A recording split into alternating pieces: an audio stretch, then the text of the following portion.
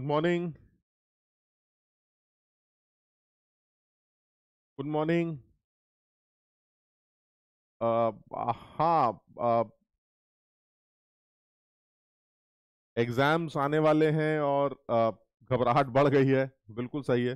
आ, ऐसा ही हो रहा होगा। और मुझे ऐसा लगता है कि आ, ये शायद नॉर्मल होगा। अब पता नहीं ऐसा मुझे क्यों लगता है कि ये एक नॉर्मल फिनोमिना है जिसके साथ ऐसा नहीं हो रहा है।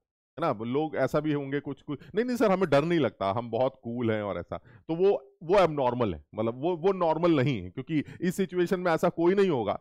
जो जेई के लिए एग्ज़ाम देने जा रहा है, जो जेई का पेपर देने जा रहा है आईटी के लिए तैयारी कर रहा है, और वो इस टाइम पर नॉर्मल है। अब मुझे तो ये बिल्कुल कहीं से समझ में नहीं आता, वो नॉर्मल हो ही नहीं सकता। वो बिल्कुल नॉर्मल नहीं हो सकता, क्योंकि साफ़ दिखाई दे रहा है कि इस टाइम दिल की धड़कनें बढ़ चुकी हैं। एग्ज़ाम बहुत करीब आ चुका है। जिन लोगों ने पिछले साल या पिछले कुछ महीनों से मेहनत की है ऑब्वियस है कि उनको इस चीज़ की घबराहट हो रही होगी कि न जाने पेपर कैसा आएगा, हमारा स्कोर कैसा चलेगा। बट मैं तुम लोगों से एक ही चीज़ बोलूँगा कि ये एक नॉर्मल फिनोमना है, इससे परेशान मत होना। मतलब इस वजह से अगर स्कोर खराब आ जाए कि भाई घबराहट की वजह से सर ये गलती कर दी, आप परेशान हो रहे थे, डर रहे थे, लास्ट के दिनों में इतना घबरा गए थे कि हम रिवीजन नहीं कर पाए, पढ़ाई नहीं कर पाए, जिसकी वजह से दिक्कत हो गई तो मेरा सजेशन ये कि तुमसे बड़ा बेवकूफ़ कोई नहीं होगा जो इस वजह से अपना स्कोर खराब कर रहा है, सिर्फ़ घबरा कर बिकॉज़ दिस इज़ नॉर्मल ये नॉर्मल फिनोमिना है, किसी से भी पूछोगे वो यही कहेगा कि लाइफ का सबसे इंपॉर्टेंट एग्ज़ाम आपका होने जा रहा है। बताइए, आपको थोड़ी बहुत घबराहट है कि नहीं? तो हर आदमी यही कहेगा, यार, घबराहट इस चीज़ की नहीं है कि हम बर्बाद हो जाएँगे, लूट जाएँगे। बर्बाद, हमें घबराहट इस चीज़ की हो रही है कि यार, जो हमने तैयारी की है, उस तैयारी का हमें क्या रिज़ल्ट मिलने वाला है? इस चीज़ की घबराहट। क्या हम इस चीज़ को फुलफिल कर पाएँगे? अपने पेरेंट्स के ड्रीम को फुलफिल कर पाएँगे? जो उन्होंने हमारे लिए सोचा, क्या वो हम कर पाएँगे? हमें इस चीज़ की घबराहट है। हमें इस चीज़ की घबराहट नहीं है कि हमारे नंबर बर्बाद हो गए, हम कुछ नहीं कर पाए, हम क्या करेंगे? ना ना ना, हमें घबराहट सिर्फ़ इस चीज़ की है कि वो जो रिज़ल्ट है, क्या वो रिज़ल्ट हमारे मतलब का है? क्या वो हम दिखाने लायक रिज़ल्ट अपने पेरेंट्स के हाथों में रख पाएँगे कि नहीं? हमें मेन घबराहट इसी चीज़ की। और मैं तुम्हें बताऊँ, अगर ये घबराहट है तो ये एक नॉर्मल घबराहट है। इस चीज़ से बिल्कुल भी अपना स्कोर खराब करने की ज़रूरत नहीं है, बल्कि इससे तो और मोटिवेट होना चाहिए कि भाई साहब, ऐसा है, ये रिज़ल्ट लाना ही लाना है, क्योंकि ये रिज़ल्ट जिसने बोला है हमसे लाने के लिए, जो हमारे पेरेंट्स जिन्होंने हमसे ये कहा है ये काम करने के लिए, हमें ये काम करके दिखाना ही दिखाना है। इसलिए भाई मेरा मानना यह है कि बड़ा नॉर्मल है। मस्त रहो, ये परेशानी सबके साथ रहेगी। बिल्कुल परेशान मत हो। मस्त एकदम, कोई टेंशन नहीं है। बढ़िया तैयारी करो और जितना भी टाइम बचा है, उसमें बढ़िया रिवीजन करके एग्ज़ाम दे आओ। मुझे पूरी उम्मीद है कि जिन बच्चों ने थोड़ा भी इधर के कुछ महीनों में एफर्ट्स दिखाए हैं, उनको इस फ़र्स्ट अटेम्प्ट से कम से कम इतनी खुशी ज़रूर होगी कि वो ये समझ जाएँगे कि या तो इसी स्कोर से हमारा काम चल जाएगा और नहीं तो थोड़ा सा जो टाइम बच जाएगा, जो आगे के अटेम्प्ट में मिलेगा, उसमें सर हम इस पूरे पेपर की बैंड बजा देंगे बिकॉज़ सिलेबस बड़ा क्लियर है पेपर का पैटर्न एकदम क्लियर है सर पेपर का लेवल एकदम क्लियर है और ये कहीं से भी मुश्किल एग्ज़ाम नहीं होने वाला है। तो इसलिए मेरा सजेशन है आ, कोशिश करो लग के कोशिश करो मुझे ऐसा लगता है सब लोग बहुत अच्छा एग्ज़ाम करेंगे।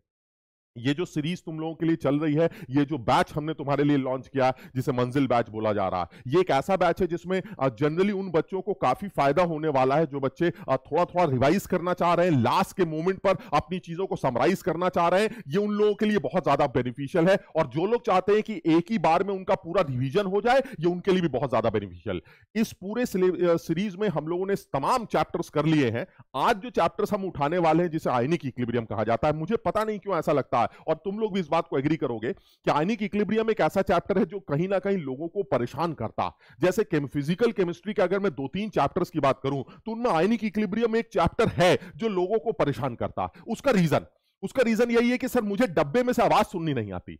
वो डब्बा जो सोल्यूशन दिया गया है, अगर मैं उस सोल्यूशन की आवाज़ सुनना शुरू कर दूँ, कि अंदर से आवाज़ आ रही है, बेटा मैं बफर सोल्यूशन हूँ। बस बफर का फॉर्मूला लगा दिया। अंदर से आवाज़ आ रही है, मेरे अंदर एक ऐसा एनायन है जो हाइड्रोलाइज होने वाला है। एनाइनिक हाइड्रोलिसिस का फॉर्मूला लगा दिया। यानी अगर मुझे डब्बे की आवाज़ सुननी आ जाए तो मुझे ऐसा लगता है ये चैप्टर आसान हो जाएगा। उसके बाद सिर्फ़ कुछ फॉर्मूले जो हमें याद रख रहे हैं। और उसके बाद सवाल पढ़ा, डब्बे की आवाज़ सुनी और फॉर्मूला लगा के आंसर निकाल दिया, आसानी से यह काम किया जा सकता। तो हम लोग जो स्टार्ट करने वाले हैं नहीं टेंशन किसी भी चीज़ की नहीं होनी चाहिए। आ, बिल्कुल भी किसी चीज़ की कोई टेंशन नहीं होनी चाहिए। स्तुति जब क्वेश्चन सॉल्व नहीं होते तो टेंशन होती है। हाँ बिल्कुल होती होगी बट ये एक नॉर्मल फिनोमना है और कोशिश की जाए उससे आसान लेवल के क्वेश्चन पहले सॉल्व किए जाएँ पहले एक लेवल तैयार किया जाए उसके बाद किसी और लेवल पर स्विच किया जाए। और मुझे लगता है जेई का जो मेन्स का लेवल है वो आपका पहला ही लेवल है। आप बेसिक लेवल पर तैयारी अगर करके जा रहे हैं तो भी आपका अच्छा काम चल सकता। बहुत बढ़िया चलिए कोशिश शुरू करते हैं। हाँ तो हम लोग आज आयनिक इक्लिब्रियम स्टार्ट करते हैं। और आयनिक इक्लिब्रियम में जो मुझे लगता है जो हमें स्टार्ट करना चाहिए, जो चीज़ें हम डिस्कस करना चाह रहे हैं, उसमें मुझे, मेरे हिसाब से, जो मुझे स्टार्ट करना चाहिए, उसमें सबसे पहले मैंने कुछ एसिड बेस्ड थेरीज के बारे में बात की जो मैं मुश्किल से दो मिनट में डिस्कस करूँगा बिकॉज़ मुझे कहीं से भी ये बहुत ज़्यादा इंपॉर्टेंट फिनोमना नहीं लगता। और बच्चों से ये सजेशन सजेस्ट कर रहा हूँ मैं कि वो एनसीआरटी से इस आयनिक इक्लिब्रियम में एसिड बेस्ड थेरी को एनसीआरटी के शुरू के एक दो पेजेस से पढ़ भी लेंगे।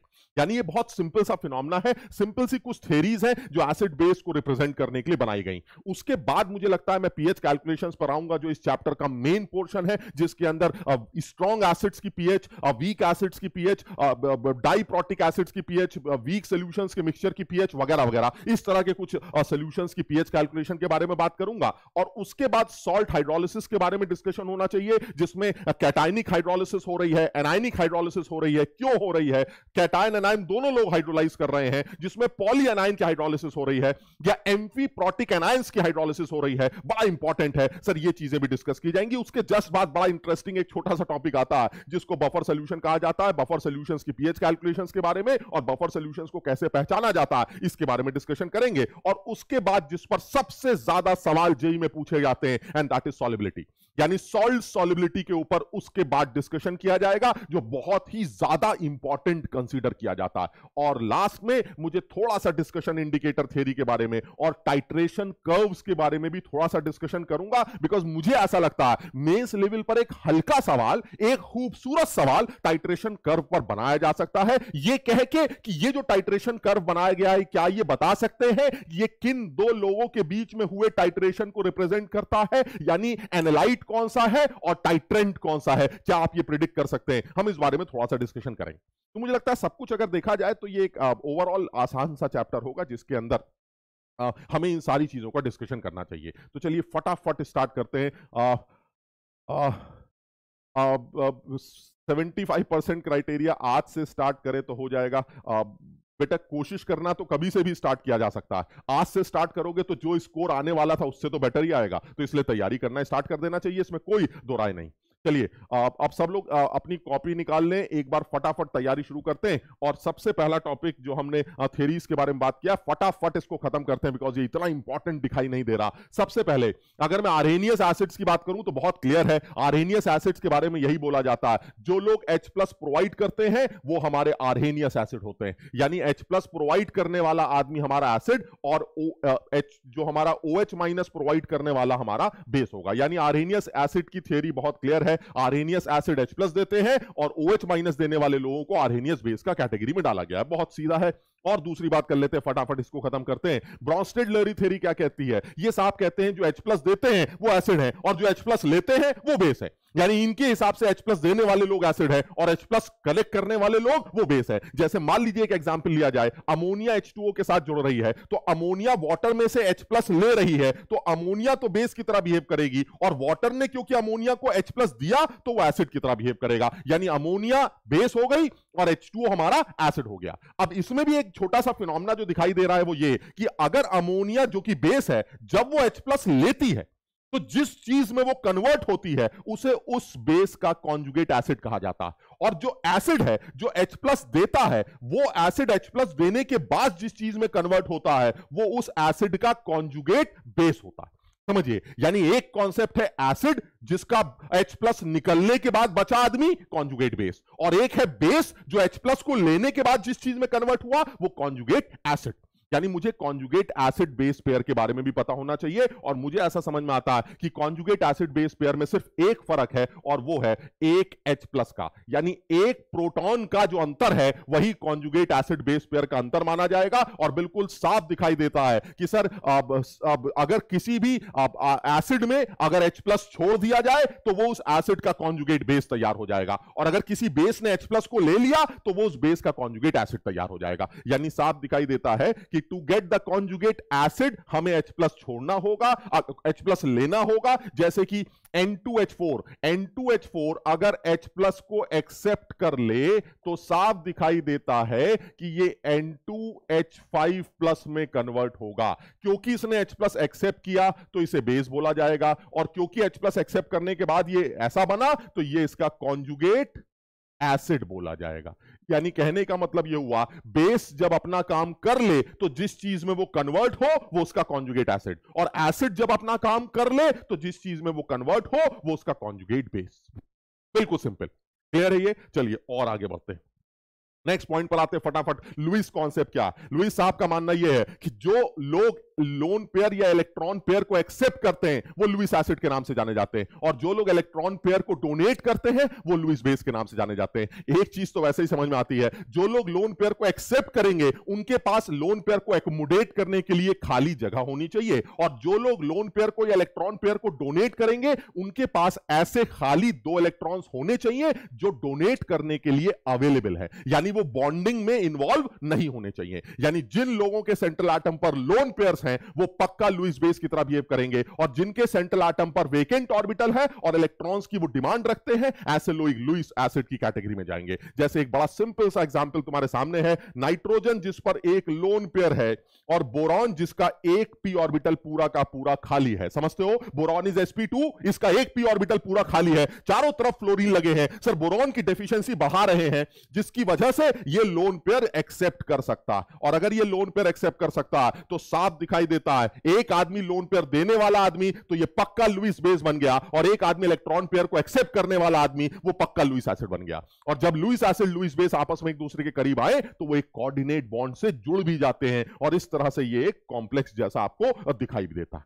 यानी ये बड़ा सीधा सा कॉन्सेप्ट इसमें कोई खास डिस्कशन करने की ज़रूरत नहीं है, लेकिन फिर भी मैं तुमसे ये बोलूँगा कि एक बार एनसीईआरटी के शुरू के कुछ पेजेस को ज़रूर याद कर लिया जाए, ज़रूर पढ़ लिया जाए, क्योंकि इसके ऊपर भी सवाल बन सकता है। मुझे याद है कि कुछ इसी बार के पेपर में, एक साल पहले के पेपर में इस बारे में बात कर चुका। कि भाई ये बताइए, इनमें से कौन सा आदमी जो है वो लुइस बेस नहीं हो सकता? सर, अगर आपने लुइस बेस का नाम ले लिया तो इसका मतलब है आप ऐसे आदमी की बात कर रहे हैं जिसके पास इलेक्ट्रॉन पेयर होगा डोनेट करने के लिए। और अगर आप ये कहना चाहते हैं कि लुइस बेस नहीं है तो आपके पास ऐसा एक भी पेयर नहीं होना चाहिए जो आप डोनेट कर सकते हैं। और साफ़ दिखाई देता है, सर एस के पास एक इलेक्ट्रॉन पेयर है। सर एन के पास एक इलेक्ट्रॉन पेयर है जो वो डोनेट कर सकता। है सर सी के पास तमाम लोन पेयर है जो डोनेट कर सकता। है लेकिन सर पीसीएल फाइव एक ऐसा आदमी है जिसके पास एक भी पेयर नहीं है जो वो डोनेट कर सके। यानी पीसीएल फाइव मेरा सही आंसर होना चाहिए, क्योंकि इसके पास एक भी इलेक्ट्रॉन पेयर डोनेट करने के लिए नहीं बचा। इसलिए जो आदमी लुइस बेस नहीं हो सकता है that is PCl five clear है? चलिए, अब आते हैं मेन डिस्कशन अब, अब, अब जो मुझे समझ में आता है मेन डिस्कशन में आप एक तो वाटर के बारे में थोड़ा सा डिस्कशन करना है जो इंपॉर्टेंट दिखाई देता है। वाटर के बारे में क्या डिस्कस करना चाहते हैं? देखिए पानी के बारे में अगर बात की जाए तो पानी एक ऐसा आदमी है जिसको अगर मैं अपने हिसाब से समझूं तो पानी एक ऐसा आदमी है जो कि खुद भी डिसोसिएटेड फॉर्म में एग्जिस्ट कर सकता। यानी H2O खुद भी एक इक्लिब्रियम H प्लस और OH माइनस के साथ बनाता। अब ऐसे में अगर मैं ये बोलूँ कि भाई पानी की पीएच क्या होती? तो पानी के बारे में एक चीज़ हमें बताई गई है कि पानी का एक आयनिक प्रोडक्ट होता है जिसको के कहा जाता है, जो पानी के आयंस की कंसेंट्रेशन के मल्टीप्लीकेशन के बराबर होता है।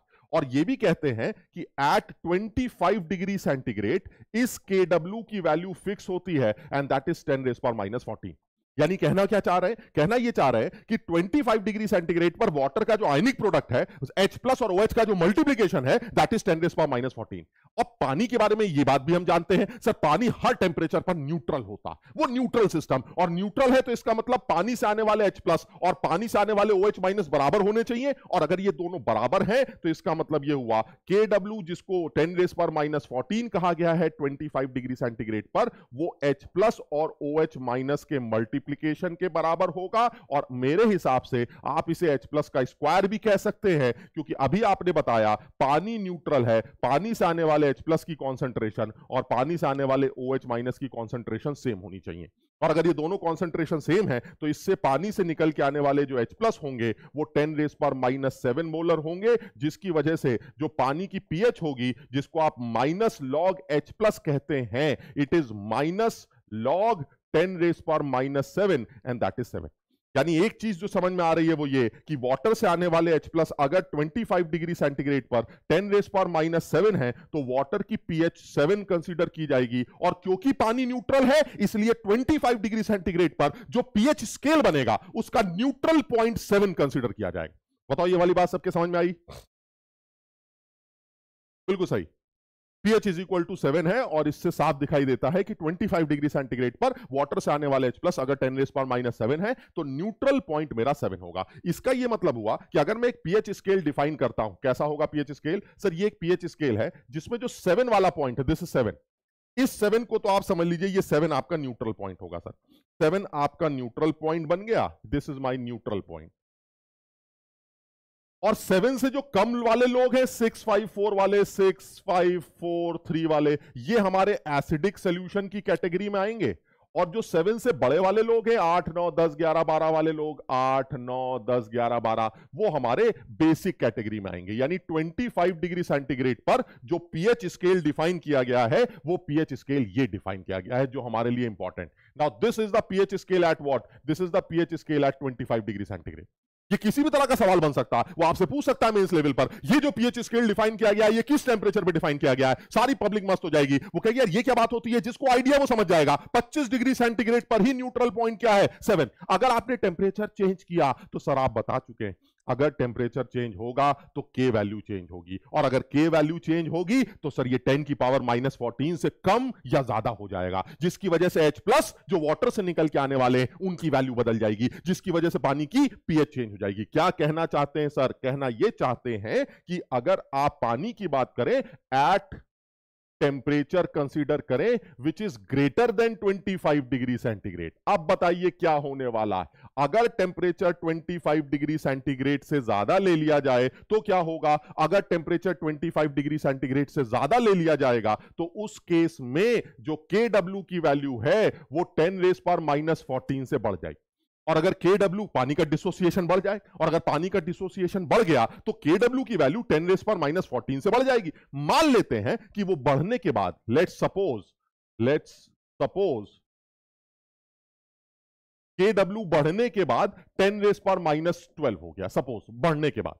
हम ऐसे एज्यूम कर लेते हैं कि अगर आपने टेम्परेचर बढ़ाया तो के की वैल्यू बढ़ जाएगी, पानी का डिसोसिएशन बढ़ जाएगा पानी का डिसोसिएशन बढ़ेगा तो आयनिक प्रोडक्ट बढ़ जाएगा। यानी वो वैल्यू मान लीजिए, मान लेते हैं कि टेन रेस पर माइनस ट्वेल्व हो गई। तो ऐसे में सर फिर से वही हो गया। टेन रेस पर माइनस ट्वेल्व की value H plus into O H minus के बराबर होगी, और पानी से आने वाले एच प्लस और ओ एच माइनस तो बराबर होते हैं तो ये टेन रेस पर माइनस सिक्स होगा। इसका मतलब सर, अब जो पीएच आएगी, वो सिक्स आएगी। Now what is the neutral point now the neutral point is six because water is always always neutral at every temperature that means कहने का मतलब यह हुआ कि अब जो पीएच स्केल डिफाइन किया जाएगा, वो पीएच स्केल एक ऐसा पीएच स्केल होगा जिसमें सिक्स हमारा न्यूट्रल पॉइंट होगा। Now this is my neutral point और अगर सिक्स हमारा न्यूट्रल पॉइंट है तो सिक्स से छोटे वाले लोग, वो हमारे एसिडिक सोल्यूशन बनेंगे। छोटे वाले मतलब पाँच, चार, तीन पीएच वाले। और छह से बड़े वाले लोग, जैसे सात, आठ, नौ, दस वाले लोग, ये हमारे बेसिक सोल्यूशन बनेंगे। क्या समझ में आ रहा है? सर, समझ में यह आया कि अब हमारा सेवन वाला पॉइंट दिखाई दे रहा है। अब हमारा सेवन वाला पॉइंट किस कैटेगरी में आ रहा है? सर, अब हमारा सेवन वाला पॉइंट बेसिक कैटेगरी में आ रहा है। समझिए। यानी कहने का मतलब यह हुआ, अब आपका पीएच अगर सेवन है तो अब आप बेसिक कैटेगरी में, यानी इसका क्या मतलब हुआ? सर, इसका मतलब ये हुआ pH is equal to seven हमेशा न्यूट्रल नहीं होता। PH is equal to seven कभी बेसिक हो सकता है pH is equal to seven कभी एसिडिक भी हो सकता है। अगर आपका टेम्परेचर 25 डिग्री सेंटीग्रेड से ज़्यादा है तो सेवन वाला पॉइंट पक्का वो न्यूट्रल पॉइंट के ऊपर होगा, जिसकी वजह से आप उसको बेसिक सोल्यूशन की कैटेगरी में डालेंगे। और अगर आपका टेम्परेचर मान लीजिए 25 डिग्री सेंटीग्रेड से कम होता तो क्या होता? अगर मेरा टेम्परेचर 25 डिग्री सेंटीग्रेड से कम है। यानी टेम्परेचर जो मैंने लिया है it is less than 25 degree centigrade तब क्या होगा? तो हम ऐसे ही अज्यूम कर लेते हैं कि अब जो के डब्ल्यू की वैल्यू होगी, वो के डब्ल्यू की वैल्यू टेन रेस पर माइनस फोर्टीन से कम होगी। अज्यूम कर लेते हैं। Let suppose the W value is suppose ten raise पर माइनस सिक्सटीन अब ये माइनस फोर्टीन से कम हो गई। अब ऐसे में साफ़ दिखाई देता है टेन रेस पर minus sixteen will be equal to H plus into O H minus and since H and O H are equal so H plus value will be ten raise पर minus eight molar So, ultimately pH is equal to 8. Now 8 will be neutral. दिख रहा है ये? अब 8 मेरा neutral होगा। अब जो pH स्केल तैयार होगा, उसमें जो न्यूट्रल पॉइंट होगा, वो न्यूट्रल पॉइंट 8 कंसीडर किया जाएगा। Now the 8 will be neutral point 8 से छोटे वाले लोग। अब एसिडिक 7 8 6 5 अब ये एसिडिक सिस्टम और एट से बड़े वाले लोग, नौ, दस, ग्यारह, ये वाले लोग अब हमारे बेसिक अब साफ़ दिखाई देता है कि जो सेवन वाला पॉइंट है दिस सेवन वाला point is now acidic this seven is now acidic यानी मैं ये बताना चाह रहा हूँ जो सबसे पहली बात वाटर के बारे में, कि 25 डिग्री सेंटीग्रेड पर पानी से आने वाले जो H प्लस होते हैं, वो 10 रेस पर माइनस सेवन के बराबर होते हैं। और ऐसे में पीएच की वैल्यू सेवन होती है। ठीक है, ये वाली बात। दूसरी बात, सर, अगर आपने टेम्परेचर छेड़ा तो पानी का के डब्ल्यू बदल जाएगा।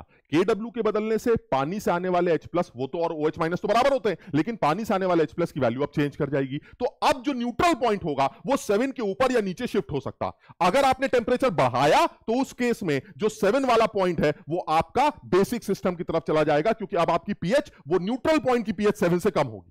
और अगर आपने टेम्परेचर को कम किया तो ऐसे में सर जो पीएच होगी न्यूट्रल पॉइंट की, वो सेवन के ऊपर होगी तो ऐसे में सेवन वाला पॉइंट सेवन के नीचे आ जाएगा न्यूट्रल पॉइंट के नीचे आ जाएगा। अब वो क्या बन जाएगा? एसिडिक यानी एक चीज़ बिल्कुल क्लियर है कि अगर मुझसे इस बार के जेई मेंस के पेपर में किसी एक शिफ्ट में ये सवाल पूछ लिया जाए कि pH is equal to seven is considered a neutral solution true और false the answer will be false because it will be neutral only at 25 degree centigrade if the temperature changes if the temperature is more than 25 degree centigrade, then the 7 wala point will be basic point, and if the temperature is less than 25 degree centigrade, then the 7 wala point will be acidic point.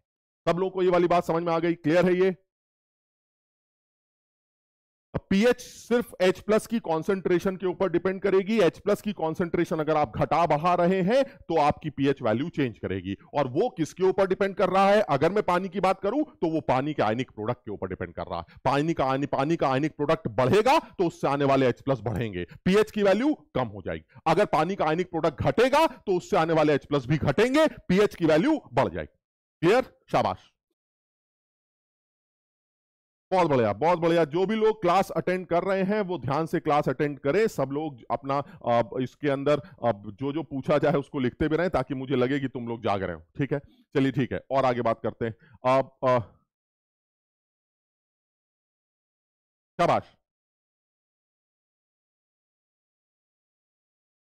अब हाँ ये ज़रूर है कि सही कह रहे हैं एक हाथ बच्चे की सर, जो भी सोल्यूशंस लिए जाएँगे वो डाइल्यूट सोल्यूशंस ही होने चाहिए। हाँ बिल्कुल सही है। कॉन्सेंट्रेटेड सोल्यूशंस की पीएच जेई के सिलेबस में नहीं है, क्योंकि कॉन्सेंट्रेटेड सोल्यूशंस की पीएच कैलकुलेशन में आपके फॉर्मुले में थोड़ा सा चेंज कर दिया जाता है। उस केस में एच प्लस की कॉन्सेंट्रेशन की जगह एक्टिविटी यूज़ की जाती है, जो हम निकालना हमारे सिलेबस में नहीं तो हम चक्कर में नहीं पड़ेंगे। हमें डायल्यूट सोल्यूशन की पीएच कैलकुलेशन के बारे में डिस्कशन करना है, ठीक। सर, ये तो आपने पानी की बात कर ली, ये पूरी कहानी पानी। सर, पानी के बारे में एक बात और हमने सुनी है, और अब जो मैं बात करने जा रहा हूँ, वो बहुत इंपॉर्टेंट क्योंकि जनरली बच्चे गलत समझते हैं। पानी का जो आयनिक प्रोडक्ट है दैट इज़ टेन रेस पर minus fourteen at twenty five अब देखो, अगर मेरे मुँह से टेम्परेचर ना निकले तो आप समझ जाइएगा 25 की बात चल रही है। बात समझ रहे हो? तो बार बार हो सकता है टेम्परेचर मैं यूज़ ना करूँ। तो लेकिन फिर भी, अगर पानी का आयनिक प्रोडक्ट 10 रेस पर माइनस फोर्टीन है 25 डिग्री सेंटीग्रेड पर तो पानी का डिसोसिएशन कांस्टेंट क्या है? पानी की डिग्री ऑफ़ डिसोसिएशन क्या है? सर, ये क्या बात होती है? ये कौन सा सवाल हो गया? पानी कोई एसिड थोड़ा ना कि उसकी डिग्री ऑफ़ डिसोसिएशन निकालेंगे। है, पानी एसिड भी तो है। पानी एच प्लस देता है, सर। पानी बेस भी है, सर। पानी ओच माइनस भी देता है। यानी पानी का के वैल्यू भी होगा, पानी का के भी वैल्यू भी होगा। और वो के के भी वैल्यूज़ दोनों आपस में बराबर होंगे, वो अलग बात, क्योंकि H प्लस और OH माइनस की कॉन्सेंट्रेशन वो सिमिलर यानी अब मैं एक इंपॉर्टेंट बात पर आ रहा हूँ, और ये सब लोगों से ये बोला जा रहा है कि इस बात को सब लोग ध्यान रखेंगे। और वो ये ये सब लोग इस बात को याद रखेंगे, जो मेन पॉइंट है हमारा, इस चीज़ को सब लोग याद रखने की कोशिश करेंगे, और इसको ज़रूर से याद रखेंगे कि पानी की जो डिग्री ऑफ़ डिसोसिएशन है, वो 1.8 point eight into ten raise पर माइनस सेवन है 25 degree centigrade this is degree of dissociation और ये कहाँ से निकल के आ रही है? बिल्कुल क्लियर है सर जब आप डिग्री ऑफ़ डिसोसिएशन की बात करते हैं तो सर ये सी ज़ीरो ज़ीरो होगा। फिर आप इसको C one minus alpha C alpha C alpha करके लिखेंगे। और ये जो सी अल्फ़ा है, और आप ये जानते हैं कि सर इस सी अल्फ़ा की वैल्यू टेन रेस पर माइनस सेवन तो साफ़ समझ में आता है if C alpha is ten raise पर minus seven then alpha will be ten raise पर minus seven by C and the concentration of water is 55.5 यानी अगर आपने एक लीटर पानी लिया है तो उसका weight assuming the density of water is one gram पर एमएल आप उसका वेट एक हज़ार ग्राम मानेंगे, जिससे उसकी कंसंट्रेशन हमेशा 55.55 निकल के आएगी। यानी पानी की कंसंट्रेशन अगर 55.55 है तो ऐसे में अल्फ़ा की जो वैल्यू आएगी, वो आएगी 10 रेस पर माइनस सेवन जिसको आप सी अल्फ़ा कह रहे हैं, जिसको आप 55.55 अल्फ़ा कहते हैं, उससे अल्फ़ा की वैल्यू 10 रेस पर माइनस सेवन डिवाइडेड बाय 55.55 निकल के आएगी, जो सॉल्व करके 1.8 इंटू टेन रेस पर माइनस नाइन के आसपास निकल के आती। अगर आप परसेंटेज की बात करें तो percentage degree of dissociation will be 1.8 point eight into ten raise पर माइनस सेवन सब लोग इसको ज़रूर याद करने की कोशिश करेंगे, ये बड़ी इंपॉर्टेंट दूसरी बात, सर, पानी का डिसोसिएशन कांस्टेंट क्या है? पानी का ionic product is K W but the dissociation constant, that means you are considering water as an acid or base तो सर, बड़ा आसान है, हमें आता है, this into this upon this, खत्म हो गया। तो सर, ऐसे में अगर आप पानी का आप डिसोसिएशन कांस्टेंट कैलकुलेट करना चाहते हैं तो पानी का जो डिसोसिएशन कांस्टेंट आएगा, वो आएगा H plus concentration into O H minus concentration and this is K W value divided by the concentration value यानी this is K W divided by C and K W by C is one point eight into ten raise पॉर minus sixteen so ultimately P K B K B value और P K B value is fifteen point seven four यानी हमें इस बात को याद रखना है कि पानी का पी के ए वैल्यू जिसको पी के बी भी कह सकते हैं दिस इज़ 15.74 ये दोनों इंफॉर्मेशन बहुत ज़्यादा इंपॉर्टेंट है, क्योंकि बहुत सारे बच्चे इस बात को नहीं समझ पाते। हमें इन दोनों बातों को बहुत अच्छी तरह से याद रखना है। क्लियर ये? सब लोग को वाली बात समझ में आ रही है? यानी वाटर की अगर आप बात कर रहे हैं तो वाटर को आप साफ़ कह सकते हैं। सर, पानी एक ऐसा आदमी जिसका आयनिक प्रोडक्ट 25 डिग्री सेंटीग्रेड पर टेन रेस पर माइनस फोर्टीन होता है। लेकिन अगर मैं पानी को एसिड की तरह ट्रीट करूँ तो उसकी के वैल्यू होगी, वो के वैल्यू पीके वैल्यू 15.74 होती है। और उसका जो पीके भी वैल्यू है, क्योंकि ओएच भी देता है तो वो भी 15.74 होगी। यानी पानी के लिए मुझे दो बातें, एक डिग्री ऑफ़ डिसोसिएशन और एक उसका डिसोसिएशन कांस्टेंट और तीसरा उसका आयनिक प्रोडक्ट जो कि 10 रेस पर माइनस फोर्टीन होता है 25 डिग्री सेंटीग्रेड पर, ये याद रखना क्लियर है ये? सब लोगों को ये बात क्लियर हो गई?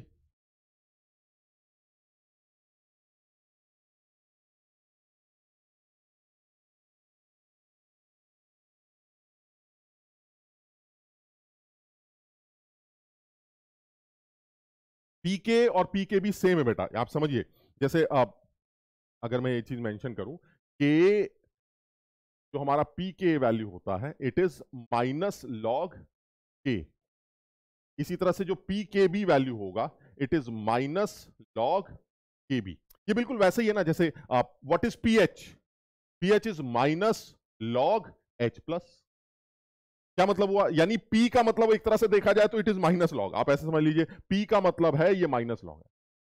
इसी तरह से देखिए, यहाँ P लगा दिया तो इट इज़ माइनस लॉग के यहाँ P लगा दिया इट इज़ माइनस लॉग के भी तो अगर आपको पानी का के के भी वैल्यू पता है तो आप लॉग माइनस लॉग लेकर उसका पी के पी के भी कैलकुलेट कर सकते हैं। एंड दैट इज़ 15.74 ये मुझे याद रखना। यानी मुझे जो समझ में आ रहा है, वो ये आ रहा है कि फॉर वाटर जितना समझ में आया वो ये for water K is equal to K W by C ये इंपॉर्टेंट और हमें जो समझ में आता है वो ये आता है कि के डब्ल्यू की वैल्यू टेन रेस पर माइनस फोर्टीन है और कंसेंट्रेशन ऑफ़ वाटर इज़ 55.55 हमें ये बात ध्यान रखनी। यानी K of water if you are asked the ionic product of water at 25 the answer is ten raise पर minus fourteen And if you are asked the dissociation constant of water as an acid or base, the answer is 10 raised power minus 14 upon 55.55. और तुम याद कर लो इस बात को कि अगर पीके या पीके भी पूछेगा तो इसी का माइनस लॉग लेना पड़ेगा और इसका माइनस लॉग कितना आता है 15.74 ये याद कर ले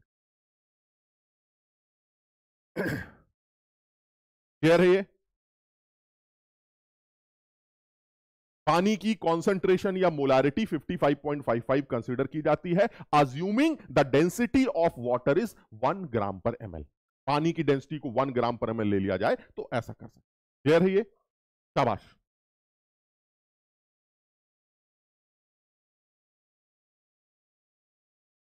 चलिए ठीक, और आगे बढ़ते हैं। अब आते हैं आप पानी को भी यूज़ करके अब आते हैं सोल्यूशंस क्योंकि ये तो सर प्योर वाटर की बात चल रही प्योर वाटर के बारे में हमें क्लैरिटी हो गई कि अगर आपने 25 डिग्री की बात की then the pH of water will be seven the neutral point will be seven the pH concentrations of the solutions which are uh, whose pH are less than 7 they will be acidic more than 7 they will be basic at 25 पानी का केडब्ल्यू ten raise पर minus fourteen है at 25 degree centigrade पर। पानी की degree of dissociation 25 degree centigrade पर 1.8 point eight into ten raise पर minus seven percent होती है। पानी का डिसोसिएशन कांस्टेंट 25 डिग्री सेंटीग्रेड पर टेन रेस पर minus fourteen upon fifty five point five five होता है। अगर आप पीके या पीके भी पूछेंगे that will be the anti log of this sorry minus log of this and the answer is fifteen point seven four यहाँ तक क्लियर है?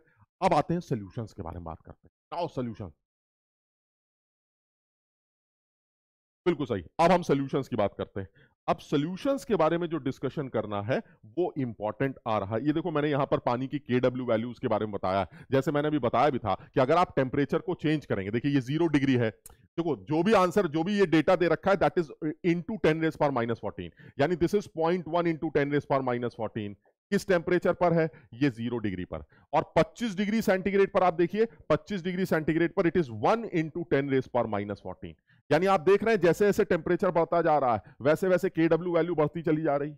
और इसी वजह से पानी, यानी न्यूट्रल पॉइंट की पीएच वो कम हो रही। इसलिए मैंने बोला था कि seven is neutral only at 25 degree centigrade यानी 25 डिग्री सेंटीग्रेड पर ही सेवन न्यूट्रल है जिसकी वजह से जो पीएच आ रही है वो सेवन अगर आप 25 के ऊपर निकल जाएँगे तो सेवन वाला पॉइंट आपका बेसिक पॉइंट बन जाएगा। और अगर आप 25 के नीचे रहते हैं तो सेवन वाला पॉइंट आपका एसिडिक पॉइंट होगा। सब लोग इस बात को ध्यान ये भी बड़ा अच्छा सवाल। वो पूछ सकता है अगले साल के जेई इसी बार के जेई के पेपर में। क्या पूछेगा? कि भाई ये बताइए, मेरा एक सोल्यूशन है जिसकी पीएच वैल्यू जो है, वो सिक्स पॉइंट एट है। बताइए क्या ये कहना ठीक है कि वो पक्का एसिडिक ही होगा? तो आप क्या जवाब देंगे? बेकार की बातें मत करो। वो एसिडिक भी हो सकता है वो बेसिक भी हो सकता है वो कुछ भी हो सकता है भैया। क्यों? क्योंकि सर ऐसे में आप, आपने ये तो बताया नहीं कि आपका टेम्परेचर कौन सा है। हाँ अगर आपने टेम्परेचर मेंशन कर दिया कि temperature is 25 in that case 6.8 pH वाला सोल्यूशन पक्का एसिडिक सोल्यूशन होगा। क्लियर है तो मुझे इस चीज़ का थोड़ा सा ठीक।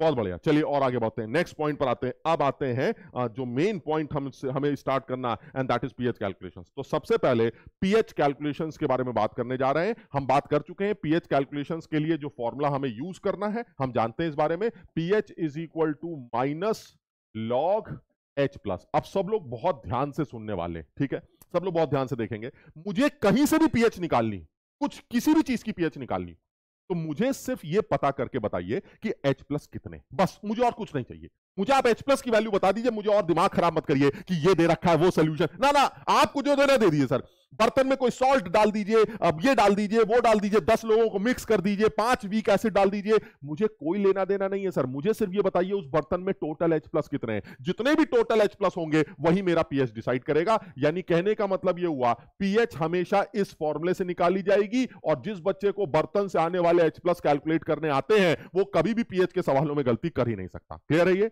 यानी कहने का मतलब यह हुआ, मुझे सबसे पहले इस बात का ध्यान रखना है कि अगर मुझे पीएच कैलकुलेशन करनी है तो उन पीएच कैलकुलेशन में सबसे पहले जो समझ में आता है वो ये कि मुझे बर्तन के एच प्लस कैलकुलेट करने आने चाहिए, ठीक है? अब मैं सबसे पहले पीएच कैलकुलेट करने जा रहा हूँ स्ट्रॉन्ग एसिड्स के लिए। अब देखो बड़ा आसान है। मैं यहाँ कुछ लिख के लाया हूँ। उससे ज़्यादा ज़रूरी क्या है? मैं तुम्हें यह बताऊँ कि जो इंपॉर्टेंट पॉइंट है वो ये है कि अगर आप किसी भी स्ट्रॉन्ग एसिड की बात करते हैं, चलिए हम लिख के इस बारे में बात करते हैं। अगर आप किसी स्ट्रॉन्ग एसिड की पीएच की बात करते हैं तो होगा क्या? सर, जब आप किसी स्ट्रॉन्ग एसिड की पीएच की बात करते हैं तो उस एसिड से एच प्लस निकल के आते हैं और स्ट्रॉन्ग एसिड्स के बारे में क्या बोला जाता है? Strong acids are strong electrolytes they are strong electrolytes और अगर ये स्ट्रॉन्ग इलेक्ट्रोलाइट्स हैं तो इसका मतलब क्या हुआ? 100 परसेंट डिसोसिएट करते हैं। They dissociate 100 percent dissociation consider किया जाता। यानी कहने का मतलब ये हुआ कि अगर ये स्ट्रॉन्ग इलेक्ट्रोलाइट है तो ये 100 परसेंट इनका डिसोसिएशन कंसीडर किया जाएगा। अगर आप स्ट्रॉन्ग एसिड या स्ट्रॉन्ग बेस मैंने कहा, इससे क्या फ़र्क पड़ता है? फ़र्क देखो क्या पड़ता है। अब जरा सब लोग ध्यान से देखेंगे। सर, ये देखिए, ये आपका बर्तन है। और इस बर्तन में आपने कोई स्ट्रॉन्ग एसिड ले लिया, मान लीजिए एचसीएल ले लेते हैं। तो होगा क्या? सर, जब आप HCl को वाटर के अंदर डालेंगे और HCl का सोल्यूशन तैयार करेंगे, सब लोग समझना। If it is C molar solution यानी अगर मुझे पीएच कैलकुलेट करनी है सी मोलर HCl सोल्यूशन की तो इसका क्या मतलब? सर, इसका मतलब यह हुआ, आपने HCl को पानी के अंदर डालकर सी मोलारिटी का सोल्यूशन तैयार किया, ठीक? अब सर HCl पानी के अंदर जाएगा तो सर, वो तो 100 परसेंट डिसोसिएट कर जाएगा। और नीचे सर, जो पानी पड़ा है जिसके अंदर आपने HCl को डाला है, सर, वो भी इक्विलिब्रियम बनाएगा। H प्लस और OH माइनस का अभी आपने बताया था, हर टेम्परेचर पर पानी का अपना एक इक्विलिब्रियम होता है। और वो इक्विलिब्रियम सर, ये बनाया हुआ, बढ़िया सा इक्विलिब्रियम तैयार इसमें कोई कोई इश्यू नहीं है। ये देखिए, सर इक्विलिब्रियम अब आप जब HCl का सोल्यूशन बनाएँगे तो आप ऊपर से HCl डालेंगे। HCl डालकर आपने एक सी मोलर सोल्यूशन तैयार कर लिया। सर, अब होगा क्या? होगा ये कि, सर, अब जब आप, आपको पीएच किसकी निकालनी? सर पीएच मुझे HCl की सोल्यूशन की निकालनी? यानी इस बर्तन की निकालनी। तो मैं अब इस बर्तन में कान लगा के सुनूँगा कि ये बताइए तुम्हारे टोटल एच प्लस कितने अब बर्तन क्या जवाब देगा? क्या क्या देखिए ऐसा है। एक तो पानी पड़ा था, वो भी अपने H प्लस दे रहा है। बिल्कुल सही बात।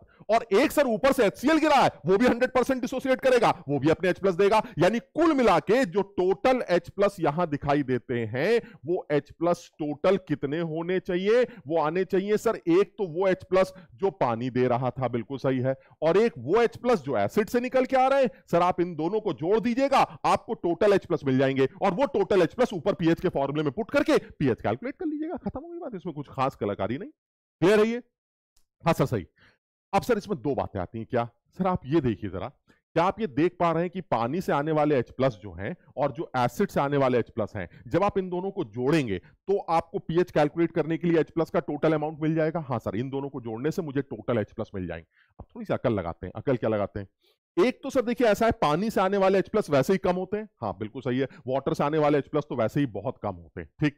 टेन रेस पर minus seven at twenty five degree centigrade लेकिन सर आप ये भी तो देखिए कि ये जो H C L H plus देगा, ये एच प्लस भी तो इन एच प्लस को डराएगा। क्या मतलब हुआ?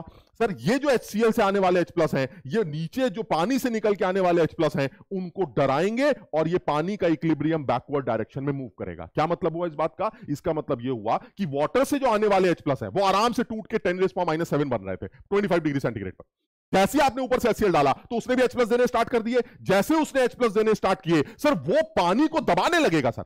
वो पानी को डराएगा, यानी पानी जो होगा, वो ऊपर से देखेगा, अरे यार, ये तो एच प्लस इतने सारे गिर रहे हैं। चलो चलो, वापस भागो। याद है चैटली प्रिंसिपल? अगर तुम एच प्लस को बढ़ाने की कोशिश करोगे तो ये इक्विलिब्रियम बैकवर्ड डायरेक्शन में जाकर एच प्लस को घटाने की कोशिश करेगा। इसका मतलब ये हुआ, सर, पानी से आने वाले एच प्लस कम होने लगेंगे। क्या कहना चाहता हूँ मैं? अगर आप एसिड के सोल्यूशन की बात करते हैं तो एसिड से आने वाले H प्लस वॉटर से आने वाले H प्लस को डराते हैं, जिसकी वजह से वॉटर से आने वाले H प्लस और कम हो जाते हैं और मैं उनको नेग्लेक्ट कर सकता हूँ जब मैं इन दोनों को जोड़ रहा हूँ। अब सर, ये आप ये बताइए, कब नेग्लेक्ट करना है और कब नेग्लेक्ट नहीं करना है? तो पहली सिचुएशन बना रहा हूँ जब आप पानी से आने वाले H प्लस को नेग्लेक्ट करने जा रहे हैं। क्लियर है ये? सर, पानी से आने वाले H प्लस को निग्लेक्ट करने की कोशिश करते हैं। कब नेग्लेक्ट करेंगे? हम पानी से आने वाले H प्लस को तब नेग्लेक्ट करेंगे जब एसिड से आने वाले H प्लस ग्रेटर देन और इक्वल टू टेन रेस पर माइनस सिक्स मोलर होंगे। सब लोग बहुत अच्छी तरह से इस बात को याद कर लेते हैं। यानी एसिड से आने वाले H प्लस अगर टेन रेस पर माइनस सिक्स के बराबर या उससे ज़्यादा है तो वो इतने हैं कि वो पानी को डरा देंगे और पानी पीछे भाग जाएगा, जिसकी वजह से पानी से आने वाले H प्लस नेग्लेक्ट कर दिए जाएँगे और टोटल H प्लस सिर्फ़ कौन कंसीडर करेगा? सिर्फ़ कंसीडर करेगा एसिड यानी इन दैट केस तब आप क्या लिखेंगे in that case H plus total they will be almost equal to H plus coming from acid. So ultimately the pH value of these types of solution will be minus log H plus coming from acid and this is minus log C. Acid से आने वाले अगर उसकी concentration सी है तो उससे आने वाले H प्लस भी सी ही होंगे और पीएच की वैल्यू माइनस लॉग सी निकाली जाएगी। पानी की ऐसी की तैसी। क्यों? सर, पानी को डर लग रहा है। क्यों डर लग रहा है? क्योंकि एसिड एच प्लस दे रहा है। सर, पानी को एच प्लस से डर लगता है। ना, पानी को एच प्लस के नाम से नहीं पानी को H प्लस के अमाउंट से डर लगता। अगर ऊपर से आने वाले एसिड से H प्लस ज़्यादा गिरेंगे तो पानी डर कर भाग जाएगा। कम गिरेंगे तो पानी चौड़ा हो जाएगा। और कहेगा, मेरी बात भी सुनो, क्योंकि अब मुझे तुमसे डर नहीं लगता। यानी मैं ये बताना चाह रहा हूँ, पानी कब डरता है और पानी कब नहीं डरता। पानी डरता तब है जब एसिड से आने वाले H प्लस टेन रेस पर माइनस सिक्स मोलर के बराबर या उससे ज़्यादा है। इस सिचुएशन में पानी डरता है। और अगर पानी डर गया तो पानी की बात नहीं सुनी जाएगी। और अगर पानी की बात नहीं सुनी जा रही है तो एसिड से जितने H प्लस निकलेंगे, सीधे लॉक के फॉर्मूले में पुट करिए पीएच बाहर निकल आएगा, झंझट है ही नहीं।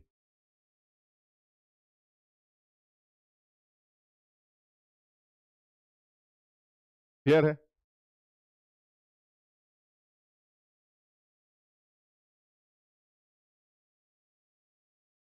क्लियर है ये वाली बात? चलिए ठीक, दूसरी बात करते हैं।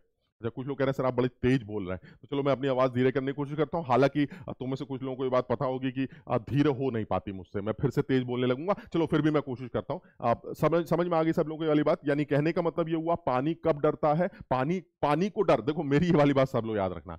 पानी डरता है। कैसे? सर पानी ऊपर से आने वाले H प्लस से घबराता है। लेकिन पानी को डर H प्लस के नाम से नहीं लगता। कि अरे H प्लस आ रहे H प्लस आ रहे ना ना, पानी को डर लगता है H प्लस के अमाउंट से। अगर H प्लस का अमाउंट ज़्यादा होगा तो डरेगा, कम होगा तो नहीं डरेगा। बात खत्म हो गई। सर, कितना ज़्यादा, कितना कम? वो आपने बता दिया कि पानी से आने वाले H प्लस अगर टेन रेस पर माइनस सिक्स सॉरी एसिड से आने वाले H प्लस अगर टेन रेस पर माइनस सिक्स मोलर के बराबर या उससे ज़्यादा है। तो पानी बेचारा डर जाएगा। डर जाएगा तो पानी को कंसिडर ही नहीं करना। तो सोल्यूशन के टोटल एच प्लस मेजरली कौन डिसाइड करेगा? एसिड और एसिड से आने वाला एच प्लस पकड़ के खड़ाक से पीएच निकाल लीजिएगा। ये लीजिए, आपके सामने दो चार सवाल रख देता हूँ मैं। टेन रेस पर माइनस थ्री मोलर एच की पीएच निकालो। ओफो सर, पानी का क्या विचार है? पानी डर गया, मर गया। कहेगा, क्या कह रहे हो? टेन रेस पर माइनस थ्री जो कि टेन रेस पर माइनस सिक्स से हज़ार गुना ज़्यादा है। सर, मैं मर गया, डर गया, पानी की बात मत सुनिएगा और पीएच डायरेक्ट लिखिएगा माइनस लॉग टेन रेस पर minus three and that is three इसी तरह से अगर टेन रेस पर माइनस फोर मोलर एच ले लिया जाए then answer is minus log ten raise पर minus four and that that is four इसी तरह से टेन रेस पर माइनस फाइव मोलर एच लिया जाए। सर, डर गए माइनस लॉग टेन रेस पर minus five then answer is five इसी तरह से अगर टेन रेस पर माइनस सिक्स मोलर एच ले लिया जाए, सर, डर गया, पानी अब भी डर गया द आंसर इज़ सिक्स लेकिन सर, अगर आपने टेन रेस पर माइनस सिक्स से कम ले लिया तो गड़बड़ है। मान लीजिए टेन रेस पर माइनस सेवन मोलर एच ले लिया तो answer is minus log ten raise पर minus seven that is seven क्या कह दिया सर अब तो गलत कर दिया। यहाँ तक तो मुझे आपकी बात समझ में आती है, क्योंकि ये वो सिचुएशन है जहाँ पानी डरता है। क्यों? क्योंकि एसिड से आने वाले एच प्लस वो टेन रेस पर माइनस सिक्स मोलर से बराबर या उससे ज़्यादा लेकिन सर, ये ये तो गलत हो गया। क्यों गलत हो गया? सर, ये गलत है। क्यों? क्योंकि सर, इस बार एसिड से आने वाले जो H है, वो टेन रेस पर माइनस सेवन मोलर होंगे। एंड टेन रेस पर minus seven molar is less than ten raise पर माइनस सिक्स मोलर क्या मतलब हुआ? सर, इस बार आपका पानी डरेगा नहीं, सर। वो चौड़ा हो जाएगा, कहेगा, अरे, तुझसे डर नहीं लगता। तू तो वैसे ही बहुत कम है। अब मेरी बात भी सुनो। बर्तन के एच निकालते वक्त मुझे भी कंसीडर करना, वरना सब गड़बड़ हो जाएगी। बताओ यहाँ तक समझे बात? हाँ मैं झुकेगा नहीं, सही बात। ओवैस बिल्कुल सही कह रहा हूँ। अब मेरी बात आपको सुननी पड़ेगी, क्योंकि अब बिना मेरी बात सुने काम नहीं चलेगा। क्यों? क्योंकि सर, इस बार आपसे आने वाले H plus ten minus six molar से कम है। अब सर मेन पॉइंट आता है क्या? जब तक पानी की नहीं सुननी है, तब तक क्लियर है। और कब नहीं सुननी है, वो मैंने याद कर लिया। If the H plus coming from acid और any solution any mixture of acids और वन एसिड और टू एसिड अगर बर्तन के एच प्लस जो एसिड से निकल के आ रहे हैं, वो टेन डेज़ पर माइनस सिक्स से कम है। तो ऐसे में सर आप जो है टेन स्पा माइनस सिक्स से बड़े हैं या बराबर है तो ऐसे में सर पानी को चुप कर दीजिएगा, अपना आंसर खूब चुपचाप निकाल लीजिएगा। लेकिन अगर आपसे आने वाले एच प्लस या एसिड से आने वाले एच प्लस टेन रेस पर माइनस सिक्स से कम हो गए तो ऐसे में आपको पानी की बात सुननी पड़ती। है तो अब मैं उस पॉइंट पर आने जा रहा हूँ कि जब मुझे पानी की बात सुननी हो तो कैसे सुनी जाएगी, ये इंपॉर्टेंट ठीक है? क्लियर शाबाश। बहुत बढ़िया। तो चलिए इस बारे में बात करते हैं कि सर अब ये कैसे निकाला जाएगा? तो चलिए बड़ा आसान है, करके देखते हैं। सर ये बताइए, अगर टेन रेस पर माइनस सेवन मोलर एचसीएल है तो पीएच कैसे निकाली जाएगी? फिर से मैं यही बोलूँगा कि ये हमारे लिए फिर से इंपॉर्टेंट पॉइंट आ गया कि भाई, एक तो इंपॉर्टेंट इस वजह से है कि वो हमसे इस पर कोई भी ऑब्जेक्टिव बना के पूछ सकता है थ्योरेटिकल सवाल कि why the answer of ten raise पर minus seven molar H is not equal to seven तो आप सवाब जवाब साफ़ साफ़ लिखिएगा कि अजीब बेवकूफ़ आदमी हो, पानी से आने वाले एच प्लस को तो तुमने कंसिडर ही नहीं किया। हो सकता है वो फिर से पलट के पूछे, क्या पहले भी तुमने कंसिडर नहीं किया था? अब क्यों कंसिडर कर रहे हो? तो अब तुम जवाब देना कि अब पानी को आप शांत नहीं कर सकते, क्योंकि अब पानी को डर नहीं लग रहा है। अब पानी ये कहेगा कि मुझे भी बात, मेरी बात भी आपको सुननी पड़ेगी। आपसे आने वाले एच प्लस है और मुझसे आने वाले एच प्लस है। अब आपको मिलाकर ही टोटल पीएच कैलकुलेट करनी पड़ेगी। तो ऐसे में आप पीएच कैसे कैलकुलेट करेंगे? इसके बारे में बात करते हैं। सर, एक तरीका है। एक तरीका है मुझे ऐसा लगता है इस सवाल का आंसर देने के लिए आप ये काम ज़रूर कर सकते हैं कि तीन तरह के बच्चे इस सवाल का आंसर दे रहे हैं। एक लल्लू, है ना? एक लल्लू बच्चा क्या जवाब दे रहा है? एक लल्लू कह रहा है कि आ, sir P H is equal to जैसे अभी तक आपने बताया था माइनस लॉग टेन रेस पर minus seven and the answer is seven. तो हम सब लोग समझ गए कि ये बहुत बड़ा लल्लू आदमी है। क्यों लल्लू है? सर क्योंकि आ, इसने पानी को कंसीडर ही नहीं किया है ना? तो गलती हो गई क्योंकि ना H plus coming from acid they are less than ten raise पर माइनस सेवन सो आपको वाटर को कंसिडर करना चाहिए था ठीक है? अच्छा दूसरा लल्लू आता है। दूसरा लल्लू क्या कहता है? दूसरा लल्लू ये कह रहा है जिसको हम और बड़ा लल्लू कहेंगे। क्यों बड़ा लल्लू कहेंगे? इसके बारे में बात करते हैं। ये बड़ा वाला लल्लू, बड़ा लल्लू। अब ये बड़ा लल्लू क्यों है? बड़ा लल्लू इसलिए है क्योंकि उसने ये कहा है, अरे, मैं बहुत समझदार हूँ, अब जो H प्लस निकल के आएँगे, वो टोटल लेने पड़ेंगे, पानी वाले भी लेने पड़ेंगे और एसिड वाले भी लेने पड़ेंगे। अरे, हमने कहा, यार, ये बड़ा लल्लू कैसे? ये तो समझदार आदमी है। अब देखिए उसने टेन रेस पर माइनस सेवन तो एसिड वाले ले लिए। और पानी वाले, उसको पता था कि 25 डिग्री सेंटीग्रेड पर 10 रेस पर माइनस सेवन होते हैं। Now they will be two into ten raise पर माइनस सेवन उसके हिसाब से जो पीएच निकल के आ गए minus log two into ten raise पर minus seven and the answer is six point seven उसके हिसाब से जो आंसर आ रहा है, वो सिक्स पॉइंट सेवन आ रहा है, क्योंकि लॉग टू जो है, वो पॉइंट थ्री होता है। तो this is seven minus log two and seven minus log two is six point seven sir ये लल्लू, आप इसको बड़ा लल्लू कह रहे हैं। अजीब आदमी है। सर, ये बिल्कुल समझदार आदमी है। इसने पानी को कंसीडर किया है। अभी तो आप कह रहे थे पानी को कंसीडर करने वाला, ना करने वाला आदमी लल्लू। तो जिसने कंसीडर किया, वो बड़ा लल्लू कैसे हो सकता है? रीजन रीजन ये है। कम से कम, अगर जानते हो तो कम से कम सब कुछ जानो। ये उल्टी सीधी गलत बात तो लिख के मत आओ। भाई, अगर आप ये कहते हैं कि पानी की बात सुननी पड़ेगी तो फिर सही से सुनो, वरना बात सुनो। यानी कहने का मतलब ये हुआ, जिसको कुछ नहीं पता, चलिए ठीक है, सर। हमें हमें मतलब नहीं है, सर। उसको पता ही नहीं था, बेचारा नादान आदमी। जिसको आधी बात पता, वो लल्लू है, सर। उसने कितना टाइम बर्बाद किया होगा इस बात को सीखने के लिए कि पानी की सुनी जाएगी। अरे तो जब उसने इतना टाइम बर्बाद किया था कि पानी की सुनी जाएगी तो एटलीस्ट सही से सुनना सीखना चाहिए था। इसलिए इसको बड़े लल्लू की कैटेगरी में डाला जाएगा। अब आता है तीसरा बच्चा। सर, गलती क्या हो रही है? गलती हो रही है? अबे यार, तुमने पानी से आने वाले प्लस टेन रेस पर माइनस सेवन ले लिए। अरे सर टेन रेस पर माइनस सेवन ही तो होते हैं। पच्चीस डिग्री सेंटीग्रेड पर। टेन रेस पर माइनस सेवन ही तो होते हैं। आप मुझे बड़ा लल्लू क्यों कह रहे हैं? मैं इसलिए बड़ा लल्लू कह रहा हूँ, क्योंकि पानी से आने वाले टेन रेस पर माइनस सेवन तब होते हैं जब पानी अकेले खड़ा हो। अकेले डिसोसिएट करेगा टेन रेस पर माइनस सेवन एच प्लस निकालेगा। लेकिन जब ऊपर से एसिड आएगा तो वो भी एच प्लस देगा, जिसकी वजह से पानी कुछ तो डरेगा। सर, अब डरता तो नहीं था? नहीं, उतना नहीं डरता था। लेकिन डर तो पानी को हमेशा लगेगा। यानी कॉमन आयन इफ़ेक्ट की वजह से अब आता है एक नया काम, और वो है कॉमन आयन इफ़ेक्ट यानी कहना क्या चाहते हैं? ये भी लल्लू था। अब आता है एक समझदार आदमी। समझदार आदमी क्या कहेगा? तीसरा आदमी आया हमारा, वो इंटेलिजेंट आदमी। जिसको सारी बातें पता है। वो क्या कह रहा है? वो कह रहा है, सर, देखिए, ऐसा है, पानी की बात तो सुनेंगे, लेकिन तमीज से सुनेंगे। कैसे सुनेंगे? सर, ये देखिए, पानी आपका डिसोसिएट कर रहा था और वो इक्लिब्रियम बना रहा था। अब आपने ऊपर से एचसीएल डाला। कितने molar? Sir, H plus concentration आपने टेन रेस पर माइनस सेवन मोलर बनाई। तो होगा क्या? सर, ये वाले H प्लस पानी को डराएँगे।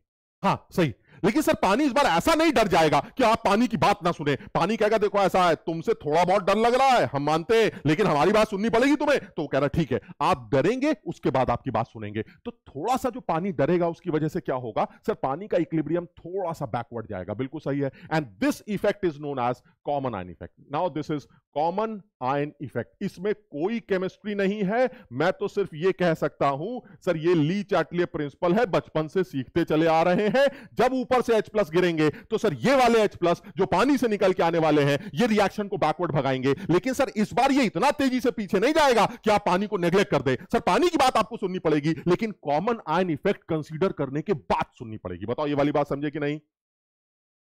सब लोग को ये क्लियर है। सर, पानी की बात सुनी जाएगी। हाँ बिल्कुल सुनी जाएगी। लेकिन किस तरह से सुनी जाएगी? सर, इस बार मैं पानी से आने वाले H प्लस को भी कंसीडर करूँगा। लेकिन, सर, तमीज से कंसीडर करूँगा। पागलों की तरह नहीं, वो बड़े लल्लू की तरह। सर टेन रेस पर माइनस सेवन उठा के जोड़ दीजिए। अरे भाई, सर, पानी से आने वाले एच प्लस थोड़ा सा डर जाएँगे, पीछे जाएँगे तो पानी से आने वाले एच प्लस टेन रेस पर माइनस सेवन से थोड़े कम हो जाएँगे, सर। कॉमन आइन इफ़ेक्ट की वजह से वो थोड़े से कम हो जाएँगे जिसकी वजह से मुझे वो कम वैल्यू जोड़नी पड़ेगी। ऐसे नहीं कि टेन रेस पर माइनस सेवन को उठा के जोड़ दिया। क्लियर है ये वाली बात?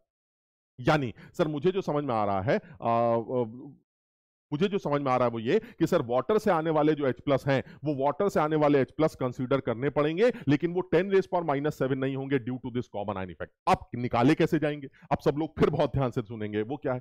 सर पानी से आने वाले H प्लस अगर वो कम हो गए तो मान लेते हैं वो कम होने के बाद एक्स हो जाएँगे, मान लेते हैं कम होने के बाद एक्स हो गए।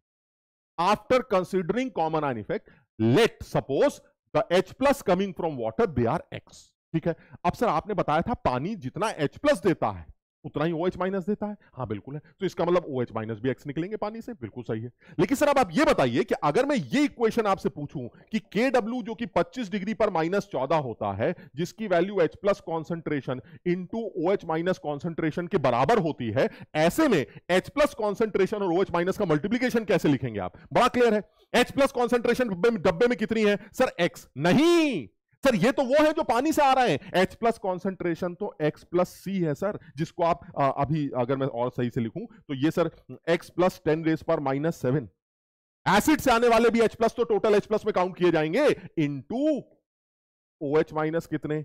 यानी एक्चुअली जो H प्लस कॉन्सेंट्रेशन है वो बर्तन में X प्लस टेन रेस पर minus seven what is X? यहाँ पर किसी को कोई कंफ्यूजन नहीं होना चाहिए। बिल्कुल क्लैरिटी से इस बात को मेंशन कर लें। X is equal to H plus concentration coming from water coming from water after considering after considering common ion effect यानी कॉमन आयन इफ़ेक्ट को कंसीडर करने के बाद जो H प्लस आ रहे हैं दैट इज़ एक्स तो इसका मतलब हुआ the total H plus in the system will be X plus ten minus seven into O H must be equal to K W value इससे आप एक्स सॉल्व कर लेंगे। और सारी दुनिया जानती है, इस तरह की क्वाड्रेटिक इक्वेशन को सॉल्व करने के लिए पंडित को बुलाया जाता है। सर, वो पंडित धराचार मेथड पता नहीं कौन सा डिस्क्रिमिनेंट मेथड होता है, जिससे एक्स की वैल्यू सॉल्व की जा सकती है। सर, इस क्वाड्रेटिक को सॉल्व करने के लिए एक्स सॉल्व किया जाएगा और एक्स की जो भी वैल्यू निकल के आएगी, इससे आपको क्या पता चल जाएगा? इससे मुझे पता चल जाएगा कि after considering common ion effect पानी से आने वाले एच प्लस कितने हैं? और जैसे ही मुझे पता चलेगा, मेरा आंसर आएगा minus log H plus total. And this is equal to what? This is equal to minus log X plus C जिसमें सी की वैल्यू कितनी है? टेन रेस पर minus seven now the X value जो आप solve करके निकालेंगे, वो यहाँ पुट करेंगे। इससे पीएच आएगी। और मैं तो तुमको ये कहना चाहता हूँ कि मेरी इस बात को याद कर लो कि अगर टेन रेस पर माइनस सेवन मोलर एचसीएल का सवाल है तो इसका answer six point seven, nine होना चाहिए। सब बच्चे इसको बिल्कुल अच्छी तरह से लर्न कर लें, क्योंकि एग्ज़ाम में इतना टाइम नहीं होगा कि पंडित को बुलाओ। याद करके चले जाओ। The answer will be 6.79 if the concentration of H plus is ten minus seven after considering common ion effect सवाल ये भी बहुत अच्छा बन सकता है। वो सवाल बड़े लल्लू के मतलब का बना दे। आप समझिए। वो ये भी कह सकता है कि अगर मैं कॉमन आइन इफ़ेक्ट कंसीडर ना कर तो पीएच कितनी आती? तो अगर आप कॉमन आइन इफ़ेक्ट कंसीडर ना करते तो बड़ा लल्लू खुश हो जाता। क्योंकि बड़ा लल्लू क्या कहता? हमने भी कंसीडर नहीं की थी। हमने भी तो टेन रेस पर माइनस सेवन और टेन रेस पर माइनस सेवन को उठा के जोड़ दिया था। हमारा आंसर सिक्स पॉइंट सेवन था। यानी if you are not considering common ion effect on water the answer value will be pH value will be six point seven and if you are correctly consider जो कि सही है if you are considering common ion effect then the final answer will be six point seven nine clear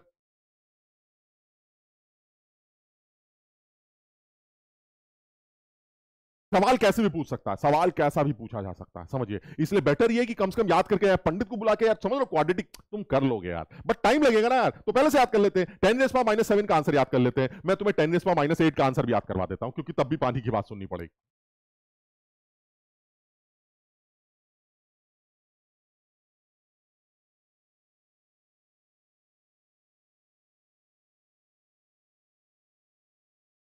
clear हाँ स्तुति बिल्कुल बिल्कुल स्तुति बिल्कुल सही बिल्कुल सही।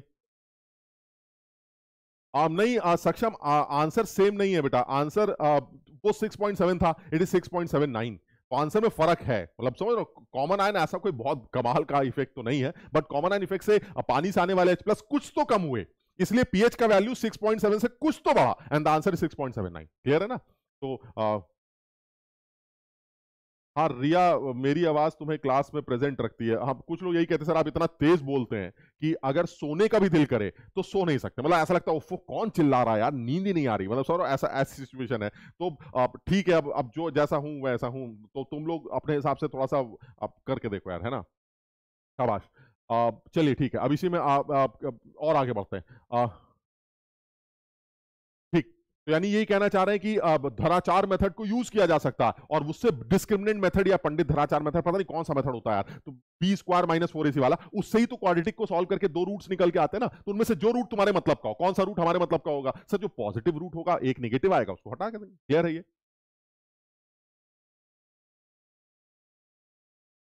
ठीक, चलिए और आगे बढ़ते हैं। चलिए, अब अब अब दूसरा सवाल एक ले लेते हैं, समझो।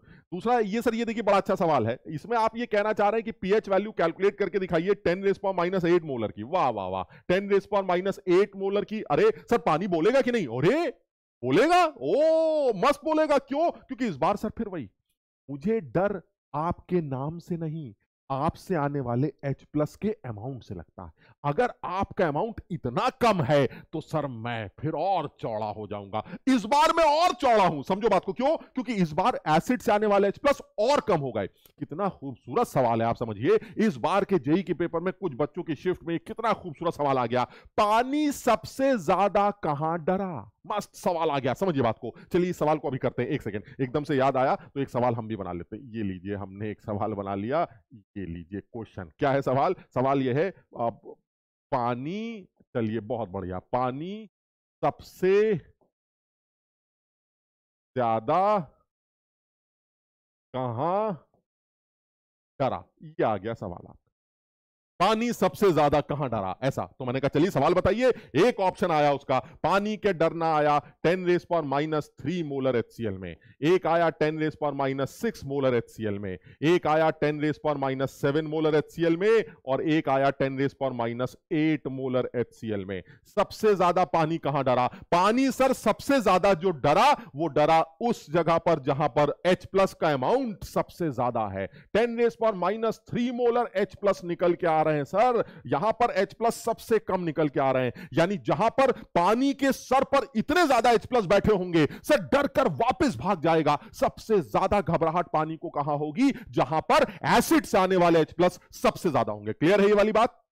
अरे डी ऑप्शन वो डी ऑप्शन कैसे होगा? डी ऑप्शन में तो पानी से आने एसिड से आने वाला प्लस सबसे कम है। पानी का एसिड थे तुम्हारी? हम नहीं डरेंगे। यानी एसिड फिर मैं बोलूँगा, मेरी इस लाइन को याद कर लो ना यार। हमें समझ में नहीं आता, क्यों नहीं याद करते हो? मुझे डर आपके नाम से नहीं, मुझे डर आपके अमाउंट से लगता है। अगर आपका अमाउंट ज़्यादा तो मैं पीछे ज़्यादा भागूँगा। अगर आपका अमाउंट कम तो मैं पीछे कम भागूँगा। आपका अमाउंट बढ़ने से मैं घबराता हूँ। आपके नाम से मुझे कोई डर नहीं लगता। बात समझ रहे हो ये? यानी सबसे ज़्यादा अमाउंट कहाँ दिखाई दे रहा? है सबसे ज़्यादा अमाउंट मुझे यहाँ दिखाई दे रहा। है मुझे सबसे ज़्यादा घबराहट होती है, जिसकी वजह से जो सही आंसर होना चाहिए, वो ten raise power minus three होना चाहिए। यानी पानी सबसे ज़्यादा डरा उस जगह पर जहाँ पर एसिड से आने वाले एच प्लस सबसे सबसे ज़्यादा हूँ। क्लियर है ये? शाबाश।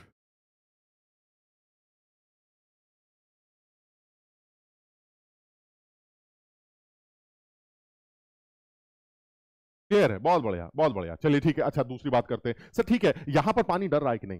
यार, समझो, डर तो रहा है ना सर, क्योंकि because it is ten raise minus six molar से कम कॉन्सेंट्रेशन तो पानी की बात सुननी पड़ेगी। तो सर, डर तो रहा है, लेकिन उतना नहीं डर रहा है जितना आप सोच रहे हैं। तो मैंने कहा, भाई, कुछ तो डर रहा है। हाँ कुछ डर रहा है। जिसकी वजह से अब जब आप पीएच कैलकुलेट करेंगे तो कैसे कैलकुलेट करेंगे? सर, लीजिए, यहाँ पर इसी सवाल को एक बार फिर से कैलकुलेट कर लेते हैं। चलिए, यहाँ कैलकुलेट करते हैं, कैसे करेंगे? सर, बिल्कुल साफ़ समझ में आता है। एच प्लस जो टोटल होगा, वो टोटल आप एच प्लस कैलकुलेट कर लीजिएगा। वो आएगा ten raise power minus eight plus X यानी कि ten raise power minus eight plus X into X is equal to ten raise power minus fourteen इससे एक्स सॉल्व कर लीजिएगा और पीएच की value minus log X plus ten raise power minus eight से calculate कर लीजिएगा। मेरा तो सजेशन है कि तुम इस वैल्यू को याद ही कर लो। एंड दिस इज़ 6.98 सब लोगों के लिए मैं ये बात बोलना चाहता हूँ कि ten raise power minus eight का आंसर भी याद कर लिया जाए और ten raise power minus seven का 6.79 आंसर भी याद कर लिया जाए। क्योंकि कैलकुलेट करना सर इससे धराचार मेथड को यूज़ करना सर ये आसान काम नहीं, बड़ा टाइम खाता है। कर तो लेंगे टाइम खाएगा सर इसलिए याद ही करके चले जाते हैं। लेकिन सर अब आपका आंसर बड़ा सेवन के क्लोज आ रहा है। हाँ इससे क्या पता चल रहा है? Ten raise power minus six या उससे बड़े, वो तो डायरेक्ट आंसर आ जाएँगे। Ten raise power minus eight से छोटे वाले और कंसेंट्रेशन ले लिए जाए तो भी आंसर डायरेक्ट आ जाएँगे। कैसे? सर, वो अभी बताता हूँ। और सर, अगर बीच वाले लोग हैं ten raise power minus seven ten raise power minus eight तो इनके आंसर याद कर लेते हैं, क्योंकि मुझे कॉमन आयन कंसीडर करना पड़ेगा। कॉमन आयन इफ़ेक्ट से इस इस धराचार मेथड को और सॉल्व करना पड़ेगा, और तब मेरा आंसर निकल के आएगा। क्लियर है ये? यानी मैं जो बताना चाह रहा हूँ, वो ये बताना चाह रहा हूँ कि अगर आपका pH concentration ten raise power minus six से कम है, यानी अगर आपको pH ten raise power minus six से बराबर यानी एच प्लस कॉन्सेंट्रेशन जो एसिड से निकल के आ रही है तो ऐसे में आपका आंसर बड़ा बड़ा क्लियर है, आपका आंसर जो डिसाइड किया जाएगा, उसमें पानी की बात नहीं सुनी जाएगी। ठीक है? लेकिन अगर आपका H प्लस कॉन्सेंट्रेशन जो एसिड से निकल के आ रहा है, उसमें अगर आपकी value ten raise power minus six से कम, समझ रहे हैं? Ten raise power minus six से कम है तो आपको पानी की बात सुननी पड़ेगी। ये दो बातें जो हैं, हमें ये याद रखनी। अच्छा मेन बात क्या है? मेन बात यह है कि 10 raise power minus seven molar HCl का आंसर भी याद कर लेते हैं। दैट इज़ 6.79 यहाँ पर पानी बोलेगा कॉमन आइन इफ़ेक्ट कंसीडर करके पंडित धराचार मेथड को यूज़ करके आपको यह काम करना पड़ेगा। और 10 raise power minus eight molar HCl को अगर आप यूज़ करते हैं तो भी आपको इस सवाल का आंसर याद कर लेना चाहिए। इस बार भी पानी की बात सुननी पड़ेगी, वो कॉमन आइन इफ़ेक्ट लगाकर ही सॉल्व करें। लेकिन सर, अगर मान लीजिए ten raise power minus molar आ जाए, अब आप बताइए आंसर क्या लिखेंगे? सर, ऐसे में मुझे ऐसा लगता है कि आप पानी क्या बोलेगा? पानी कहेगा, अबे यार, ten raise power minus nine ओ, हम ten raise power minus seven तुम ten raise power minus nine ओ, फो, ऐसी तैसी तुम्हारी। अब हम तुम्हारी बात ही नहीं सुनेंगे। अब हमें तुमसे मतलब ही नहीं है। और अब मेरा आंसर जो होगा, वो सेवन निकल के आएगा और इस केस में एसिड को ही नेग्लेक्ट कर दिया जाएगा। आप समझिए। यानी एसिड से आने वाले एच प्लस ही नेग्लेक्ट कर दिए जाएँगे। सर ऐसा कैसे कर सकते हैं? कर सकते हैं। भाई, आप एक एसिड लेके आए, एक वाटर लेके आए। बिल्कुल सही है। सर एसिड इतने कम H प्लस दे रहा है कि पानी कहेगा, मैं तेरे साथ जुड़ता ही नहीं यार। तुझे जोड़ के फ़ायदा क्या है? तू तो इतना कम है कि अब मेरे ऊपर कॉमन आइन भी नहीं लगा पाएगा। और मेरे एच प्लस तुझसे सौ गुना ज़्यादा है, इसलिए मुझे तुझसे मतलब नहीं है। इसलिए बर्तन की पीएच अब मैं डिसाइड करूँगा कौन? पानी। और पानी से आने वाले एच प्लस इस बार ten raise power minus seven के हिसाब से आंसर क्या निकल आएगा? सेवन क्लियर है ये? इसी तरह से अगर मान लीजिए पूछा जाए ten raise power minus thirteen molar HCl का आंसर।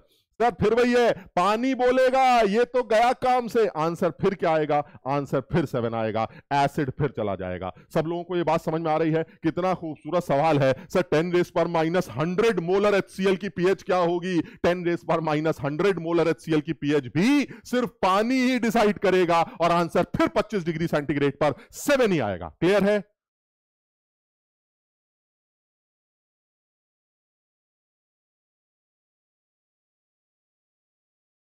शाबाश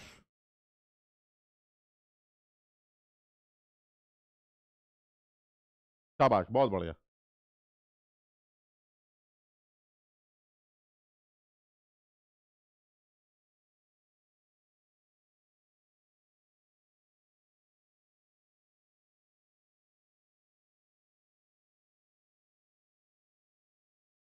सही है बहुत बढ़िया मक्खन क्लियर शाबाश। चलिए और आगे बढ़ते हैं। अच्छा अब वो ये कह रहा है कि भाई ये बताइए कि आ, ये तो स्ट्रॉन्ग एसिड की बात हो गई सर कुछ कमज़ोर एसिड भी होते होंगे? के बारे में आपके क्या ख्याल? मैंने कहा देखिए कमज़ोर एसिड के बारे में भी यही बातें आएँगी सारी सब कॉमन है सर इसमें कुछ नया थोड़ी ना अगर किसी बच्चों को क्लैरिटी है सर आंसर निकाल लेंगे। तो चलिए आप कमज़ोर एसिड की बात करते हैं। तो जब आप कमज़ोर एसिड की पीएच की कहानी लेके आते हैं तब आप क्या डिस्कशन करें मैंने कहा, देखिए, ऐसा है, अगर आप कमज़ोर एसिड की पीएच की बात करते हैं तो डिस्कशन बड़ा क्लियर है। कमज़ोर एसिड की अगर आप बात करते हैं, यानी pH calculation for weak acid चलिए कर लेते हैं। PH calculation for weak acid क्या कैलकुलेशंस होने चाहिए? चलिए इस बारे में बात कर लेते हैं। बड़ा आसान है सर, क्या आसान है? कुछ भी तो नहीं करना है। सिर्फ़ एक भी चीज़ की बात याद रखनी थी। सर, ये जो साहब हैं, ये वीक इलेक्ट्रोलाइट होते हैं। मैंने कहा, चलिए मान लेते हैं, ये वीक इलेक्ट्रोलाइट है। इसका क्या मतलब है? इसका मतलब है, सर, ये हंड्रेड परसेंट डिसोसिएट नहीं करते। ये हंड्रेड परसेंट डिसोसिएट नहीं करते। और अगर ये 100 परसेंट डिसोसिएट नहीं होंगे तो सर इसका मतलब ये हुआ कि इस बार जो भी वीक एसिड की कॉन्सेंट्रेशन दी गई है उससे उतने ही H प्लस निकल के नहीं आएँगे क्योंकि वो 100 परसेंट डिसोसिएट नहीं कर रहा है। इससे पहले क्या था? सर, अगर आपको 10 रेस पर माइनस फाइव मोलर HCl दिया गया था तो आपने कहा था इससे आने वाले H प्लस भी 10 रेस पर माइनस फाइव होंगे क्योंकि आपने HCl को पूरा तोड़ दिया था। लेकिन सर, इस बार ये वीक एसिड है और वीक एसिड क्या बोलता है? मैं हंड्रेड परसेंट डिसोसिएट नहीं हूँ। और अगर वो 100 परसेंट डिसोसिएट नहीं होगा पार्शली डिसोसिएट करेगा तो ऐसे में सर फिर वही वाली कहानी है। एसिड से आने वाले H प्लस आपको निकालने पड़ेंगे। वो H प्लस पानी को बोलने देंगे या नहीं बोलने देंगे, वो आप डिसाइड कर लीजिएगा। खेल खत्म हो गया, कुछ कलाकारी नहीं है, बिल्कुल आसान है सर, कहीं कोई झंझट नहीं। क्या है सर? बड़ा आसान सा एग्ज़ाम्पल ले लेते हैं। मान लीजिए मेरा एक एसिड वीक एसिड है HA अब ये क्या होगा? सर, इस बार ये 100 परसेंट डिसोसिएट नहीं करेगा। इससे आने वाले H प्लस ये ऐसे निकाले जाएँगे। अब ये आने वाले H प्लस कैसे कैलकुलेट किए जाएँगे? बहुत आसान है सर, कोई भी झंझट नहीं है। आप देख लीजिए, इसकी कंसेंट्रेशन आपको सवाल में सीधे रखी। लेकिन सर, इसका ये मतलब नहीं है कि इनकी भी सी होगी। क्यों? क्योंकि हंड्रेड परसेंट डिसोसिएट नहीं करेगा। तो ऐसे में सर, इसकी कुछ डिग्री ऑफ़ डिसोसिएशन होगी। इसकी कुछ डिग्री ऑफ़ डिसोसिएशन होगी? हाँ बिल्कुल होगी। सर, इसकी जो डिग्री ऑफ़ डिसोसिएशन होगी, उसके अकॉर्डिंगली ये डिसोसिएट करेगा तो it will be C one minus alpha C alpha C alpha बस खत्म हो गया, सर। एसिड से आने वाले एच प्लस जो हैं, वो मुझे दिखाई दे रहे हैं, वो सी अल्फ़ा है। खेल खत्म हो गया, सर। फेल खत्म हो गया, सर। एसिड्स आने वाले एच प्लस सी अल्फ़ा है। सर, बस मुझे सी की वैल्यू बता दीजिए। बता दूँगा। मुझको अल्फ़ा की वैल्यू बता दीजिएगा। नहीं बताऊँगा। मैंने कहा, ये बदतमीजी मत करिए। सर, आपको अल्फ़ा तो बताना पड़ेगा ना। तभी तो सी अल्फ़ा को मल्टीप्लाई करके मैं एच प्लस एसिड से आने वाले कैलकुलेट करूँगा। आप मुझे अल्फ़ा ही नहीं बताएँगे तो मैं कैसे कैलकुलेट करूँगा? अरे बेटा, मैं इनडायरेक्टली तुम्हें अल्फ़ा दे दूँगा। कैसे? मैं तुम्हें इस एसिड के इस इक्विलिब्रियम का डिसोसिएशन कांस्टेंट दे दूँगा। तुम्हें याद है? इसको के कहा गया इस एसिड का डिसोसिएशन कांस्टेंट अगर तुम्हें मिल गया तो सर अल्फ़ा में अपने आप निकाल लूँगा। कहाँ चक्कर में पड़े हैं? मैं अल्फ़ा खुद कैलकुलेट कर लूँगा। कैसे कैलकुलेट करेंगे? सर ये तो बचपन से करते चले आ रहे हैं। What is K K is equal to concentration of H plus into A minus upon concentration of H A what is H plus C alpha what is a minus? C alpha. And this is c 1 minus alpha. This is equal to c alpha square upon 1 minus alpha. Sir बिल्कुल बेमानी मत करिएगा, बिल्कुल साफ़ बात करिएगा। और साफ़ बात यह है कि सर यह है मेरा इक्लिब्रियम कांस्टेंट के ए जिसकी value C alpha square upon one minus alpha के बराबर। अब बताइए सर क्या क्या सवाल में दे रखा है? क्या के गिवन है? हाँ गिवन है सर। क्या सी गिवन है? हाँ सर सी भी गिवन है। तो फिर बचा कौन? सर अल्फ़ा बचा। अल्फ़ा को सॉल्व कर लीजिएगा। आंसर आ जाएगा, खत्म हो गया। क्योंकि जैसे ही अल्फ़ा निकल के आएगा इस अल्फ़ा को यहाँ पुट कर दीजिएगा। आपको एसिड से आने वाले H प्लस पता चल जाएँगे और जैसे ही H प्लस पता चलेंगे, सर आप पीएच कैलकुलेट कर लेंगे, खत्म हो गया। कोई बेमानी नहीं की, सर मैंने, कोई बेमानी नहीं की। थोड़ा सा मेहनत करनी पड़ेगी because this is again a quadratic equation of alpha आपको फिर से धराचार मेथड यूज़ करके अल्फ़ा कैलकुलेट करना पड़ेगा और उस अल्फ़ा को यहाँ पुट करके एच प्लस कैलकुलेट करने पड़ेंगे। बताओ, ये बात सबको समझ में आई कि नहीं? एकदम क्लियर है? सबको यहाँ तक एकदम क्लियर है? अभी मैंने कोई बेमानी नहीं की। यहाँ तक सबको क्लियर है कि अगर के दे दिया जाए तो आप उस के को यूज़ करके अल्फ़ा निकाल लेंगे। अल्फ़ा को यहाँ पुट करके सी अल्फ़ा की वैल्यू से एच प्लस आ जाएगा और पीएच आ जाएगा। यहाँ तक क्लियर है सबको? नहीं, शिशिर पानी वानी की तो अभी हमने बात ही नहीं की। हम तो ये अज्यूम कर रहे हैं सब सही चल रहा है। तुम समझते ही होगे बात को, पानी जनरली चुप ही रहता। लेकिन जब पानी बोलेगा तब हम बात कर लेंगे। लेकिन अभी जो हमें समझ में आ रहा है वो ये पानी चुप है सर। चुपचाप अभी छोड़िए। सबसे पहले ये बताइए के को यूज़ करके अल्फ़ा कैसे निकलता? सर के की क्वेश्चन अल्फ़ा निकल आए। बहुत बढ़िया, शाबाश।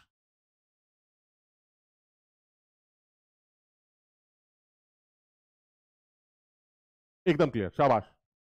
सब लोगों को ये बात समझ में आ गई। चलिए ठीक है। सर, अब थोड़ा सा बेमानी करते हैं ना, सर। पूरे केमिकल इक्लिब्रियम में और आयनिक इक्लिब्रियम में बिना बेमानी के मज़ा ही नहीं आता। अब चलो चलो, बेमानी करते हैं। क्या, सर, क्या बेमानी करेंगे? बेमानी ये कर रहे हैं कि आप, ऐसा भी तो हो सकता है कि ये वीक एसिड हो। अरे सर, हो क्या सकता? ये तो वीक ही एसिड है। अच्छा ठीक। इसका मतलब है कि ये कम टूटता है। हाँ सर वीक इलेक्ट्रोलाइट है, सर। कम टूटेगा। अच्छा। हो सकता है ये इतना कम डिसोसिएट करे जिसकी वजह से इसकी जो डिग्री ऑफ़ डिसोसिएशन है, अल्फ़ा, वो वन से बहुत छोटी हो। बिल्कुल हो सकता है, सर। बिल्कुल हो सकता है, सर, ऐसा भी हो सकता है। अगर ऐसा हुआ, अरे सर, ये क्या बात होती है? अगर ऐसा हुआ, आपको पता थोड़ी ना हो। बेमानी कर रहे हैं ना। अगर ऐसा हुआ तो क्या होगा? अगर ऐसा हुआ तो सर, यही वाली जो इक्वेशन है आपकी, इस इक्वेशन को आप बेमानी करके सिर्फ़ सी अल्फ़ा स्क्वायर लिख सकते हैं। क्यों? क्योंकि आप ये बेमानी कर रहे हैं कि अल्फ़ा की वैल्यू वन के रेस्पेक्ट में बहुत कम। सर, देखिए, अब आप बिल्कुल बेमानी एक चीज़ होती है। एक होता है गुंडागर्दी। अब तो गुंडागर्दी कर रहे हैं। जब आपको पता ही नहीं है कि अल्फ़ा की वैल्यू क्या है, क्योंकि आपने ये सारा ड्रामा अल्फ़ा को निकालने के लिए किया है। एक बार अल्फ़ा आ जाएगा यहाँ पुट करके पीएच आ जाएगी। सर, अल्फ़ा आपको पता नहीं है और आप ये मान के बैठे कि अल्फ़ा वन से बहुत कम है। ये क्या बदतमीजी है? तो एक बार गुंडागर्दी कर लेने दो, फिर फिर बातों को एकदम स्मूथ कर देंगे, ठीक? गुंडागर्दी है, ऐसी की तैसी डिसोसिएशन की। इतना कमज़ोर एसिड है, इतना कमज़ोर डिसोसिएशन है, अल्फ़ा को वन के रेस्पेक्ट में नेग्लेक्ट कर दो। अगर तुमने अल्फ़ा को वन के रेस्पेक्ट में नेग्लेक्ट किया तो के का वैल्यू सी अल्फ़ा स्क्वायर के बराबर आ जाएगा। हाँ सर के की वैल्यू सी अल्फ़ा स्क्वायर के बराबर आ जाएगी। इससे अल्फ़ा की value under root K by C आ जाएगी, बिल्कुल सही है। और उससे सी अल्फ़ा की value under root K into C आ जाएगी, बिल्कुल सही। और जैसे ही आपको सी अल्फ़ा पता चला, आपने खटाक से पीएच की वैल्यू लिख दी minus log under root C L minus log C alpha that is under root K into C sir, ये आपका फाइनल आंसर बात खत्म। आप देखो, मेरी बातें ध्यान से सुनना। ये आपका फाइनल आंसर पीएच तुम्हारे एग्ज़ाम में जो सवाल आए, ठीक? मेंस लेवल पर हंड्रेड परसेंट, यानी 99.99 परसेंट मैं बिल्कुल श्योर हूँ कि आपको इसी पीएच के फॉर्मूले को यूज़ करके वीक एसिड की पीएच कैलकुलेट करनी है, क्योंकि उनको तुम्हें इतना टाइम नहीं देना है, या वो तुम्हें इतना टाइम नहीं देते कि आप एक्वाडिटिक को सॉल्व करके अल्फ़ा निकालें। समझ रहे हैं? तो आप अल्फ़ा निकालेंगे, फिर सी अल्फ़ा निकालेंगे, ये ये टाइम कंज्यूमिंग लगता है, ठीक। तो जितने सवाल मैंने देखे हैं, उन सारे सवालों में आपको ये बेमानी ही यूज़ करके पीएच की value minus log under K into C से ही निकालनी पड़ती, ठीक। लेकिन मेरा एक सजेशन आईटी के एडवांस लेवल पर क्योंकि कई बार या एक आध बार इस तरह की हरकतें हुई हैं कि आप जो सोच रहे थे उसके हिसाब से आंसर नहीं आ रहा है। तो मैं आपको सजेस्ट कर रहा हूँ कि कहीं ऐसा ना हो, उनको पता ही ना चला कि उन्होंने इतना अच्छा सवाल बना दिया। बाद में लोगों ने कहा यार, तुमने क्या पूछ लिया यार? ये, अरे, ऐसे। वो कहेंगे अच्छा इतना बढ़िया सवाल बन गया, हमें तो पता ही नहीं चला था। लेकिन कहीं ऐसा ना हो कि वो सवाल आपके लिए अच्छा बन जाए और फिर वो कि बच्चे ने ये फॉर्मूला लगा दिया और आंसर गलत आ गया। तो इसलिए मैं ये सजेस्ट कर रहा हूँ कि आप ये वाला फॉर्मूला यूज़ करेंगे या नहीं करेंगे, उसके लिए आप सबसे पहले रफ कॉपी पे श्योर हो जाइए। आप रफ पेज पर बिल्कुल श्योर हो जाइए कि भैया मुझे ये वाला फॉर्मूला लगाना है या नहीं लगाना है। अगर लगाना है तब तो आंसर आ गया। नहीं लगाना है तो फिर क्या करना पड़ेगा? नहीं लगाना तो सर इस क्वाडिटी को सॉल्व करके अल्फ़ा निकालना पड़ेगा। फिर सी अल्फ़ा निकालेंगे, जिसमें टाइम लगेगा। अब कम से कम आपके पास दो ऑप्शन या तो करना है या नहीं करना है। कम से कम गलत नहीं करना है। बात समझ रहा मैं क्या कह रहा हूँ? यानी अगर आप ये श्योर हो गए कि ये वाला फॉर्मूला नहीं लगना है तो कम से कम अब आपके पास दो ऑप्शन है। टाइम हो तो सॉल्व करो इसको और आंसर निकालो। टाइम ना हो तो कम से कम गलत लिख के बताओ। वो गधे जो गलत लिख के आएँगे, वो निगेटिव मार्किंग ले लेंगे। तुम कम से कम छोड़ के आओगे, सुकून में तो रहोगे। मेरी बात समझ रहे हो? यानी मुझे अब सबसे पहले ये डिसाइड करना है कि क्योंकि मुझे अल्फ़ा के बारे में कुछ आइडिया ही नहीं है तो आप अल्फ़ा को वन के रेस्पेक्ट में नेग्लेक्ट कैसे कर सकते हैं? ये मुझे समझ में नहीं आता। इसीलिए ये वाला फॉर्मुला यूज़ होगा या नहीं होगा? Assuming alpha is much more less than one ये मुझे डिसाइड करना पड़ेगा। तो मेरा सजेशन सब लोगों के लिए ये है कि आप सबसे पहले जब कभी भी वीक एसिड का सवाल आए, बहुत ध्यान से सुनना। यानी अब जो मैं इंपॉर्टेंट बात बोलने जा रहा हूँ, वो ये है, जब कभी भी वीक एसिड का सवाल आएगा तो आपको सबसे पहले क्या करना है? जब कभी भी वीक एसिड का सवाल आएगा तो आपको सबसे पहले कॉपी के कोने में जाना है।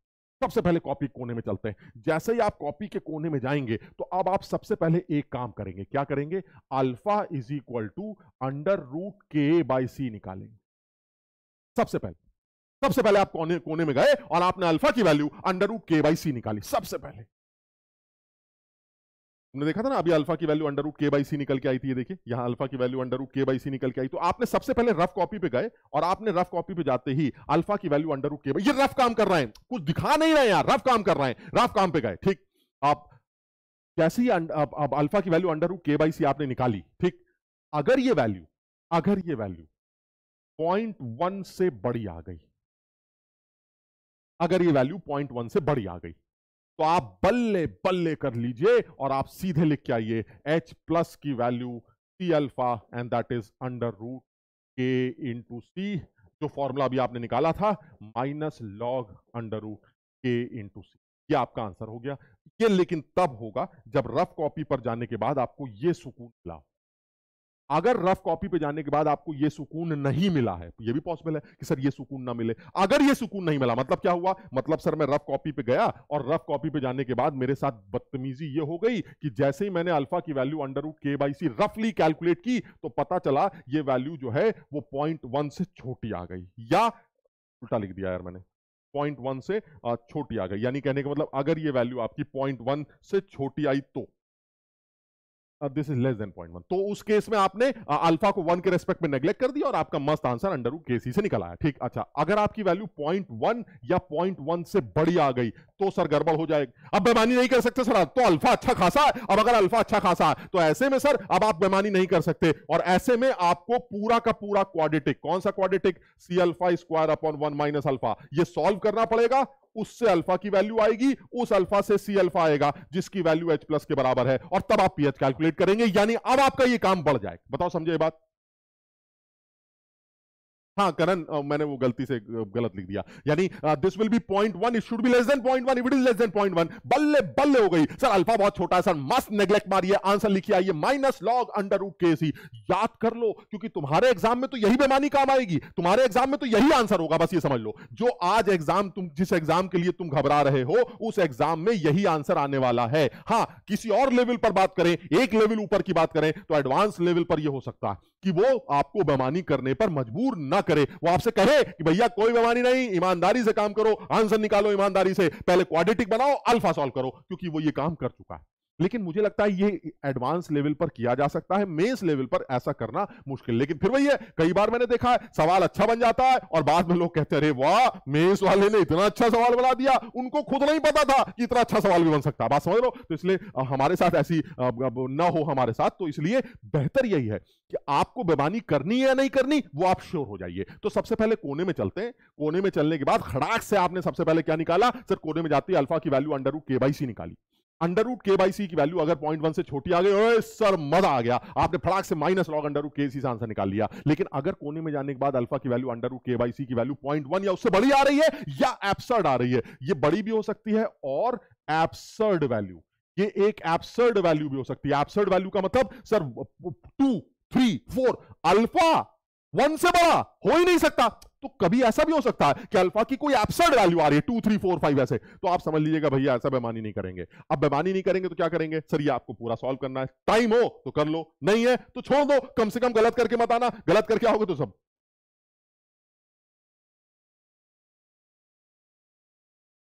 क्लियर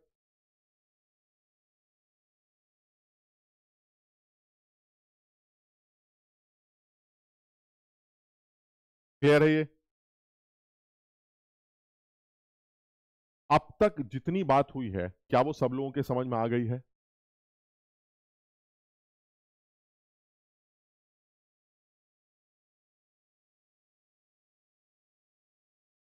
बहुत बढ़िया, शाबाश।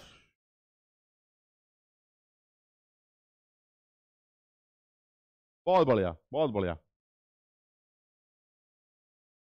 यानी हालाँकि बच्चे काफ़ी कम हैं लेकिन फिर भी जो लोग आए हैं वो लोग एक्टिवली पार्टिसिपेट कर रहे हैं, ये बड़ा अच्छा लग रहा है। सब लोग एक्टिवली पार्टिसिपेट कर रहे हैं और सब लोग चीज़ों को समझ भी रहे हैं। बहुत बढ़िया, शाबाश।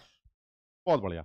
चलिए, ठीक है। अच्छा तो ठीक है सर बड़ा क्लियर हो गया। बेमानी करनी है तो कर लेंगे, नहीं करनी तो नहीं करेंगे, टाइम हुआ तो ठीक, नहीं तो ऐसी की तैसी। बट आपने ये भी बता दिया है कि मेंस लेवल पर मुझे पूरी उम्मीद है कि बेमानी करनी ही करनी है। तो कम से कम इस फॉर्मूले को बिल्कुल याद कर डालते जहाँ वीक एसिड का सवाल आया। खड़ाक से minus log under root KC एक बार कोने में जाने के बाद रफली चेक कर लिया बस। एक बार कोने में गए और रफली चेक कर लिया। अरे वाह, बहुत बढ़िया। अल्फ़ा की वैल्यू पॉइंट वन से छोटी आ रही है। बस बस। निकालनी नहीं है। छोटी आ रही बस खड़ा खड़ाक से सौ। यानी इस फॉर्मे को सब लोग याद करेंगे। प्लस मेरी इस बात को भी ध्यान रखेंगे कि कहीं ऐसा तो नहीं आपकी, आप बेमानी करने के लिए वो आपसे कह रहा है कि बेमानी मत करो। तो हमें इस चीज़ का ध्यान देना पड़ेगा। ठीक है? यहाँ तक क्लियर एकदम? यानी कि जो चीज़ समझ में आई है वो ये है कि जब कभी भी वीक एसिड का सवाल आएगा या वीक बेस का सवाल आएगा तो मुझे ये बातें ध्यान रखनी है। पहला के की वैल्यू सी अल्फ़ा स्क्वायर के बराबर होगी, लेकिन तब होगी जब आप बेमानी कर चुके हो और अल्फ़ा की वैल्यू पॉइंट वन से कम आ रही। यानी बेमानी करने के बाद अगर अल्फ़ा की वैल्यू पॉइंट वन से कम आ रही है तो ऐसे में सर आप चुपचाप अल्फ़ा को पॉइंट वन से कम मानिएगा और चुपचाप के की वैल्यू सी अल्फ़ा स्क्वायर रखिएगा, जिससे आपको एच प्लस की वैल्यू के इंटू सी से मिल जाएगी और आपका पीएच आ जाएगा। यानी मुझे सब लोगों को ये फॉर्मूला याद करना है। पीएच इज़ इक्वल टू यानी यहाँ पर एक सीधे सीधे ये भी लिख सकते हैं minus log under root of K A into सी मुझे ये फॉर्मूला याद रखना है। इसी का अगर मैं आ, दूसरा फॉर्म याद करूँ तो जो दूसरा फॉर्म जब आप माइनस लॉग को अंदर करेंगे याद है? माइनस लॉग का मतलब पी होता है तो जब आप माइनस लॉग को अंदर करेंगे तो आपका ये वाला फॉर्मूला भी तैयार होगा इसलिए सब लोग इसको भी ध्यान रख के जाएँगे क्योंकि कई बार सवाल में के ना देकर पी के दिया जाता है। तो जिस सवाल में के दिया जाएगा, उसको यहाँ से सॉल्व कर लेना। और जिसमें पी के दिया जाएगा, उसको ऊपर से सॉल्व करके पीएच डायरेक्ट निकाल लेना। बात समझ रहे हो? तो अगर वो के दे देता है तो minus log under root K सी करके एच प्लस निकाल लीजिएगा और उससे पीएच निकाल लीजिएगा। ठीक है? और अगर आपको सवाल में पी के गिवन है तो आप ऊपर वाला डायरेक्ट फॉर्मुला यूज़ कर लीजिएगा। Half p K minus half log C खड़ाक से पीएच आ जाए क्लियर है वाली बात? बहुत बढ़िया।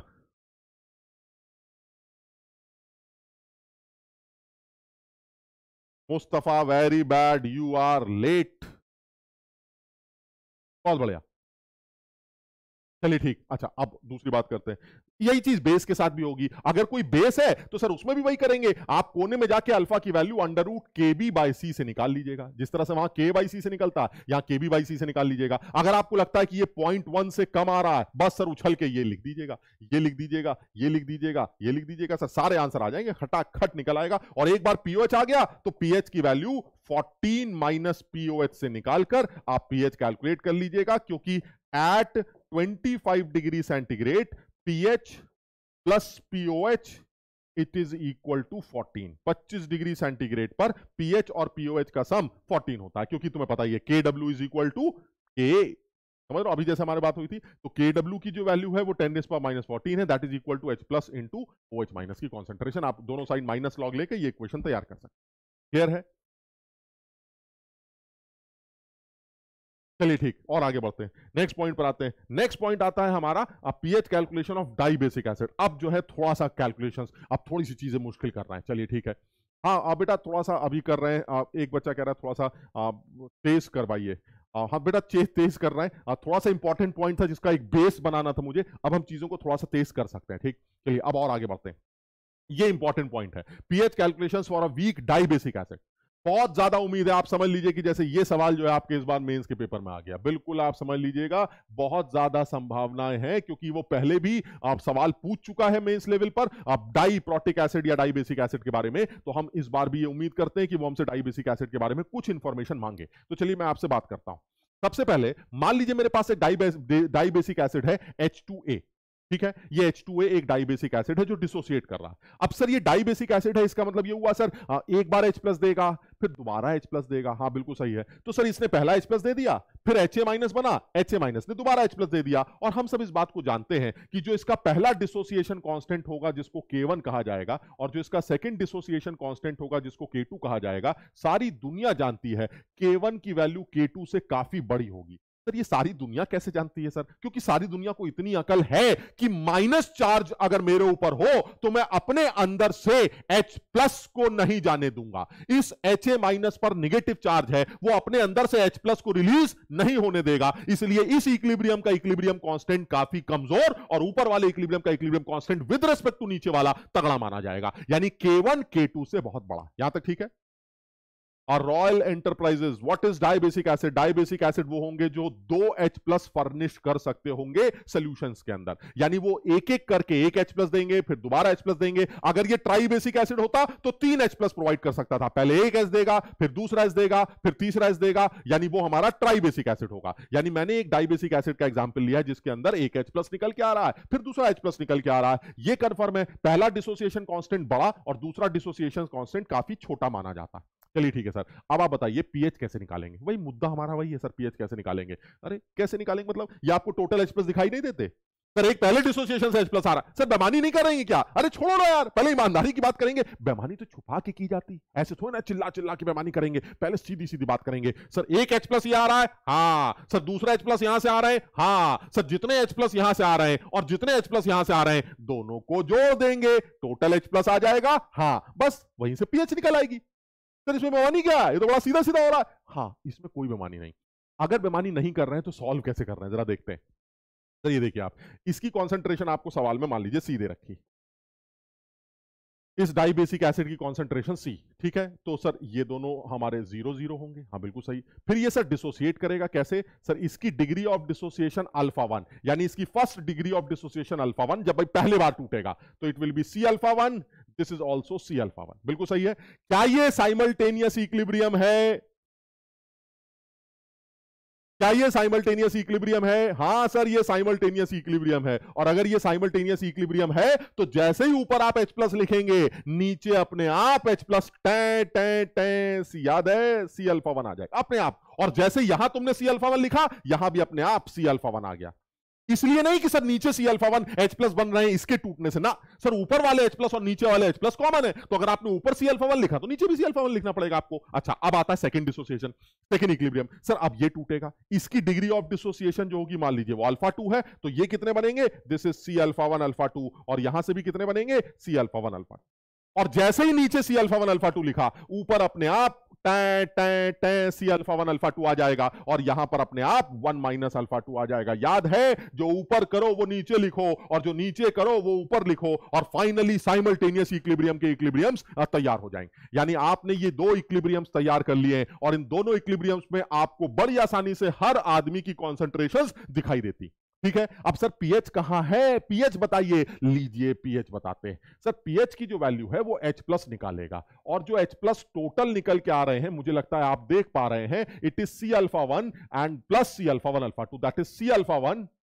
one plus alpha two. Sir this is my final answer आप मुझे अल्फ़ा वन और अल्फ़ा टू बता दीजिए, मैं आपको पीएच निकाल के दे दूँगा। हाँ बात सही है, सर। सी आपने दे रखा है। अल्फ़ा वन, अल्फ़ा टू दे दो। नहीं देंगे।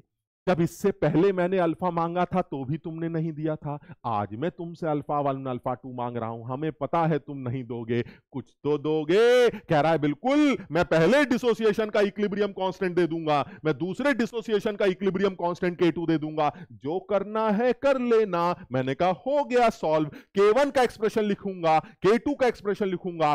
अल्फ़ा वन और अल्फ़ा टू निकाल के लाऊँगा उसको यहाँ पुट करूँगा टोटल एच प्लस निकल के आएँगे पीएच निकाल के मस्त हो जाऊँगा। सर कहीं कोई बेमानी नहीं कर रहे बड़ा ईमानदार बन गए हैं। हाँ अभी सारी बातें ईमानदारी से चल रही हैं। यानी कि सर सबसे पहले के वन का एक्सप्रेशन लिखा जाए K one is equal to this into this upon this that is uh, c alpha 1 plus c alpha 1 alpha 2 this is h plus concentration into c alpha 1 1 minus alpha 2 upon, नीचे क्या आ रहा है? C one minus alpha one sir, ये K one हो गया। चलिए जरा के टू का एक्सप्रेशन बताइए क्या बनेगा। के टू का एक्सप्रेशन होगा this into this upon this यानी कि C alpha one plus C alpha one alpha two into C alpha one alpha two upon C alpha one one minus alpha two sir, ये आपका के one है, ये के to बताओ कितने अनोन है इसके अंदर? कितने अनोन है इसके अंदर? सर के वन दे रखा है के टू दे रखा है सी दे रखा है। बचा कौन? Alpha one alpha two now you have two equation two unknown sir, दो इक्वेशन दो इक्वेशन सॉल्व कर लीजिएगा। Alpha one and alpha two can be solve बस, और जैसे ही सॉल्व हो, सर, यहाँ पुट कर दीजिएगा।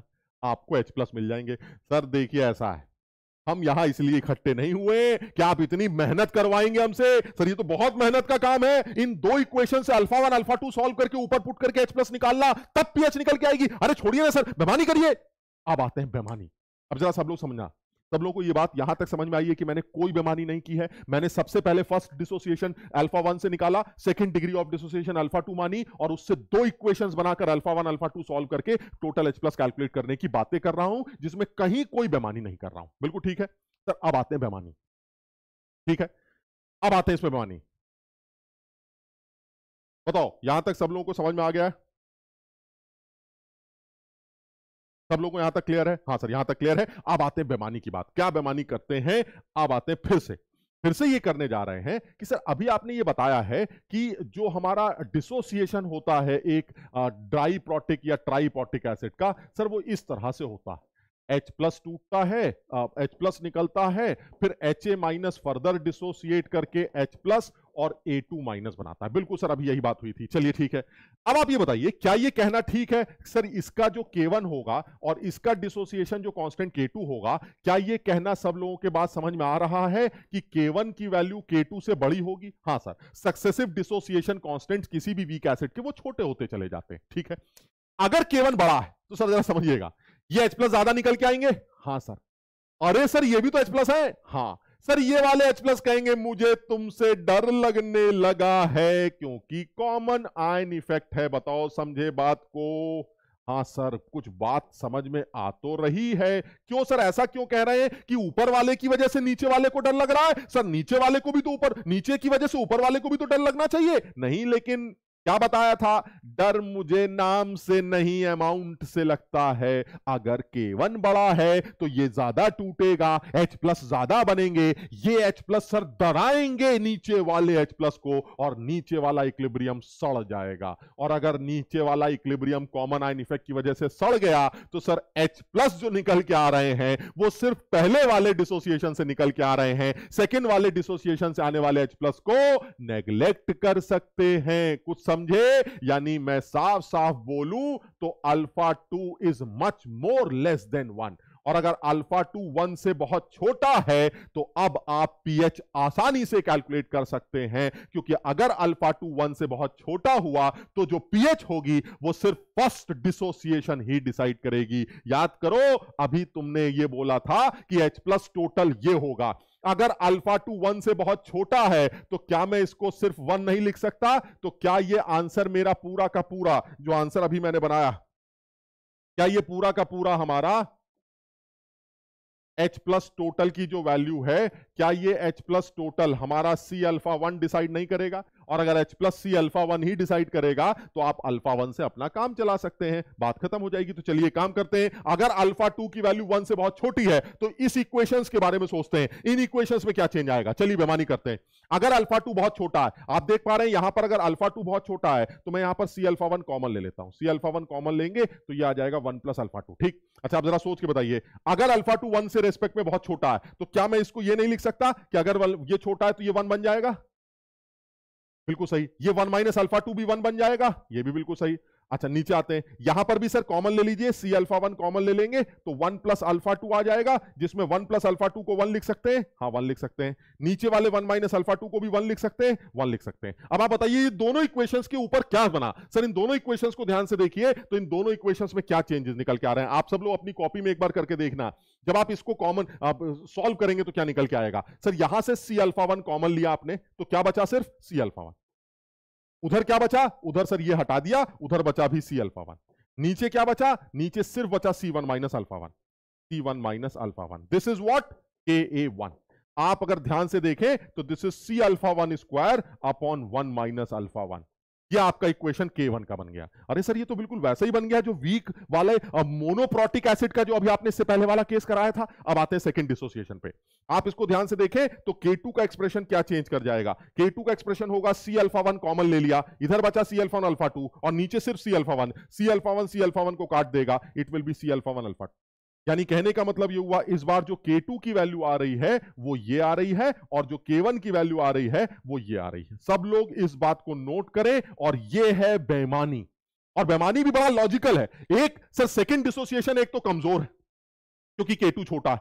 और कॉमन आइन इफ़ेक्ट की वजह से वो बिल्कुल बर्बाद हो जाएगा। और अगर ये बर्बाद हो गया तो आप अल्फ़ा टू को नेग्लेक्ट कर सकते हैं। जो भी आंसर होगा, वो अल्फ़ा वन डिसाइड करेगा। और अल्फ़ा वन की वजह से जो भी इक्वेशन बनेगी, वो क्या बनेगी? सर आप यहाँ से अल्फ़ा टू को वन के रेस्पेक्ट में नेग्लेक्ट करिए तो आपकी इक्वेशन ये तैयार होगी। यहाँ से अल्फ़ा टू को नेग्लेक्ट करिए अल्फ़ा टू को नेग्लेक्ट करिए तो आपकी इक्वेशन ये तैयार होगी। और अब आप इससे पीएच कैलकुलेट कर सकते हैं, क्योंकि जो एच प्लस कॉन्सेंट्रेशन है, वो सी अल्फ़ा वन डिसाइड कर रहा है। यानी आपको अल्फ़ा वन चाहिए एच प्लस निकालने के लिए। अल्फ़ा टू से कोई लेना देना नहीं। इसका मतलब क्या हुआ? किसी भी डाइप्रोटिक एसिड की जब भी पीएच निकालनी हो तो उससे सेकेंड डिसोसिएशन का कोई लेना देना ही नहीं।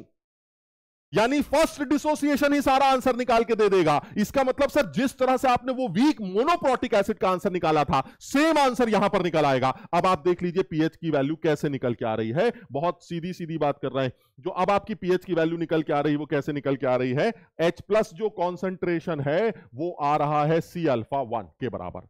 समझ रहे हो? और सी अल्फ़ा वन की वैल्यू निकालने के लिए आपको फिर वही करना पड़ेगा। K A one is equal to C alpha one square upon one minus alpha one यहाँ से अल्फ़ा वन आ जाएगा। सर, एक काम करते हैं, एक और बेमानी करते हैं। कोने में चलते हैं। एक बार अल्फ़ा वन की value under root K one by C से निकाल के देखते हैं। अगर ये पॉइंट वन से छोटी आ गई तो सर पीएच की वैल्यू डायरेक्ट लिख सकते हैं। Minus log under root K one into C अब मेरी बात सब लोग ये याद कर ले कि कम से कम जो ये सवाल जेई में मेंस लेवल पर एक बार पूछा जा चुका है, क्या? कि डाइप्रोटिक एसिड की पीएच कैसे निकालते हो? तो डाइप्रोटिक एसिड की पीएच कैलकुलेशन में मुझे सेकंड डिसोसिएशन से कोई लेना देना नहीं है। जो भी आंसर डिसाइड करेगा, वो केवन डिसाइड करेगा। और बेमानी करके वो answer under root K one into C से निकल के आएगा, जैसे पहले निकला था, कोई चक्कर नहीं पालेंगे।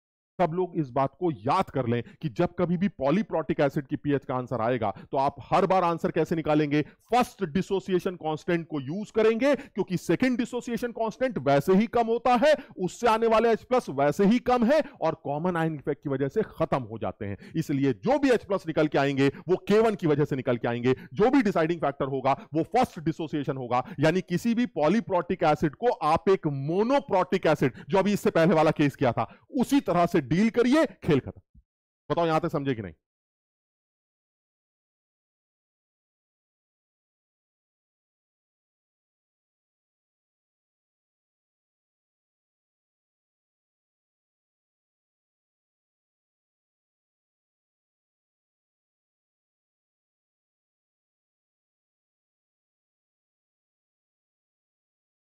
क्लियर है ये?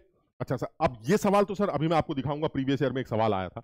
ये सवाल तो पूछा जा चुका है कि पीएच कैसे निकालेंगे। सर, और इस साल क्या पूछ सकता है? तो चलिए, इस साल की बात कर लेते हैं। इस साल वो हमसे पूछने जा रहा है जेई ट्वेंटी थ्री में। क्या पूछने जा रहा है? सर, वो मुझसे पूछने जा रहा है what is degree of dissociation alpha two वो मुझसे पूछने जा रहा है सेकंड डिग्री ऑफ़ डिसोसिएशन क्या होगी? सर, अभी तो आपने बताया था कि सेकंड डिसोसिएशन बहुत कमज़ोर होता है। कॉमन आइन की वजह से बर्बाद हो जाएगा। तो second degree of dissociation is zero ना! ज़ीरो नहीं हो सकती। तुम जानते हो ना, दो बार टूटते हैं तो sir second degree of dissociation बहुत कम होगी।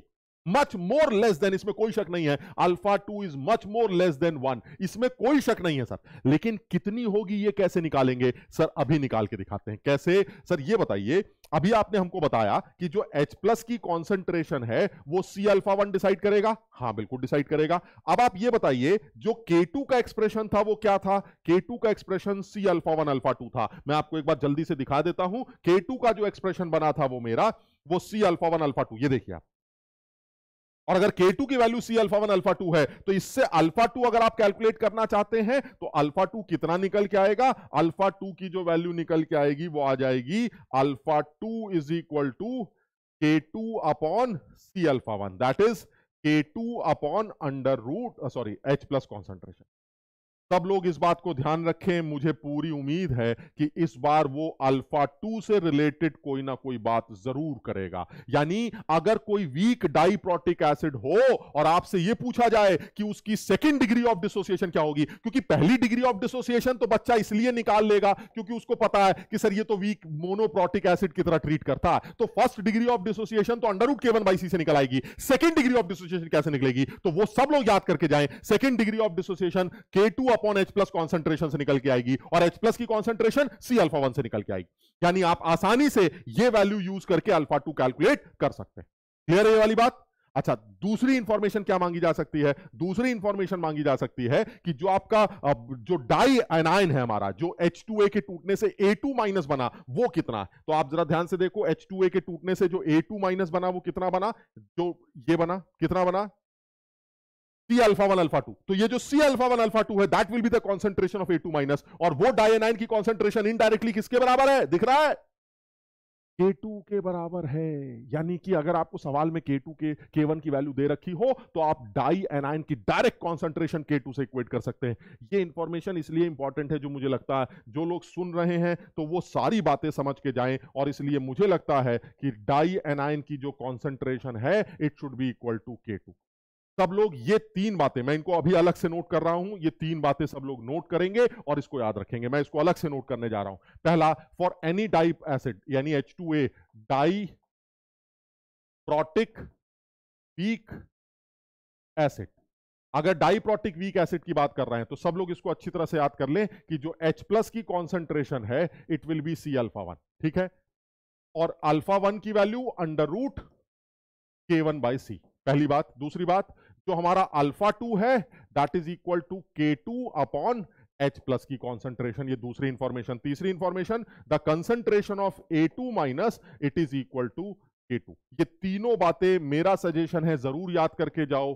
क्योंकि ये हमसे एग्ज़ाम में पूछे जा चुके हैं। जो पूछा जा चुका है, वो पीएच वैल्यू पूछी जा चुकी है। हो सकता है इस बार अल्फ़ा वन, अल्फ़ा टू या ए टू माइनस की कॉन्सेंट्रेशन हमसे पूछ ले। क्योंकि आपके एग्ज़ाम में जो सवाल आया है, वो भी मैं आपको अभी दिखा देता क्लियर है?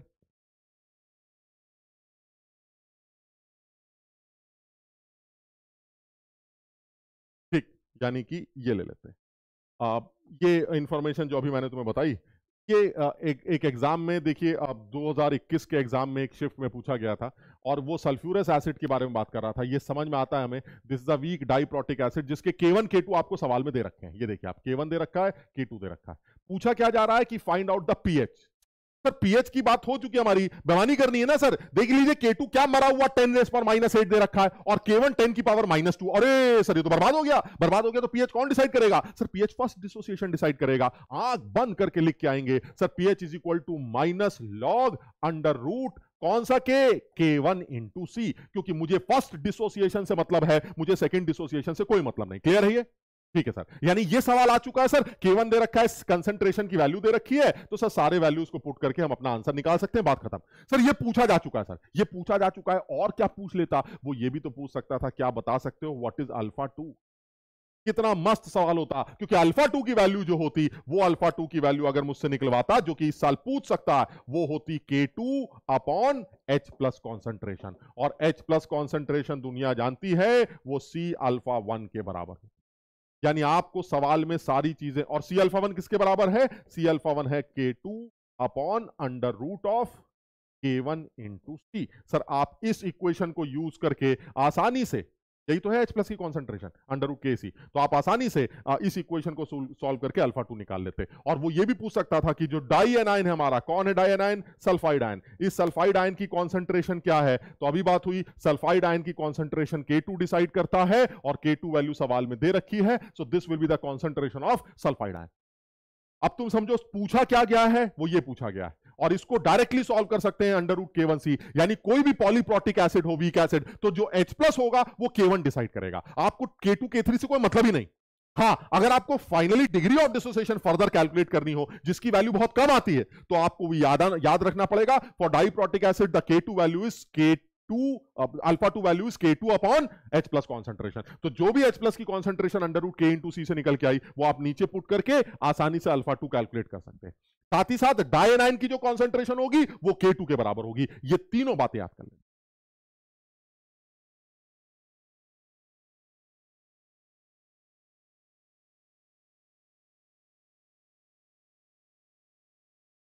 क्लियर सबको ये बात समझ में आ गई? ठीक, चलिए और आगे बढ़ते हैं। नेक्स्ट पॉइंट पर आते हैं। नेक्स्ट पॉइंट है हमारा mixture of two weak acids तो फटाफट इसके बारे में बात कर लेते हैं। Mixture of two weak acids की पीएच कैलकुलेशन कैसे करेंगे? बड़ा आसान है sir. Mixture of two weak acids में दो वीक एसिड ले लेते हैं। एक कॉन्सेंट्रेशन सी ले लेते हैं और एक ही कॉन्सेंट्रेशन सी ले लेते हैं। अब इसकी कुछ डिग्री ऑफ़ डिसोसिएशन होगी तो ये अल्फ़ा वन मान लेते हैं। It will be C one alpha one and this is also C one alpha one क्या ये साइमल्टेनियस इक्लिब्रियम है? है। तो जैसे ऊपर सी वन अल्फ़ा वन तो नीचे भी सी वन अल्फ़ा वन बिल्कुल सही है, सर। अब नीचे वाले को तोड़ते हैं। This is C two one minus alpha two तो ये भी सी टू अल्फ़ा टू ये भी सी टू अल्फ़ा टू नीचे सी टू अल्फ़ा टू तो ऊपर भी सी टू अल्फ़ा टू मैंने बताया था साइमल्टेनियस इक्लिब्रियम का बात ज़रूर ध्यान रखना। साइमल्टेनियस इक्लिब्रियम में हमें इस चीज़ का ध्यान देना पड़ता है कि जो आदमी कॉमन है, उसकी कॉन्सेंट्रेशन कॉमन दिखाई देनी चाहिए। यानी एक चीज़ क्लियर हो गई सर ऊपर वाला आदमी degree of dissociation alpha one show कर रहा है और नीचे वाला आदमी degree of dissociation alpha two show कर रहा है। ऊपर वाले से आने वाले H plus C one alpha one है और नीचे से आने वाले सी टू अल्फ़ा टू है। तो बर्तन के जो टोटल एच प्लस है सर वो ये। They will be the total H plus in the container इसका मतलब ये हुआ, अगर बिल्कुल ईमानदारी से बात की जाए तो जो एच प्लस कॉन्सेंट्रेशन होगी, वो C one alpha one plus C two alpha two से निकाली जाएगी। ठीक है ये? तो अगर आप बिल्कुल ईमानदारी की बात करते हैं तो जो एच प्लस वैल्यू है, वो C one alpha one plus C two alpha two अब आप बताइए, आप क्या बोलेंगे? सी वन दे दो, ले लो। सी टू दे दो, ले लो, सर। अल्फ़ा वन नहीं देंगे। अल्फ़ा टू नहीं देंगे। कुछ तो दोगे। सर, इन दोनों वीक एसिड्स की के वैल्यू दे दीजिए। हो गया सॉल्व यानी इसका डिसोसिएशन कांस्टेंट के वन दे दिया जाएगा। And that will be equal to C one alpha one plus C two alpha two into C one alpha one upon C one one minus alpha one दूसरे वाले का के to सवाल में दे देगा। K two is equal to C one alpha one plus C two alpha two into C two alpha two upon C two one minus alpha two sir ये equations तैयार हो गई। इन दो इक्वेशंस में दो अननोन्स है alpha one alpha two solve करिएगा और सॉल्व करके यहाँ पुट कर दीजिएगा। सर आपको टोटल एच प्लस पता चल जाएँगे पीएच आ जाएगी। इसमें कोई बेमानी नहीं आ रही। इसमें कहीं कोई बेमानी नहीं आ रही। है लेकिन सर अगर बेमानी करनी हुई तो क्या करेंगे? अब आते हैं बेमानी वाली बात। क्या? दोनों वीक है? हाँ। दोनों की डिग्री ऑफ़ डिसोसिएशन कम होंगी? हाँ। और दोनों एक दूसरे के ऊपर कॉमन आइन इफ़ेक्ट लगाएँगे। हाँ सर दोनों एक दूसरे के ऊपर कॉमन आइन इफ़ेक्ट लगाएँगे, जिसकी वजह से दोनों इक्लिब्रियम पीछे जाएँगे तो सर एक चीज़ तो क्लियर अगर दोनों की डिग्री ऑफ़ डिसोसिएशन ऑलरेडी कम थी because they both are weak acids common ion की वजह से वो और कम हो जाएँगी। तो इसका मतलब ये तो क्लियर हो गया। सर अल्फ़ा वन को भी वन के रेस्पेक्ट में नेग्लेक्ट कर सकते हैं, और अल्फ़ा टू को भी वन के रेस्पेक्ट में नेग्लेक्ट कर सकते हैं। और अगर आप ऐसा करते हैं तो नीचे वाला इक्वेशन वन बना, और नीचे यहाँ भी वन बना। और अब ये इक्वेशन बहुत सिंपल सी दिखाई देती है, और अब ये इक्वेशन दिखाई देती है सी वन से सी वन कैंसिल हो जाएगा, और अब ये इक्वेशन दिखाई दे रही है this is alpha one C one alpha one plus C two alpha two और ये इक्वेशन बन गई alpha two C one alpha one plus C two alpha two अब सर इन दो इक्वेशंस को सॉल्व कर दिया जाएगा और इन दोनों से alpha one alpha two calculate कर लेंगे। मैं तुम्हें सॉल्व करके ये याद करने के लिए बोल रहा हूँ कि आप पहले से इसको सॉल्व कर लीजिए। अल्फ़ा वन की जो वैल्यू आती है, वो आती है K one upon under root of आसानी से सॉल्व कर सकते हो तुम। K one C one plus K two C और जो अल्फ़ा टू की वैल्यू आती है, वो आती है K two upon under root of K one C one plus K two C बिल्कुल आसानी से याद कर सकते हैं। अल्फ़ा वन, अल्फ़ा टू आते ही, अब आप क्या करेंगे? सर, मुझे चाहिए एच प्लस कॉन्सेंट्रेशन और एच प्लस की वैल्यू कितनी है? C one alpha one plus C two alpha two. And that is equal to K one C one upon under root of K one C one plus K two C two plus K two C two upon under root of K one C one plus K two C two आप इसको solve कर लीजिए, देख लीजिए, ये solve करके under root of K one C one plus K two C two के बराबर आएगा। And this is the total H plus coming from acid खेल खत्म। इसको याद कर सकते हैं, बहुत सीधा है। आप कि इसको हम याद करके अपना काम चला सकते हैं। यानी कहने का मतलब यह हुआ कि आपका इस दो वीक एसिड्स का जब मिक्सचर लिया जाएगा, देखो डाइप्रोटिक एसिड का सवाल लास्ट ईयर आ चुका है, एक दो साल पहले आ चुका है तो हो सकता है इस साल मिक्सचर पर सवाल बन जाए। तो अगर उसने मिक्सचर पर सवाल बनाया तो तुम्हें दो तीन बातें याद करके जानी। क्या क्या याद करके जानी है, मैं तुम्हें बता देता हूँ। पहली बात क्या याद करनी है? पहली बात याद करनी है कि जो alpha one upon alpha two आता है, आप देखिएगा दोनों इक्वेशंस का रेशो लेंगे तो वो के वन अपॉन के टू के बराबर आएगा। ये पहली बात याद कर लेते हैं। दूसरी बात अल्फ़ा वन की value K one upon under root of K one C one plus K two C two से निकाला जाएगा। ये दूसरी बात याद कर लेते हैं। तीसरी बात अल्फ़ा टू की जो वैल्यू आएगी, वो K two upon under root K one C one plus K two C two से निकाला जाएगा। K one C one plus K two C two से निकाला जाएगा। ये दूसरी, तीसरी बात हो गई। और फाइनली जो एच प्लस की कॉन्सेंट्रेशन आएगी, वो under root of K one C one plus K two C two से निकाला जाएगा। ये चार बातें जो हैं, वो हमें ध्यान रख लेनी चाहिए। इसलिए बोल रहा हूँ मैं, क्योंकि हो सकता है हमसे इस एग्ज़ाम में इससे रिलेटेड कोई बात पूछ बिकॉज़ एक दो साल पहले उसने डाइप्रोटिक एसिड के बारे में बात की। तो हो सकता है डाइप्रोटिक एसिड के बारे में वो एक दो बातें कर ले जो अभी हमने बात की थी। और हो सकता है वो वीक एसिड के मिक्सचर से रिलेट कर दे। तो अगर वो वीक एसिड के मिक्सचर से रिलेट करता है तो H plus concentration under root K one C one plus K two C two से निकाली जाती है। आपको सवाल में K one K two C one C two सब दिया जाएगा, सीधे पुट कर दीजिएगा। आंसर आ जाए क्लियर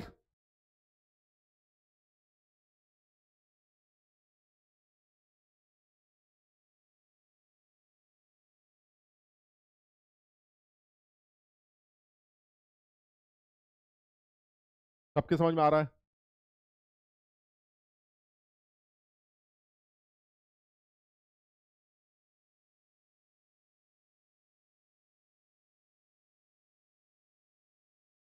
ठीक। चलिए, अब आते हैं, इसी पर एक छोटा सा सवाल देख लेते हैं। देखो, बड़ा सीधा सा सवाल है, तुम देख लो क्या पूछ रहा है। Calculate the pH of the solution obtained by mixing equal volumes of 0.02 molar HOCl और 0.2 मोलर एसिटिक एसिड, पीएच निकालनी। अब सबसे पहले बताओ, क्या ये दोनों वीक एसिड्स के मिक्सचर का सवाल है? चेक करो। हाँ सर, ये दोनों वीक एसिड्स के मिक्सचर का सवाल है, कैसे? सर, आप देख लीजिए एक वीक एसिड का के दे रखा है इतना, और दूसरे का के दे रखा है इतना तो सर दैट मीन दोनों वीक एसिड्स हैं, और दोनों को मिलाया जा रहा है। अच्छा इसमें इंपॉर्टेंट बात क्या है? इंपॉर्टेंट बात ये कि दोनों लोगों के जब आप इक्वल वॉल्यूम्स को मिलाते हैं तो बर्तन के अंदर दोनों लोगों की कॉन्सेंट्रेशन हाफ़ हो जाएगी, समझाओ। क्योंकि सर जब वॉल्यूम इक्वल मिलाया जाता है तो टोटल वॉल्यूम डबल हो जाता है। वॉल्यूम के डबल होने से कॉन्सेंट्रेशन हाफ़ हो जाती है। तो बस इस बात का ध्यान रखना कि अब अगर आपको H प्लस कैलकुलेट करना है तो फॉर्मूला मेरा याद रखना तुम। कौन सा फॉर्मूला था? K one C one plus K two C two बिल्कुल सही है। सर, इसमें सिर्फ़ एक बात का ध्यान रखना कि जो केवन है, वो तो ठीक है सर, आपने टू इंटू टेन रेस पर माइनस फोर दे रखा है, चलिए ठीक है। लेकिन जो कंसेंट्रेशन आप यूज़ कर रहे हैं, वो ये मत यूज़ करिएगा, क्योंकि जब आप इसको मिला देंगे तो कॉन्सेंट्रेशन इसकी आधी हो जाएगी। क्लियर है ये सब लोगों को? सब लोग इस बात का ध्यान रखना। और किसी भी तरह का सवाल आएगा तो इस बात का ज़रूर ध्यान रखना कि जब दो वॉल्यूम्स को मिलाया जाता है तो कॉन्सेंट्रेशन घट जाती है। और अगर दोनों इक्वल वॉल्यूम्स है तो वॉल्यूम डबल हो जाएगा, जिसकी वजह से कॉन्सेंट्रेशन हाफ़ हो जाएगी। तो जो कॉन्सेंट्रेशन आपको इंडिविजुअली पॉइंट ज़ीरो टू दे रखी है, वो पॉइंट ज़ीरो वन बन जाएगी। इसी तरह से के टू की value two into ten raise पर माइनस फाइव है, और वो भी आधी पॉइंट वन बन जाएगी। अगर आप तमीज से देखें तो दिस इज़ फाइनली कितना आ जाएगा? फोर इंटू टेन रेस पर minus six This is 4 into 10 raised power minus 6. And if it is 4 into 10 raised power minus 6, so this will be 2 into 10 raised power minus 3. अब 2 into 10 raised power minus 3 से आप pH calculate कर लीजिए कितना आसान आ गया अब pH value is minus log 2 into 10 raised power minus 3 and this is कितना आ जाएगा 3 minus log 2 and 3 minus log 2 is 3 minus 0.3 and that is 2.7 ये आंसर आ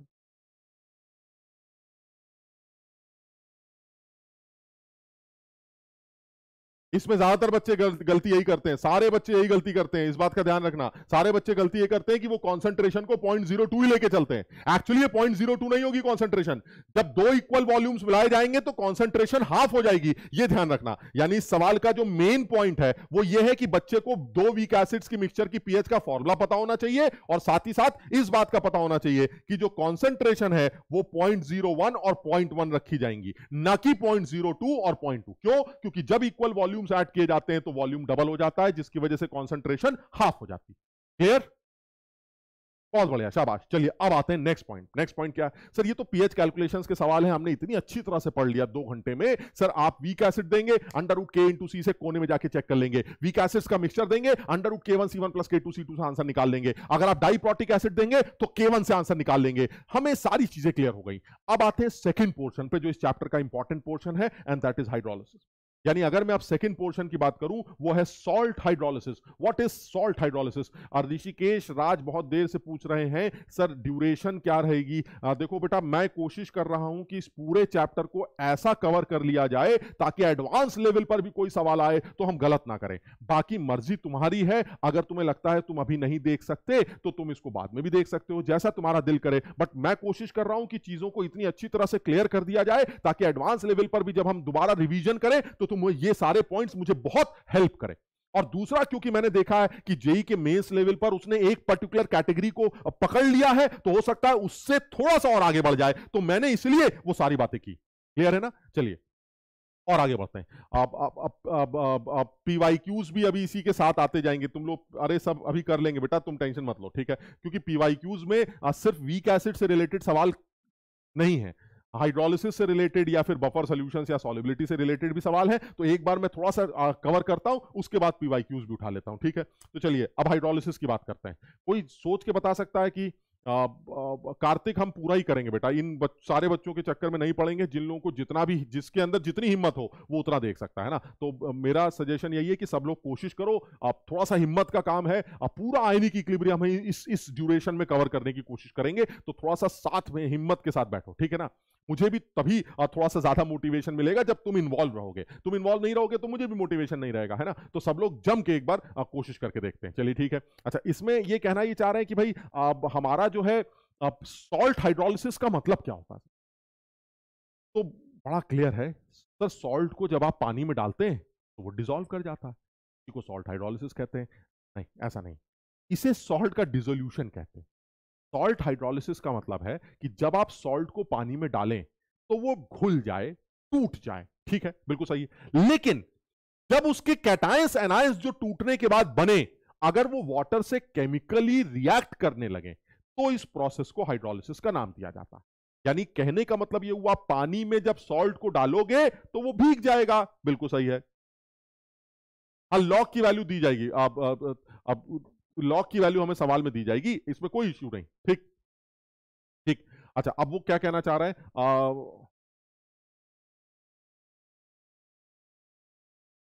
ठीक है। अच्छा अब वो ये कहना चाह रहे हैं कि भाई ये बताइए कि आप जो हाइड्रोलिसिस है, इस हाइड्रोलिसिस का जो कॉन्सेप्ट है वो क्या है? तो जब भी आप सॉल्ट को पानी में डालते हैं तो वो भीग जाता है। भीगने के बाद हर सॉल्ट टूट जाता है। टूटने के बाद क्या बनता है? सर, कैटायन और अनायन अगर वो कैटायन या एनायन पानी में बातचीत कर रहे हैं, यानी रिएक्शन कर रहे हैं तो इस प्रोसेस को हाइड्रोलिसिस का नाम दिया जाता है। अब सर, ये बहुत सारी पॉसिबिलिटीज हैं। क्या पॉसिबिलिटी है? पहली पॉसिबिलिटी ऐसी है कि एक ऐसा सॉल्ट लिया जाए जो स्ट्रॉन्ग एसिड और स्ट्रॉन्ग बेस का सॉल्ट ऐसा भी हो सकता है सर, एक ऐसा सॉल्ट है जो स्ट्रॉन्ग एसिड स्ट्रॉन्ग बेस का सॉल्ट है। हाँ बिल्कुल हो सकता है। जैसे सर NaCl आप समझिए, आपने NaCl का एक सॉल्ट ले लिया NaCl अब तुम सब लोग जानते हो NaCl जो सॉल्ट है वो बना कैसे होगा? सर NaCl का जो सॉल्ट है, वो NaOH और HCl की रिएक्शन से तैयार किया गया होगा। ये हमारा स्ट्रॉन्ग बेस होता है और ये हमारा स्ट्रॉन्ग एसिड होता है। ठीक है? हाँ सही है। सर, जब आप NaCl को पानी में डालेंगे तो क्या होगा? सर NaCl को पानी में डालेंगे तो भीग जाएगा, टूट जाएगा कैटायन एनायन में कन्वर्ट हो जाएगा। अब अगर ये कैटायन एनायन पानी से रिएक्ट कर रहे हैं तो इसको हाइड्रोलिसिस का नाम दे दीजिएगा, वरना मत दीजिएगा। चलिए, ठीक है, अभी बात करते हैं। सर, ऐसा भी सॉल्ट हो सकता है। जो स्ट्रॉन्ग एसिड से तो बने, लेकिन वीक बेस से बने। हाँ बिल्कुल हो सकता है। स्ट्रॉन्ग एसिड से तो बने, लेकिन वीक बेस से बने। सर, मान लीजिए अमोनियम क्लोराइड ले लेते हैं। Sir ammonium chloride is coming from ammonium hydroxide plus HCl. Now, this is weak base and this is strong acid. तो अल्टीमेटली ये वो सॉल्ट है जो स्ट्रॉन्ग एसिड और वीक बेस से बना है। चलिए ठीक है। सर, इस सॉल्ट को पानी में डालेंगे तो क्या होगा? इस सॉल्ट को जब आप पानी में डालेंगे तो ये भीग जाएगा। भीगने के बाद टूट जाएगा। टूटने के बाद अगर इसके कैटायन, एनायन वाटर के साथ रिएक्ट कर रहे हैं, कोई भी, चाहे कैटायन, चाहे एनायन, चाहे दोनों लोग अगर रिएक्ट कर रहे हैं तो आप सर इसको हाइड्रोलिसिस का नाम देंगे। चलिए ठीक है, ये भी देखते हैं और तीसरी बात करते हैं। तीसरा सर ऐसा भी सॉल्ट हो सकता है जो वीक एसिड और स्ट्रॉन्ग बेस का सॉल्ट हो। हाँ बिल्कुल हो सकता है। वीक एसिड स्ट्रॉन्ग बेस का सॉल्ट मान लीजिए NaCl ले लेते हैं। ये कहाँ से बना है? सर, ये HCN से बना होगा और NaOH से बना होगा। HCN एक बड़ा ही कमज़ोर एसिड है और NaOH मेरा स्ट्रॉन्ग बेस है। सर ये वो सॉल्ट है जो स्ट्रॉन्ग बेस और वीक एसिड से बना है। इसको पानी में डालेंगे तो क्या होगा? अरे बेटा, किसी भी सॉल्ट को पानी में डालोगे वो भीग जाएगा। भीगने के बाद टूट जाएगा। अब रिएक्शन हुई या नहीं? दैट इज़ द हाइड्रोलिसिस का केस होगी या नहीं? वो हम बाद में डिसाइड करते हैं। ठीक है? चौथा सॉल्ट कौन सा लिया जा रहा है? चौथा एक ऐसा सॉल्ट लिया जा रहा है जो कि वीक बेस वीक एसिड का सॉल्ट है। जैसे मान लीजिए आपने NH4 CN ले लिया ये कहाँ से बना होगा? सर, ये अमोनियम हाइड्रोक्साइड से बना होगा और साथ ही साथ एच से बना होगा। कमज़ोर बेस माना जाता है और ये कमज़ोर एसिड माना जाता है। Now this is a salt of weak base weak acid इसका क्या होगा, सर? कुछ नहीं, पानी में जाएगा, भीग जाएगा, भीगने के बाद टूट जाएगा रिएक्शन करनी, ना करनी, वो इसके ऊपर है। सर, अब आप काम की बात करिए ना। हम पहचान गए, sir. Weak acid weak base का salt strong acid weak base का सॉल्ट वो उसको छोड़िए। ये बताइए, पानी में जाने के बाद टूटनेंगे तो सारे ही? हाँ सारे टूटेंगे। रिएक्शन करेगा या नहीं करेगा पानी से, ये कैसे डिसाइड करेंगे? अब आते हैं काम की बात। यानी मैं अब काम की बात करने जा रहा हूँ कि जब कभी भी किसी सॉल्ट को पानी के अंदर डाला जाए तो क्या चीज़ होगी ही होगी? सर, वो भीगेगा ही भीगेगा। अरे, कैसी बातें कर रहे सर? किसी को भी पानी में डालेंगे तो भीगेगा भीगेगा। भीगने के बाद वो टूटेगा ही टूटेगा। कोई भी सॉल्ट हाँ सर, सारे सॉल्ट पानी में गए, भीगे, टूट गए। क्या बनता है? सॉल्ट के टूटने से। सर, कैटायन बनता है और एनायन बनता है। अब ये कैटायन और एनायन में से कोई भी एक आदमी या दोनों आदमी पानी से बात कर सकते हैं। और अगर इन्होंने पानी से बातें की तो सर, इसको हाइड्रोलिसिस का नाम दिया जाएगा। बताओ, यहाँ तक थेरेटिकली समझ में आई बात? यानी कैटायंस एनायंस अगर वाटर से केमिकली रिएक्ट कर रहे हैं आइदर कैटायन और एनायन और बोथ अगर वो वाटर से केमिकली रिएक्ट कर रहे हैं तो क्या तुम मानते हो इसको हाइड्रोलिसिस का नाम दिया जाएगा? अगर कैटायन पानी से बात कर रहा है तो कैटायनिक हाइड्रोलिसिस एनायन पानी से बात कर रहा है तो एनायनिक हाइड्रोलिसिस दोनों लोग पानी से बात कर रहे हैं तो बोथ हाइड्रोलिसिस और अगर कोई पानी से बात नहीं कर रहा है तो नो हाइड्रोलिसिस ये चार केसेस हैं जो हमें समझ में आने चाहिए। क्लियर है?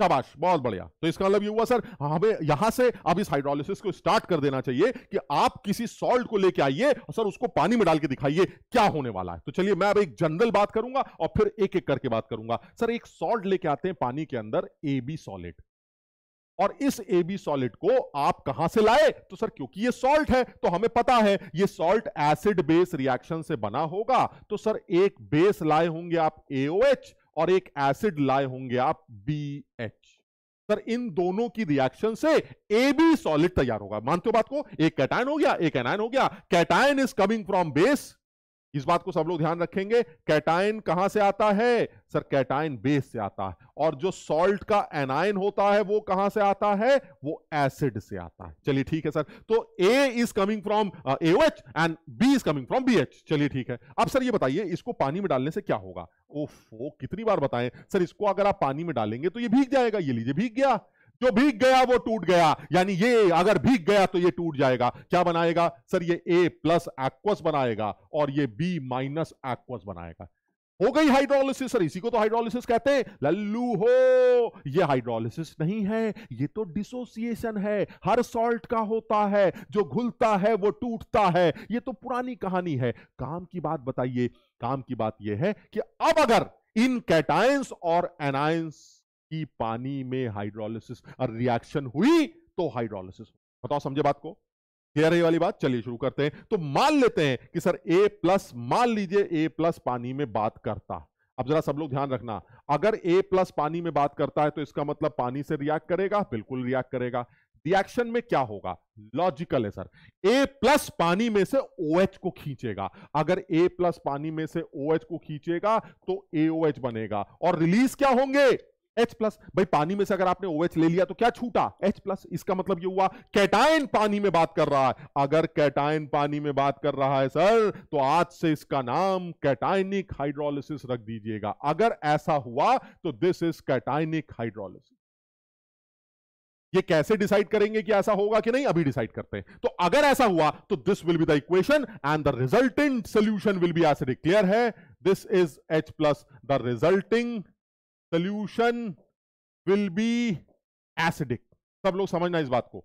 यानी अगर किसी सॉल्ट का कैटायन सिर्फ़ हाइड्रोलाइज कर रहा है तो वाटर में H प्लस रिलीज़ करेगा, जिसकी वजह से रिजल्टेंट सोल्यूशन एसिडिक होगा। अभी हम बिल्कुल थ्योरेटिकल बातें कर रहे हैं क्वालिटेटिव फिर हम क्वांटिटेटिवली डिस्कशन करेंगे। क्वालिटेटिव डिस्कशन क्या है? कि अगर आपने कैटायन को पानी में डाला और वो कैटायन पानी में बात करने लगा, अगर हम अभी डिसाइड करेंगे कि करेगा या नहीं करेगा, मान लो करेगा तो क्या रिलीज़ होंगे? H प्लस और अगर वो H प्लस रिलीज़ करेगा तो पक्का वो क्या रिलीज़ करेगा?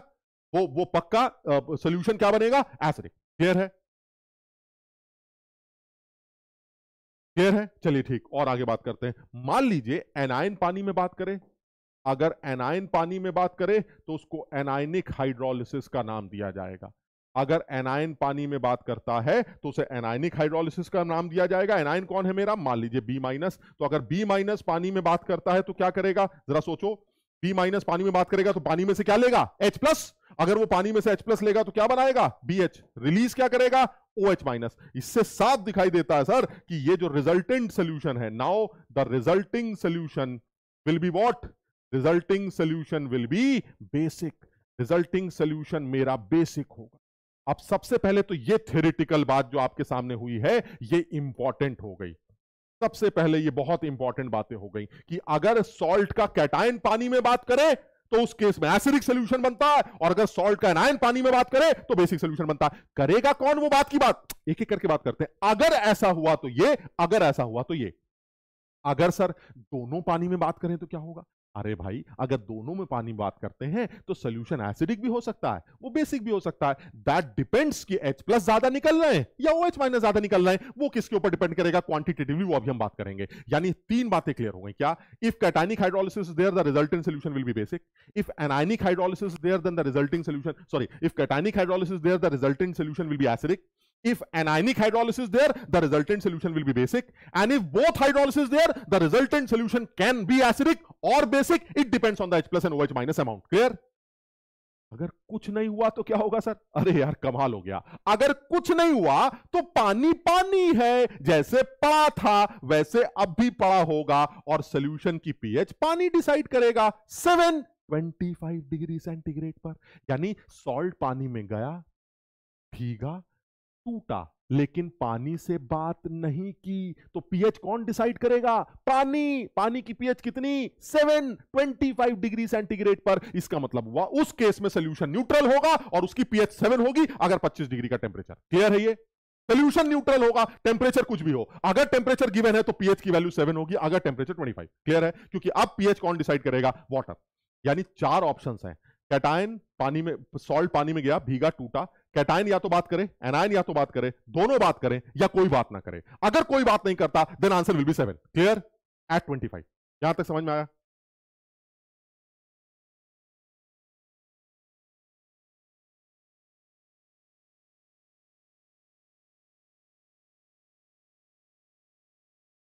सबको यहाँ तक समझ में आया? हाँ बिल्कुल सर अगर 25 डिग्री की बात कर रहे हैं then answer will be seven इसमें क्या इतना सोचना है? बहुत क्लियर है सर बहुत सीधे से निकल आएगा इसमें कहीं कोई झंझट नहीं। यानी कहने का मतलब ये हुआ कि अगर मान लीजिए आपको पीएच कैलकुलेट करनी हो आ, कितनी होगी वो बात की बात है। लेकिन अगर थेरेटिकली कुछ समझना हो तो थेरेटिकली जो बात समझ में आ रही है वो यही आ रही है कि जब आप सॉल्ट को पानी में डालेंगे तो वो भीगेगा, टूटेगा, टूटने के बाद कैटायंस एनायंस बनेंगे, वो कैटायंस एनायंस या तो वाटर से बात करेंगे या वाटर से बात नहीं करेंगे। अगर वो वाटर से बात करते हैं तो ऐसे में या तो कैटायन पानी से बात करेगा, या एनायन पानी से बात करेगा, या दोनों लोग पानी से बात करेंगे, या कोई बात नहीं करेगा।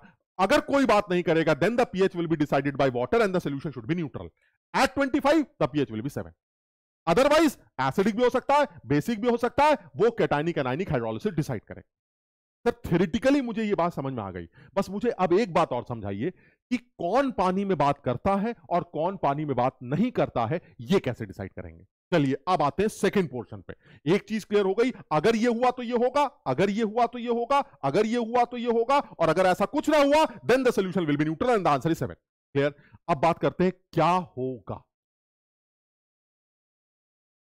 ठीक है? अब बात करते हैं अब कैसे होगा? अगर दोनों बात करेंगे तो सर एच प्लस भी निकलेंगे ओएच भी निकलेंगे। अब अगर एच प्लस ज़्यादा निकले एसिडिक ओएच ज़्यादा निकले तो बेसिक लेकिन सर, अब वो हम अपनी तरफ़ से डिसाइड नहीं कर सकते। वो नुमारिकली डिसाइड करना पड़ेगा। हम देखेंगे कैसे डिसाइड करेंगे, ठीक है? अच्छा अब दूसरी बात करते हैं। दूसरी बात क्या है? दूसरी बात यह है कि सर, मान लीजिए, अब ये डिसाइड कर लेते हैं कि बातचीत पानी में करता कौन? ठीक, पानी में बात करता कौन? अब देखो, बहुत ध्यान से देखना। अभी मेरी बात हुई थी सॉल्ट एक ऐसा आदमी होगा जो कैटायन भी देगा और एनाइन भी देगा पानी में जाने के बाद। हाँ सर, बिल्कुल सही है। जो कैटाइंस होंगे, ये कहाँ से आए होंगे? सर, ये बेस से आए होंगे। और जो सॉल्ट का एनाइन होगा, वो कहाँ से आया होगा? वो एसिड से आया होगा। हाँ बिल्कुल सही। यहाँ तक सही। अब बस इस बात का ध्यान रखना। अगर हाइड्रोलिसिस होती कैटाइन की या एनाइन की तो उस केस में हो क्या रहा था? अगर कैटाइन हाइड्रोलाइज करता है, आप समझिएगा, जरा एग्जांपल ले लेते हैं। मान लीजिए हमारे पास ए बी एक सॉल्ट है। इस सॉल्ट को आपने पानी में डाला तो ये ए बी एक्वस बन गया। ये पानी में जाने के बाद जो भीग गया, वो टूट गया तो ये ए प्लस एक्वस और बी माइनस एक्वस बन गया, ठीक है? अगर कैटाइन ने पानी से बात की तो क्या होगा? कैटाइन ने अगर पानी से बात की तो पानी से रिएक्ट करेगा रिएक्ट करके पानी में से ओ OH को पकड़ लेगा और H प्लस को रिलीज़ कर देगा। क्लियर है ये? अब ये होगा या नहीं, मैं तुम्हें बताता हूँ। ये तब होगा जब ये जो एओएच बना, ये ओ OH स्ट्रॉन्ग बेस ना हो। समझना जरा।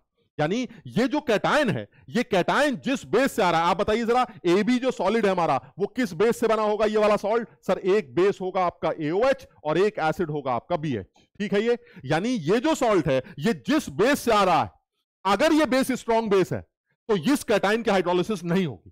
क्यों? ऐसा क्यों कह रहे हैं? क्योंकि अगर ये कैटाइन हाइड्रोलाइज करता है तो ये वही बेस बनाएगा जहाँ से ये आया है। दिख रहा है?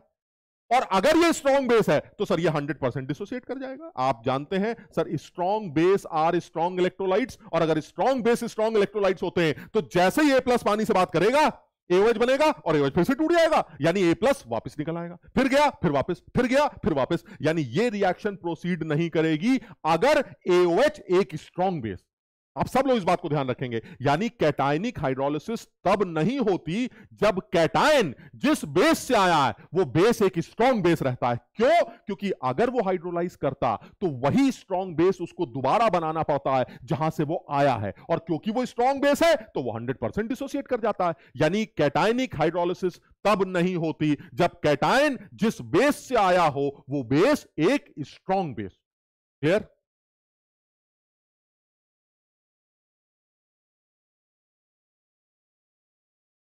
समझ में आई बात? चलिए अच्छा अब एनाइन हाइड्रोलिसिस कब होगी? एनाइनिक हाइड्रोलिसिस कब होगी? यानी if cation is coming from strong base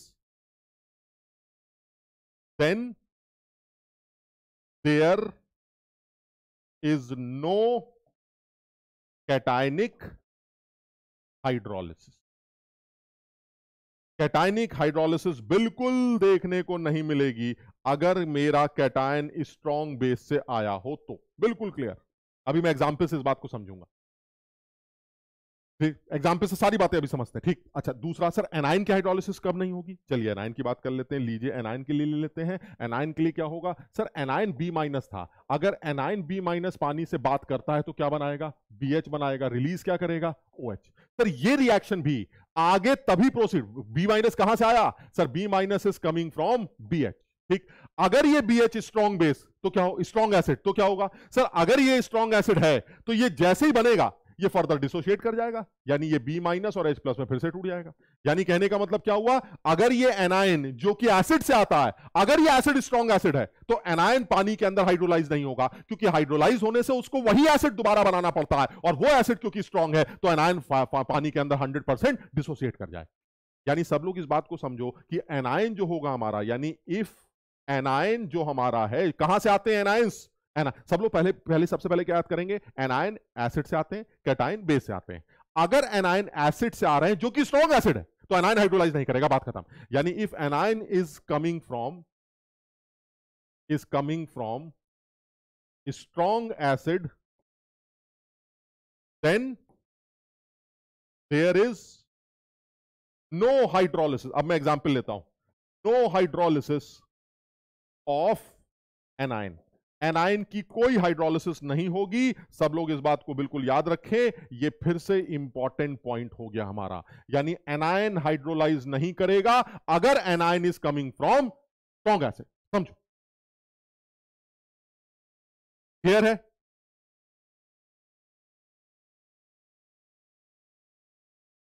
समझ में आई बात? चलिए ठीक है एग्ज़ाम्पल ले लेते हैं। अब इसको एग्ज़ाम्पल से समझते हैं। मान लीजिए, मैं आपके सामने एक सॉल्ट लेके आता हूँ। एन एल अब मुझे जल्दी से बताओ NaCl जो सॉल्ट है वो कहाँ से आया? सर बेस और एसिड से बना होगा, ठीक है। अब ये बताइए Na प्लस में NaCl में Na प्लस आएगा और Cl माइनस आएगा। जल्दी से बताओ Na प्लस कहाँ से आया? सर, ये कैटायन बेस से आएगा। कौन से बेस से आएगा? सर बेस से आएगा। और Cl कौन से, कहाँ से आया? सर, ये एनाइन है एनाइन है तो कहाँ से आएगा? सर Cl माइनस एनाइन है, ये HCl से आएगा। बताओ, यहाँ तक ठीक है? और अगर ऐसा है कि सर ये एनायन है और ये NaCl से, NaOH और HCl से आता है तो सर एक बार हाइड्रोलिसिस करके देख लेते हैं बुराई क्या है। देखो, हम, हमारा जो हमने याद किया वो क्या है? Since this is strong base इसका मतलब स्ट्रॉन्ग बेस से आने वाला कैटायन हाइड्रोलाइज नहीं करेगा। दिस स्ट्रॉन्ग एसिड इसका मतलब एनायन भी हाइड्रोलाइज नहीं करेगा। एक बार करा के देख लेते हैं। सर चलिए एक बार करा के देख लेते हैं क्या होगा। अगर Na प्लस ने हाइड्रोलिसिस की तो क्या होगा? अगर Na प्लस ने हाइड्रोलिसिस की तो सर NaOH बनेगा। बिल्कुल सही है। क्या आपको लगता है NaOH बन सकता है? नहीं सर। क्यों? क्योंकि अगर बन गया तो टूट जाएगा। क्योंकि स्ट्रॉन्ग बेस स्ट्रॉन्ग इलेक्ट्रोलाइट होते हैं और वो वाटर के अंदर 100 परसेंट डिसोसिएट कर जाते हैं। इसका मतलब एनुएज बन ही नहीं सकता। बन नहीं सकता तो सर एनुइक प्लस की हाइड्रोलिसिस नहीं हो सकती। इसका मतलब ये रिएक्शन प्रोसीड नहीं कर सकती। क्लियर है? अच्छा चलिए दूसरा केस बनाते हैं। अब एच सी एल माइनस की हाइड्रोलिसिस करके देख लेते हैं। सी एल माइनस की अगर आप हाइड्रोलिसिस करेंगे तो क्या बनेगा? सर एच सी एल बनेगा और ओ OH रिलीज़ होंगे। ओ फो सर, अगर एच सी एल बना तो ये एच प्लस और सी एल माइनस में फिर से टूट जाएगा। इसका मतलब ये हुआ, सर, इस बार सी एल माइनस की भी हाइड्रोलिसिस नहीं हो सकती। सब लोग इस बात को समझने की कोशिश करें। If a salt is from strong acid strong base then the hydrolysis of cation anion is not possible. Why? Because अगर वो cation anion हाइड्रोलाइज करते हैं तो उनको वही स्ट्रॉन्ग बेस और वही स्ट्रॉन्ग एसिड दोबारा बनाना पड़ता है, जहाँ से वो बने। और क्योंकि वो स्ट्रॉन्ग एसिड स्ट्रॉन्ग बेस है, वो 100% डिसोसिएट कर जाते हैं और 100% डिसोसिएट करते ही सर कैटाइनिक एनाइनिक हाइड्रोलिसिस खत्म हो जाती है। यानी NaCl एक ऐसा सॉल्ट हो गया जो कि स्ट्रॉन्ग एसिड स्ट्रॉन्ग बेस से आया है, वो सॉल्ट का कैटानिक एनानिक पार्ट वाटर में हाइड्रोलाइज नहीं होगा। क्योंकि अगर हुआ तो उसको वही स्ट्रॉन्ग बेस और स्ट्रॉन्ग एसिड बनाना पड़ेगा जो कि वाटर में नहीं बन सकता, क्योंकि ये लोग स्ट्रॉन्ग इलेक्ट्रोलाइट हैं, बनते ही टूट जाते हैं। क्लियर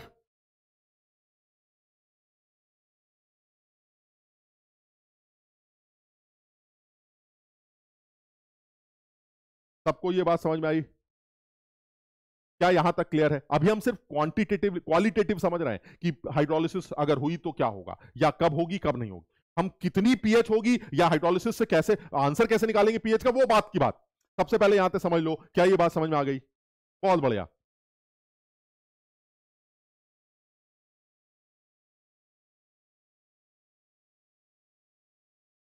बहुत बढ़िया। चलिए ठीक है। अच्छा अब अब दूसरी बात करते हैं। सर, अगर मान लीजिए ऐसा कोई सॉल्ट होता जो स्ट्रॉन्ग ऐसे स्ट्रॉन्ग बेस का सॉल्ट न होता तो क्या होता? तो चलिए हम एग्ज़ाम्पल ले लेते हैं, दूसरा एग्ज़ाम्पल ले लेते हैं। अच्छा ये तो समझ में आ गया, नमक का सोल्यूशन न्यूट्रल क्यों है? क्योंकि सर हाइड्रोलिसिस तो किसी की होनी नहीं। तो सोल्यूशन का पीएच कौन डिसाइड करेगा? पीएच सर पानी डिसाइड करेगा। और पानी का सोल्यूशन तो न्यूट्रल ही होता है। पानी की पीएच तो न्यूट्रल ही होती है। इसलिए नमक का सोल्यूशन न्यूट्रल माना जाता है, क्योंकि नमक के दोनों कंपोनेंट पानी के अंदर बातचीत नहीं करते। इसलिए नमक का सोल्यूशन हमें नुकसान नहीं करता। सोचो नमक का सोल्यूशन अगर एसिडिक होता तो हम तो बहुत सारे सब्ज़ी बनाते हैं, मुर्गा बनाते हैं, समझ पता नहीं क्या क्या बनाते तो ऐसे में ठीक है ना? तो इसलिए दूसरा केस बनाते हैं। दूसरा केस क्या है? दूसरा केस हम दूसरा एग्ज़ाम्पल लेते हैं। चलिए दूसरा एग्ज़ाम्पल ले लेते हैं और दूसरा एग्ज़ाम्पल है हमारा ये। C H three C O O N A ले लेते हैं। अब जल्दी से बताओ इस सॉल्ट का। सर, ये सॉल्ट एक ऐसा सॉल्ट है जो कहाँ से आ रहा है? सर, ये C H three C O minus देगा और ये टूटने के बाद Na प्लस देगा। अब जरा जल्दी से बताइए C S three CO minus कहाँ से आ रहा है? Sir C S three CO minus is coming from acetic acid and Na plus is coming from NOH अब आप बताइए हाइड्रोलिसिस किस कैटाइन की होगी या एनाइन की? सर, अब तो मैं एकदम श्योर हूँ कैटाइन की हाइड्रोलिसिस हो ही नहीं सकती। क्यों? क्योंकि sir cation is coming from NOH and NOH is strong base तो अगर कैटाइन हाइड्रोलाइज करेगा तो एनओएच को दोबारा बना देगा, फिर से टूट जाएगा। लेकिन anion is coming from what sir anion is coming from acetate ion and since this is acetate ion which is coming from acetic acid and acetic acid is my weak acid जिसकी वजह से एनआईन पानी में बात कर सकता है। इसका मतलब यह हुआ कि सर जो हाइड्रोलिसिस हो रही है, वो इस एनाइन की हाइड्रोलिसिस हो रही है। और अगर एनआईन हाइड्रोलाइज करेगा तो रिजल्टेंट सोल्यूशन क्या होगा? सर अगर एनाइन हाइड्रोलाइज करेगा तो पानी से एच प्लस लेगा। और पानी से H प्लस लेगा तो OH छोड़ेगा। The resultant solution will be what the resultant solution will be basic बताओ समझे बात को?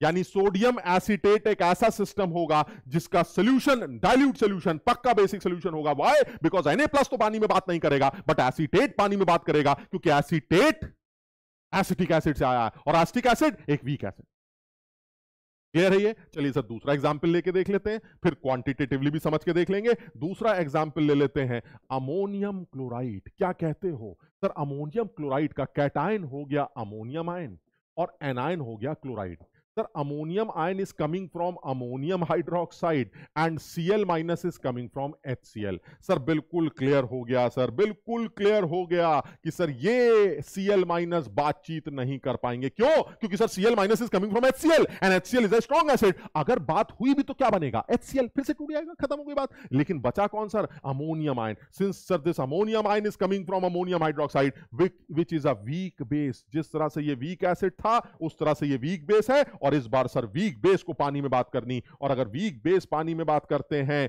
तो अमोनियम पानी में बात करेगा तो अमोनियम पानी में से ओ OH को ले लेगा। छोड़ क्या देगा?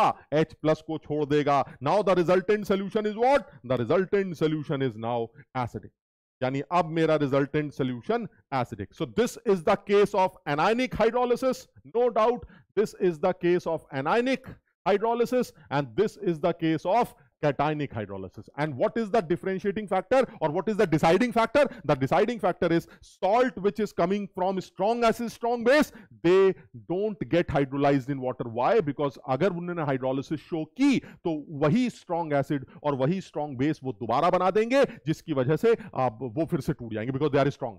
But वो सॉल्ट जो वीक पोर्शन से आते हैं, उनका वही पोर्शन हाइड्रोलाइज करता। है अगर वीक एसिड से आ रहा है तो एनाइनिक हाइड्रोलिसिस कर देगा। वीक बेस से आ रहा है तो कैटाइनिक हाइड्रोलिसिस कर देगा। और अगर दोनों लोग वीक है तो दोनों की हाइड्रोलिसिस कर देगा। लीजिए वो केस भी ले लेते फटाफट। अगर मान लीजिए मेरे पास एक एग्ज़ाम्पल लिया जाए C H three C O O N H four बताइए कहाँ से आ रहे हैं कौन कौन है सर, एक तो ये बनेगा C H three CO minus दे देगा और एक अमोनियम दे देगा C H three CO minus sir acetic acid से आ रहा है दुनिया जानती है, sir acetic acid is a weak acid और ammonium ion So this is weak acid and this is weak base. So this is the case of what? This is the case of both hydrolysis. This is the case of both hydrolysis दोनों लोग hydrolysis करेंगे और दोनों की hydrolysis से pH calculate की जाएगी। आ, हम कैसे निकालेंगे पीएच वो बात की बात। क्लियर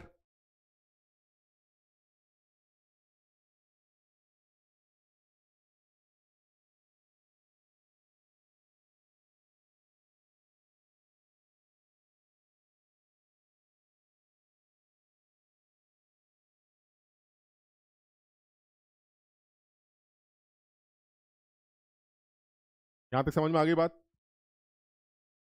अच्छा अब आते हैं क्वांटिटेटिव क्वांटिटेटिव एनालिसिस की बात करते हैं सर एक एक करके अलग अलग तरह के सॉल्ट रहते हैं। तो चलिए, सबसे पहले हम अपना सॉल्ट ले लेते हैं, जो वही पुरानी बात है। Sir this is a salt of strong acid strong base sir, क्या बातें करनी?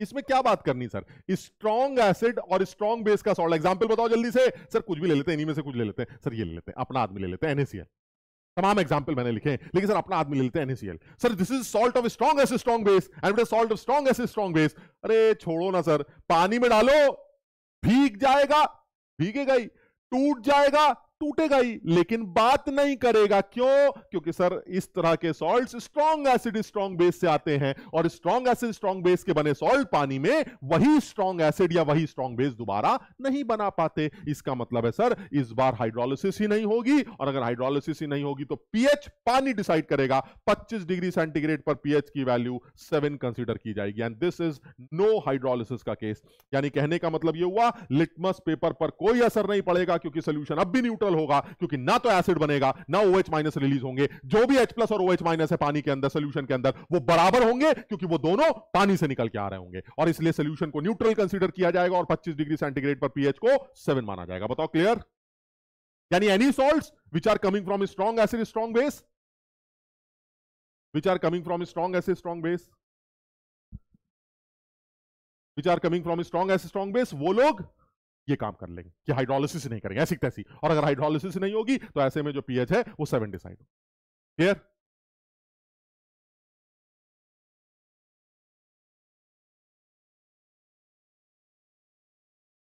शाबाश।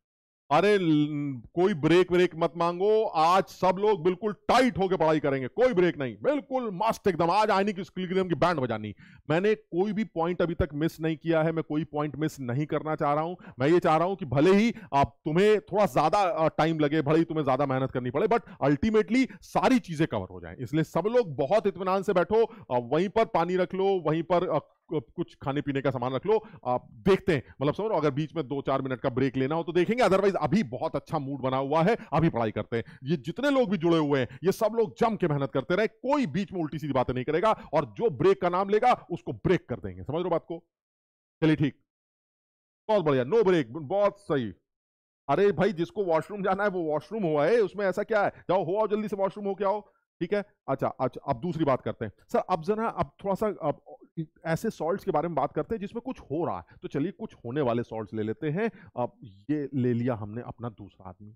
सर, इस बार आपने ऐसा सॉल्ट लिया है जो स्ट्रॉन्ग एसिड और वीक बेस का है। सर, मैं एग्जांपल ले लेता हूँ। मान लीजिए, बड़ा अपना सीधा सा आदमी ले लेते हैं। ये सारे ही हैं। हालाँकि ये जो एजीसीएल एजी टाइप के लोग हैं ये, इनको हम, अब कहने को ये वीक बेस माना जाता है। AG O H is a weak base but हम इनको बाद में अभी देखेंगे, इनको आप स्ट्रॉन्ग बेस की कैटेगरी का सॉल्ट मानेंगे बिकॉज़ हमें उस टाइम पर ऐसा सॉल्ट चाहिए होगा जो कम घुलता है पानी के अंदर। तो हम इस बारे में बात करेंगे बट अल्टीमेटली अगर देखा जाए तो ये अमोनियम वाले हो गए या ये जितने भी हैं सब, सर ये सारे कैल्शियम हाइड्रोक्साइड अमोनियम हाइड्रोक्स तुम समझ ही रहे होगे, सर ये सब वो लोग हैं जो वीक बेस से आते हैं, क्योंकि अमोनियम क्लोराइड का अगर मैं एग्ज़ाम्पल लूँ तो बताइए सर, अब आप कैसे कहेंगे कि रिजल्टेंट सोल्यूशन बेसिक होगा या एसिडिक होगा? बड़ा आसान है सर। कैसी बातें कर रहे हैं? रिजल्टेंट सोल्यूशन एसिडिक या बेसिक तो मैं बता दूँगा आपको, सर अमोनियम क्लोराइड कहाँ से आ रहा है? सर अमोनियम हाइड्रोक्साइड से आ रहा है और अमोनियम हाइड्रोक्साइड वीक बेस होता है। इसका मतलब अमोनियम हाइड्रोलाइज करेगा और अगर अमोनियम हाइड्रोलाइज करेगा तो अमोनियम की हाइड्रोलिसिस क्या रिलीज़ करेगी? सर एच रिलीज़ करेगी। रिजल्टेंट सोल्यूशन पक्का एसिडिक होगा। बताओ, यहाँ तक समझे बात? रिजल्टेंट सोल्यूशन पक्का एसिडिक देखने को मिलेगा।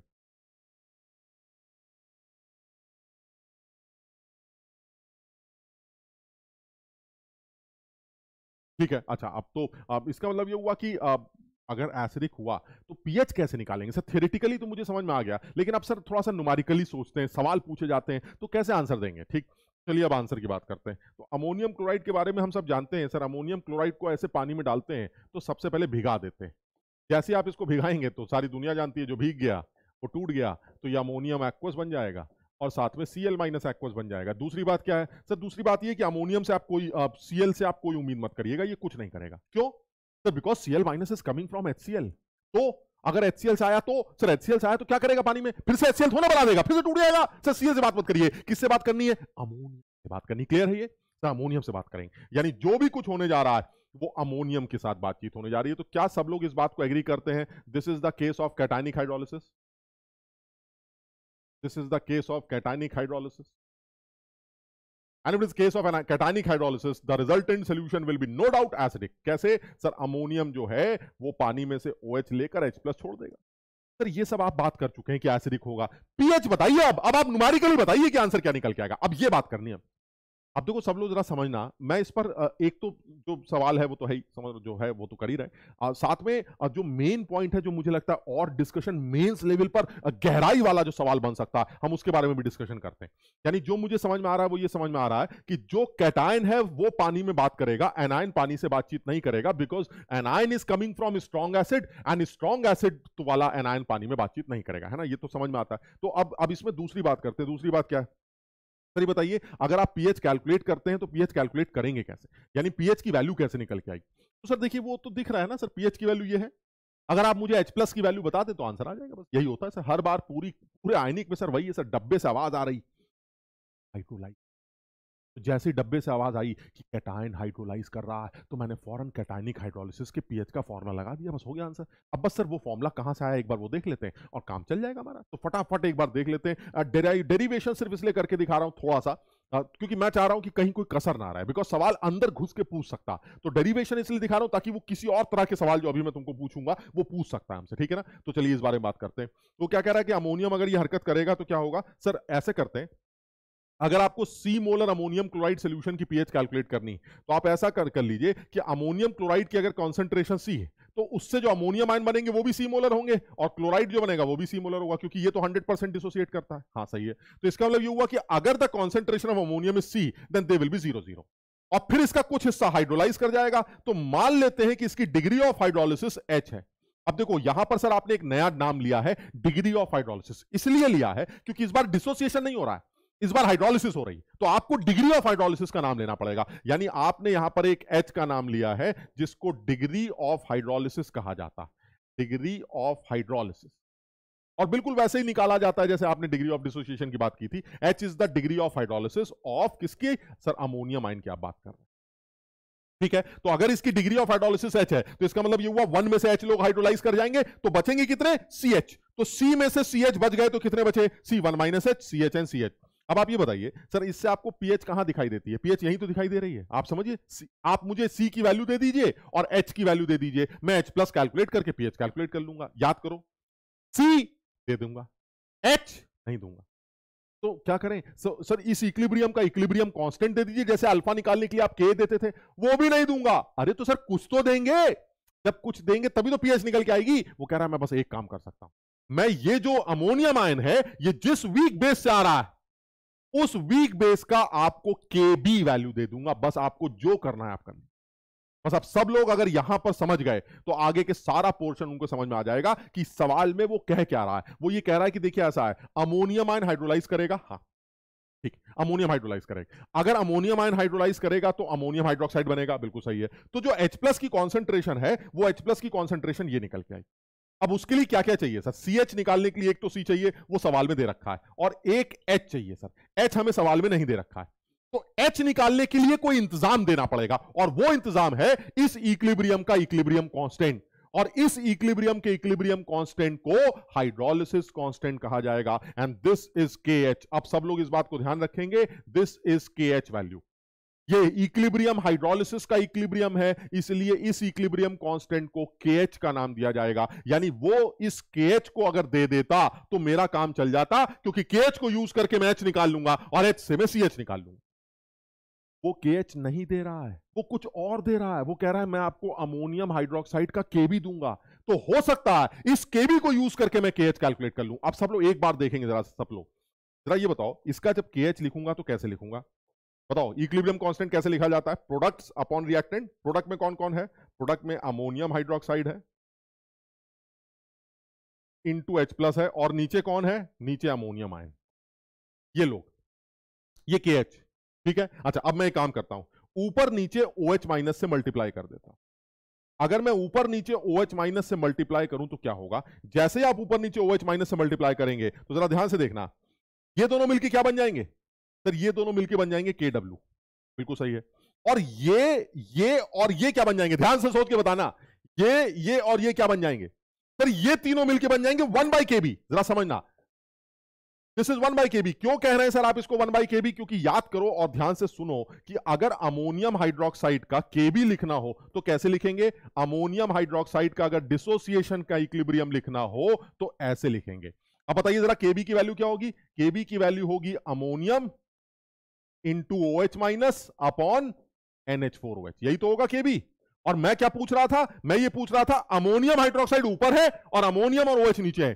तो ये क्या बन जाएगा sir? This is one by K B यानी इस इक्लिब्रियम का जो इक्लिब्रियम कांस्टेंट होगा, वो इनडायरेक्टली किसके बराबर होगा? के डब्ल्यू बाई के बी अब सब लोग इस बात को समझे और ये बहुत इंपॉर्टेंट है और मुझे लगता है इस साल मेंस के पेपर में इसी इक्वेशन या इसी इक्वेशन से रिलेटेड सवाल पूछे जाने वाला है। बहुत इंपॉर्टेंट है। मैं इस चीज़ को दोबारा बताने जा रहा हूँ। दोबारा क्या है? ये कि सर, जो इक्विलिब्रियम आपने बताया था, कौन सा इक्लिब्रियम था? कैटाइनिक हाइड्रोलिसिस का जो अभी आपने इक्विलिब्रियम बनाया है, इस इक्विलिब्रियम का जो इक्विलिब्रियम कांस्टेंट होगा, वो कैसे निकल के आएगा? तो इस इक्लिब्रियम का जो इक्लिब्रियम कांस्टेंट है, जिसको इक्लिब्रियम कांस्टेंट के कहा जाएगा this K H is K W by K B सब लोग इसको याद कर लें सबसे पहले। यानी जब कैटाइनिक हाइड्रोलिसिस होती तो कैटाइनिक हाइड्रोलिसिस के जो इक्विलिब्रियम बनता है, उस इक्विलिब्रियम का इक्विलिब्रियम कांस्टेंट वो K W by K B के बराबर होता है। अच्छा अब और सोच के देखते हैं जरा। क्या ये दिखाई दे रहा है कि अगर के बी की वैल्यू कम करोगे तो के एच की वैल्यू बढ़ेगी? बताओ, ये बात दिख रही है? के बी उतना कम होगा। के बी के कम होने से के एच वैल्यू बढ़ेगी। और के एच वैल्यू अगर बढ़ती है तो रिएक्शन फॉरवर्ड भागेगी। और अगर रिएक्शन फॉरवर्ड भागती है तो उस केस में आपका O H P H accordingly calculate किया जाए।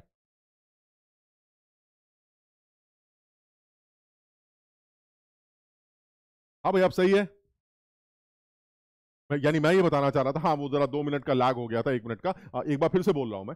मैं ये कह रहा हूँ कि क्या ये बात समझ में आ रही है कि जो हमारा इस इक्वेशन का इक्विलिब्रियम का इक्विलिब्रियम कांस्टेंट है, जिसको आप के एच कह रहे हैं। This K H is K W by K B यही अभी डिराइव हुआ हमारा कि के एच की value K W by K B आएगी। हाँ तो अगर के एच की value K W by K B आ रही है तो इसका मतलब ये हुआ कि अगर के बी कम हुआ तो के एच इंक्रीज कर जाएगा। यानी जो कैटाइन हाइड्रोलाइज हो रहा है मेरा वो कैटाइन जितना कमज़ोर बेस से आ रहा है, यानी उस बेस का केबी उतना कम होगा तो केच उतना ही ज़्यादा होगा, यानी वो कैटाइन उतना ही ज़्यादा हाइड्रोलाइज करेगा। यानी कहने का मतलब ये हुआ, जो इंपॉर्टेंट बात मैं लिखने जा रहा हूँ, वो ये है कैटाइन क्या ऐसे करके लिख लेते हैं। ये इंपॉर्टेंट बात हो गई। Weaker the base weaker the base more will be the hydrolysis hydrolysis of cation. यानी जितना वीक बेस होगा कैटाइन का के एच हाइड्रोलिसिस उतना ज़्यादा होगा। और हाइड्रोलिसिस के ज़्यादा होने से एच प्लस ज़्यादा निकल के आएँगे। काम की बात समझना, जरा थ्योरिटिकल बात कर रहे हैं। यानी अगर के बी कम है तो के एच ज़्यादा होगा। ठीक है? अब देखो मैं एक लाइन से लिखता हूँ। के बी कम हुआ, यानी कैटाइन जिस बेस से आ रहा है, अगर वो बेस कमज़ोर है तो के बी कम हो जाएगा। सर, उस कैटाइन की हाइड्रोलिसिस बढ़ जाएगी। हाइड्रोलिसिस बढ़ेगी तो सर उसकी डिग्री ऑफ़ हाइड्रोलिसिस भी बढ़ जाएगी। सर डिग्री ऑफ़ हाइड्रोलिसिस बढ़ेगी तो एच प्लस की कॉन्सेंट्रेशन भी बढ़ जाएगी।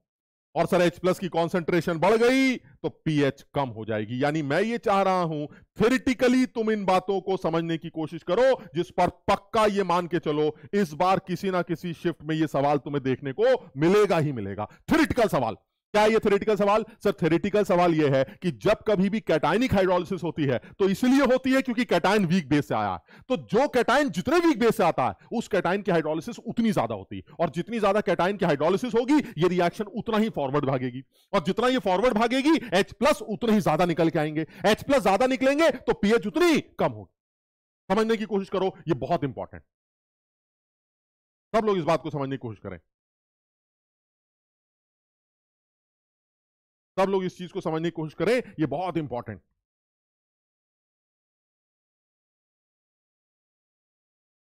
क्लियर है? मैं मैं एक एग्जांपल लेता हूँ मैं इस, इस, इसको इस तरह से समझता हूँ। मान लीजिए मेरे पास चार सॉल्ट्स हैं एक सवाल बनाते हैं बड़ा सा बढ़िया सवाल जो इस बार के जेई में पूछे जाने के पूरी संभावनाएँ लगती हैं ठीक? क्या सवाल है? वो कह रहा है भाई ऐसा मेरे पास चार सॉल्ट्स हैं कौन कौन से सॉल्ट्स हैं? मान लीजिए एक सॉल्ट है मेरे पास ए सी एल एक सॉल्ट है BCl एक है CCl और एक है DCl क्लियर है? अब आपसे ये पूछना चाह रहा है कि सारे सॉल्ट्स की मान लीजिए कॉन्सेंट्रेशन सी मोलर है सी मोलर है सी मोलर है सी मोलर ये चार सॉल्ट्स अब आपसे ये पूछा जा रहा है भाई ये बताइए मुझे कि आ, जो पीएच है वो कैलकुलेट कैसे जो सोल्यूशन है वो ज़्यादा एसिडिक होगा या कौन सा कम एसिडिक होगा? किसकी पीएच ज़्यादा है किसकी पीएच कम है वगैरह वगैरह ठीक? तो हमसे सवाल पूछा जा रहा है increasing increasing order of pH ये हमसे पूछा जा रहा है। ठीक है? अच्छा चलिए ठीक है। सवाल में गिवन क्या है? कुछ गिवन भी है। क्या गिवन है?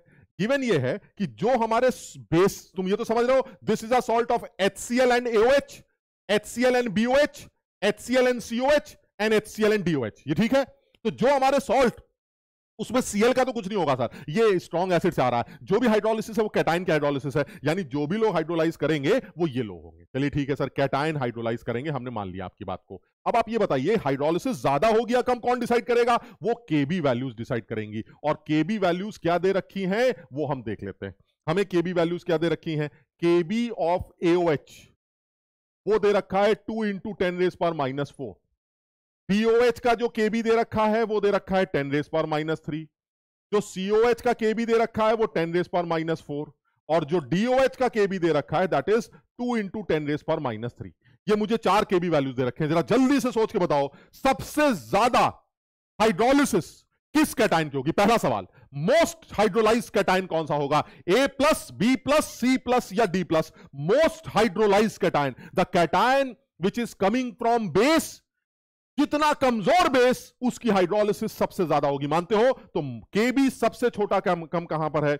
ऑर्डर ऑफ़ केबी जरा जल्दी से बताओ ऑर्डर ऑफ़ केबी क्या बनेगा? ऑर्डर ऑफ़ केबी में सबसे बड़ा केबी किसका है? सबसे बड़ा केबी है सर डीओएच का। बिल्कुल सही है। DOH is greater than BOH is greater than और कौन सा बचा? सर उसके बाद नंबर आएगा नेक्स्ट नंबर आएगा एओएच और सबसे छोटा जो केबी दिख रहा है दैट इज़ सीओएच बताओ सही कर रहे हैं? यानी सबसे बड़ा केबी होगा डीओएच का और सबसे छोटा केबी होगा बीओएच सॉरी किसका? सीओएच का यह हमारा ऑर्डर बने।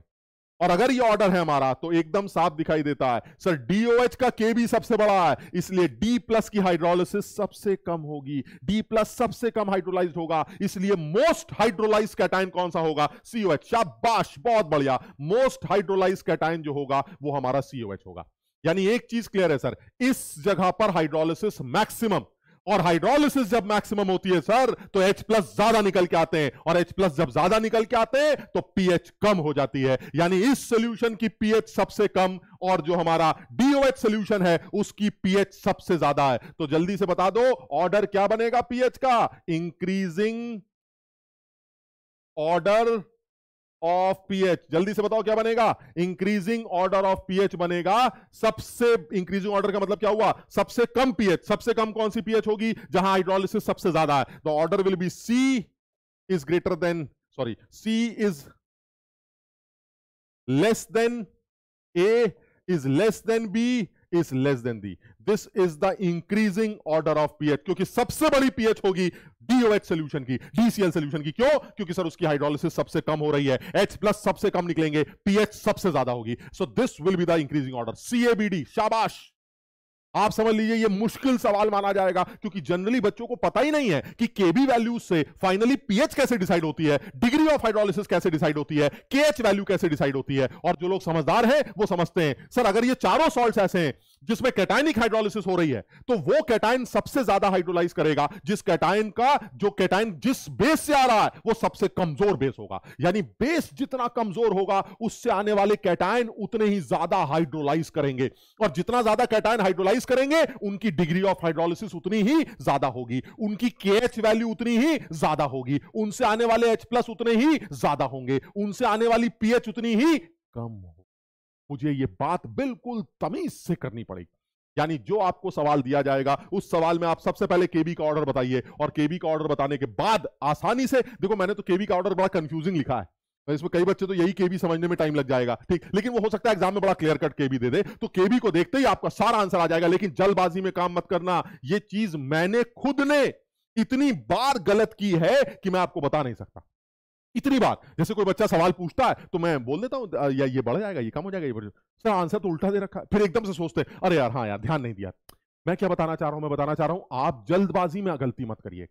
हमारी गलती चलती है, हमारी गलती इसलिए चलती है हमें कौन सा पेपर देना है? आपकी गलती बिल्कुल नहीं चलेगी। जल्दबाजी में कई बार गलती हो जाती है। के भी ज़्यादा है तो एकदम से दिमाग में आ जाता है कम हो जाएगा कम हो जाएगा। सब उल्टा हो जाएगा, समझ लीजिएगा। बहुत इतमान से सवाल करिएगा। अगर सिर्फ़ कैटाइनिक हाइड्रोलिसिस हो रही है तो वो कैटाइन ज़्यादा हाइड्रोलाइज करेगा, जो कैटाइन उस बेस से आ रहा है, जिसका केबी सबसे कम। बस इस बात का ध्यान रखिएगा। और केबी के कम होने से क्या होगा? सर केबी के कम होने से केज बढ़ जाएगा। ये देखिए, उल्टा रिलेशन है। और केज बढ़ गया तो क्या होगा? सर डिग्री ऑफ़ हाइड्रोलिसिस बढ़ जाएगी। डिग्री ऑफ़ हाइड्रोलिसिस बढ़ गई तो क्या होगा? सर एच प्लस ज़्यादा बनेंगे। एच प्लस ज़्यादा बनेंगे तो क्या होगा? सर पीएच कम हो जाएगी। आपको बहुत इतमान से ध्यान रखना।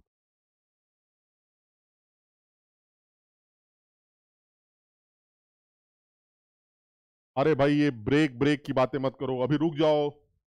कोई ब्रेक की बातें मत करे। जिसको ब्रेक लेना जाए, अजीब आदमी हो। ब्रेक के लिए हम रोक सकते हैं तुम्हें।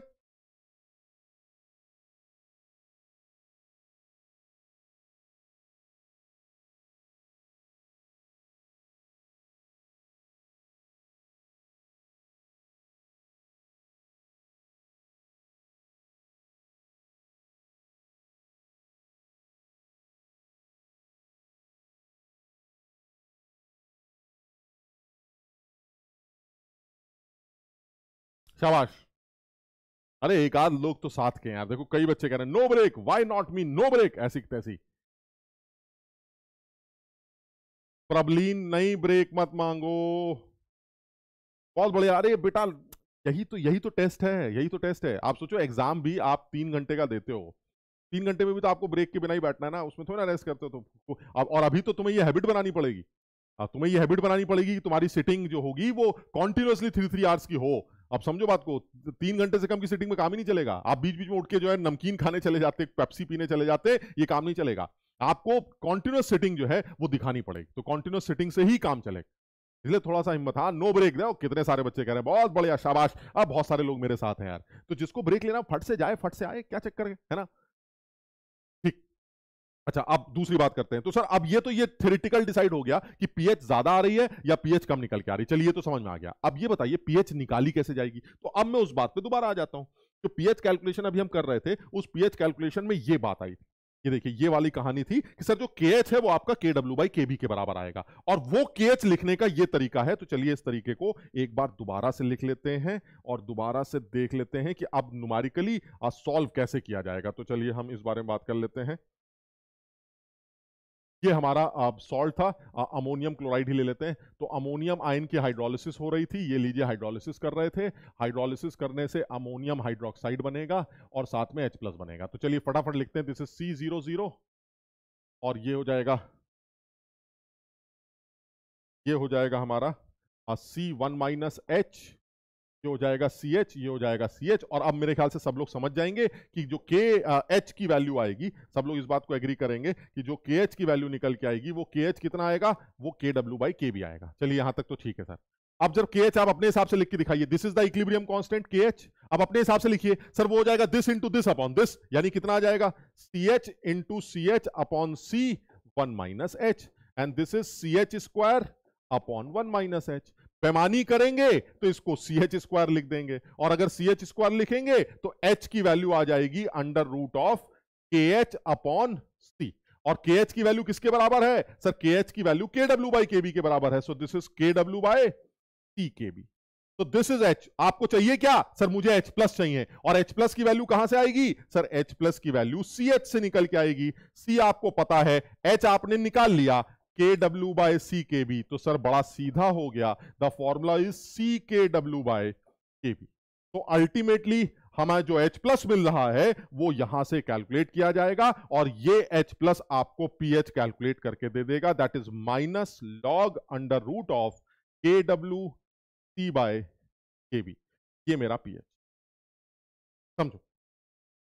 यानी जो बात समझ में आ रही है, वो यही आ रही है कि जो सी एच स्क्वायर है, वो के एच के बराबर है। इससे एच की वैल्यू के एच बाई सी का अंडर रूट बन जाएगी और के एच की जगह आप के डब्ल्यू बाई के बी लिख सकते हैं so it will be K W by C K B और एच आते ही सी एच आ जाएगा और सी एच आते ही आपका एच प्लस निकल आएगा और वो एच प्लस आपको कैलकुलेट करके पी एच दे दे सवाल में आपको क्या क्या गिवन होगा? सवाल में के बी गिवन होगा सी गिवन होगा, सीधे वैल्यू पुट कर दो और आपको पीएच मिल जाएगा। सीधे वैल्यू पुट करके आप ये काम कर सकते हैं। क्लियर समझ में आ गया?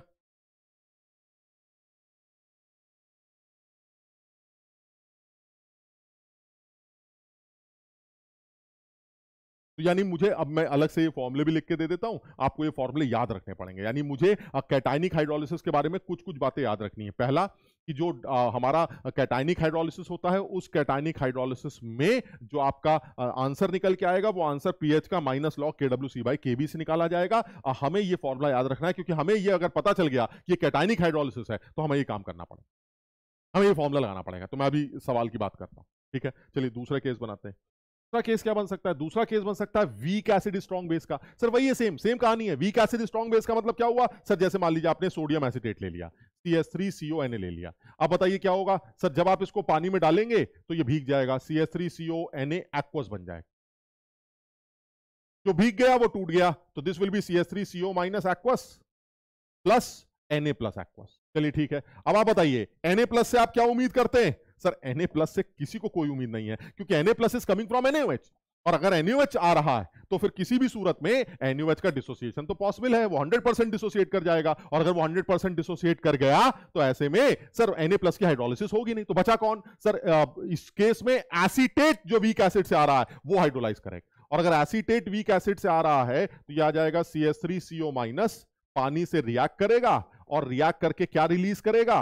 एच माइनस रिलीज़ करेगा। अब फिर वही वाली कहानी है। सर, इसको सी ले लेते हैं। ये दोनों ज़ीरो हैं। This will be C one minus H this is C H and this is C H अब ऐसे में बिल्कुल क्लियर है। इसका जो हाइड्रोलिसिस कांस्टेंट के एच होगा, वो तुम फिर करके देखो। वो इस बार के डब्ल्यू बाई के के बराबर आएगा। और indirectly it is equal to C H square upon one minus H and that is also C H square यानी कहने का मतलब यह हुआ, इस बार भी सेम कहानी निकल के आती है कि जो डिग्री ऑफ़ हाइड्रोलिसिस है एच वो ultimately under root of K W by किसके बराबर आएगी? सी के के बराबर। और जो सी एच निकल के आएगा, जो अल्टीमेटली ओ एच माइनस के बराबर है, वो आएगा सी के डब्ल्यू बाय के और जब आप H प्लस कैलकुलेट करेंगे तो H प्लस की value under root K W के बाय सी से निकाली जाएगी और यहीं से पीएच निकल आएगी। समझना? यानी मेरे लिए जो इंपॉर्टेंट है वो यही है कि मुझे डेरिवेशन से मतलब नहीं है। मुझे सिर्फ़ इनके फॉर्मूले याद रखने हैं। यानी अगर मुझे ये पता चल जाए कि एनाइनिक हाइड्रोलिसिस हो रही है तो मैं फट से क्या काम करूँगा? एनाइनिक हाइड्रोलिसिस का फॉर्मूला लगा दूँगा। अगर कैटाइनिक हो रही है तो कैटाइन वाला फॉर्मूला लगा दूँगा। और मुझे पता कैसे चलेगा? अगर वो सॉल्ट एक ऐसा सॉल्ट है जो वीक एसिड से आ रहा है तो एनाइनिक हाइड्रोलिसिस वीक बेस से आ रहा है तो कैटाइनिक हाइड्रोलिसिस और अगर वो दोनों स्ट्रॉन्ग पोर्शन से आ रहे हैं तो हाइड्रोलिसिस नहीं होगी, जिसकी वजह से पीएच सेवन कंसिडर करें। समझ में आया? अब जल्दी से मुझे इस सवाल का आंसर भी बता दो, फटाक से। अगर मान लीजिए वो कहता है, फिर एक सवाल अपनी तरफ़ से बना लेते हैं कि ऑर्डर ऑफ़ पीएच और चार सॉल्यूशंस ले लेते हैं। कौन कौन से सॉल्यूशन लेंगे? एक ले लेते हैं N A zero point one molar एक zero point one molar N A B ले लेते हैं, एक ले लेते हैं zero point one molar N A C और एक सोल्यूशन ले लेते हैं एन ए डी और सवाल में क्या दे रखा है? के ए वैल्यूज़ दे रखी कौन कौन सी के वैल्यूज़ दे रखी हैं एच ए की दे रखी है एच बी की दे रखी है एच सी की दे रखी है और एच डी की दे रखी है एच ए की दे रखी है टेन रेस पर माइनस फाइव इसकी दे रखी है टेन रेस पर माइनस टू इसकी दे रखी है टेन रेस पर माइनस थ्री और इसकी दे रखी है टेन रेस पर माइनस फोर जल्दी से बताओ जरा जल्दी से सोच के बताओ कि पीएच का इंक्रीजिंग ऑर्डर क्या होगा? एक चीज़ तो क्लियर है कैटाइन की हाइड्रोलिसिस नहीं हो सकती NA NA NA NA hydrolyse नहीं करेंगे तो हाइड्रोलिसिस किसकी होगी? एनआई तो ये तो कंफर्म हो गया कि this is the case of anionic hydrolysis ये एनाइनिक हाइड्रोलिसिस का केस होगा। और अगर ये एनाइनिक हाइड्रोलिसिस का केस है तो इस एनाइनिक हाइड्रोलिसिस के केस से अपना काम चलाएँगे, और उस एनाइन की हाइड्रोलिसिस ज़्यादा होगी। अभी देखा था तुमने, अगर के कम है तो के एच ज़्यादा होगा। के एच ज़्यादा होगा तो हाइड्रोलिसिस ज़्यादा होगी। हाइड्रोलिसिस ज़्यादा होगी तो ओ एच माइनस ज़्यादा निकलेंगे। ओ एच ज़्यादा निकलेंगे तो हमारा पीओएच वो कम हो जाएगा और पीएच की वैल्यू बढ़ जाएगी। हमें फिर ये बात ध्यान रखनी पड़ेगी। यानी मुझे थेरिटिकल सवालों का जवाब देना है तो इस बात का जवाब देना पड़ेगा। क्लियर है? ये यानी कहने का मतलब ये हुआ कि अगर मुझे ऑर्डर ऑफ़ पीएच कैलकुलेट करना है तो सबसे ज़्यादा पीएच वो सोल्यूशन शो करेगा जिसका, जिसके वीक एसिड का के सबसे छोटा। और वीक एसिड का के सबसे छोटा किसका है? सर एच ए का के सबसे छोटा है। के के छोटे होने से पीएच बढ़ जाएगा समझो बात।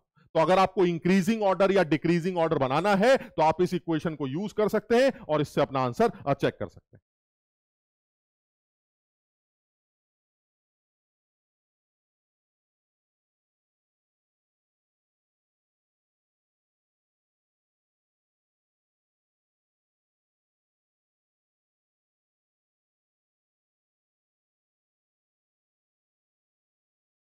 क्लियर है?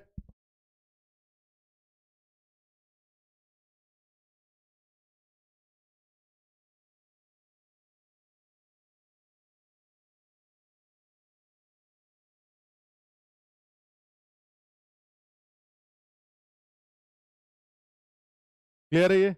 तो इसका मतलब ये हुआ, ये बड़ा आसान सा कॉन्सेप्ट है। थेरिटिकली जो समझ में आ रहा है वो यही है कि सर आप के के बी को देखकर ये डिसाइड कर सकते हैं कि एनाइनिक और कैटाइनिक हाइड्रोलिसिस ज़्यादा होगी या कम होगी। ये बड़ा आसान। हाँ ये क्लियर है कि अब ऐसे में सर, अगर मान लीजिए आपको थेरेटिकल न्यूमेरिकली सॉल्व करना है तो आपको एनाइनिक और कैटाइनिक हाइड्रोलिसिस का फॉर्मुला याद रखना पड़ेगा। तो हमने ये याद कर लिया कि एनाइनिक हाइड्रोलिसिस का H plus K W K by C under root से निकलेगा और कैटाइनिक हाइड्रोलिसिस के जो एच प्लस होगा, वो under root K W C by K B से निकलेगा। ये फॉर्मुला मैंने याद कर लिया।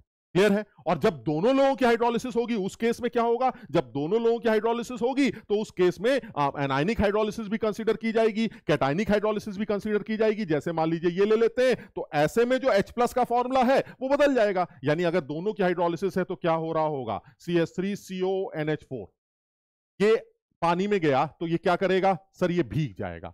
पानी में कोई भी चीज़ जाएगी भीग जाएगा और भीगने के बाद 100 परसेंट डिसोसिएट कर जाएगा। It will be C S three CO minus aqueous plus NH4 plus aqueous चलिए ठीक है, अब क्या होगा? सर, अब दोनों लोग हाइड्रोलाइज करेंगे, और जब दोनों लोग हाइड्रोलाइज करेंगे तो ऐसे में सर रिजल्टेंट पीएच कौन डिसाइड करेगा? वो सर इक्वेशन डिसाइड करेगी। यानी कहने का मतलब ये हुआ कि सर आपकी दोनों लोग हाइड्रोलाइज करेंगे, और अगर दोनों लोग हाइड्रोलाइज करते हैं तो पीएच जो है वो एसिडिक भी हो सकती है, और पीएच बेसिक भी हो सकती है। That depend sir that depends के बड़ा है या के बी और ऐसे में मैंने तुम्हें सामने ये फॉर्मुले रख दिए।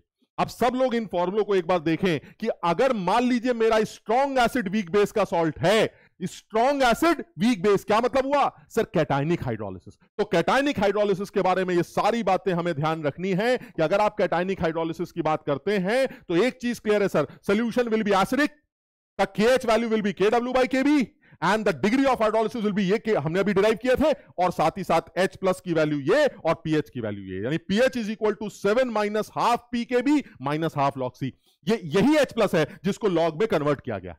क्लियर है, अगर आपका वीक एसिड का हाइड्रोलिसिस हो रहा है, यानी एनाइनिक हाइड्रोलिसिस हो रहा है तो solution will be basic anionic hydrolysis K H will be K W by K degree of hydrolysis will be K W by K C and the P H value will be this and the P H is seven plus half P K plus half log C ये पूरा table एकदम समझ रहो कोई अगर सोते सोते भी उठा के बोले कि एनाइनिक हाइड्रोलिसिस का डिग्री ऑफ़ हाइड्रोलिसिस कितना होता है मुँह से खट से लिख जाए कि, सर एनाइनिक हाइड्रोलिसिस के लिए जब डिग्री ऑफ़ हाइड्रोलिसिस निकाली जाती है तो के डब्ल्यू बाई के सी से अंडर रूट में निकाली जाती है और उसकी पीएच वैल्यू यहाँ से निकाली जाती है। एकदम मुँह से टपक जाए। आप समझिए, एक सेकेंड ना लगे। जो बच्चे मेरी बात सुन रहे हैं, जो इतनी देर से मेरे साथ जुड़े हैं, मैं उनसे ये बात बोल रहा हूँ मैं उन लोगों को यह बिल्कुल गारंटी के साथ बोल सकता हूँ कि जिन लोगों ने आइनिक इक्लिब्रियम को बहुत डिटेल में भी समझ रखा है, लेकिन उन्होंने ये बात याद नहीं की जो तुमसे बोली जा रही है। आप समझ लीजिए, वो आने वाला सवाल गलत करके आएँगे। और आप जिनको बहुत कम भी आता है, मान लीजिए, और वो ये चार्ट याद करके गए तो हाइड्रोलिसिस पे आने वाला कोई सवाल गलत नहीं होने वाला।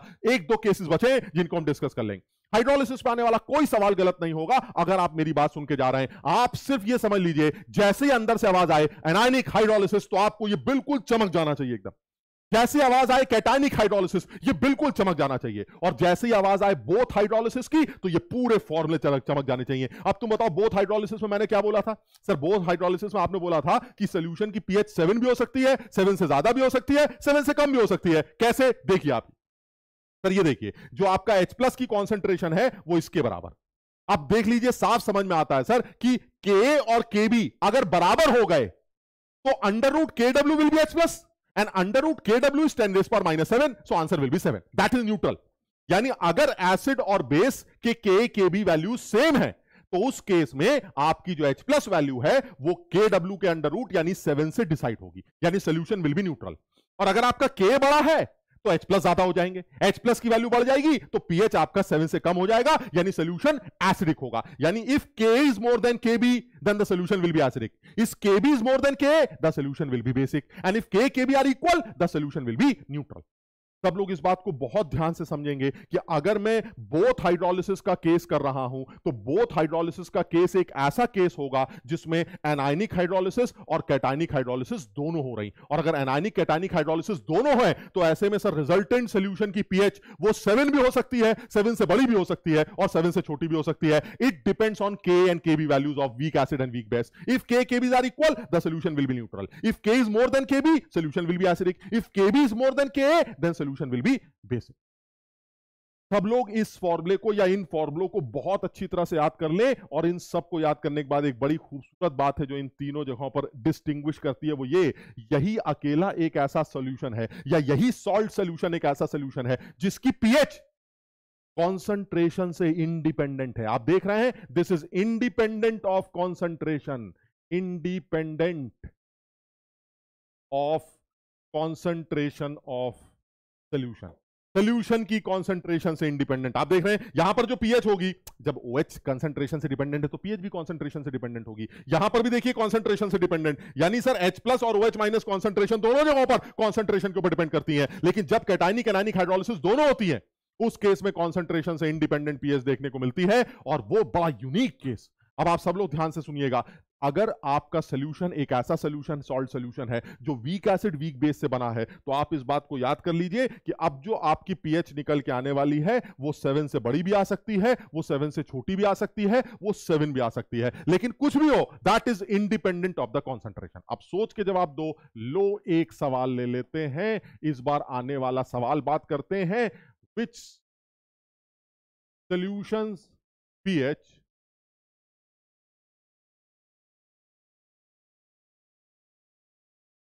is independent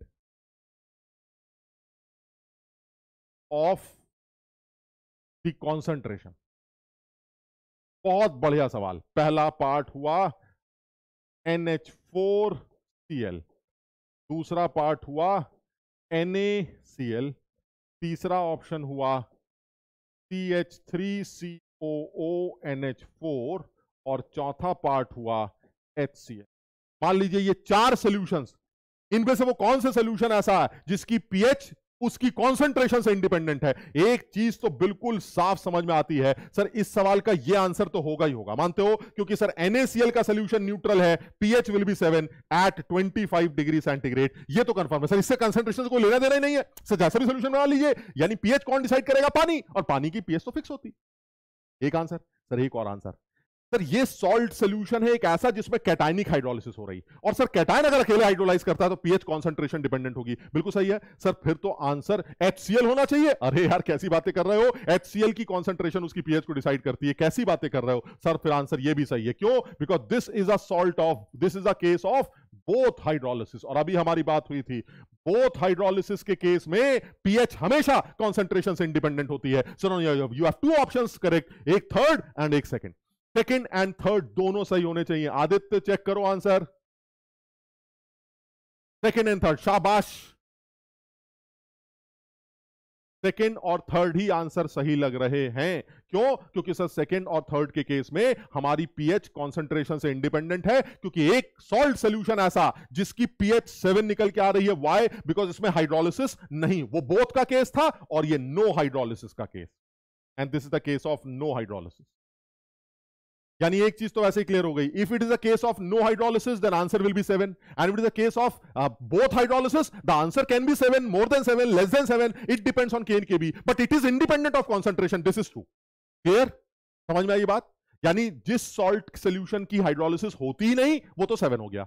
कॉन्सेंट्रेशन से भी इंडिपेंडेंट हो गया और आंसर सेवन हो गया। और एक ऐसा सॉल्ट सोल्यूशन जिसमें दोनों लोग हाइड्रोलाइज करते हैं, उस केस में कैटाइनिक हाइड्रोलिसिस भी होगी एनाइनिक भी होगी। तो सर आंसर सेवन या सेवन से बड़ा या छोटा कुछ भी आ सकता है बट जो भी आएगा the answer will be independent of the concentration the pH will be independent of the concentration क्योंकि अभी आपने पीएच का फॉर्मुला दिखाया है, वो मैंने याद कर रखा है और उसमें कहीं पर भी कंसेंट्रेशन का टर्म नहीं आता। क्लियर जल्दी से चैट पर ये लिख के बताएँ लोग, क्या यहाँ तक सब कुछ समझ में आ गया? Anionic hydrolysis cationic hydrolysis both hydrolysis क्योंकि मुझे हाइड्रोलिसिस के दो और केस करने जल्दी से बताओ, क्या यहाँ तक सब कुछ समझ में आया?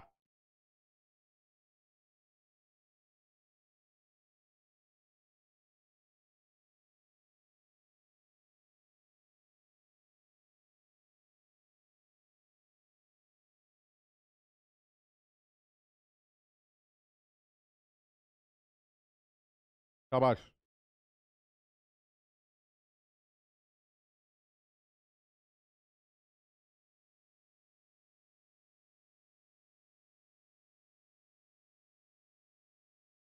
शाबाश चलिए ठीक, अब एक और केस बनाते हैं। अभी मैं इसके ऊपर सवाल करता हूँ। अभी मैं पीवाई क्यू भी इसके ऊपर करके दिखाता हूँ, क्योंकि इसके ऊपर पीवाई क्यू है मेरे पास, ठीक? अच्छा अब दूसरी बात कर लेते हैं। दो और केस बनाता हूँ। दो और केस बनाना चाह रहा हूँ मैं। एक केस ये है जिसमें पॉलीवेलेंट एनाइन के हाइड्रोलिसिस। बड़ी इंपॉर्टेंट है यार, समझना जरा। पॉलीवेलेंट एनाइन के हाइड्रोलिसिस का मतलब जैसे एक एग्जांपल ले लेते हैं। जैसे सपोज़ फॉस्फेट आयन वो कह रहा है find out the pH of C molar Na3PO4 अब मुझे जल्दी से सोच के बताओ, क्या Na3PO4 सॉल्ट है? हाँ सर सॉल्ट है। अच्छा अब क्या होगा सर? बर्तन से क्या आवाज़ आ रही है? बर्तन से आवाज़ आ रही है कि I am a salt of NaOH and H3PO4 clear है? यानी this is a salt of NaOH and H3PO4 बिल्कुल सही है सर NaOH से आपको Na प्लस मिल रहा है और H3PO4 से आपको फॉस्फेट आयन मिल रहा है. बिल्कुल सही है सर अब आप बताइए होना क्या है? होना तो एक चीज़ क्लियर है सर क्या होना छोड़िए. Na प्लस का कुछ नहीं होगा because Na plus is coming from NaOH and NaOH से आने वाला Na प्लस हाइड्रोलाइज नहीं होगा. यहाँ तक समझ गए? सर फॉस्फेट हाइड्रोलाइज करेगा.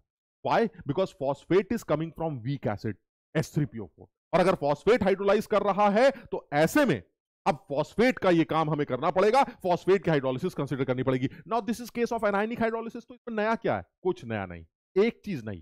सर ये पॉलीवेलेंट एनाइन जिसके ऊपर एक से ज़्यादा निगेटिव चार्ज इससे पहले जब आप एनाइनिक हाइड्रोलिसिस करते थे तो आपके ऊपर एक निगेटिव चार्ज था। आप पानी में से एच को लेते थे ओ छोड़ देते थे और हमने फॉर्मूला याद कर रखा था पीएच कैलकुलेट कर लेते थे। यहाँ पर गड़बड़।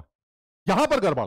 और गड़बड़ यह है कि ये एक ऐसा एनायन है जिसमें एक से ज़्यादा नेगेटिव चार्जेस अब ये क्या करेगा? सर, ये देखिए क्या करेगा। फॉस्फेट आयन पानी में से एच लेगा, बिल्कुल लेगा। एक एच लेने के बाद ओ OH रिलीज़ कर देगा, ठीक। लेकिन क्या ये चुप हो जाएगा?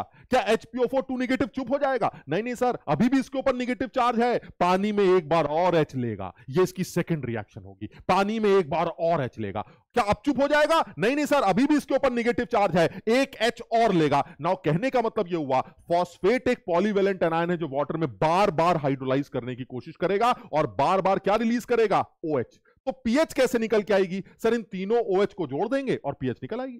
खत्म हो गया।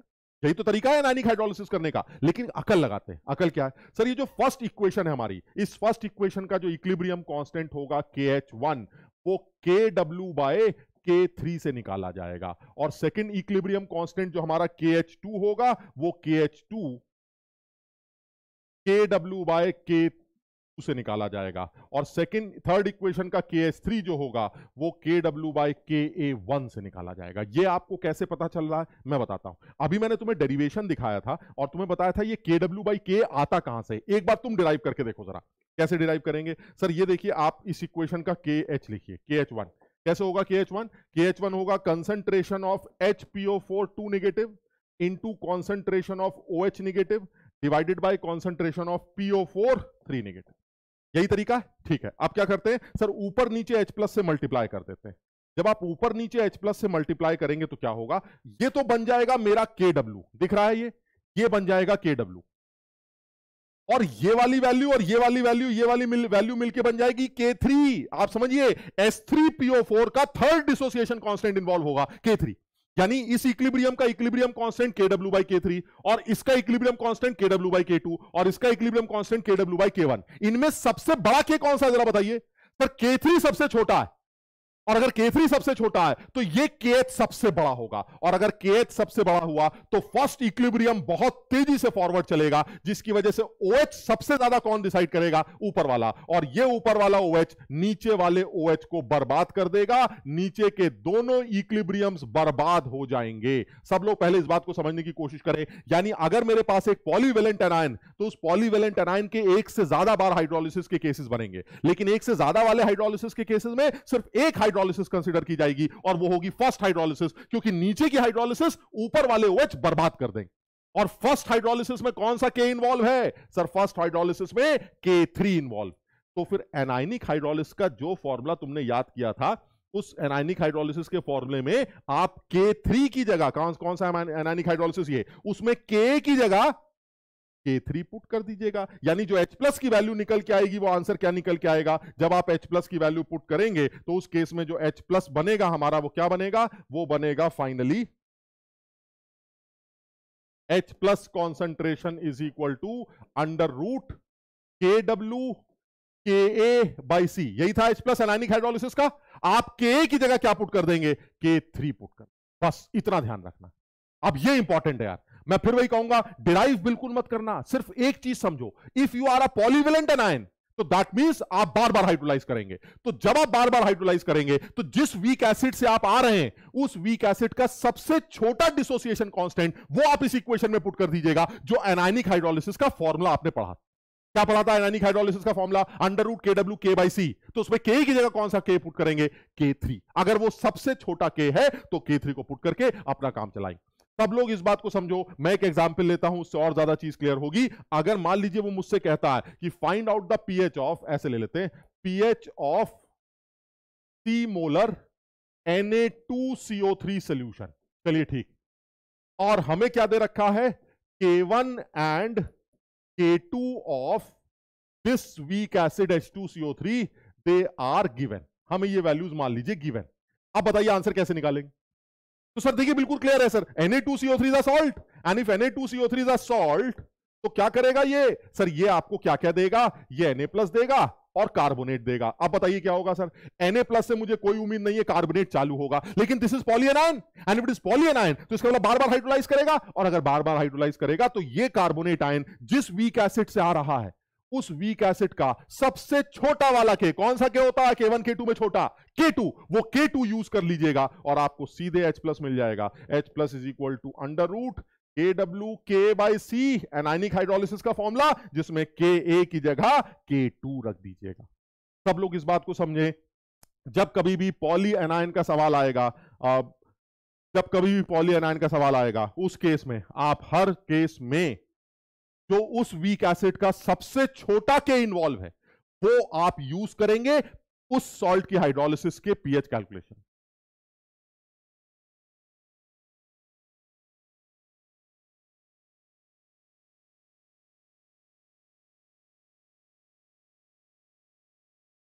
ये बहुत इंपॉर्टेंट है भाई। सब लोग इस बात को समझो, बहुत इंपॉर्टेंट है। और मुझे लगता है बहुत ही ज़्यादा बच्चों को कंफ्यूज करता है जब वो एनाइनिक भाई तीन फॉर्मूले तो मैंने याद कर लिए। एनाइनिक हाइड्रोलिसिस कैटाइनिक और बोथ वो तो तीनों क्लियर हो गए। सर, चौथी बात यह भी हो सकती है कि एक ऐसा सॉल्ट इन्वॉल्व है जिसमें पॉलीएनाइन हो। तो उसका आंसर कैसे निकालेंगे? खत्म हो गया। सर, वो एनाइन है ना? हाँ तो एनाइनिक हाइड्रोलिसिस का फॉर्मुला यूज़ करेंगे। उसमें जो के आता है, उसमें जो उस वीक एसिड का सबसे छोटा के वो पुट कर देंगे। बस, इतनी बात याद करनी। सबसे छोटा के यूज़ करो, बस। यानी जब कभी भी ऐसा सॉल्ट इन्वॉल्व हो, जिस सॉल्ट के अंदर आप एक ऐसे एनाइन को देख रहे हैं जो पॉली एनाइन है तो वो एनाइन पक्का वीक एसिड से आएगा, और वो पॉली एनाइन है तो वीक एसिड मोनो पॉलीप्रोटिक होगा तो जो उस वीक एसिड का सबसे छोटा डिसोसिएशन कॉन्सेंट है, अगर वो डाइप्रोटिक है तो के टू ट्राईप्रोटिक है तो के थ्री वो उस एनाइनिक हाइड्रोलिसिस के फॉर्मुले में पुट करके आप पीएच कैलकुलेट करेंगे, बस, इतनी बात याद करनी, कोई डेरिवेशन नहीं करना, कुछ याद नहीं करना क्लियर है? अब पीएच में बेटा लॉग लेना पड़ेगा। मतलब ये एच प्लस आ गया ना तो अब आप जब पीएच निकालेंगे तो pH is equal to minus log under root of K W K by C ये इक्वेशन यूज़ कर लेंगे। और के कौन सा यूज़ करेंगे? के टू अगर पॉलियन आए। क्लियर है ये?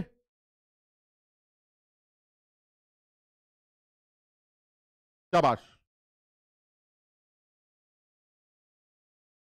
चलिए ठीक, बहुत बढ़िया। चलिए, अब लास्ट केस करते हैं आप इसी एनाइनिक इसी हाइड्रोलिसिस का and that is hydrolysis of amphiprotic anion यानी ये बहुत इंपॉर्टेंट है इसलिए इंपॉर्टेंट है क्योंकि इसमें आ, कुछ ज़्यादा मुश्किल नहीं है ना हम इसके डेरिवेशन पे जा रहे हैं but what is amphiprotic anion amphiprotic anion है मतलब एक ऐसा एनाइन जो पानी में H प्लस दे भी सकता है और ले भी सकता है। अब तक तुमने कौन से एनाइन पढ़े? सर आपने वो एनाइन पढ़े जो पानी में से H ले लेता। है OH रिलीज़ कर देता है बेसिक सोल्यूशन बन गया, बात खत्म पीएच का फॉर्मुला हमने याद कर लिया। अब एक ऐसे एनाइन को लेके आए हैं जो पानी में गया तो H प्लस दे भी सकता है, ले भी सकता है, यानी देता भी है और लेता भी है H प्लस पानी के अंदर। ऐसा एनाइन एम्फीप्रोटिक एनाइन कैसे? जैसे एग्ज़ाम्पल ले लेते हैं। मान लीजिए मुझसे कहे कि सी मोलर NaHCO3 सोल्यूशन की पीएच कैलकुलेट करके दिखाइए सोडियम बाइकार्बोनेट ठीक है? अच्छा अब इस सोडियम बाइकार्बोनेट को अगर मैं ध्यान से देखूँ तो दिस सोडियम बाइकार्बोनेट आपको क्या क्या प्रोवाइड करेगा sir it is coming from NaOH and H2CO3 बिल्कुल सही है, सर। NaOH आपको Na प्लस दे देगा। और H2CO3 आपको HCO3 माइनस दे देगा। हाँ सर, बिल्कुल सही है। Now this is cation anion Na plus and bicarbonate ion ठीक है ये? अब क्या लगता है? सर, कुछ नहीं, एक चीज़ तो क्लियर है। Na प्लस का तो कुछ होना ही नहीं है। इसको हटा दीजिए, सर। Na प्लस का कुछ नहीं होगा। सर Na प्लस तो NaOH से आ रहा है ना। वो थोड़ा हाइड्रोलाइज करेगा। सर बाइकार्बोनेट आयन हाइड्रोलाइज करेगा। Because bicarbonate is coming from H2CO3 and H2CO3 is a weak diprotic acid. इसके दो के होंगे सर एक K1 और एक K2 आप देख लीजिए H2CO3 दो तरह से डिसोसिएट करेगा. एक बनाएगा HCO3 minus plus H plus और फिर से HCO3 माइनस डिसोसिएट करेगा तो कार्बोनेट आयन बनेगा और H प्लस बनेगा. सर ये दो डिसोसिएशन है K1 एंड K2 ठीक है ये? अब बताइए पीएच कैसे निकालेंगे? सर बाइकार्बोनेट की हाइड्रोलिसिस होगी. अब बहुत ध्यान से देखना, बहुत आसान है. क्या? सर HCO3 माइनस की अगर आप हाइड्रोलिसिस कर रहे हैं तो सर ये पानी में H प्लस दे भी सकता है? हाँ दे सकता है, बिल्कुल सही है। अगर इसने पानी में H प्लस दिया तो क्या बनाएगा? कार्बोनेट और ये पानी में H प्लस ले भी सकता है? हाँ बिल्कुल ले सकता है तो ये H2CO3 बनाएगा। सर, ये पानी में H प्लस दे भी सकता है और ले भी सकता है। तो ऐसे में इसका सोल्यूशन का पीएच कैसे निकालेंगे? सब लोग इस बात को याद कर लें। आप ये बताइए, ये जो आपने इक्वेशन बनाई है राइट साइड वाली ये राइट साइड वाली इक्वेशन इस K1 K2 में किसको इन्वॉल्व कर रही है? ये दोनों स्पीशीज K1 में इन्वॉल्व है या K2 में? सर ये दोनों स्पीशीज K2 में इन्वॉल्व इसका मतलब ये हुआ सर यहाँ आप छोटा सा K2 लिख दीजिए। चलिए ठीक है। और ये दोनों किसमें इन्वॉल्व है सर ये दोनों K1 में इन्वॉल्व है। यहाँ केवल लिख देते हैं। सर फिर तो आप सिर्फ़ ये याद कर लीजिए एच प्लस की value under root K one into K two से निकाली जाती है और पीएच अगर आप दोनों साइड माइनस लॉग ले लें तो ये pK one plus pK two by two से निकाली जाती और मज़े की बात क्या है? This is again independent of concentration independent of concentration समझो। यानी सब लोग इस बात को समझे कि अगर आप एम्फीप्रोटिक एनाइन की बात करेंगे, सब लोग समझना इस बात को, अगर आप एम्फीप्रोटिक एनाइन की बात करते हैं तो एक ऐसा एनाइन होगा जो इधर H प्लस दे भी सकता है और H प्लस ले भी सकता है। तो क्या होगा? अगर ये H प्लस दे सकता है और ले सकता है तो ऐसे केस में आपको दोनों तरफ़ के के वैल्यूज़ को रखना है और उन के वैल्यूज़ को के वन के टू अगर आप बोल रहे हैं तो आंसर आप सीधे लिख दीजिए pK one plus pK two by two या फिर अगर एच प्लस की कॉन्सेंट्रेशन पूछी जा रही है तो under root K one into K two कुछ नहीं करना है। और एग्ज़ाम्पल लेता हूँ इसके अंदर। जैसे मान लीजिए, वो आपसे कहता है कि भाई मेरे पास ये सॉल्ट है। C molar N A two H PO four solution बताइए कैसे निकालेंगे इसकी पीएच तो मैंने कहा भी बता देते हैं आपको, एक सेकंड रुकिए। N A two H PO four sir N A two H PO four आपको क्या क्या दे रहा है? सर, एक तो एन ए प्लस दे रहा है और एक आपको एच पीओ फोर बल्कि पहले हम दूसरा एग्ज़ाम्पल ले लेते हैं। H PO four two negative दे रहा है। यही है ना? ये दे रहा है। ठीक है? अच्छा अब क्या होगा? सर, ये Na प्लस जो है, इसका तो कुछ होना नहीं है। सर, ये हाइड्रोलाइज करेगा, बिल्कुल करेगा। लेकिन सर, ये एक ऐसा आदमी है जो एच दे भी सकता है, ले भी सकता है। तो क्या करेंगे सर? एक बार H3PO4 के तीनों डिसोसिएशंस लिख लेते हैं। H3PO4 का एक डिसोसिएशन होगा H2PO4 minus plus H plus ये K1 हो गया। दूसरा होगा H2PO4 minus gives HPO4 2 minus plus H plus ये दूसरा हो गया और तीसरा हो गया HPO4 2 minus gives PO four three minus plus H plus sir, ये तीन डिसोसिएशन है, ठीक है? अच्छा अब एच पीओ फोर माइनस को बीच में रखते हैं।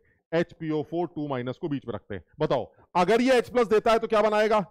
फॉस्फेट और अगर ये पानी में एच प्लस लेता है तो क्या बनाएगा? H two PO four minus clear है? अब बताइए, ये दोनों कौन से केम इन्वॉल्व है? ये दोनों किस केम इन्वॉल्व है? सर, ये तीसरे वाले में इन्वॉल्व है so this is K three और ये दोनों, ये सर के टू में इन्वॉल्व है। तो लीजिए सर आंसर आ गया। H plus is equal to under root K two into K three and the pH value is what pK two plus pK three by two खत्म। इंडिपेंडेंट ऑफ़ द कॉन्सेंट्रेशन समझो।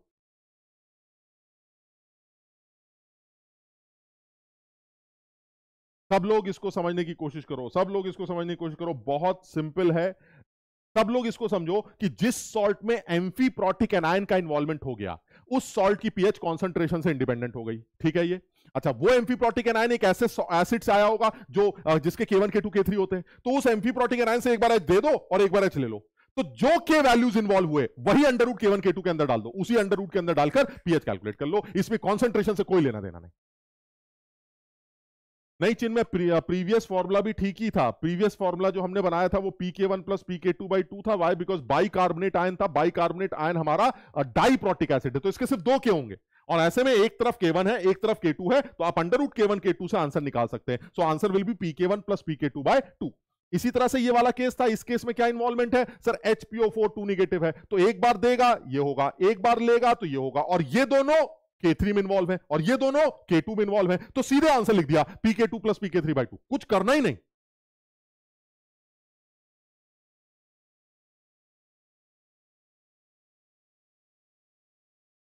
Clear है, जैसे एक और example लेते हैं, एक और एग्जांपल लेते हैं, शायद उससे और समझ में आएगी हमें बात। मान लीजिए वो कहता है C molar C molar N H two PO four इसकी पीएच बताइए। C molar N H two PO four solution की पीएच बताइए। तो क्या करेंगे? सर, ये देखिए, ये आपको एन ए प्लस दे देगा और साथ में H2PO4 माइनस दे देगा। अब बताइए Na प्लस का कुछ नहीं होगा। बात हो चुकी है हमारी Na प्लस का कुछ नहीं होगा। H2PO4 माइनस हाइड्रोलाइज करेगा। कैसा आदमी है? सर, H दे भी सकता है और H ले भी सकता है। तो आप इसको बीच में रख लीजिए। H2PO4 को माइनस को बीच में रख लिया। अगर इसने H दिया तो क्या होगा? दिया तो HPO4 2 माइनस बनेगा। और अगर लिया तो क्या बनेगा? लिया तो H3PO4 बनेगा। अब क्या होगा? सर, ये दोनों के कौन से के हैं? बताइए। Sir this is K2 and this is K1 दिखाई दे रहा है ये? सर, ये K2 में इन्वॉल्व है और ये K1 में इन्वॉल्व देख लीजिए आप ये। सर, ये K2 वाला है और ये K1 वाला है। यानी इसका मतलब ये हुआ, अगर इसके ऊपर K1 K2 आ रहा है तो बताइए जल्दी से H प्लस की वैल्यू क्या होगी? सर अंडर रूट के अंदर K1 K2 चले जाएँगे। और पीएच के अंदर pK one plus pK two by two आ जाएगा, बस खत्म हो गया। सर, ये आपका आंसर आ जाएगा, खेल खत्म। नो इंडिपेंडेंट ऑफ़ कॉन्सेंट्रेशन दिख रहा है? Independent of concentration independent of concentration समझो?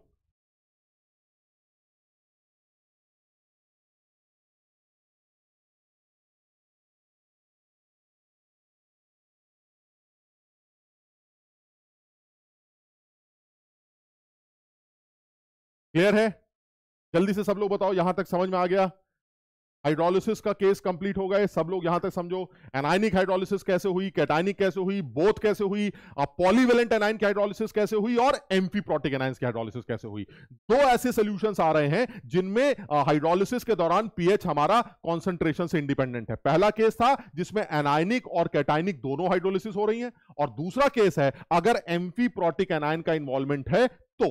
हमारी पीएच कॉन्सेंट्रेशन से इंडिपेंडेंट होगी। यानी in case of amphiprotic anions साफ़ साफ़ लिख लेते हैं, इस पूरी बात को एक छोटी सी बात में समराइज कर लेते हैं। PH is independent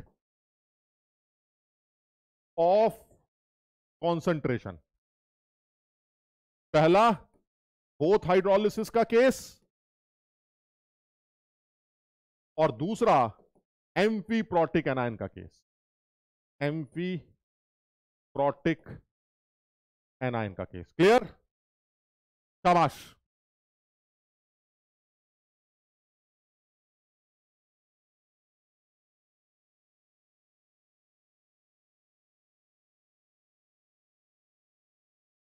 शाबाश, स्तुति। बिल्कुल सही, बहुत बढ़िया। कुछ लोग बहुत अच्छी तरह से तैयारी कर रहे हैं कुछ लोग समझ रहे हैं जो लोग थोड़ा बहुत कम समझ रहे हैं, वो इस वीडियो को एक बार दोबारा भी देखेंगे तो उनको क्लैरिटी आएगी कि एक्चुअली समझाना क्या चाह रहा हूँ। मुझे जो लग रहा है वो ये कि मेन पार्ट क्या था? सर सबसे पहले हाइड्रोलिसिस के तीनों फॉर्मूले यूज़ कर लेते हैं क्योंकि जेई मेन्स में तो वही आए। सर ये दो केस आपने जो बताए, एक एम्फीप्रोटिक वाला और एक पॉलीवेलेंट वाला, ये भी इंपॉर्टेंट है, क्योंकि वो सवाल थेरेटिकल भी पूछ सकता है और न्यूमारिकल भी बना के पूछ सकता है। अब देखिए उसने सवाल पूछे क्या है? ये देखिए, कितना सीधा सवाल 2009 का पुराना सवाल लिया जा रहा है। The dissociation constant of a substituted benzoic acid is this the pH of 0.01 molar solution of it sodium salt यानी जो बेंजोइक एसिड है हमारा, उस बेंजोइक एसिड के बारे में अगर बात करें तो C6H5COONA मान लीजिए हमारा बेंजोइक एसिड का सोडियम सॉल्ट ठीक? बताइए, क्या उम्मीद करते हैं आप इससे? क्या क्या ये सॉल्ट है? हाँ सर, ये सॉल्ट क्लियर है? अगर ये सॉल्ट है तो आपसे क्या उम्मीद कर रहे हैं? सर, डब्बा यही तो कह सकता है कि हाइड्रोलिसिस होगी, नहीं होगी, दोनों की होगी, हमारी होगी, तुम्हारी होगी एमपी प्रोटिक यही तो पाँच बातें कर सकता है, जो पाँच बातें आपने बताई। आज डब्बा क्या कहता है? जरा सुनते हैं। डब्बा ये कह रहा भाई साहब I am coming from NO and C six H five CO H clear है ये? हाँ सर, बिल्कुल क्लियर है। तो सर, साफ़ दिखाई दे रहा है ना, सर? डब्बा साफ़ कह रहा है कि एनओएस से आने वाला जो एनए प्लस है वो हाइड्रोलाइज नहीं करेगा। लेकिन बेंजोइक एसिड से आने वाला benzoate ion C six H five CO minus वो हाइड्रोलाइज करेगा। Now what is the case This is the case of what? So, this is the case of anionic hydrolysis. Because you have an anion and the pH value हम कुछ calculate नहीं कर रहे हैं direct बता रहे हैं the H plus concentration of anionic hydrolysis is KWK by C. Sir ये फॉर्मूला सर मुझे सोते सोते भी याद आ गया है क्योंकि मैंने याद कर लिया है देखो इतना पढ़ने लिखने का कोई फ़ायदा नहीं है अगर तुम ये फॉर्मूले याद करके नहीं जाते क्योंकि एग्ज़ाम में ये सोच के बैठे रहे एनाइनिक हाइड्रोलिसिस का केस है लेकिन फॉर्मूला नहीं आता तो डिराइव थोड़ा करोगे इतना टाइम थोड़ा होता है हालाँकि डेरिवेशन मैंने तुम्हें दिखा दिया बट डेरिवेशन की ज़रूरत नहीं है आपको याद होना चाहिए। क्लियर है ये? तो साफ़ दिखाई देता है sir this is the case of anionic hydrolysis and it is case of anionic hydrolysis the answer will be decided by the formula क्या कॉन्सेंट्रेशन गिवन है? सर गिवन है। क्या आपको के पता है? सर के पता है। तो किस चीज़ का इंतज़ार है? जब सब कुछ पता है तो क्या निकल आएगा? सर H प्लस और H प्लस से क्या आ जाएगी? पीएच आ जाएगी और ये नंबर मिल जाएँगे। बताओ, समझे? नहीं चिन्मय सी ऊपर नहीं होगा। बेटा एनाइनिक हाइड्रोलिसिस का जो तुमने मैंने चार्ट दिखाया है, वो ओ एच माइनस का फॉर्मूला लिखा है। मुझे एच चाहिए तो एच प्लस की जो वैल्यू होती है, वो के डब्ल्यू के बाई सी होती है। जो मैंने चार्ट में लिखा है that is O H minus Chinmay, एक बार ध्यान से देखो बेटा। जो चार्ट में ओ एच माइनस है ना, वो ओ एच माइनस दे रखा है, वो एच प्लस नहीं है। तो एच प्लस का जो फॉर्मूला वो यही है के डब्ल्यू एनाइनिक हाइड्रोलिसिस में एच प्लस का formula K W K by C से निकाला जाता है। क्लियर है चिन्मय? शाबाश, स्तुति आंसर रेट बता रहे, जो भी इसका आंसर निकल के आएगा, बड़ा आसान। और देख लेते हैं, और एक सवाल जो दिया, पूछे गए, ये लेके। 2017 में पूछा गया पीके दे रखा है वीक एसिड का। पीके भी दे रखा है वीक बेस का। अरे, सर, जब वीक एसिड वीक बेस मिलाओगे तो जो सॉल्ट बनेगा, वो ए भी बनेगा। यानी एच ए और बीओएच के मिलने से ए बी बनेगा। अब आप बताइए जरा, सर ए बी का क्या होगा? सर ए बी एक ऐसा सॉल्ट है, जो वीक एसिड से आ रहा है। और वीक बेस से आ रहा है। यही तो हो रहा है। सर, फिर क्या होगा? सर, ये तो कैटाइनिक एनाइनिक हाइड्रोलिसिस दोनों होगी। और अगर कैटाइनिक एनाइनिक दोनों होती है तो सर, एक ही फॉर्मूला तो है जो याद करना। ये देख लीजिए, जब बोथ हाइड्रोलिसिस होती है तो सर, सोते सोते भी याद आ जाता है। जब बोथ हाइड्रोलिसिस का केस होता है तो हमें ये बात याद आ जाती है कि हमारा जो आंसर निकल के आएगा बोथ हाइड्रोलिसिस के केस में, वो ये निकल गया ये देख लीजिए। सर, ये है बोथ हाइड्रोलिसिस का केस ये देखिए। और बोथ हाइड्रोलिसिस में H प्लस की जो वैल्यू आती है, वो कितनी निकल के आती है? K W K by K B या फिर ये देखिए seven plus half pK minus half pKb ये सर फॉर्मुले मुझे याद है सर कोई झंझट नहीं है। फॉर्मुले मैंने याद कर रखे हैं। आप बताइए सॉल्व क्या करना है? तो अगर आपने फॉर्मुले याद कर रखे हैं तो बड़ी आसानी से ये काम किया जा सकता है। ये देखिए आपका सवाल। This is a salt of weak base this is weak acid और वीक बेस और ये सवाल में खुद ही कहा जा रहा है। ये देखिए वीक एसिड वीक बेस का सॉल्ट तो आप बताइए पीएच कैसे निकल के आएगी? PH is equal to seven plus half pK minus half pKb सब कुछ सवाल में दे रखा है। वैल्यू पुट करिए। पुट करके मज़े लीजिए। यानी आंसर क्या निकल के आएगा? सेवन प्लस हाफ़ पीके की वैल्यू कितनी है? सर थ्री पॉइंट टू और पीके बी की वैल्यू कितनी है? थ्री पॉइंट फोर आप इसको सॉल्व कर लीजिए सॉल्व करके जो भी वैल्यू निकल के आएगी बी ऑप्शन बता रहे हैं 6.9 सॉल्व करके देख लेते हैं सेवन प्लस यह आ जाएगा 1.6 माइनस करते हैं 1.7 सो द आंसर इज़ 6.9 शाबाश इसका आंसर 6.9 आ जाएगा बिल्कुल इजी समझो? अब मुझे कैसे पता चल गया? मुझे इसलिए पता चल गया बिकॉज़ मुझे ये पता सर दिस सॉल्ट तुम समझो, अगर तुम्हारे बर्तन में से आवाज़ आ रही है कि तुम सॉल्ट हो तो बस तुम उससे ये पूछो, कौन से हो? एनायनी करोगे कैटाइनी करोगे, दोनों को करोगे, कुछ नहीं करोगे एम्फीप्रोटिक एनायन या पॉलीवेलेंट एनायन ये पाँच छह केसेस है बस। सारे फॉर्मुले याद है सर। जैसे ही बर्तन बोलेगा पॉलीवेलेंट एनायन फटाक से फॉर्मुला लगाएँगे। Under root K W K A by सी में के सबसे छोटा वाला। जैसे ही वो बोलेगा, मैं एम्फी प्रोटिक हूँ, फटाक से answer निकालूँगा। PK one plus pK two by two या pK two plus pK three by two that depends कि वो कौन सा एम्फी प्रोटिक एनायन अगर एनाइनिक हाइड्रोलिसिस है तो फॉर्मुला लगा दूँगा। कैटाइनिक है तो फॉर्मुला लगा दूँगा।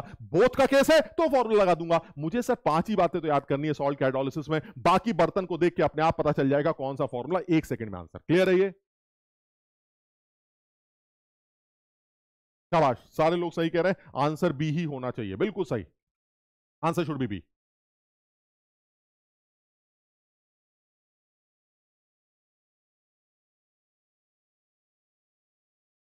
शाबाश बहुत बढ़िया। क्लियर है? चलिए ठीक। और और देख लेते हैं। ये लीजिए। ये सब वही है। सब लाइन इसलिए तो मैं सवाल नहीं करा रहा था। तुम कहोगे, अरे यार, ये तो सवाल तो बड़े लल्लू है। सर, आप तो ये पॉलीवेलेंट और क्या क्या पढ़ा रहे हैं? इसलिए मैं सवाल नहीं करा रहा क्योंकि सवाल देख के ऐसा लगता है, अरे यार, यही पढ़ लेते हैं। और मैं कई बार बता चुका हूँ, जितना पूछा जाता है, उतना पढ़ के जाओगे तो हर सवाल मुश्किल लगेगा। थोड़ा सा ज़्यादा पढ़ के जाओगे तो लल्लू लगेगा। सवाल देखते हैं, सवाल क्या कह रहा है। वो कह रहा है, भाई साहब, मेरे पास सॉल्ट है अमोनियम क्लोराइड मैंने कहा, बस करो यार। अमोनियम क्लोराइड सॉल्ट है। अंदर से चीख चीख की आवाज़ आ रही है। Ammonium chloride is coming from ammonium hydroxide and HCl साफ़ समझ में आता है, सर। Cl माइनस चुप हो जाएगा। याद है? Cl माइनस की हाइड्रोलिसिस नहीं होगी। अमोनियम की हाइड्रोलिसिस क्या है अमोनियम की hydrolysis sir cationic hydrolysis formula याद है, सर। पुट कर देंगे आंसर आ जाएगा। छोड़िए ना बात को। सारी वैल्यूज़ दे रखी है। एक सेकंड में आंसर खेल खत्म। क्लियर शाबाश, बहुत सारे बच्चे बोल रहे हैं this is the case of cationic hydrolysis और कैटाइनिक हाइड्रोलिसिस का फॉर्मूला हमें आता है, सीधे सीधे फॉर्मूला लगाइए टाइम पास बिल्कुल नहीं, फड़ाक से फॉर्मूला और कैटाइनिक हाइड्रोलिसिस का फॉर्मूला तुम देख चुके हो, साफ़ दिखाई देता।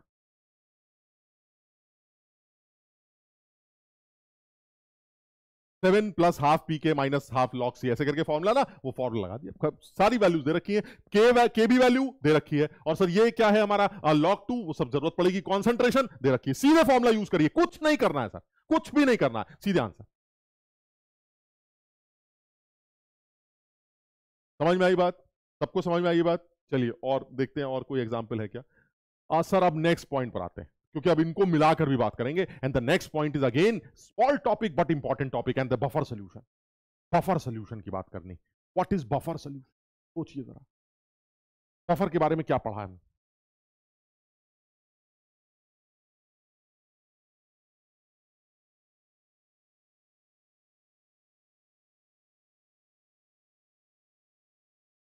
एक बच्चा कह रहा है, सर, पाँच मिनट का ब्रेक दे दें। अच्छा चलो पाँच मिनट का ब्रेक दे देते हैं, है ना? सिर्फ़ सिर्फ़ फाइव मिनट्स का ब्रेक ले लेते हैं और पाँच मिनट बाद सारे बच्चे जो जो अभी क्लास अटेंड कर रहे हैं, सारे लोग दोबारा आएँगे अदरवाइज़ इतनी पढ़ाई का कोई फ़ायदा नहीं होगा, समझ लो क्योंकि अगर अगर मिस कर दोगे तो फिर सारी मेहनत बेकार हो जाएगी। तो अब जो टॉपिक बचा है, एक तो बफर और एक सॉलिबिलिटी ये बड़ा ही इंपॉर्टेंट टॉपिक है, इनको बिल्कुल मिस नहीं कर सकते बिकॉज़ इन पर सबसे ज़्यादा सवाल बनाए ठीक है ना? तो एक काम करते हैं फाइव मिनट ब्रेक लिख लेते हैं तो एक पाँच मिनट का ब्रेक ले लेते हैं, चलिए आप कहते हैं तो एक पाँच मिनट का ब्रेक कर लेते हैं।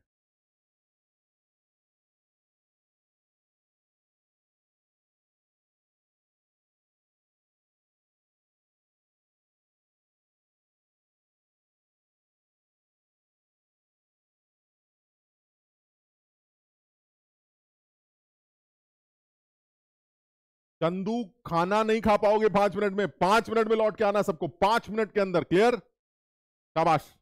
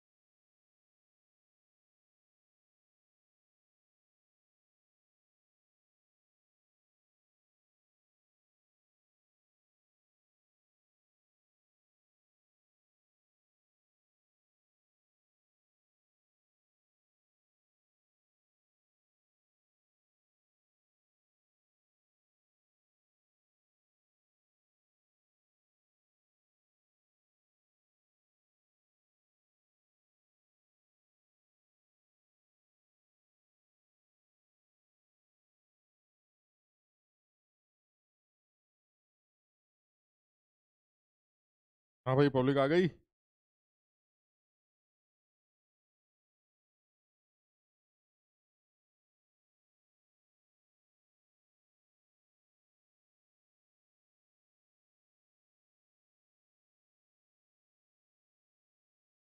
प्रयास फास्ट ट्रैक फीचर्स की दुनिया। अच्छा भाई। खूब पढ़ाई करनी है भाई। हाँ भाई, पब्लिक आ रही है, पब्लिक आ रही है। हाँ ऑफिशियल पाँच मिनट हो गए भैया, हम भी आ गए। चलिए ठीक।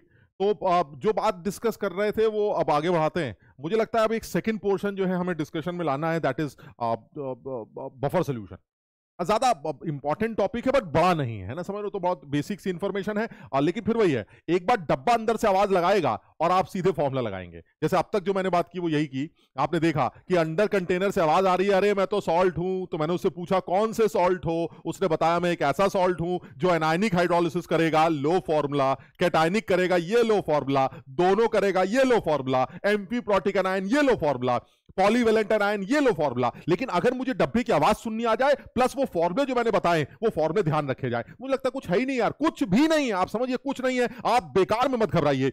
आप समझिए जरा इस बात को। मैं हर बार बोलता हूँ, फिर बोल रहा हूँ इस बात को। पेपर में मान लीजिए सौ सवाल आए। समझाने के लिए बोल रहा हूँ। मान लीजिए सौ सवाल आए, ठीक? उन सौ सवालों में से फिफ्टी क्वेश्चन इजी ठीक? तो आप, मान लीजिए आपकी तैयारी ऐसी है कि वो पचास सवाल आप कर सकते हैं, ठीक? तो अब आप ये मुझे बताइए, वो पचास सवाल सही करके आपने क्या कर लिया?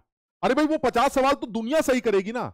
अगर आपका लेवल और शुरू वाले लेवल ज़ीरो टाइम पर ये, जब पेपर स्टार्ट हुआ तो आपने धीरे धीरे सवाल करने स्टार्ट किया आसान वाले। तो वो आसान तो दुनिया ने करने स्टार्ट किए। इसका मतलब ये हुआ सर, आज से दो घंटे बाद, डेढ़ घंटे बाद हमारा और उसका लेवल बराबर ही तो होगा। यानी जैसे सब लोग, वैसे मैं सर सिलेक्शन कैसे होगा? सिलेक्शन इन पचास सवालों को सही करके नहीं होगा। नहीं नहीं नहीं, एक सेकंड पचास सवाल तो सही करने ही है, सर। मतलब सर, वो तो सही करने क्योंकि वो दुनिया सही करेगी। लेकिन हमें कुछ ऐसे सवाल भी सही करने पड़ेंगे जो सारे लोग सही नहीं करते। उसके लिए यही वो एक दो चैप्टर्स हैं जो अगर सही से समझ लिए जाए, क्योंकि इन पर कोई ना कोई सवाल ऐसा आता है, जिसमें बच्चा ये कहता है कि सर, इस सवाल को छोड़ देंगे ना, क्या फ़र्क पड़ता? है लेकिन एक्चुअली फ़र्क पड़ता है क्योंकि उसको जो करता है, वो रैंक में बहुत ऊपर निकल जाता है और जो उसको छोड़ देता है, वो रैंक में पीछे रह जाता है। वो ये सोचता है पचास सवाल चल, कराने से काम चल जाएगा। जबकि वो ये नहीं सोचता कि पचास तो सब करके आएँगे। वो जो एक सवाल तुमने छोड़ा था आयनिक इक्विलिब्रियम का एमपी प्रोटिक एनाइन की हाइड्रोलिसिस वाला, वो सवाल अगर तुमने सही कर दिया तो बहुत सारे बच्चों से तुम ऊपर निकल जाओगे और वो फिर तुम्हें पिछाड़ नहीं पाएँगे। इसलिए मैं हर बार यही बोलता हूँ, तुम लोगों से भी यही बोलूँगा कि, आदित्य प्लीज़ कम इन मैं इसलिए ये बोलता हूँ कि सब कुछ सीखना है, अच्छे लेवल पर, एक लेवल पर सीखना है, आसान चीज़ें रिवाइज करके चले जाना ताकि आसान चीज़ें गलत ना हो। प्लस कुछ मुश्किल चीज़ें जो कभी कभार सीखी थी तुमने, या जो अब सीख रहे हो तुम, इनको और समझ के चले जाओ ताकि एग्ज़ाम में सवाल आया। तुम देख रहे हो सवाल पूछता है तो अगर एग्ज़ाम में सवाल आया तो आप सही करके आएँगे और तब आप लोगों से आगे निकल जाएँगे। तो बस वही एक चीज़ का ध्यान रखना है। बहरहाल, अब अब अब इसी में थोड़ा सा आगे बढ़ते हैं। तो अब ये बात करना चाह रहे हैं कि वो बफर सोल्यूशन किसे कहते हैं? बफर के बारे में कहा जाता है कि बफर सोल्यूशंस वो सोल्यूशंस होते हैं जो पीएच चेंज को रजिस्ट करते हैं तब जब आप उस सोल्यूशन में थोड़े से H प्लस या थोड़ा सा बेस डालें, यानी स्ट्रॉन्ग एसिड या स्ट्रॉन्ग बेस के एडिशन से जो पीएच में चेंज आना चाहिए था, अगर उतना चेंज नहीं आ रहा है तो उस सोल्यूशन को बफर कहते हैं, क्योंकि वो पीएच चेंज को रजिस्ट कर रहा है। लेकिन इसमें बहुत इंपॉर्टेंट क्या है? बहुत इंपॉर्टेंट है small amount of addition of acid and base आप ये मत करिएगा कि एक बफर सोल्यूशन में आपने एक बाल्टी भर के एचसीएल डाल दिया। अरे सर, फिर रेजिस्टेंस नहीं कर पाएँगे आप। रेजिस्टेंस का मतलब है आपने रोका। यानी ऊपर से जो थोड़े बहुत एच प्लस गिर रहे हैं, आप उससे होने वाले पीएच चेंज को रजिस्ट कर रहे हैं। तब तो आप बफर बोले जाएँगे। लेकिन सोचो, अगर ऊपर से आपने ड्रम भर के एच प्लस डाल दिए तो बफर सोल्यूशन क्या बोलेगा? लो मर गए। यानी आप ट्रेन के आगे खड़े होकर ट्रेन को रजिस्ट नहीं कर सकते। मैं ये बताना चाह रहा हूँ, अगर आप ट्रेन के आगे खड़े होकर ये कहें कि देखो अब मैं ट्रेन को चलने नहीं दूँगा, अरे आप बेकार की सुसाइड कर रहे हैं। इसे सुसाइड कहा जाता है। ये रेजिस्टेंस नहीं होता। ट्रेन को किस चीज़ का रेजिस्टेंस अगर आप हाथ से रोक रहे हैं तो। मेरी कहने का मतलब क्या हुआ? अगर कोई सोल्यूशन है और आप उसके अंदर भर के एक्स प्लस डाल देंगे तो वो बेचारा रजिस्ट नहीं कर पाएगा। आप समझिए, इसे रेजिस्टेंस नहीं कहते। रेजिस्टेंस का मतलब है, एक बफर सोल्यूशन के अंदर या किसी एक सोल्यूशन के अंदर आप थोड़े बहुत एच प्लस डाल रहे हैं या थोड़े बहुत ओ एच माइनस डाल रहे हैं, जिसकी वजह से पीएच में जो चेंज आना चाहिए था, उतना नहीं आ रहा है। तो आप उसको बफर सोल्यूशन बोले। है वाली बात? सबको यहाँ तक समझ में आ गया?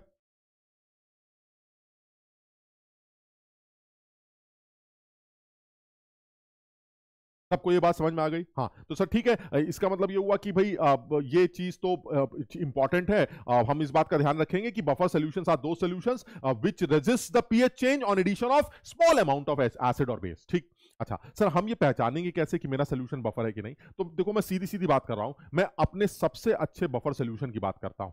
जो सबसे अच्छा एसिडिक बफर सोल्यूशन होगा, मैं उसकी बात कर रहा हूँ। जो मेरा बढ़िया एसिडिक बफर सोल्यूशन है, मैं अगर उसकी बात करूँ तो एसिडिक बफर सोल्यूशन वो सोल्यूशन होता है जो वीक एसिड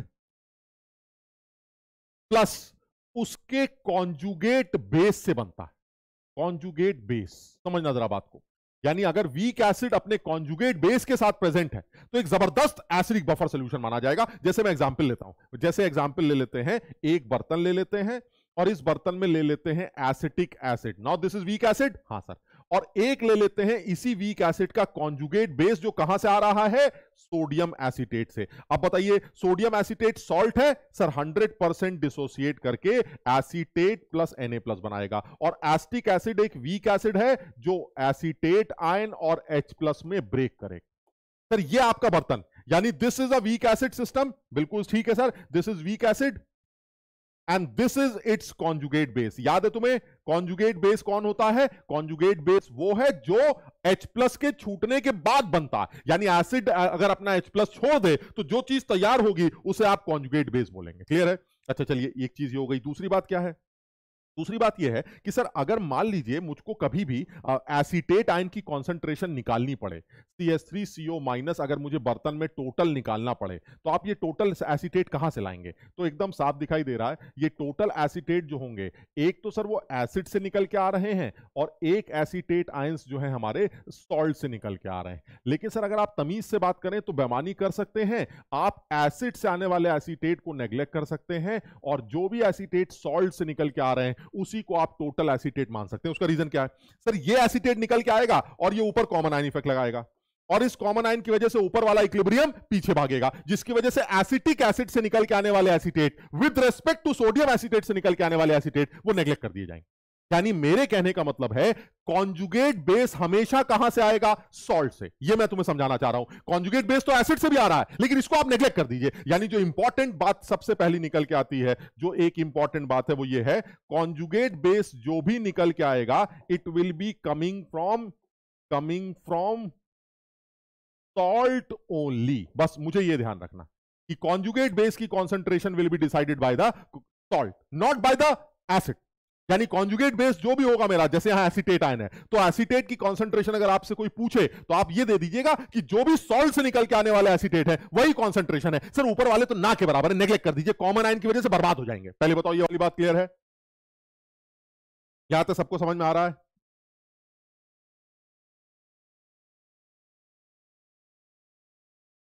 यहाँ तक ठीक है?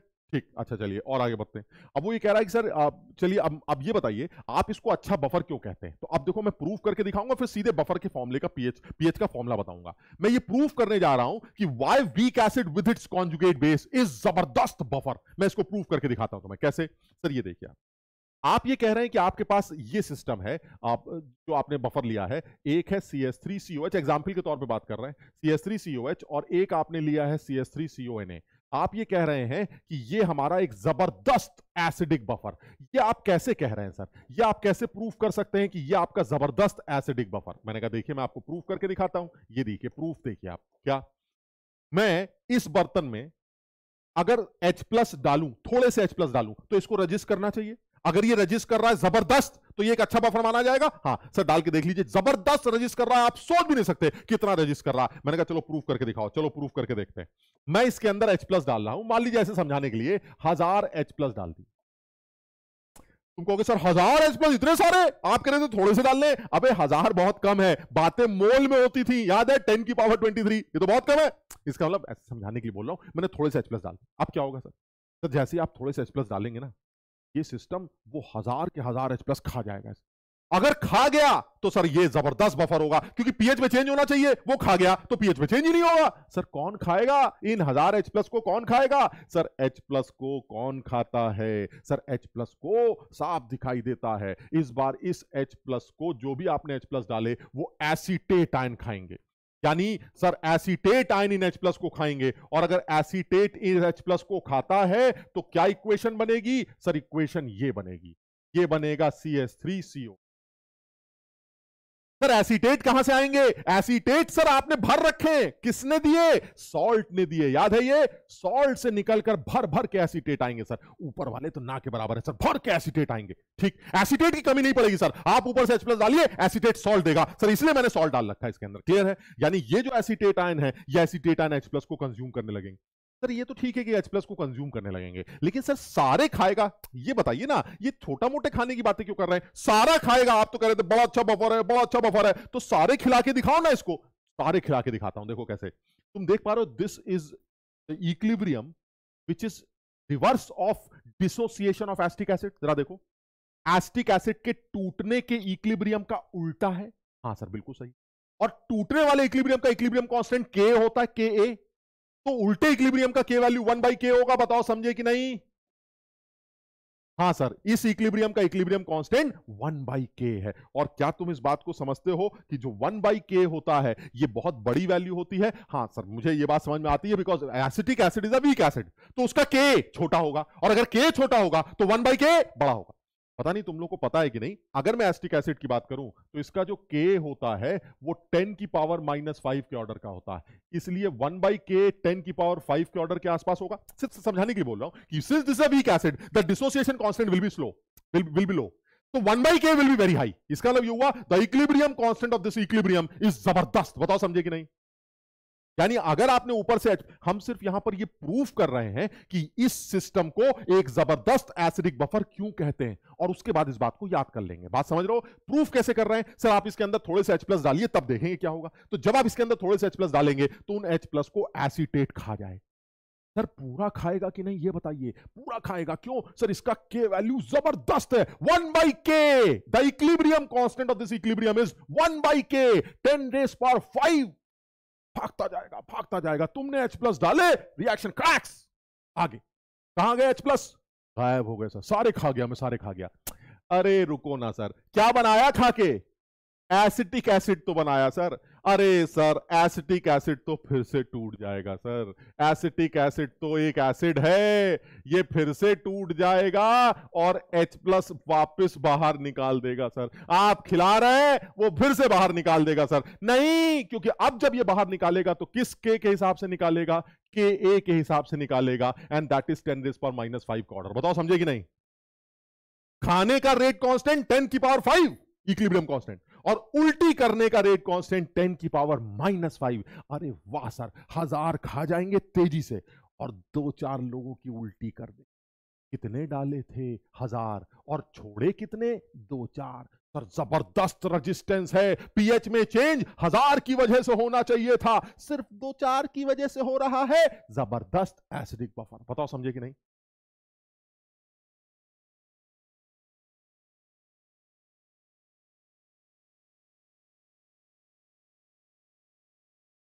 नहीं, चंदन इक्वल नहीं हो सकता। मतलब आप समझिए इक्वल तो तभी हो सकता है ना, जब वन बाई के की वैल्यू के के बराबर तभी हो सकती है ना, जब वन हो।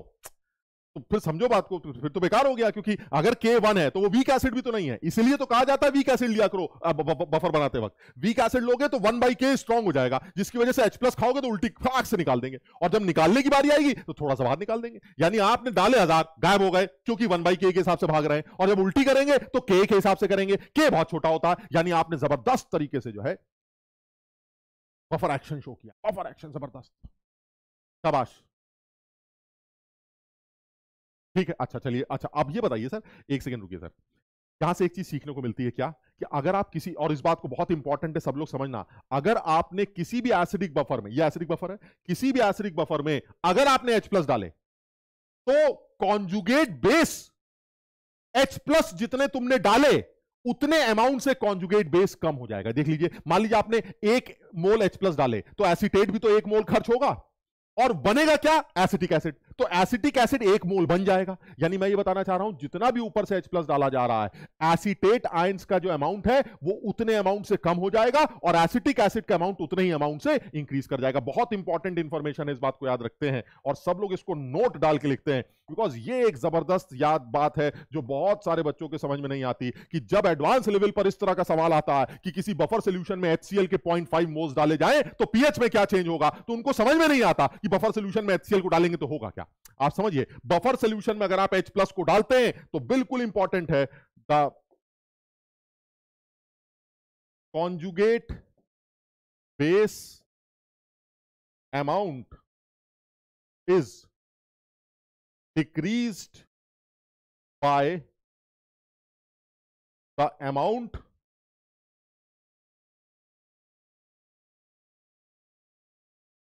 of H plus added. The acid that is जो हमारा weak acid है weak acid amount is increased by the amount of H plus added समझो ये बहुत इंपॉर्टेंट बात है सब लोग इस बात को ध्यान रखें यानी अगर मान लीजिए मैं कहता हूँ कि मैंने एक्स मोल एसिड डाला एचसीएल डाला तो क्या होगा? सर, अगर आपने एक्स मोल डाला तो एसिटेट का जो अमाउंट है, वो एक्स से कम हो जाएगा। और इसका जो अमाउंट है, वो एक्स से बढ़ जाएगा। मान मान लीजिए ऐसे कहते हैं कि मान लीजिए हमारे पास जो एसिटेट आयन है ये सॉल्ट है, ये मान लीजिए हमारे पास ए मोल। और जो हमारे पास एसिड है, वो मान लीजिए ए ठीक? तो अब आप बताइए, अगर मैं इसके अंदर एक्स मोल एच प्लस डालता हूँ तो क्या होगा? तो जब आप इसके अंदर एक्स मोल एच प्लस डालेंगे तो जो एसिटेट है, जिसको आप ए बोल रहे हैं, देख लो ना एसिटेट कितना है? सर ए जितना ये होगा, वही एसिटेट बनेगा तो ए में से ये x कम हो जाएगा, और x जो है, वो b में ऐड हो जाएगा, यानी b प्लस एक्स यानी the new concentration of acid will be b plus X and the new concentration of acetate and will be a minus X सब लोग इसको समझो, बहुत इंपॉर्टेंट है, अच्छे लेवल का सवाल बनता है, और जेई के एडवांस लेवल पर पूछ चुका है।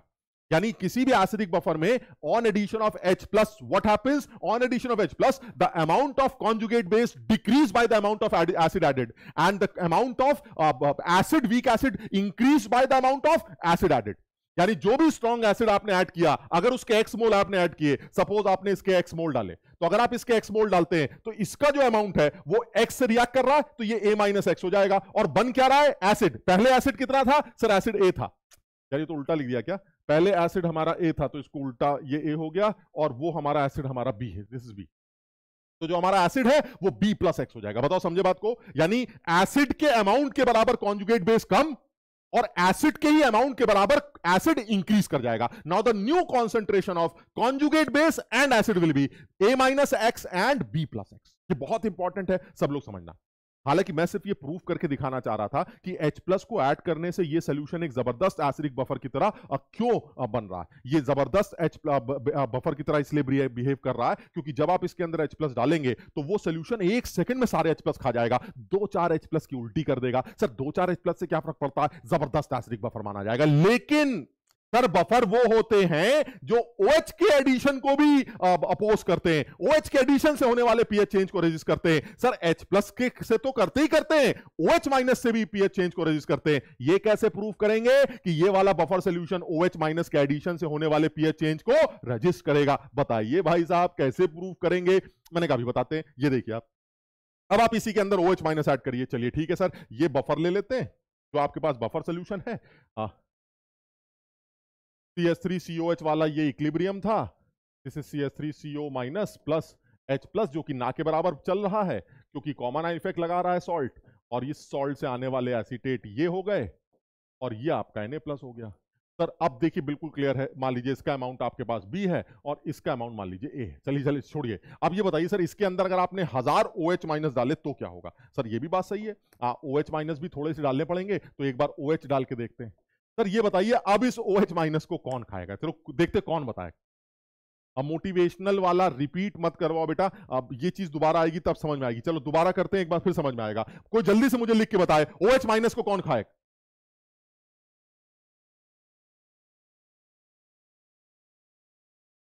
OH माइनस को कौन खाएगा? जल्दी से बताओ।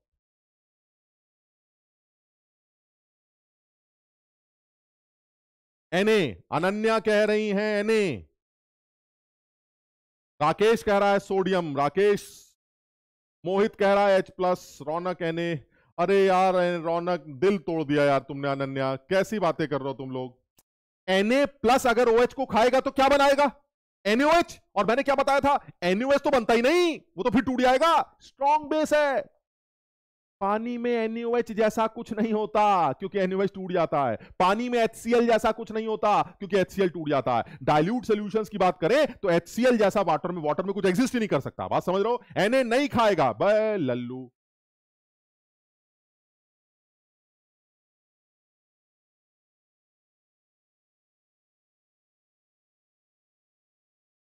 एनए नहीं खाए एक सेकेंड तुम मेरी बात समझ रहे हो ना? सब लोग पहले बताओ मेरी ये वाली बात समझे कि नहीं? एनए प्लस को अगर ओएच खिलाओगे तो क्या बनेगा? एनयूएच बनेगा। पानी के अंदर तुम्हें लगता है एनयूएच बन सकता है? अगर एनयूएच बन सकता होता तो एनए प्लस की हाइड्रोलिसिस नहीं हो चुकी होती। बताओ मेरी बात समझ रहे हो कि नहीं? और तुमने क्या पढ़ा था अभी? एनएच नहीं बन सकता, सर। एनए प्लस कभी भी पानी से रिएक्ट नहीं कर सकता। क्यों? क्योंकि, सर एनएच बनते ही टूट जाता है। तो तुम यहाँ कह रहे हो एनएच को खा के एनएच बना देगा। अरे टूट नहीं जाएगा फिर से। क्लियर है कि नहीं ये वाली बात? बताओ समझे कि नहीं? ठीक है ना? हाँ तो इसका मतलब ये हुआ, सर, ये तो कंफर्म है, जब आप इसके अंदर हज़ार ओएच डालेंगे तो ये हज़ार ओएच को जो है, वो एनए प्लस तो नहीं खाएगा। अरे, सर ओएच को कौन खाएगा? एसिड खाएगा, सर। एसिड कहाँ है? अरे, ये भरे पड़े हैं। कहाँ से आए? अरे कॉमन आइन इफ़ेक्ट समझिए बात को ना। इस आदमी ने इसको टूटने नहीं दिया तो एसिड का अमाउंट कम थोड़ा ना, भरा पड़ा है। सर एसिड से खिला देते लो एसिड से खिला देते हमने एसिड से ओ OH को खिला दिया, एसिड ने ओ OH को खा लिया, और क्या करेगा? सर, एसिड ओ OH को खाएगा तो एसिटेट और पानी बनाएगा, क्योंकि एसिड H प्लस देगा, H प्लस ओ OH के साथ रिएक्ट करके H2 बना दे तो ये आपकी रिएक्शन सर, छोड़िए, ये सब क्या बता रहे हैं आप कि खाएगा? आप ये बताइए, ये ज़बरदस्त बफर है कि नहीं? है। तो सर, सारे खाएगा कि नहीं, ये बताइए आप। सारे खिलाइए, सर, हम तब मानेंगे, ऐसे नहीं मानेंगे बफर तो बहुत सारे होते हैं, सारे खिला के दिखाइए, तब मानेंगे। मैंने कहा, अभी खिलाते सारे। क्या तुम पता नहीं पहचान पा रहे हो कि नहीं? क्या तुम देख पा रहे हो this is reverse equation of anionic hydrolysis उल्टी। हाँ सर एनाइनिक हाइड्रोलिसिस का उल्टा है। और एनाइनिक हाइड्रोलिसिस का जो के एच वैल्यू था, याद करो के डब्ल्यू बाई के था। पता नहीं तुम्हें याद आ रहा है कि नहीं? Sir this is the K value and this K value is K W by K का उल्टा that is K by K W याद करो जरा। Sir this is the case of anionic hydrolysis का reverse equation and anionic hydrolysis का mode बदलने से K value inverse हो जाएगी। Sir it will be K by K W और के बाई के डब्ल्यू क्या हुआ? सर के अभी आपने बताया था एसिटिक एसिड का, हालाँकि याद करने की ज़रूरत नहीं, फिर भी। सर के आपने बताया था टेन की पावर माइनस फाइव था, के आसपास का था, और के डब्ल्यू माइनस चौदह के आसपास होता है। और ये सर ये टेन की पावर नाइन आ रहा है। ओ फो सर ये तो सारा ही खा जाएगा। टेन की पावर नाइन समझते हो? भागता जाएगा भागता जाएगा। तुमने ओ OH डाले सारा खत्म। लेकिन सर, क्या कर रहे हैं? एसिटेट बना रहे हैं पानी के साथ। हाइड्रोलिसिस होगी sir. Anionic hydrolysis, weak acid का एनायन है। हाइड्रोलाइज करेगा। मैंने कहा, बिल्कुल करेगा। अगर हाइड्रोलिसिस होती है तो कैसे होगी? सर, अगर हाइड्रोलिसिस होती है तो सर ऐसे हो जाएगी। अगर हाइड्रोलिसिस होती है तो सर एसिटेट पानी के अंदर H प्लस को खा जाएगा ओ OH रिलीज़ कर देगा। सर, यही तो होती है हाइड्रोलिसिस एनाइन की हाइड्रोलिसिस लेकिन, सर OH तो फिर से निकल आए, आपने खिलाए, उसने निकाले। लेकिन बेटा, जो निकाले वो एच के हिसाब से के डब्ल्यू बाई के किस ऑर्डर का? माइनस नाइन के खा गया सारे, निकाले दो चार लोग। वाह सर, क्या ज़बरदस्त बफर है। हज़ार के हज़ार ओएच खा जाएगा। इक्के दुख के बाहर निकल आएँगे सर। मज़ेदार बफर सोल्यूशन होगा, समझना। यानी खाने का rate equilibrium constant K H ten की पावर नाइन के ऑर्डर का और निकालने वाला टेन की पावर माइनस नाइन के ऑर्डर का। अरे सर, निकालेगा इतना दो चार, खा जाएगा सारे। ज़बरदस्त बफर। बताओ, समझे कि नहीं?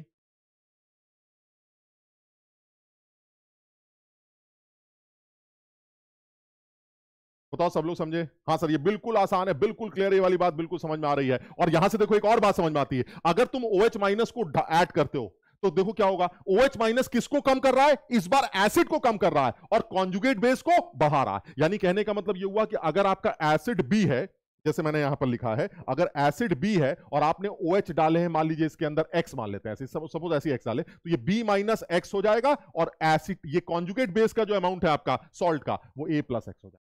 यानी मैं ये कहना चाह रहा हूँ, जब एसिड का एडिशन होता है कवाश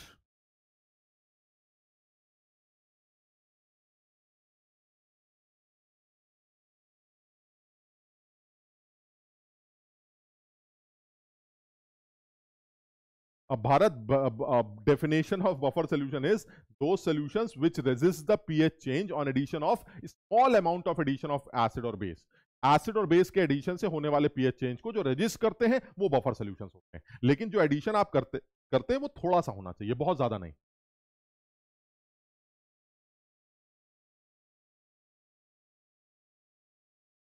वैस कह रहे हैं इसको कब्ज। बस बताओ, ये वाली बात सबके समझ में आई?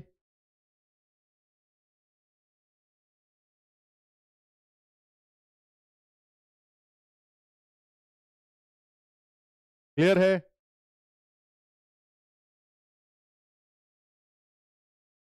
ऑर्गेनिक भी चल तो रहा है बेटा ऑर्गेनिक भी तुम्हारा चल रहा है साथ साथ है ना? ऑर्गेनिक भी मेरे ख्याल से आप दो चैप्टर तुम लोगों ने ऑर्गेनिक के भी बायोमोलिक्यूल्स और पॉलीमर शायद कर लिए हैं शायद इस वीक में आइसोमरिज्म भी तुम लोग कर रहे हो। ऑर्गेनिक भी होगा। और नमन कह रहे हैं केमिस्ट्री बहुत ईजी है एग्जैक्टली exactly, बहुत बढ़िया सबके समझ में आ गया?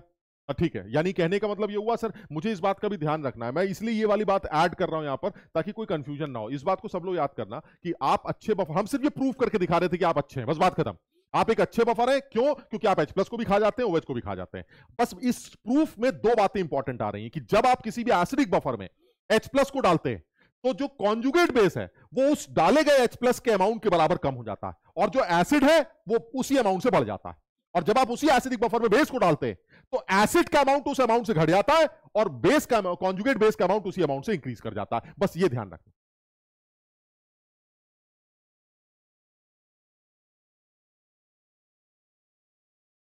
अरे यार मोटिवेशनल वाला स्पीड अप के लिए मत बोलो यार, मैं बहुत स्पीड से ही करा रहा हूँ। बात समझो कहीं ऐसा ना हो, स्पीड के चक्कर में कुछ समझ में ना आए। तो समझो इस चीज़ को थोड़ा सा करने दो। बाकी लेक्चर्स भी मैंने देखा है, तुम्हारे लंबे लंबे चलते हैं तो हमारा भी लेक्चर चलने दो, इतना परेशान मत करो। इंपॉर्टेंट है, इसलिए थोड़ा सा टाइम लग रहा है। और तुम्हें पता आईनी की इक्विलिब्रियम एक बड़ा सा चैप्टर है यार। तो इसको इतनी जल्दी खत्म करना है तो फिर तो वही है, वो माइंड मैप सीरीज़ भी हमने चला रखी है, उसमें एक घंटे के अंदर आईनी की इक्विलिब्रियम मैंने पढ़ा रखा है, उसी से पढ़ लो। समझ लो लेकिन समझो बात को, अगर बातों को समझना है तो ठीक है, पहले ही समझ लेंगे, फिर उसके बाद कहीं से भी आप फास्ट फॉरवर्ड करके देख सकते हैं। बट एक बार तो कम से कम जब नहीं पूरे दो साल, एक साल पढ़ा। तो एटलीस्ट यहाँ पर तो टाइम देना पड़ेगा ना। तो सब लोग थोड़ा सा कोशिश करो भाई ठीक है। ठीक है। अच्छा अब यहाँ पर आप ये इस बात को हम याद रखते हैं। तो चलिए, ये क्लियर हो गया। सर, ये जो सिस्टम होता है कौन सा? वीक एसिड और उसका कॉन्जुगेट बेस सर, ये जो सिस्टम है, ये एक ज़बरदस्त हमारा बफर के नाम से जाना जाता है। चलिए, ठीक है, ये प्रूफ हो गया। अब आप ये बताइए, इस तरह के सोल्यूशन की पीएच कैसे निकलती है अगर ये बफर सोल्यूशन है? अब आती है काम की बात। काम की बात क्यों? क्यों सर, अब सवाल आ गए। सर, अंदर से आवाज़ आ रही है डब्बे में से। मैं बफर हूँ। क्यों? क्योंकि मेरे अंदर वीक एसिड है। साथ ही साथ कॉन्जुगेट बेस है। मैं समझ गया। अगर ये बफर सोल्यूशन है तो बफर का फॉर्मुला सर फॉर्मुला और बता दीजिए, काम खत्म हो जाएगा। चलिए फॉर्मुला पढ़ लेते हैं। खत्म हो गया। सर, कोई झंझट नहीं है। आप बताइए, पीएच निकालना है तो कहाँ से निकलेगा? सर, पीएच यहाँ से तो निकलेगा। बिल्कुल सही है। तो इस इक्विलिब्रियम का इक्विलिब्रियम कांस्टेंट जरा जल्दी से बताइए। सर, ऊपर वाले इक्विलिब्रियम का जो इक्विलिब्रियम कांस्टेंट होगा, दुनिया जानती है इट इज़ एसिटिक एसिड का K which is equal to acetate की कॉन्सेंट्रेशन इनटू एच प्लस की concentration upon acetate acetic acid की कॉन्सेंट्रेशन बिल्कुल सही है। इससे H प्लस निकल आएगा, बस खत्म हो गया। H plus is equal to K into acid divided by acetate ion ये देखिए आप। और अगर आप यहाँ से दोनों साइड नेचुरल लॉग ले ले तो लॉग ले लेते हैं minus log of H plus which is equal to minus log of K base ten ले लेते हैं into C S three CO H upon C S three CO minus ये देखिए। अगर आप यहाँ से फॉर्मूला निकाले तो P H is equal to P K plus log concentration of C S three CO minus divided by concentration of C S three CO क्या आपका फॉर्मूला बन गया। अब देखो मैं यहाँ पर ना बड़ी इंपॉर्टेंट बात बोल रहा हूँ। तो ठीक है? आ, बहुत इंपॉर्टेंट है। मैं चाह रहा हूँ कि सब लोग इस बात को बहुत ध्यान से सुने क्योंकि मुझे इस बात की बहुत हैरानी है कि जेई के मेंस लेवल पर इस बात का यूज़ किया गया है। मुझे बहुत हैरानी बिकॉज़ मैं जैसे मैं बोला था ना कि एनटी वालों को पता ही नहीं चला कि उन्होंने अरे इतना अच्छा सवाल बन गया समझ लो बात। तो इसलिए तुम लोग से बोलना चाह रहा हूँ बिकॉज़ एनसीआरटी में जो बात बोली गई है उससे जो बच्चे सिर्फ़ वो याद करके जाएँगे, वो कंफ्यूज हो जाएँगे। अब मेरी बात जरा समझना, यहाँ तक कोई फॉर्मुले में कोई गड़बड़ नहीं की गई है, बिल्कुल सही चल रहा है। अब तुम ही बताओ, मैंने अभी तुम्हें एक बात बोली थी कि अगर तुम्हें एसिटेट आयन की कॉन्सेंट्रेशन चाहिए तो वो एसिटेट मेजरली कहाँ से आएँगे? सर सॉल्ट से आएँगे। ठीक है? तो एनसीआरटी ये कहती है कि अगर आप एसिटेट की जगह ये लिख दें तो भी आपका काम चल जाएगा। और मेरे ख्याल से सब लोग इस बात को एग्री करेंगे कि ये वाला फॉर्मुला उन्होंने पढ़ा है। PH is equal to concentration of salt divided by concentration of weak acid ये वाला फॉर्मूला, सर, मैंने पीएच का एसिडिक बफर का मैंने पढ़ा है। बिल्कुल पढ़ा और आपने ऐसा क्यों किया? क्योंकि, सर, आपने एसिटेट की जगह सॉल्ट रखा एसिडेट की जगह सॉल्ट क्यों रख दिया, सर, आपने? अरे, अभी तो बात हुई थी हमारी कि अगर आपको एसिडेट की कॉन्सेंट्रेशन चाहिए तो कहाँ से आएगी? सर, वो दोनों जगह से आएगी, लेकिन दूसरा वाला इक्विलिब्रियम तो बर्बाद है, सर तो नीचे से आएगी। यानी एसिडेट की कॉन्सेंट्रेशन सॉल्ट से आएगी। बिल्कुल सही है, बिल्कुल सही है, कोई बेमानी नहीं। लेकिन, सर, ये किसने बोल दिया कि एसिटेट की कॉन्सेंट्रेशन सॉल्ट के बराबर होगी? मैंने कहा, जी, लल्लू आदमी हो तुम तो बता चुके हो सॉल्ट पानी के अंदर 100 परसेंट डिसोसिएट करता है। तो जितना सॉल्ट उतना एसिटेट ना ना, ये यहाँ सही है सर क्योंकि ये salt one is to one stoichiometry का सॉल्ट है। One is to one stoichiometry का। यानी अगर सॉल्ट के पाँच मोल होंगे तो एसिटेट के भी पाँच मोल बनेंगे। लेकिन सॉल्ट ज़रूरी थोड़ी ना sir one is to one stoichiometry का सॉल्ट हो। सब लोग समझना, अगर एनसीआरटी में ये फॉर्मुला दिया गया है तो वो सिर्फ़ इस इक्वेशन इस बफर के लिए सही है, जिसमें सोडियम एसिटेट का इन्वॉल्वमेंट है। यानी ऐसे सॉल्ट का इन्वॉल्वमेंट है, जो one is to one stoichiometry वाला सॉल्ट ऐसे सॉल्ट के लिए एप्लीकेबल नहीं है ये वाला फॉर्मुला जिसका stoichiometric ratio one to one नहीं। समझो जरा बात। मैं अभी बताता हूँ इस बात को। बहुत इंपॉर्टेंट है। आप समझिए, मैं इस बात को मना नहीं करता कि एसिटेट आयन की कॉन्सेंट्रेशन सॉल्ट से आएगी। हम एसिड वाली नेग्लेक्ट कर देते हैं। बिल्कुल सही है। ये तो मैंने अभी शुरू में बोला ही था तुमको। ठीक। लेकिन मैं इस बात से एग्री नहीं करता कि एसिटेट की कंसेंट्रेशन हमेशा सॉल्ट के बराबर होगी। आएगी वहीं से, लेकिन बराबर होगी कि नहीं, वो ये सॉल्ट की स्टॉशियोमेट्री डिसाइड करेगी। जरा समझो मेरी बात को, अगर ये सॉल्ट ऐसा ना होता, चलिए हम समझने की बात करते हैं। मान लीजिए मैं आपसे कहूँ कि क्या ये बफर सोल्यूशन नहीं? C S three CO H plus C S three CO O twice P A बताओ, क्या ये बफर सोल्यूशन नहीं है? So this is a buffer solution, no doubt. This is a buffer solution. Why? Because this is weak acid और ये आपका conjugate base provide करेगा तो इसका मतलब ये हुआ सब बिल्कुल जैसे अभी आपने पढ़ा था C S three C O minus plus H plus and this will be C बिल्कुल सही है सर सोल्यूशन लेकिन सर अब आप ये बताइए क्या इसके लिए ये लिखना सही है P H is equal to P K A plus log concentration of acetate ion divided by concentration of acetic acid हाँ बिल्कुल सही है। अरे भाई, ये तो तुमने डिराइव करके निकाला ही है, लेकिन इसके लिए ये सही नहीं है लिखना। जरा समझना this is not equal to this is not equal to P K plus log concentration of salt divided by concentration of acid जरा समझना, क्यों? सर, इसमें क्या गलती है? गलती है कि तुमने एसिटेट को किसके बराबर बोल दिया? सॉल्ट के बराबर। अब अगर खुद सोचो सॉल्ट के दस मोल है तो क्या एसिटेट भी दस मोल है? सॉल्ट से ही आ रहा है सर मैं मानता हूँ सॉल्ट से आ रहा है, लेकिन दस नहीं आ रहा है सर एसिटेट ट्वेंटी बनेंगे। आपको ट्वेंटी रखना था, ना कि दस। और जिस बच्चे की आँखें सॉल्ट को ढूंढ रही हैं, वो क्या रखेगा? दस। जबकि रखना किसको है? एसिटेट को। उसको रखना क्या चाहिए था? ट्वेंटी सब लोग इस बात को समझने की कोशिश करो। मुझे हैरानी है कि जेई ने मेंस लेवल पर ये पूछ कैसे लिया? मैं अभी दिखाता हूँ तुम्हें सवाल।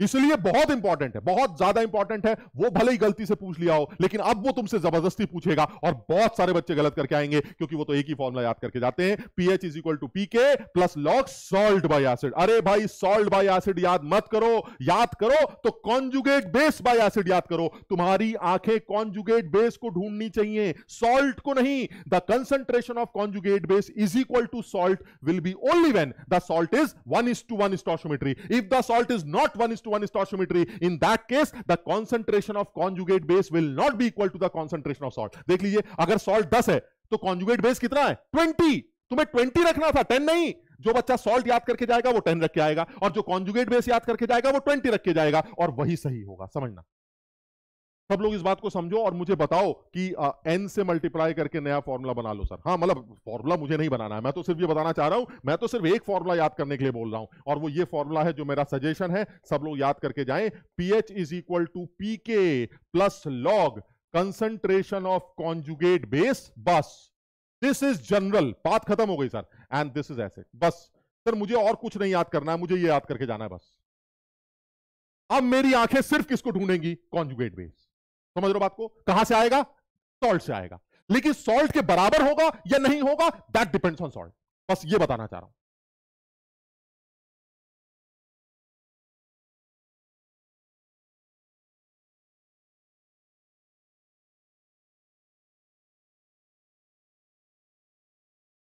समझो?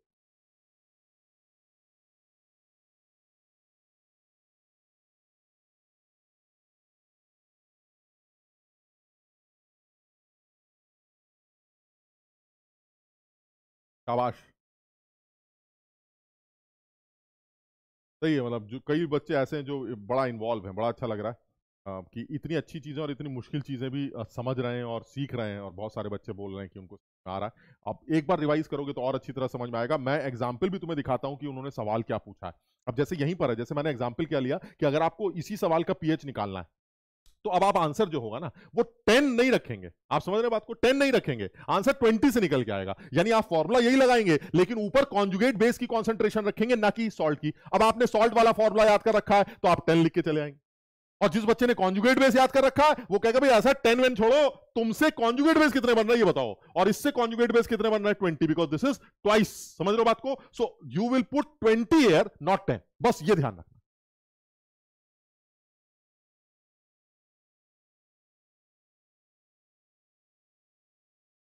ठीक है ये? चलिए, ये देख लीजिए आप। सर, अब ये फॉर्मूला है जो कि किताब में दिया जाता है, P H is equal to P K. भाई, मेरा सजेशन ये है, इसको छोड़ो और मेन बात ये याद करो, बस।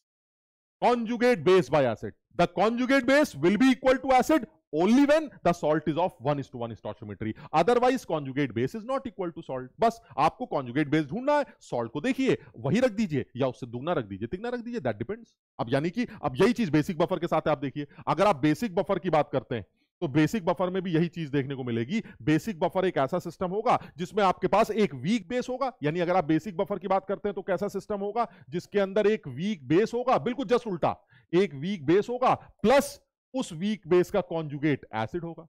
कॉन्जुगेट एसिड बस खत्म हो गया। इस तरह का सिस्टम एक ज़बरदस्त बेसिक बफर माना जाएगा। और तब जब आप उसकी पीएच लिखेंगे तो पीओएच फॉर्मूला याद रखना pOH is equal to P K B plus log concentration of conjugate acid ये याद करके जाओ।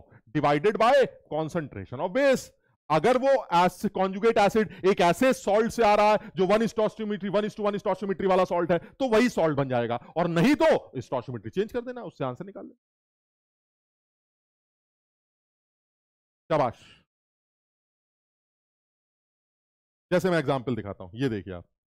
पहले एक आध सवाल कर लेते हैं। ये जेई के एडवांस लेवल पर पूछा गया एक पुराना सवाल है। आ, मुझे मैंने नमना साल नहीं लिखा। और उसमें सवाल पूछा गया था gaseous solution of H N O three के एस्टिक एसिड और सोडियम एस्टेट। इनके सोल्यूशंस को अगर हम मिक्स कर दें तो बताइए आपका बफर सोल्यूशन कहाँ बन सकता? बफर सोल्यूशन कहाँ बन सकता? तो अब आप देखिए देखिए बफर सोल्यूशन कहाँ बन सकता? है सर देखिए एक चीज़ तो क्लियर है। ये केओएच स्ट्रॉन्ग बेस है सर। समझ रहे बात को? तो केओएच स्ट्रॉन्ग बेस है, ये हमारा सॉल्ट सर, ये बफर सोल्यूशन नहीं बना सकता। ठीक है, चलिए छोड़िए इस बात को। और क्या हो सकता है? सर, और ये हो सकता है कि HNO3 एक स्ट्रॉन्ग एसिड है, और ये हमारा वीक एसिड अरे सर, कैसी बातें कर रहे हैं? स्ट्रॉन्ग एसिड वीक एसिड ये थोड़ा ना अच्छा बफर बनेगा, इसको भी हटा दीजिए। दूसरा ऑप्शन सर, ये तो मस्त है, सर। डी ऑप्शन में कोई डाउट नहीं है, सर डी मस्त है। सर, और एक बात देखिए ना, ये देखिए आप। अगर मैं ये कह रहा हूँ कि if HNO3 is in limit यानी अगर आपने HNO3 लिमिट में लिया तो क्या होगा? सर HNO3 से क्या निकल के आएँगे? एच प्लस और वो सोडियम एसिटेट के एसिटेट से रिएक्ट करके क्या बनाएँगे? एसिटिक एसिड अब जरा समझना बात को। सर, ये जो HNO3 है, ये एच प्लस देगा। ये H प्लस एसिटेट आयन से रिएक्ट करके एसिटिक एसिड बनाएँगे। और अगर ये एसिटेट कम बने और सोडियम एसिटेट भी बर्तन में पड़ा रह गया तो सर, यही सिस्टम दोबारा बन जाएगा। आप समझिए जरा। यानी अगर आपने HNO3 को थोड़ा कम ले रखा है तो ऐसे में सर, एसिटिक एसिड भी बनेगा, सोडियम एसिटेट भी बचा रह जाएगा, यही सिस्टम तैयार होगा। और इसी सिस्टम की वजह से इसको भी आप एक बढ़िया बफर के नाम से जानेंगे। सो आंसर विल बी सीओल सी एंड डी बोथ समझो बात। अच्छा सवाल है। सर, बहुत सारे बच्चे कंफ्यूज हो जाते हैं। ये समझ ही नहीं पाते, ये कैसे हो रहा है? आप समझिए, ये जो H प्लस है, ये H प्लस सोडियम एसिटेट के एसिटेट से रिएक्ट करेंगे। एसिटेट और एच प्लस मिलकर क्या बनाएँगे? Acetic acid now you have acetic acid और सोडियम एस्टेट अभी भी बचा हुआ है। अगर ये अभी भी बचा हुआ है और एस्टिक एसिड भी बना हुआ है तो आप इसे क्या बोलेंगे? सर, इसे ज़बरदस्त एसिडिक बफर बोलेंगे। सर, ये भी ऑप्शन सही होगा। सी भी होगा। बिल्कुल सही, शोभित, तुम सही कह रहे हो। सर सी भी होगा। ओएस क्वेश्चन में लिमिट नहीं लिखा है बट उसने ये पूछा है कि अगर मैं इनको मिलाता हूँ तो बफर के चांसेस कहाँ हैं? तो सर इनको मिलाने से बफर के चांसेस सी में भी बनेंगे। उसके लिए सिर्फ़ आपको मिलाने में ध्यान देना पड़ेगा। बाकी लोगों को कैसे भी मिला दीजिए सर कुछ नहीं होगा। लेकिन इसको मिलाते वक्त अगर आपने इस बात का ध्यान दिया कि एच थोड़ा डाला जाए, जिसकी वजह से एसिटेट आयन एच से मिलकर एसिटिक एसिड भी बना दे और सोडियम एसिटेट बच भी जाए। Now this again this system like this system and this ज़बरदस्त बफर क्लियर बहुत बढ़िया। चलिए और एग्ज़ाम्पल लीजिए, ये लीजिए आप। 2019 का वो खूबसूरत सवाल जिसको देख के हैरानी होती है कि आपने पूछ कैसे लिया ये? अब आप देखिए कितना। अब समझो, क्या ये पहचान पा रहे हो? दिस इज़ बेसिक बफर हाँ सर, बिल्कुल दिखाई दे रहा है। आप देख लीजिए ना। सर, ये आपको कैसे पता चलता है कि बफर डब्बे की आवाज़ आती है। चलो सुना के दिखाते हैं। ये बताओ। 20 M L H two four चलिए, सर, ये तो एसिड हो गया। एसिड हो गया H two SO four sir, इसको किसके साथ मिलाया? इसको NH4OH के साथ मिलाया। सर NH4OH बेस हो गया। और दुनिया जानती है एसिड बेस रिएक्शन सॉल्ट बनाती है and the salt will be ammonium sulphate बिल्कुल सही है, सर। क्या ये बैलेंस इक्वेशन है? नहीं, सर। अब ये बैलेंस हो ठीक है ये? सर, अब ये बताइए, हो क्या रहा है बर्तन में? पता नहीं क्या हो रहा है यार, ये दोनों लोग आपस में रिएक्ट कर रहे हैं यार। पता नहीं क्या चल रहा है। तो ये काम करते सर, डब्बे से पूछते हैं, क्या चल रहा है? डब्बा देखो क्या बताएगा। सर, एक तो सबसे पहले 20 M L point one molar H four इसका मतलब दो मिली मोल डाले गए, मानते हो बात को? 20 एम एल पॉइंट वन का मतलब मोल्स कितना है? Millimoles twenty into point one, sir, आपने दो मिली मोल डाले। चलिए ठीक है, दो मिली मोल डाले एच के कितने मिली मोल है? तीस into point two, that is six millimole इसके सिक्स मिली मोल और इसके ज़ीरो। ठीक है? अब बताइए, क्या रिएक्शन होगी? सर, साथ दिखाई देता है। Ammonium H two S four is limiting agent और अगर ये लिमिटिंग एजेंट है तो खत्म हो जाएगा। तो ये तो ज़ीरो हो जाएगा। ये कितना बचेगा? सर, ये सिक्स माइनस फोर ये टू मिलीमोल बचेगा। बताओ, समझे? फोर क्यों कह रहा हूँ? एक मोल दो मोल से रिएक्ट करते हैं तो दो मोल चार से रिएक्ट करेंगे तो छह में से चार चले गए बचे कितने? दो। ठीक, इसके कितने मिली मोल बनेंगे? सर, इसके भी दो मिलीमोल बनेंगे। लिमिटिंग रिएजेंट आपका एच टू एस फोर है तो दो से दो बनेंगे, सर, ये। अब आपका बताइए, बर्तन क्या कहता है? सर, बर्तन चीख चीख के कह रहा है, ये है वो बर्तन। और ये चीख चीख के कह रहा है कि मेरे बर्तन में एक तो साहब बचे हैं ये और एक है ये। क्या तुम पहचान पा रहे हो? दिस इज़ वीक बेस और क्या तुम पहचान पा रहे हो, ये इस वीक बेस का conjugate base conjugate acid ammonium ion है?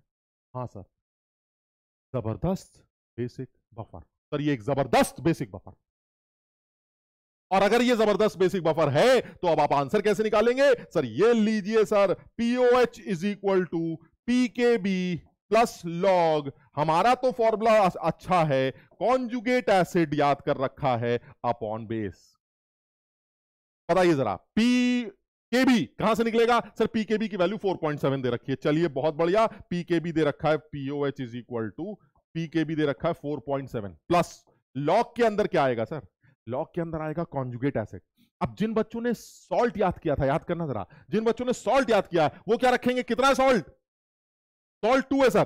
तो जिन्होंने सॉल्ट याद किया, वो टू रखेंगे। क्लियर है? तो जिन्होंने सॉल्ट याद कर रखा है, वो यहाँ टू रख देंगे। लॉक के अंदर। और जिन्होंने कॉन्जुगेट एसिड याद कर रखा है, वो क्या रखेंगे? Sir this is a salt of ammonium whole twice तो इससे आने वाले अमोनियम इस दो के डबल होंगे। बताओ, समझे? सबके समझ में आ रहा है? सर, बिल्कुल समझ में आ रहा है। अमोनियम सल्फेट से जो अमोनियम निकल के आएँगे, वो two times N H four plus होंगे। बताओ, समझे? यानी if the salt is two the ammonium ion will be four clear यही बताना चाह रहा था। जो बच्चे सॉल्ट याद करके गए थे, उन्होंने टू रख दिया। और जो अमोनियम याद करके गए थे, उन्होंने टू इंटू टू रखा फोर इसका मतलब ये हुआ सही आंसर आएगा। फोर डिवाइडेड बाय आपका जितना बच गया base that is two and this is हमारा सॉल्व करिए, ये हमारा आ जाएगा। Four point seven plus log two point three that is five तो pH is equal to fourteen minus five and that is nine तो आंसर विल बी नाइन बहुत ही खूबसूरत सवाल बनाया गया था, क्योंकि ये वो कमी है जो बच्चों के अंदर भरी पड़ी है, क्योंकि वो ऊपरी तौर पर तैयारी करके गए थे। उन्होंने फॉर्मूला याद कर रखा था pH is equal to P K plus log salt by base और सॉल्ट की वैल्यू ढूंढ रहे थे, और जो सॉल्ट ढूंढ रहा था वो क्या रख के आ गया? दो। और जो सॉल्ट की जगह कॉन्जुगेट बेस कॉन्जुगेट एसिड को ढूंढ रहा था, वो जानता था, आएगा तो सॉल्ट से, लेकिन सॉल्ट के बराबर होगा या नहीं, वो सॉल्ट डिसाइड करेगा। And since this is a salt of two is two one stoichiometry the conjugate acid concentration will be double the concentration of salt. And if the concentration of salt is 2, the NH4 plus will be double of this. So this will be 4. बताओ समझे कि नहीं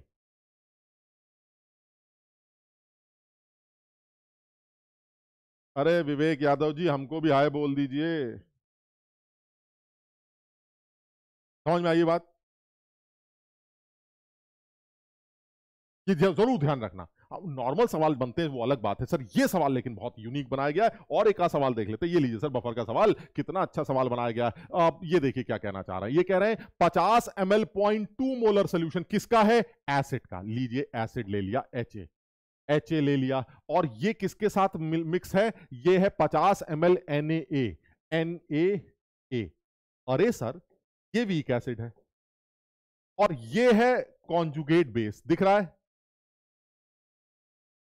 That is A minus sir ये weak acid H A और उसका conjugate base A minus buffer solution है? Sir इन दोनों का मिक्सचर एक बफर सोल्यूशन होगा। लीजिए आंसर आ गया sir pH is equal to ये लीजिए pH is equal to P K plus log concentration of conjugate base divided by concentration of acid लीजिए, खत्म हो गया सवाल। कुछ नहीं करना है। अब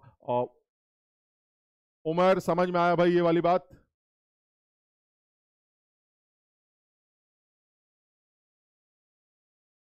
समझ में ये गौरव, नीट वाले भी देख सकते हैं बेटा। ये तो बिल्कुल सारे किसी भी एग्ज़ाम के सवाल, किसी भी तैयारी करने वाला बच्चा देख सकता है बेटा। ठीक? तो बहरहाल तो ये कहना चाह रहे हैं, सर कॉन्जुगेट बेस की कॉन्सेंट्रेशन कितनी है? पुट कर दीजिए। तो लीजिए पुट कर लेते हैं। पीके दे रखा है क्या? पीके दे रखा है। हाँ सर पीएच की वैल्यू फोर दे रखी है और पीके सवाल में दे रखा है ये। सर, अब हो गया सवाल। देखिए कैसे। पीएच अगर फोर है तो यहाँ फोर रख देते हैं और पीके की वैल्यू हो जाएगी माइनस लॉग के यानी minus log K is ten raise पर माइनस फाइव प्लस लॉग हमें किसका चाहिए? कॉन्जुगेट बेस कितना आएगा हमारा? यहाँ सॉल्ट से निकल के आएगा और जितना सॉल्ट है उतना ही आएगा because this is one is two one ठीक है ना? तो ये आ जाएगा 50 इंटू कितना कॉन्सेंट्रेशन है? वो दे नहीं रखा। तो हम इसके कॉन्सेंट्रेशन ले लेते हैं 50 into X divided by X is the molarity of N solution और एच ए का कितना दे रखा है moles 50 into point two fifty into point two कितना हो जाएगा? 50 इंटू पॉइंट टू सर, इससे सॉल्व कर लीजिए, सब कुछ दे रखा है एक्स की वैल्यू आ जाएगी, आपका आंसर आ जाएगा, खेल खत्म।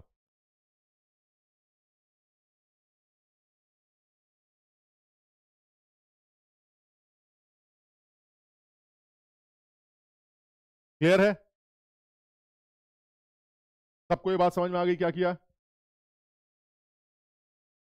बिल्कुल आसान है यार, बिल्कुल आसान है, कोई झंझट नहीं है। वो कह रहा है, क्या कॉन्सेंट्रेशन एनए की ली जाए? तो एनए सोल्यूशन की कॉन्सेंट्रेशन को एक्स मान लेते हैं। This X is the concentration जो हमें निकालनी है of NA A solution NA solution की कॉन्सेंट्रेशन या मोलारिटी एक्स मान लेते हैं। तो अगर मोलारिटी एक्स है तो मोल्स कितने हो जाएँगे? 50x तो कॉन्जुगेट बेस के मोल्स हो गए 50x और जो एसिड है, वो 15 इंटू पॉइंट टू सब कुछ दे रखा है सवाल में। एक्स अनोन है एक्स सॉल्व कर लीजिए पॉइंट ज़ीरो टू निकल आएगा। फड़ाक और ये बफर है। क्यों बफर है? Because this is weak acid and its conjugate base no doubt this buffer solution सीधे डब्बा चीख चीख के कह रहा है कि भैया मैं बफर सोल्यूशन हूँ। बफर का फॉर्मूला याद है तो बफर का फॉर्मूला लगा दो। आंसर बाहर। चलिए और आगे बात करते हैं। ये लीजिए।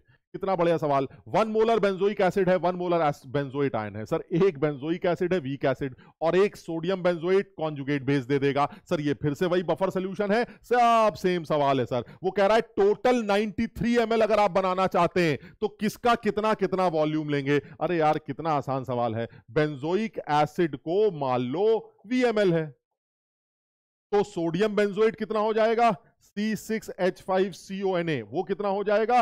वो 93 थ्री माइनस वीएमएल हो जाएगा। हाँ बिल्कुल सही है। अब बताइए क्या करना है? क्या ये बफर है? हाँ बफर है। Because weak acid conjugate base के साथ प्रेजेंट है। बफर हो गया। सर बफर का फॉर्मुला लगा लेते हैं। बस हो गया सॉल्व पीएच की वैल्यू कितनी है? सर 4.5 पीके कितना दे रखा है? सर पीके की value 4.2 plus log conjugate base कितना है? सर कॉन्जुगेट बेस है one into concentrate volume molarity into volume कितना हो गया? 93 three minus V into one divided by नीचे एसिड कितना है? सर एसिड वन है into V that that is one into V इसमें क्या अननोन है? सर इसमें v अननोन है। सॉल्व कैसे करेंगे? 4.5 में से 4.2 माइनस किया तो 0.3 आ गया। 0.3 is equal to log 93 minus V upon V sir 0.3 किसका लॉग होता है? सर 0.3 टू का लॉग होता है। इसका मतलब ये टू होना चाहिए। इसका मतलब सर, ये टू होना चाहिए। इफ़ इट इज़ टू अब ये सब देखो कैलकुलेशन तुम्हें अपने आप आना चाहिए। So ultimately 93 three minus V upon V is equal to two clear है? इससे v की वैल्यू सॉल्व हो सकती है और v की वैल्यू सॉल्व करते ही आपको बाकी सब लोगों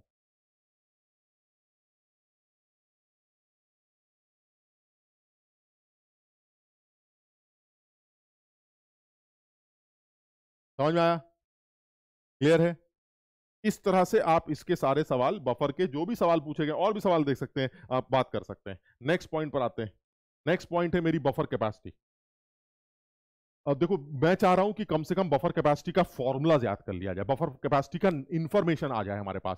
बफर कैपेसिटी का मतलब है कि किसी भी बफर सोल्यूशन में आप कितना स्ट्रॉन्ग एसिड या स्ट्रॉन्ग बेस डाल रहे हैं। यानी एक लीटर बफर सोल्यूशन में जितना भी स्ट्रॉन्ग एसिड या स्ट्रॉन्ग बेस डाला जा रहा है to change the pH by one unit is buffer capacity समझो, बड़ा इंपॉर्टेंट है। हो सकता है हमसे मेंस लेवल पर सिर्फ़ डेफिनेशन पे सवाल पूछ लिया जाए। यानी डेफिनेशन पे सवाल क्या पूछ रहा है? It is defined as the number of moles of strong acid और strong base added in one litre buffer solution to change the pH by one unit यानी किसी भी बफर सोल्यूशन की अगर आप पीएच चेंज करना चाह रहे हैं तो आप उसके अंदर एसिड या बेस डालते हैं। तो एक लीटर बफर सोल्यूशन की पीएच अगर वन यूनिट से चेंज करना चाहते हैं आप तो जितना भी एसिड या बेस डालेंगे that amount is known as buffer capacity समझ में आया? यानी किसी भी बफर सोल्यूशन को लेके आते हैं वन लीटर एक बफर सोल्यूशन ले लिया, उसके ऊपर एच प्लस डालेंगे तो वो रजिस्ट करेगा। तो जितना भी रजिस्ट करना करने दो। अगर पीएच को वन यूनिट से चेंज करना चाहते हो तो जितना भी ऊपर से आप एच प्लस डाल रहे हैं, या ओ एच माइनस डाल रहे हैं, उस अमाउंट को आप बफर कैपेसिटी का नाम देंगे। और वो बफर कैपेसिटी कैलकुलेट करने के लिए मुझे ये वाला फॉर्मूला याद करना है। बस इससे ज़्यादा कुछ नहीं करेंगे इसके अंदर। Buffer capacity is equal to 2.303 A B upon A plus B where A is what A is हमारा acid and what is B B moles हमारे सॉल्ट के। यानी सॉल्ट अगर बी है और एसिड अगर ए मोल है तो उस बफर सॉल्ट बफर सोल्यूशन की जो बफर कैपेसिटी होगी, वो 2.303 A B upon A plus B से निकाली जाएगी। और मेरे ख्याल से तुम सब मैथ्स के स्टूडेंट हो, इस बात को समझते हो मैक्सिमम कैपेसिटी कब निकल के आएगी? मैक्सिमम कैपेसिटी तब निकल के आएगी जब ये टर्म मैक्सिमम हो। A B upon A plus B should be maximum और मुझे लगता है सब लोग इस बात को जानते हैं, ये कब होता है? जब ए और बी बराबर होता है। यानी A B upon A plus B की वैल्यू मैक्सिमम तब आएगी जब ए और बी आपस में बराबर होंगे। यानी वो बफर जिसमें कॉन्जुगेट पार्ट और वीक एसिड या वीक बेस का पार्ट जब वो दोनों बराबर होते हैं तो वो बफर अपनी मैक्सिमम कैपेसिटी शो करता। यानी लॉक के अंदर जो टर्म आ रहे हैं, वो दोनों बराबर होने चाहिए। कॉन्जुगेट बेस अपॉन एसिड बराबर। कॉन्जुगेट एसिड अपॉन बेस बराबर। ऐसे में वो बफर अपनी मैक्सिमम कैपेसिटी शो करता। यानी मैक्सिमम कैपेसिटी बफर शो करने के लिए ए और बी आपस में बराबर होने चाहिए। या फिर बफर कैपेसिटी की डेफिनेशन क्या कहती है? बफर कैपेसिटी कहती है किसी भी बफर सोल्यूशन की पीएच को अगर आप वन यूनिट से चेंज करना चाहते हैं ऑन एडिशन ऑफ़ एसिड और बेस तो जितना भी एसिड बेस आप ऐड कर रहे हैं दैट इज़ बफर कैपेसिटी तो जो अमाउंट आपने डाला, उसे बफर कैपेसिटी कहेंगे और उसको निकालने के लिए 2.303 upon into A B upon A plus B का सहारा लिया जाएगा। और मैक्सिमम बफर कैपेसिटी तब आती है, यानी वो बफर मैक्सिमम रेजिस्टेंस तब क्रिएट करता है, जब ए और बी की वैल्यू बराबर होती। तो अगर कॉन्जुगेट पार्ट और जो वीक एसिड या वीक बेस वाला पार्ट है, अगर वो बराबर है तो मैक्सिमम कैपेसिटी का बफर तैयार होने वाला।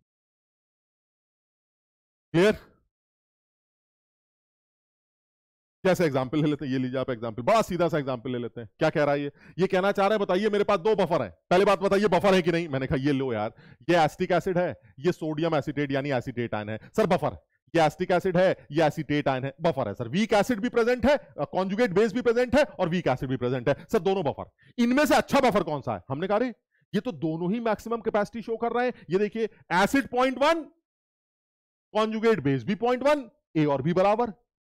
कॉन्जुगेट बेस पॉइंट टू और एसिड भी पॉइंट टू अरे तो सर ये तो दोनों मैक्सिमम कैपेसिटी के हम कैसे डिसाइड करेंगे किसकी कैपेसिटी ज़्यादा है? अरे यार, तुम्हें फॉर्मूला दे रखा है। ऊपर वाले की मैक्सिमम कैपेसिटी ऊपर वाले की बफर कैपेसिटी निकालने के लिए 2.303 into A B that is point one point one upon point one plus point one का सहारा ले लेंगे। और नीचे वाले की बफर कैपेसिटी निकालनी है तो two point three zero 2.303 into point two into point two upon point two plus point two का सहारा ले लेंगे। साफ़ समझ में आता है। Buffer B is better buffer than A because the buffer capacity of B is greater than the buffer capacity of A clear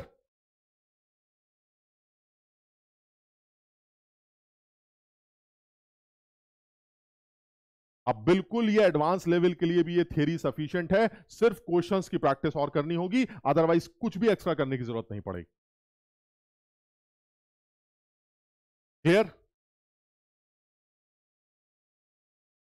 चलिए ठीक, और आगे बढ़ते हैं। तो चलिए अब नेक्स्ट पॉइंट पर आते हैं। नेक्स्ट पॉइंट क्या आएगा? नेक्स्ट पॉइंट आएगा हमारा सॉलिबिलिटी का। अब ये इंपॉर्टेंट है, इस पर भी बात कर लेते हैं फटाफट। ये क्या कहता है?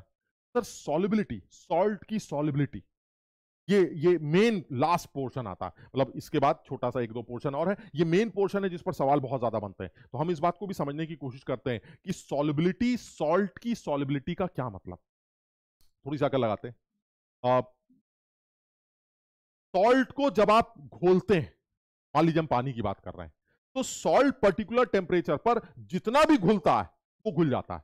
तो एक लीटर सैचुरेटेड सोल्यूशन में जितना भी सॉल्ट डिजोल्व कर गया वो उस सॉल्ट की सॉलिबिलिटी बोली करता यानी अगर मैं डेफिनेशन की बात करूँ तो साफ़ डेफिनेशन है at a constant temperature the maximum number of moles of solute जिसे आप सॉल्ट कह रहे हैं, जो आपने डिसॉल्व किया है वन लीटर सोल्यूशन के अंदर। यानी अब आपका सोल्यूशन सैचुरेट कर गया है। जितना घुलता है, घुलता जा रहा है, घुलता जा रहा है, घुलता जा रहा है। जब वो सैचुरेट कर जाएगा एक लीटर का सोल्यूशन तो जितना भी सॉल्ट घुल चुका है, उस पर्टिकुलर टेम्परेचर पर वो सॉल्ट की सॉलिबिलिटी बोली जाए बताओ, ये समझ में आई बात? यानी सॉल्ट की सॉलिबिलिटी का मतलब है, आपको जितना घोलना है आप घोल दीजिए, एक लीटर सोल्यूशन के अंदर जितना भी वो घुलेगा finally that will be the solubility ठीक है? यानी कहने का मतलब ये हुआ, मान लीजिए आपके पास ये बर्तन है, और इस बर्तन में आपने एक लीटर पानी ले लिया, ठीक? अब आप इसके अंदर एक सॉल्ट को घोल रहे हैं, मान लीजिए ये सॉल्ट आपने रख दिया, ऐसे समझाने के लिए बोल रहा हूँ, मान लीजिए एजीसीएल ठीक? तो थोड़ी देर बाद क्या होगा कि जितना भी इसको घुलना है वो घुल जाएगा जितना भी घुलना है घुल जाएगा, जो नहीं घुला वो बच गया। नाउ दिस इज़ एजीसीएल जो घुल गया वो नीचे चला गया और जो नहीं घुला वो ऊपर रह गया। तो कहने का मतलब ये हुआ कि अब जो नहीं घुला हुआ सॉल्ट है और जो घुला हुआ सॉल्ट है, वो एक इक्विलिब्रियम के फॉर्म में एग्जिस्ट करेगा। और हम सब जानते हैं जो घुल जाता है, वो टूट जाता है। एजी प्लस और सीएल माइनस यानी हमारे पास सॉलिबिलिटी का एक इक्विलिब्रियम है। AGCL solid is in equilibrium with AG plus aqueous plus CL minus aqueous ये हमारा इक्विलिब्रियम यानी कहने का मतलब ये हुआ कि सर ये जो हमारा इक्लिब्रियम है, इसे हम सॉलिबिलिटी का इक्लिब्रियम बोलेंगे। यानी जब कभी भी किसी सॉल्ट को आप डिजोल्व करेंगे तो पर्टिकुलर टेम्परेचर पर सॉल्ट घुलता जाएगा। तो जितना भी वो एक लीटर सोल्यूशन के अंदर पर्टिकुलर टेम्परेचर पर डिजोल्व कर चुका है that will be the solubility of the salt अब मेन बात आती है कि सॉलिबिलिटी कैलकुलेट कैसे की जाएगी? तो इसके कैलकुलेशन में बड़ा आसान सा इंफॉर्मेशन है। सर अगर आपको सॉलिबिलिटी कैलकुलेट करनी है, मान लीजिए इस एजीसीएल की सॉलिबिलिटी आपको निकालनी है तो आप क्या बोलेंगे? Let the solubility of this salt is S मान लेते हैं एस एस सॉलिबिलिटी तो अगर इसकी सॉलिबिलिटी एस एस का मतलब क्या हुआ? इसका मतलब है एस घुल गया। एस घुल गया तो क्या मतलब हुआ? सर, आप बता चुके जो घुल गया, वो टूट गया। तो अगर ये एस घुल गया तो इसका मतलब सर एस टूट जाएगा। और अगर एस टूट जाएगा तो एजी प्लस भी एस बनेंगे और सीएल भी एस बनेंगे। और साफ़ समझ में आता है, इस इक्विलिब्रियम का जो इक्विलिब्रियम कांस्टेंट होगा के एस पी वो एजी प्लस की कॉन्सेंट्रेशन इंटू सीएल माइनस की कॉन्सेंट्रेशन के बराबर होगा, जो कि एस इंटू एस होगा। So S will be root K S P यानी मैं ये बताना चाह रहा हूँ कि जब कभी भी आ, आ, जितना जब कभी भी किसी सॉल्ट को आप सोल्यूशन किसी भी सपोज़ पानी के अंदर डिजोल्व कर रहे हैं तो जब कभी आप सॉल्ट को पानी के अंदर डिजोल्व करेंगे तो वो घुलने लगे। घुलने लगेगा तो घुलने के बाद जितना घुलना होगा, घुल जाएगा। तो जितना भी घुल गया दैट इज़ द सॉलिबिलिटी तो अगर मैं मान लू कि उसकी सॉलिबिलिटी एस है तो इसका मतलब एस घुल गया। एस घुल गया, इसका मतलब एस टूट गया। अगर एस टूट गया तो एजी प्लस भी एस बनेंगे और सीएल भी एस बनेंगे। और केएसपी का जो एक्सप्रेशन होगा, वो आयंस की कॉन्सेंट्रेशन के मल्टीप्लीकेशन के बराबर होगा, जिसको आप आयनिक प्रोडक्ट बोल देंगे। ये जो आयनिक प्रोडक्ट है दिस इज़ केएसपी जिसे आप सॉलिबिलिटी प्रोडक्ट बोल रहे हैं and this is equal to S into S which is KSP so S will be root KSP यानी एक पर्टिकुलर कैटेगरी जो पहली कैटेगरी है, वो सवाल पूछे जाने की वो क्या है? कि अगर मैं आपको सॉल्ट का केएसपी वैल्यू दे दूँ तो आप उसकी सॉलिबिलिटी कैसे निकालते हैं? ये पहली कैटेगरी तो जैसे मैं और एग्जांपल लेता हूँ, मान लीजिए वो हमसे कहता है कि ये सॉल्ट है मेरे पास, कोई भी एक सॉल्ट लेते हैं ए बी टू आप बताइए, इस सॉल्ट की सॉलिबिलिटी और केएसपी वैल्यू को कैसे लिंक करेंगे? तो करके देखते हैं, सर केएसपी का मतलब सॉलिबिलिटी प्रोडक्ट तो ये जितना भी घुलना होगा, घुल जाएगा, ठीक है? मान लीजिए इसकी सॉलिबिलिटी ऐसा तो इसका मतलब ये घुल गया एस घुल गया तो ये सर एस टूट जाएगा। तो जो इक्लिब्रियम बनेगा, वो क्या बनेगा? ए प्लस टू बी यानी सर ये इक्लिब्रियम अब अगर आपने इसकी सॉलिबिलिटी एस बोली तो ये एस घुला। अगर ये एस घुला तो ये एस टूट गया। एस टूट गया तो ए कितने बनेंगे? एस और बी कितने बनेंगे? टू एस समझो? यानी ये एस बनेगा, ये टू एस बनेगा, अगर इसकी सॉलिबिलिटी एस मानी। अब बताइए केएसपी का एक्सप्रेशन क्या होगा? केएसपी का एक्सप्रेशन होगा concentration of A into concentration of B का स्क्वायर ए कितना है? एस और बी कितना है? टू एस का square so this will be four S cube तो what is S S is equal to K S P divided by four का cube यानी ये पहली कैटेगरी है जो सॉल्ट के केएसपी और उसके सॉलिबिलिटी को लिंक कर रही है, जिस पर कम से कम दस बार तुम्हारे जेई मेन्स में सवाल बन चुके हैं। दस बार ये सवाल पूछ चुका समझो? मैं एग्ज़ाम्पल लेता हूँ, तुम्हें समझ में आएगा। दस बार ये सवाल बन चुका है। ये देखिए, आपको एग्ज़ाम्पल दिखाता हूँ मैं। आपको आपको दिखाई देगा ये एग्ज़ाम्पल दस बार ये सवाल पूछ चुका है। ये लीजिए, ये सवाल ले लेते हैं। पहले ये वाला सवाल ले लेते हैं। देखिए क्या कह रहा है। अब लेट आप let the solubility of an aqueous solution of MgOH whole twice be x, then its KSP value will be यानी सॉलिबिलिटी दे रखी है केएसपी निकालो। ये सवाल आ गया। तो चलिए, हमने सवाल शुरू कर दिया। M G O H whole twice ले रखा है। तो चलिए M G O H whole twice का सॉलिबिलिटी का इक्लिब्रियम लिख लेते हैं। तो सॉलिबिलिटी का इक्लिब्रियम क्या बनेगा? M G two plus aqueous ये घुला हुआ सॉल्ट हो गया। 2OH माइनस एक्वस ठीक है? अब वो क्या कह रहा है कि सॉलिबिलिटी एक्स अगर इसकी सॉलिबिलिटी एक्स है तो केएसपी क्या होगा? अरे सर, इसकी सॉलिबिलिटी एक्स का क्या मतलब है? एक्स अगर सॉलिबिलिटी है तो एक्स घुल गया। घुल गया तो टूट गया। टूट गया तो एम कितने बनेंगे? एक्स बनेंगे। ओ OH कितने बनेंगे? टू एक्स बनेंगे। आप बताइए केएसपी का एक्सप्रेशन क्या होगा? केएसपी का एक्सप्रेशन होगा एम जी टू प्लस की concentration into O H minus का स्क्वायर बताइए जरा एम जी टू प्लस की कॉन्सेंट्रेशन और ओ एच माइनस का स्क्वायर कैसे करेंगे? एम जी टू प्लस कितना है? एक्स ओ एच कितना है? टू एक्स का square so it will be four X cube so what is KSP KSP is four X cube कितना सिंपल सवाल हो गया। लाइन से पूछे गए चलिए और सवाल दिखाता हूँ मैं आपको। ये देखिए ये सवाल लीजिए। क्या कहना चाह रहे हैं? हमारे पास जिरकोनियम फॉस्फेट अरे सर लग रहा डरा दिया एकदम। 2019 का सवाल है सर। हर साल का ड्रामा है सर। इसको देख के बच्चे घबराएँगे। कुछ नहीं सर कुछ करना ही नहीं। सर सॉल्ट ही तो है ना। सॉल्ट ले लेते हैं। सर ये लीजिए आप।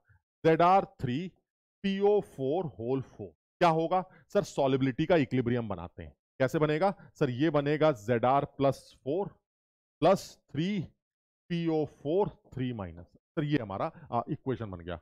आ, ये बन गया हमारी इक्वेशन, ठीक है? सही बना रहे हैं?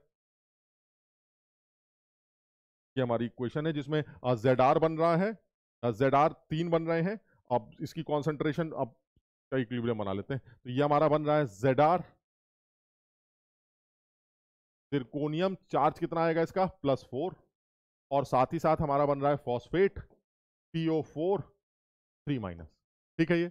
अच्छा इक्वेशन का जहाँ तक सवाल है, क्या इक्वेशन बन रही है? इक्वेशन बन रही है ये। सर, ये इक्वेशन। अब आपको निकालना क्या है? सर, वो कह रहा है कि सॉलिबिलिटी अगर मान लीजिए एस है तो आप क्या बता सकते हैं? एस और केएसपी का क्या रिलेशन है? बिल्कुल। सर, अगर आपकी सॉलिबिलिटी एस इसका मतलब आप एस घूलेंगे हाँ। एस घुलेंगे तो एस टूटेंगे? हाँ। एस टूटेंगे तो जिरकोनियम का आयन कितने बनेंगे? थ्री एस बनेंगे। और ये कितने बनेंगे? फोर एस बताओ, समझे?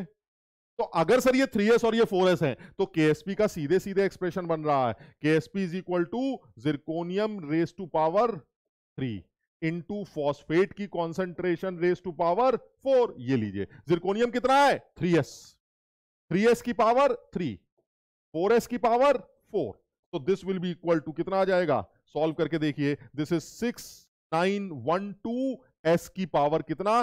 चार और तीन, सात. सर ये है केएसपी का रिलेशन सॉलिबिलिटी के साथ. तो ऑप्शन कौन सा सही लग रहा है? सर बी ऑप्शन सही. बिल्कुल आसान है। कहीं कोई झंझट नहीं है, सर, बिल्कुल आसान है। आसानी से किया जा सकता है, कहीं कोई लफड़ा नहीं। यानी कहने का मतलब ये हुआ, सर, एक कैटेगरी ज़रूर ऐसी लग रही है मुझे, जो सवाल बना रही है, जो केएसपी को सॉलिबिलिटी के साथ लिंक कर रही। तो आप कोई भी सवाल ले लीजिए, आप जनरल बना लीजिए सवाल। सर, ये वाला जनरल सवाल बना लेते हैं, M, X, N, Y. Sir this is the salt अब आप बताइए, इस सॉल्ट की सॉलिबिलिटी को केएसपी के साथ कैसे लिंक करेंगे? ले, लो, अभी कर लेते हैं। सर, इसको तोड़ते हैं। जब ये घुलेगा तो एक्स तो बनेंगे एम के। और वाई बनेंगे एन के। ये दोनों एक्वस जो घुल गए, वो टूट गए सर अब अगर आप ये कहते हैं कि इसकी सॉलिबिलिटी एक्स है, या एस है तो फिर ये एस टूटेगा एस घुलेगा एस घुलेगा तो एस टूटेगा एस टूटेगा तो ये कितना बनेगा एक्स और ये कितना बनेगा एस जब भी कभी सॉलिबिलिटी का सवाल आता है तो सबसे पहला स्टेटमेंट यही होना चाहिए कि मान लो सॉलिबिलिटी एस है, उसके बाद क्या बोलेंगे? अगर एस सॉलिबिलिटी है, इसका मतलब एस घुल गया उसके बाद क्या बोलेंगे? एस घुल गया, यानी एस टूट गया, और जब टूट गया तो कितने ये बने और कितने ये बने वो आपको दिखाई देना चाहिए। अगर यहाँ एक्स लिखा है तो ये एक्स बनेगा, और यहाँ वाई लिखा है तो यहाँ वाई एस बनेगा। इसका मतलब ये हुआ, अब आप केएसपी का फिर से एक्सप्रेशन लिखिए। KSP is equal to M की पावर एक्स इंटू एन की पावर वाई एम कितना है? एक्स एस की पावर एक्स वाई एस की पावर वाई थोड़ा और तमीज से लिखते हैं। एक्स की पावर एक्स वाई की पावर वाई एस की power X plus Y and this is my K यानी के और सॉलिबिलिटी का एक जनरल रिलेशन जो है, वो ये बन सकता। समझे बात? यानी एक कैटेगरी जिस पर बहुत सारे सवाल बनते हैं, वो यही है। बिल्कुल सीधी कैटेगरी है। सर केएसपी और सॉलिबिलिटी को आपस में लिंक करिए। बस बात खत्म करिए। तो केएसपी और सॉलिबिलिटी को लिंक करना है, खट से सॉल्ट लिखिए। सॉल्ट किस तरह से टूट रहा है वो देखिए और टूटने के बाद सॉलिबिलिटी और केएसपी को आपस में लिंक कर दीजिए। हमारा काम चल जाएगा। बस खत्म। हाँ राकेश फॉर्मूला हर बार अलग बनेगा। That depends on the stoichiometry of the salt इसलिए मैं कह रहा हूँ, तुम याद मत करो, तुम सिर्फ़ सॉल्ट से फॉर्मूला बनता कैसे है? केएसपी का और सॉलिबिलिटी का, वो सीख लो बस। समझ रहे हो ना? बहुत सारे सवाल पूछे जाते हैं। ये देखिए, ये भी एक सवाल है, कब पूछा गया? ये 2019 का लाइन से एकदम। है बहुत सारे सवाल एकदम। देखिए क्या कह रहा है? The solubility of calcium hydroxide बताइए। अरे यार, और दे क्या रखा है? सॉलिबिलिटी प्रोडक्ट दे रखा है, यानी केएसपी दे रखा है और सॉलिबिलिटी निकालना है। बताओ, क्या मैं सही लिख रहा हूँ? केएसपी जो बनेगा, वो बनेगा, सबसे पहले तरीके से लिखते हैं। सबसे पहले क्या होना चाहिए? सबसे पहले होना चाहिए हमारा कैल्शियम हाइड्रोक्साइड की इक्वेशन। यानी कैल्शियम हाइड्रोक्साइड का डिसोसिएशन होगा, ये घुलेगा तो कैल्शियम के दो प्लस के आयन बनेंगे, plus two O H minus ion बनेगा। चलिए ठीक है ये। अच्छा अब क्या निकालना let the solubility be S तो this will be S and this will be two S अब बताइए क्या करें? आप सर के का एक्सप्रेशन लिख दीजिए। के का एक्सप्रेशन होगा कैल्शियम आयन की concentration into O H minus की कॉन्सेंट्रेशन का स्क्वायर कैल्शियम कितना है? सर कैल्शियम एस है. ओ एच कितना है? टू एस का square so this will be four S cube and this is given as K S P जो हमें कितना दे रखा है? 5.5 point five into ten raise पर माइनस सिक्स अब तुम खुद बताओ, क्या इससे सॉलिबिलिटी कैलकुलेट नहीं कर सकते? बिल्कुल कर सकते हैं सर पचासियों बार सवाल आ चुका है, पचासियों बार सवाल। यानी मैं फ़र्स्ट कैटेगरी डिस्कस कर रहा हूँ। और फ़र्स्ट कैटेगरी ये कहती है कि जब भी किसी सॉल्ट की सॉलिबिलिटी कैलकुलेट करनी हो तो सॉल्ट की सॉलिबिलिटी कैलकुलेट करने के लिए सबसे पहले सॉलिबिलिटी का इक्विलिब्रियम बनाओ और इक्विलिब्रियम बनाते बनाते ही पहली लाइन बोलो। क्या? लेट द सॉलिबिलिटी बी जैसे ही आपने इसको एस बोला, सारी दुनिया समझ गई। एस घुला है। एस घुला है तो टूटा है। टूटा है तो कितने कैटाइन के मोल्स बने और कितने एनायंस के मोल्स बने, वो निकालो और केएसपी का एक्सप्रेशन लिख दो। आंसर आ गया। क्लियर है? चलिए नेक्स्ट पॉइंट पर आते हैं। सेकंड कैटेगरी क्या बन सकती है? आप देखिए मुझे सॉल्व करने की ज़रूरत नहीं आप खुद बताइए, क्या ये सवाल सॉल्व नहीं कर सकते? आप देख के बताइए। सर सेम सवाल है, सर। इस बार सॉल्ट हमें कौन सा दे रखा है? सर, ये दे रखा तो सर एमएक्स फोर के लिए बना लेंगे। करना क्या है, सर? एमएक्स फोर के लिए करवा लीजिए। अरे भाई, ये लीजिए, सर। एम बनेगा और फोर एक्स बनेंगे। Let the solubility be S तो ये एस ये फोर एस एक्सप्रेशन क्या बना? Sir K S P is equal to M की कॉन्सेंट्रेशन इंटू एक्स की पावर फोर एम कितना है? एस एक्स कितना है? फोर एस की पावर फोर सर, लीजिए सॉल्व कर लीजिए। कितना आ जाएगा ये? फोर फोर फोर फोर कितना होता है? सिक्सटी फोर इंटू फोर तो टू फिफ्टी सिक्स कुछ हो गया ना? फिफ्टी सिक्स हाँ टू फिफ्टी सिक्स तो ये टू फिफ्टी सिक्स एस की पावर फोर आप देख लीजिए कौन सा आंसर सही बन रहा है। टू फिफ्टी सिक्स एस की पावर फोर यहाँ पर भी दोनों सेम ही लिख दिए क्या मैंने? यहाँ पावर में कहीं फोर आ जाएगा, एक बार चेक कर लो, अब फोर नहीं फाइव आ जाएगा पावर फाइव ये पावर में फाइव आ जाएगा। बस इससे आंसर बन जाएगा। तो यानी कि अगर आपको एस की वैल्यू चाहिए तो एस की वैल्यू आ जाएगी K S P upon two fifty six यानी K S P upon two fifty six D option बिल्कुल सही। नहीं ए नहीं आ रहा है ए नहीं आ रहा है ए नहीं आ रहा है ए ए गड़बड़ है। अब ये डी आ रहा है।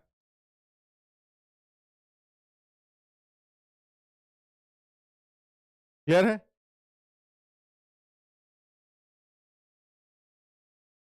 तो ये वाला पोर्शन बिल्कुल इजी हो गया। सेकंड पोर्शन पर आते हैं। सेकंड पोर्शन क्या है? सर, सेकंड पोर्शन जो निकल के आती है, वो है बहुत इंपॉर्टेंट, जिस पर एक बार जेई की मेंस लेवल पर सवाल बनाया जा चुका है। हालाँकि फिर वही बोलूँगा मैं, उम्मीद कम थी, लेकिन फिर भी उन्होंने सवाल बनाया। And that is selective precipitation बहुत अच्छा सवाल, बहुत अच्छा सवाल बनाया। सेलेक्टिव प्रेसिपिटेशन के बारे में थोड़ा सा डिस्कशन हमें करना चाहिए। तो चलो बस थोड़ा सा हिम्मत रखनी भाई, क्योंकि अब ये जो पोर्शन कर रहे हैं, ये लास्ट के पोर्शन है बट ये इंपॉर्टेंट है। मतलब मैं इसमें कुछ नहीं कर सकता। देखो, इतनी देर से तुम भी कर रहे हो, मैं भी कर रहा हूँ एनर्जी मेरी भी कुछ कम हुई होगी, है ना? तुम्हारी भी एनर्जी कम हो गई होगी। तो थोड़ा सा मैं कई बार बोल चुका हूँ बच्चों को कि ये टू वे कम्युनिकेशन जो होता है, जिसमें टीचर भी बच्चों को देखकर एनर्जी लेता है और बच्चे टीचर को देख के एनर्जी लेते हैं। तो इसलिए थोड़ा सा हिम्मत और दिखाते हैं और इसको खत्म करने की कोशिश करते हैं। क्योंकि अब इसको लास्ट में जल्दबाजी में खत्म मत करवाओ। मैं चाह रहा हूँ सारे इंपॉर्टेंट पोर्शन हमने डिस्कस किए तो इस इंपॉर्टेंट इंपॉर्टेंट पोर्शन को भी हम एक बार डिस्कस कर ले। जल्दबाजी में खत्म नहीं करेंगे ना? तो सब लोग एक बार लिख के बताएँ भाई जोश है कि नहीं? आप, आप कर, कर, कर सकते हैं अभी और आगे अच्छी तरह से। सब लोग जरा जल्दी से बताओ कि कैसे करना है सब लोग हिम्मत दिखा रहे हो अभी?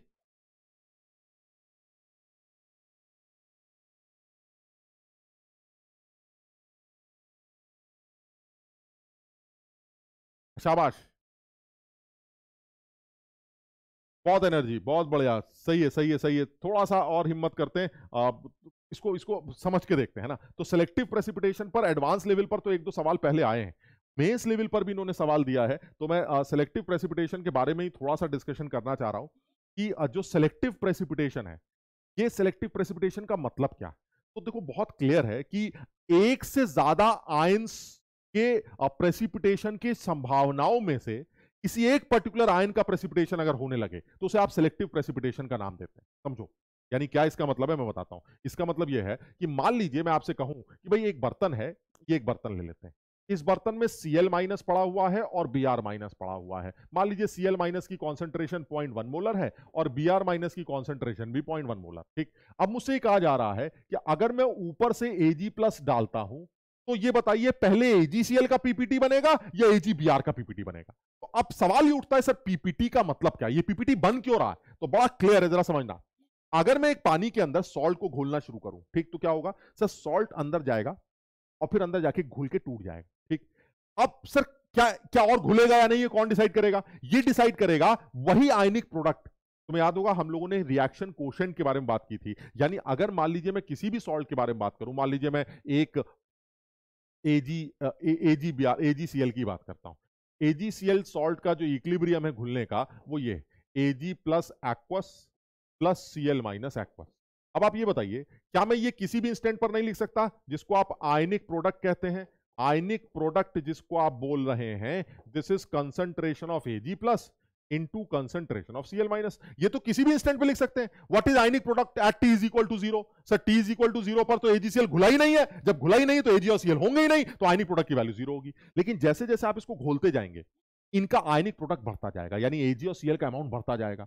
बढ़ते बढ़ते बढ़ते जब ये अमाउंट के के बराबर हो जाएगा तो तुम्हें याद है इक्लिब्रियम सेट हो जाएगा, वही रिएक्शन क्वेश्चन की कहानी। यानी कहने का मतलब ये हुआ, जिस टाइम पर आयनिक प्रोडक्ट जो होता है, जिसको रिएक्शन क्वेश्चन कह रहे हैं, अगर वो केएसपी से कम है तो इसका मतलब क्या हुआ? इसका मतलब है, सर, अभी आयनिक प्रोडक्ट कम है तो और घोलना पड़ेगा। यानी सॉल्ट डिजोल्यूशन शो करेगा। डिजोल्यूशन सॉल्ट का होता रहेगा। चलिए ठीक है। लेकिन सर, ऐसा भी हो सकता है कि कभी ऐसा हो जाए कि आयनिक प्रोडक्ट बढ़ते बढ़ते बढ़ते, आप उसको घोलते जा रहे हैं, ये वैल्यू बढ़ती जा रही है, बढ़ती जा रही है, बढ़ती जा रही है, बढ़ती जा रही है। ऐसा भी हो सकता है। सर, आयनिक प्रोडक्ट के के बराबर हो जाए। और जिस टाइम पर आयनिक प्रोडक्ट के के बराबर होगा, सर सैचुरेशन आ जाएगा। अब सॉल्ट का फर्दर डिजोल्यूशन नहीं हो पाएगा। लेकिन सर ऐसा भी तो पॉसिबल है कि किसी केस में अगर आयनिक प्रोडक्ट की वैल्यू अगर आयनिक प्रोडक्ट की वैल्यू केएसपी से एक्सीड कर जाए तो अगर आयनिक प्रोडक्ट के से एक्सीड कर गया तो सर रिएक्शन को बैकवर्ड जाना पड़ेगा। और बैकवर्ड का मतलब है एजीसीएल का पत्थर बनना,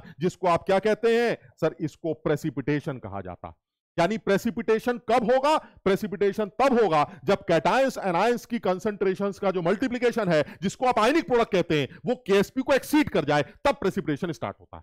ये वाली बात समझ में आ रही? यानी सॉल्ट कब तक घुलता जाएगा? सॉल्ट तब तक घुलता जाएगा जब तक आयनिक प्रोडक्ट केएसपी से कम। और घोलिए और घोलिए और घोलिए, जैसे ही आयनिक प्रोडक्ट केएसपी के बराबर आएगा सॉल्ट का घुलना बंद हो जाएगा। अगर गलती से आयनिक प्रोडक्ट की वैल्यू किसी वजह से आयनिक प्रोडक्ट की वैल्यू अगर केएसपी से बढ़ गई तो सॉल्ट का ये इक्लिब्रियम जो घुलने वाला इक्लिब्रियम है, ये रिवर्स डायरेक्शन में भागेगा और तब पत्थर बनना शुरू हो जाएगा। और इस पत्थर के बनने को क्या कहते हैं? सर, इस पत्थर के बनने को प्रेसिपिटेशन का नाम दे दिया जाता है। यानी कहने का मतलब ये हुआ, सर, कब प्रेसिपिटेशन सेलेक्टिवली किसका होगा, ये कैसे डिसाइड करेंगे, ये इंपॉर्टेंट अब हम थोड़ी सी अकल लगाते हैं। अब इसमें तमाम बदतमीजियाँ हैं। तमाम बदतमीजियाँ इन द सेंस कुछ जगहों पर लिखा मिलता है कि जिन सॉल्ट्स का केएसपी कम होता है, वो पहले प्रेसिपिटेट कर जाते हैं। वो शायद ये सोच के बोलते हैं कि आयनिक प्रोडक्ट जल्दी केएसपी को पकड़ ले। तभी तो प्रेसिपिटेशन स्टार्ट होगा, क्योंकि आयनिक प्रोडक्ट अगर केएसपी से बढ़ेगा, तभी प्रेसिपिटेशन होगा। तो जिन लोगों का केएसपी कम है, उनका आयनिक प्रोडक्ट जल्दी केएसपी को पकड़ लेगा और प्रेसिपिटेशन स्टार्ट हो जाएगा। लेकिन एक्चुअली ये कोई रूल नहीं। इसलिए मेरे हिसाब से एक जनरल तरीका सेलेक्टिव प्रेसिपिटेशन का क्या होना चाहिए, वो हमें पता होना चाहिए। और मज़े की बात क्या है मेस लेवल पर फिर एक बड़ा खूबसूरत सवाल बनाया गया जैसे मैं एक एग्ज़ाम्पल लेता हूँ। मान लीजिए मुझसे कहा जा रहा है कि एक बर्तन है, जिस बर्तन के अंदर जो है, आपने ये पहला केस ले लेता हूँ मैं, केस वन। क्या है पहला केस? ये बर्तन है और इस बर्तन में point one molar C L minus है और point one molar B R minus. अब आप ऊपर से एजी प्लस डाल रहे हैं। आपसे ये पूछा जा रहा है, बताइए सेलेक्टिवली प्रेसिपिटेट कौन बनाएगा? पहले एजीसीएल बनाएगा या एजीबीआर बनाएगा? तो सेलेक्टिवली प्रेसिपिटेट कौन बनाएगा, ये कैसे डिसाइड करेंगे? हमें सवाल में दोनों लोगों के केएसपी गिवन होंगे। एजीसीएल का भी गिवन है, मान लीजिए टेन डेज़ पर माइनस टेन और केएसपी मान लीजिए हमें एजीबीआर अगर बना तो उसका भी केएसपी दे रखा है टेन डेज़ पर माइनस ठीक है? अब बताइए सेलेक्टिवली प्रेसिपिटेट कौन करेगा? सेलेक्टिवली प्रेसिपिटेट वो करेगा कि जिसका केएसपी कम है? पहले वो पीपीटी बनाएगा, यही तो बात हुई थी। सर, किसका केएसपी कम है? सर, इसका कम है। तो प्रेसिपिटेशन किसका पहले होना चाहिए? एजीबीआर ठीक है? लेकिन सर, ये तो अभी बात हुई हमारी की जिसका केएसपी कम होता है, सर, वही पहले प्रेसिपिटेट बनाए, ये कोई रूल नहीं होता, सर। अब थोड़ा जनरल तरीका बात करते हैं। तो मैं तुम्हें जनरल एक मेथड बता रहा हूँ, सब लोग उस मेथड को सीख लेंगे ताकि कभी गलती ना हो। और वो मेथड ये है कि जब कभी भी आप ऊपर से एजी प्लस गिराते हैं तो ऊपर से गिरने वाले आयन की जो कॉन्सेंट्रेशन है जिस सॉल्ट के प्रेसिपिटेशन के लिए कम चाहिए। पहले वो पीपीटी बना देते बस समझ लीजिए। यानी कहने का मतलब ये हुआ, आप ऊपर से एजी प्लस गिरा रहे हैं। तो एजीसीएल के प्रेसिपिटेशन के लिए एजी प्लस कितना चाहिए वो निकालिए। एजीबीआर के प्रेसिपिटेशन के लिए एजी प्लस कितना चाहिए वो निकालिए। जिस जगह पर एजी प्लस कम चाहिए होगा, वही पीपीटी पहले बनाते समझो?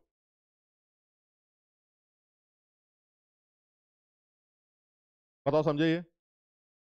मैं बताता हूँ। आप बताइए जरा। एजी प्लस की requirement for the precipitation of AG AGCL कितनी होनी चाहिए बताइए जरा। सर, ये होनी चाहिए K S P of AGCL divided by concentration of CL minus क्यों? क्योंकि सर, इन दोनों का मल्टीप्लीकेशन वो के एस पी के बराबर होगा। तो सेचुरेशन आ जाएगा। इससे बड़ा हुआ तो प्रेसिपिटेशन स्टार्ट हो जाएगा। यानी ये वो कॉन्सेंट्रेशन है, जिससे ज़्यादा अगर आपने एजी प्लस डाला तो एजीसीएल का प्रेसिपिटेशन स्टार्ट हो जाएगा। यानी the concentration of AG plus required for the precipitation of AGCL will be this and this is 10 raise पर minus 10 divided by 0.1 and this is 10 raise पर माइनस 9 मोलर यानी अगर आप एजीसीएल का प्रेसिपिटेशन लाना चाहते हैं तो एजीसीएल का प्रेसिपिटेशन लाने के लिए आपको टेन रेस पर minus nine molar AG plus डालना पड़ेगा। उससे ज़्यादा एजी प्लस डालना पड़ेगा। ठीक। अच्छा यही काम अगर आप एजीबीआर की बात करते हैं तो क्या होगा? अगर आप एजी प्लस एजीबीआर की प्रेसिपिटेशन चाहते हैं तो क्या होगा? सर, उसके लिए आपको KSP of AGBR divided by B R minus की कॉन्सेंट्रेशन लेनी पड़ेगी। और वो कितना है? टेन रेस पर minus thirteen divided by point one and that is ten raise पर माइनस ट्वेल्व मोलर इसका मतलब ये हुआ, सर, एकदम साफ़ समझ में आता।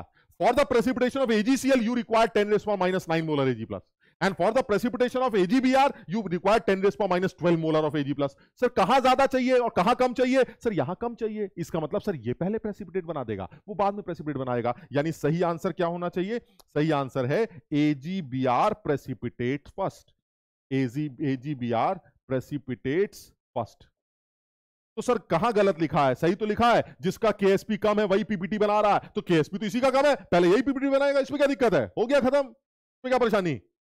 बिल्कुल सीधा है। अभी सीधा है, लेकिन सवाल बदल सकता था और सवाल तुमसे गलत भी हो सकता था, अगर तुम सिर्फ़ ये याद करके गए कि जिसका केएसपी कम होता है, पहले वो पीपीडी बनाता है। बिल्कुल गलत बात है। सही आंसर ये है, जिसके प्रेसिपिटेशन के लिए ऊपर से गिरने वाले आयन की कॉन्सेंट्रेशन कम चाहिए, पहले वो पीपीडी बनाता मैं दूसरा एग्ज़ाम्पल लेता हूँ, देखो, अभी कंफ्यूज करने के लिए। दूसरा एग्ज़ाम्पल क्या है? ये लीजिए केस टू केस टू क्या है? सर, ये देखिए, फिर से वही दोनों लोग 0.1 molar Cl and ten raise पर minus five molar B R अब बताइए सर, किसका पीपीटी पहले बनेगा? केएसपी दे रखे। एजीसीएल का केएसपी टेन रेस पर माइनस टेन और KSP of AG B R वो दे रखा है टेन रेस पर माइनस थर्टीन। किसका गैस भी कम है? सर, इसका कम है। तो पहले ये भी बनाएगा, अभी तो हुआ। ना ना, तरीका वो नहीं है, सर। तरीका क्या है? For the precipitation of AGCL how much AG plus is required for the precipitation of AGCL the AG plus requirement is what AG plus requirement is ten raise पर minus ten divided by point one and that is ten raise पर minus nine for the precipitation of AgBr the requirement of Ag plus is what? This is for AgCl और AgBr के लिए कितना चाहिए? AgBr के लिए चाहिए 10 raise पर minus thirteen divided by 10 raise पर minus five and this is 10 raise पर माइनस एट अब बताइए जरा, किसके लिए Ag प्लस कम चाहिए? सर, इसके लिए Ag प्लस कम चाहिए। KSP किसका कम है? सर, नीचे वाले का। फिर भी प्रेसिपिटेशन किसका पहले होगा? एजीसीएल का। यानी इस सवाल का आंसर क्या आएगा? AgCl precipitate first AGCL precipitates first इस बार केएसपी किसका कम था? सर केएसपी तो एजीबीआर का कम था, लेकिन प्रेसिपिटेशन किसका पहले हो रहा है? एजीसीएल क्योंकि सर केएसपी से कोई लेना देना ही नहीं। सर, एक ही फैक्टर है जो डिसाइड करेगा वो क्या है कि अगर आप ऊपर से किसी आदमी को गिरा रहे हैं तो नीचे तमाम लोगों के प्रेसिपिटेशन की संभावनाओं में से उस आदमी का प्रेसिपिटेशन या उस सॉल्ट का प्रेसिपिटेशन पहले होता है, जिसके लिए ऊपर से गिरने वाले आयन की कॉन्सेंट्रेशन मिनिमम चाहिए होती। यानी अगर आप ऊपर से एजी प्लस गिरा रहे हैं और नीचे सीएल और बीआर पड़े हैं तो जिस कैटाइन जिस सॉल्ट के प्रेसिपिटेशन के लिए ऊपर से गिरने वाला एजी प्लस कम चाहिए होगा, पहले वो पीपीटी बनाएगा। इसके अलावा इसमें कोई दूसरी बात नहीं करेंगे। यानी ये बिल्कुल गलत स्टेटमेंट है। Salt having less KSP precipitate first false salts having less KSP precipitate first ये हो भी सकता है, ये नहीं भी हो सकता। दैट डिपेंड्स ऑन द ऊपर से गिरने वाला आयन इफ़ द ऊपर से गिरने वाला ion concentration is less for the particular salt precipitation that salt will precipitate first यानी कहने का मतलब ये हुआ कि जब कभी भी सॉल्ट का प्रेसिपिटेशन आप करेंगे तो सॉल्ट के प्रेसिपिटेशन में उस सॉल्ट के प्रेसिपिटेशन के चांसेस बढ़ जाते हैं। जिस सॉल्ट के प्रेसिपिटेशन को करते वक्त ऊपर से जो आप आयन गिरा रहे हैं, उस आयन की कॉन्सेंट्रेशन मिनिमम जहाँ पर भी रिक्वायर्ड होगी। तो मैं करूँगा क्या? जब भी कभी इस तरह का सवाल आएगा, मैं ऊपर से गिरने वाले एजी प्लस की कॉन्सेंट्रेशन चेक कर लूँगा और उससे केएसपी चेक कर लूँगा। खत्म हो गया। क्लियर है वाली बात? सबको ये बात समझ में आई? क्लियर है? जैसे और एग्ज़ाम्पल लेते हैं। ये देखिए आप सवाल। कितना बढ़िया सवाल ये पूछा गया था। वो पूछ क्या चाह चाह रहा है? वो कह रहे हैं कि a solution of point one molar of CL minus and point zero zero one mole of CRO four solid AGNO three is gradually added यानी आप क्या कह रहे हैं? मेरे पास एक सोल्यूशन है जिसमें सीएल पड़ा है और सीआरओ फोर पड़ा है। चलिए इसको कोने में करके देखते हैं यहाँ पर, छोटा सा। बल्कि ये यहाँ लिख लेते हैं। सीएल माइनस कितने हैं? सीएल माइनस पॉइंट वन है। और जो सीआरओ फोर है, बड़ा अच्छा सवाल है। Point zero zero one. कितने? हाँ पॉइंट ज़ीरो ज़ीरो वन मोला चलिए ठीक, अब आपसे ये पूछा जा रहा है, पहले कौन पीपीटी बनाएगा? और केएसपी वैल्यूज़ दे रखी है, ये भी दे रखा है और ये भी केएसपी दे रखा है, दोनों की केएसपी दे रखे हैं। कैसे करेंगे? सर, मैंने कुछ याद ही नहीं किया। मैं तो सिर्फ़ एक बात मानता हूँ, ऊपर से जो आप एजी एजीएनओ थ्री गिरा रहे हैं दैट मीन एजी प्लस गिरा रहे हैं, ये एजी प्लस जिस जगह पर प्रेसिपिटेशन के लिए कम चाहिए होगा, पहले उसी का पीपीटी बनेगा। बताओ, ठीक है ये? ये वाली बात सबके समझ में आ रही है? पीपीटी पहले उसका बनेगा, जिसके प्रेसिपिटेशन के लिए जो रिक्वायर्ड एजी प्लस है, वो कम।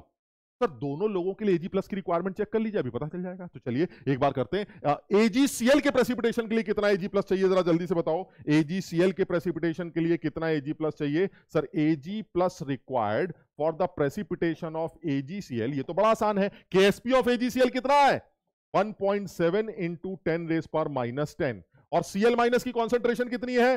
0.1 so this will be 1.7 point seven into ten raise पर माइनस नाइन मोलर। चलिए, यानी इसका मतलब ये हुआ कि अगर आपको एजीसीएल का प्रेसिपिटेट बनाना है तो ऊपर से एजी प्लस कितना गिराना पड़ेगा? इतना, ठीक है? अच्छा अब अगर आपको Ag2CrO4 का प्रेसिपिटेट बनाना तब कितना चाहिए? वो बड़ा इंपॉर्टेंट है। बड़ा इंपॉर्टेंट है। कैसे? सर, अब जो आपको एजी प्लस बनाना होगा एजी प्लस की रिक्वायरमेंट होगी Ag2CrO4 के लिए तो बड़ा खूबसूरत है ये। This will be KSP upon CRO four का अंडर रूट मैं अभी दिखाता हूँ तुम्हें कैसे। केएसपी कितना हुआ? 1.9 point nine into ten raise पर minus twelve divided by point zero zero one clear है? इसको अगर आप सॉल्व करते हैं तो ये सात दिखाई दे रहा है। This is of the order of ten raise पर माइनस फाइव और साफ़ दिख रहा है कि ये काफ़ी कम है, ये काफ़ी ज़्यादा है। यानी प्रेसिपिटेशन किसका पहले होगा? सर, ऊपर वाले का। केएसपी कम किसका था?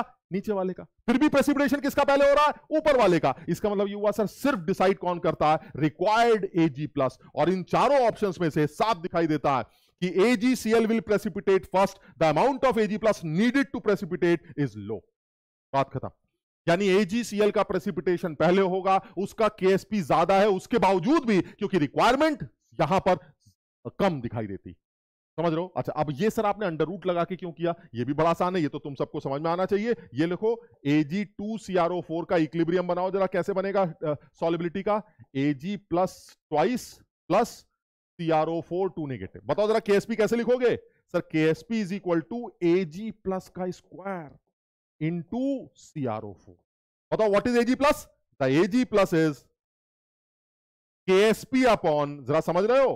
कंसंट्रेशन ऑफ़ सीआरओ फोर का अंडर रूट ये है एजी प्लस यानी ये जो एजी प्लस आपने निकाला रिक्वायर्ड वो यहाँ से निकल के आया sir and this is much greater than the required AG plus for the precipitation of AGCL so AGCL precipitate first because it is not because the KSP बड़ा है केएसपी छोटा it is only because the concentration of AG plus required in case of precipitation of AGCL is less salt वही PPT बनाएगा पहले, जिसके लिए ऊपर से गिरने वाले आयन की कॉन्सेंट्रेशन कम चाहिए होगी। इसलिए अगर 10 तरह के सॉल्ट्स के प्रेसिपिटेशन की संभावनाएँ हो तो ऐसे में आप उस सॉल्ट को ले लीजिए। उस उस हर जगह पर ऊपर से गिरने वाले आयन की कॉन्सेंट्रेशन निकालिए, और जहाँ वो रिक्वायरमेंट सबसे कम लगे, सबसे पहले उसका पीपीटी बना दीजिए, बात खत्म।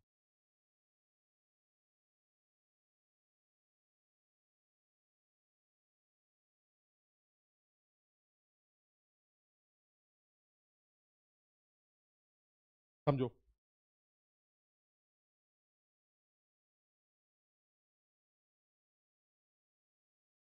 बताओ ये सब लोगों की ये बात समझ में आई? किस किस की ये बात समझ में आ गई? जरा लिख के बताओ जल्दी से। बहुत इंपॉर्टेंट है। मतलब तुम सोचो जेई के लेवल पर इस तरह का सवाल बनाया गया है, जिसमें पूछा गया कि प्रेसिपिटेशन किसका पहले होगा? और वो भी कंफ्यूज करने के लिए एक सॉल्ट एजीसीएल है। और एक salt AG two CRO four ज़्यादातर बच्चे समझ नहीं पाते कि एजी टू सीआरओ फोर के केस में एजी प्लस की रिक्वायरमेंट कैसे निकाली जाती है। वो केस भी के एक्सप्रेशन से निकाली जाती है। देखिए ना ये। अरे भाई, तुम्हें पता है टू एजी है तो टू एजी बन जाएगा। तो एजी प्लस का square into CRO four what will be AG plus AG plus will be के केएसपी अपॉन सीआरओ फोर का अंडर रूट तो यहाँ पर एजी प्लस की रिक्वायरमेंट यहाँ से निकलेगी। यहाँ पर एजी प्लस की रिक्वायरमेंट यहाँ से निकलेगी और तब डिसाइड करेंगे जहाँ पर भी एजी प्लस कम चाहिए होगा, पहले वो पीपीटी बनाएगा। इसलिए केएसपी का कम होना शाबाश। बहुत सारे बच्चे लिख रहे हैं, उनके समझ में आ गया है। केएसपी का कम होना सब कुछ डिसाइड नहीं करेगा। डिसाइडिंग फैक्टर सिर्फ़ केएसपी नहीं होगा। डिसाइडिंग फैक्टर सिर्फ़ एक ही होगा। ऊपर से गिरने वाले आयन की रिक्वायरमेंट जहाँ कम कंसेंट्रेशन जहाँ कम, वहाँ प्रेसिपिटेशन पहले बनेगा शाबाश!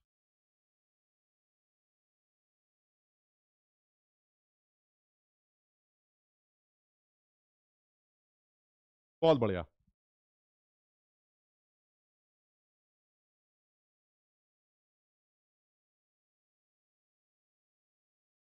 तो इस तरह का सवाल हमसे पूछा जा सकता है किसी भी फॉर्म में आ गया ना? तो समझो समझो ये सवाल बनाए जा सकते हैं। तो ये बड़ा आसान है। अब एक केस और बना रहे हैं जिसमें हमसे पूछा जा रहा है, जिस पे सवाल बनते हैं तो मैं उसको भी कराना चाह रहा हूँ। एंड दैट इज़ कुछ एक आध केस बना रहे हैं जिसमें डिफरेंट सोल्यूशंस के अंदर सॉलिबिलिटीज कैलकुलेट करनी। ठीक है ना? तो बड़ा इंपॉर्टेंट है, बड़ा आसान है। इसको थोड़ा सा समझने की कोशिश करो कि अगर मान लीजिए मैं सॉल्ट ले लेता हूँ, ऐसी एग्ज़ाम्पल ले लेता हूँ। Salt of strong acid plus strong base हालाँकि स्ट्रॉन्ग एसिड स्ट्रॉन्ग बेस का जो सॉल्ट होता है, वो जनरली एनएसीएल और केसीएल टाइप का सॉल्ट होता है। और एनएसीएल और केसीएल पानी में बहुत ज़्यादा घुलते हैं। हमें उन सॉल्ट से मतलब है जो बहुत कम घुलते हैं, जिनके केस भी जनरली कम है। तो ऐसे सॉल्ट जो होंगे हमारे, वो एनएसीएल और केसीएल टाइप के होने चाहिए, जो कि हम नहीं ले रहे हैं, क्योंकि वो बहुत ज़्यादा घुलते हैं। हमें ऐसे सॉल्ट चाहिए जो कम घुलने वाले सॉल्ट है, लेकिन लगभग लगभग स्ट्रॉन्ग एसिड स्ट्रॉन्ग बेस को मीट करते हैं। तो उसका एक बड़ा कॉमन सा एग्ज़ाम्पल मान लेते हैं, जैसे मैंने शुरू में भी बोला था एजीसीएल एक ऐसा सॉल्ट या एजीबीआर एक ऐसा सॉल्ट हो गया, ये वो सॉल्ट है जो वीक बेस से तो आए हैं। AG O H is weak base लेकिन इतना वीक बेस नहीं होता। मतलब मैं ये अज्यूम कर लेता हूँ एजीसीएल भी मेरा ठीक ठाक बेस है अच्छा बेस है, और सीएल और बीआर तो तो मुझे पता है ये स्ट्रॉन्ग एसिड से आ रहे हैं। तो मैं उन सॉल्ट्स को कंसीडर कर रहा हूँ जो स्पारिंगली सॉल्युबल सॉल्ट्स हैं, जो कम घुलने वाले सॉल्ट्स होते हैं, ठीक है? तो अब मान लीजिए ये मेरा एजीसीएल है और मुझे इसकी सॉलिबिलिटी कुछ एक आध सोल्यूशंस में कैलकुलेट करनी तो जैसे मान लीजिए अगर मैं सबसे पहले कैलकुलेट करूँ इस तरह के सॉल्ट्स की सॉलिबिलिटी मान लीजिए वाटर के अंदर कैलकुलेट करूँ, पहला सोल्यूशन इज़ वाटर सर, ये तो बहुत आसान है, अभी आप बता चुके हैं। अगर आप एजीसीएल को घोलेंगे तो अभी आपने बात की थी एजीसीएल को घोलेंगे तो सर एजीसीएल का इक्विलिब्रियम बन जाएगा। AGCL solid AG plus aqueous ये घुल गया और प्लस सीएल माइनस एक्वस और अगर आपको सॉलिबिलिटी निकालनी है तो आप क्या बोलेंगे? Let the solubility be S तो अगर एस तो एस घुलेगा। एस घुलेगा एस टूटेगा। S S K S P S is equal to root K S P बात समझ रहे हो? तो मान लेते हैं मैं इसकी सॉलिबिलिटी को। ये सॉलिबिलिटी इसकी एस वन अगर ये S1 है तो ये भी S1 होगा। यानी S1 one into S one is equal to K S P तो S1 is equal to root K S P मैं एस वन इसलिए लिख रहा हूँ क्योंकि मैं कंपेयर करूँगा सॉलिबिलिटीज के कि कहाँ ज़्यादा है, कहाँ कम, ठीक? अच्छा दूसरा सोल्यूशन क्या हो सकता है? यही सॉल्ट किसके अंदर घोलना है? अब ये घोल रहे हैं एसिडिक बफर में। दूसरा है हमारा एसिडिक बफर अब बताइए क्या होगा? सर, अगर आप एसिडिक बफर के अंदर इस तरह के सॉल्ट को घोलने की कोशिश करेंगे तो क्या होगा? अरे भाई, आप ये बताइए एसिडिक बफर क्या है? सर एसिडिक बफर वो है जो एच प्लस देता है। ठीक है? इसका मतलब जिसके अंदर प्लस है तो ऐसे में सर जब आप एजीसीएल को अंदर डालेंगे तो वो इक्लिब्रियम बनाएगा। कौन सा? सॉलिबिलिटी का इक्लिब्रियम बनाएगा। AGCL solid AG plus aqueous plus CL minus aqueous sir, ये इक्लिब्रियम क्लियर है? अच्छा अब अगर ये इक्लिब्रियम बन रहा है तो आप ये बताइए जरा, सोच के कि इस केस में अब इसकी सॉलिबिलिटी कैसे निकलेगी? सर सॉलिबिलिटी एस टू मान लेते हैं। फ़र्क क्या हो? सर, जैसे ही अंदर जाएगा तो एजी प्लस बनेगा। Sir AG plus H plus के साथ तो बात कर नहीं सकता। बात समझ रो दोनों positive charge CL minus H plus के साथ बात कर सकता है। सर वो भी बात नहीं करेगा, क्योंकि अगर बात करेगा तो एच बनेगा और एचसीएल फिर से टूट जाएगा। स्ट्रॉन्ग एसिड होता है। इसका मतलब ये होगा, सर, ये अंदर जाएगा, कोई बातचीत नहीं होगी। सॉलिबिलिटी एस मान लेते हैं और इस बार एस की वैल्यू फिर से वही रूट के एस आ जाती यानी एसिडिक बफर के अंदर वही सॉलिबिलिटी है जो पानी के अंदर। क्लियर है ये? अच्छा यही चीज़ अगर आप बेसिक बफर ले लेते मान लीजिए अगर मैं बेसिक बफर ले लूँ तो क्या होगा? सर, अगर आप बेसिक बफर ले लेंगे, ये लीजिए उसके अंदर ओ एच माइनस होंगे, ये बेसिक बफर अब आप बताइए क्या पॉसिबिलिटी है? कुछ भी नहीं है यार, बड़ा सेम है। सर, जब आप इसके अंदर एजीसीएल डालेंगे तो फिर वही है एजीसीएल घुलेगा। एजी प्लस बनेगा।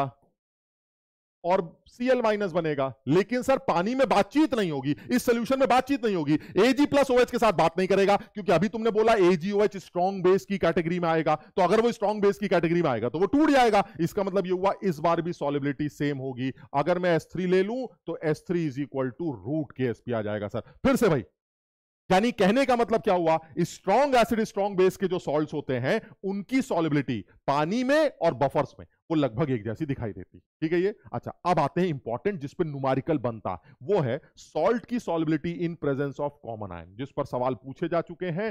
Solubility solubility in presence of a common ion common ion के प्रेजेंस में सॉलिबिलिटी कैलकुलेट करनी है। चलिए कैलकुलेट करके देखते हैं।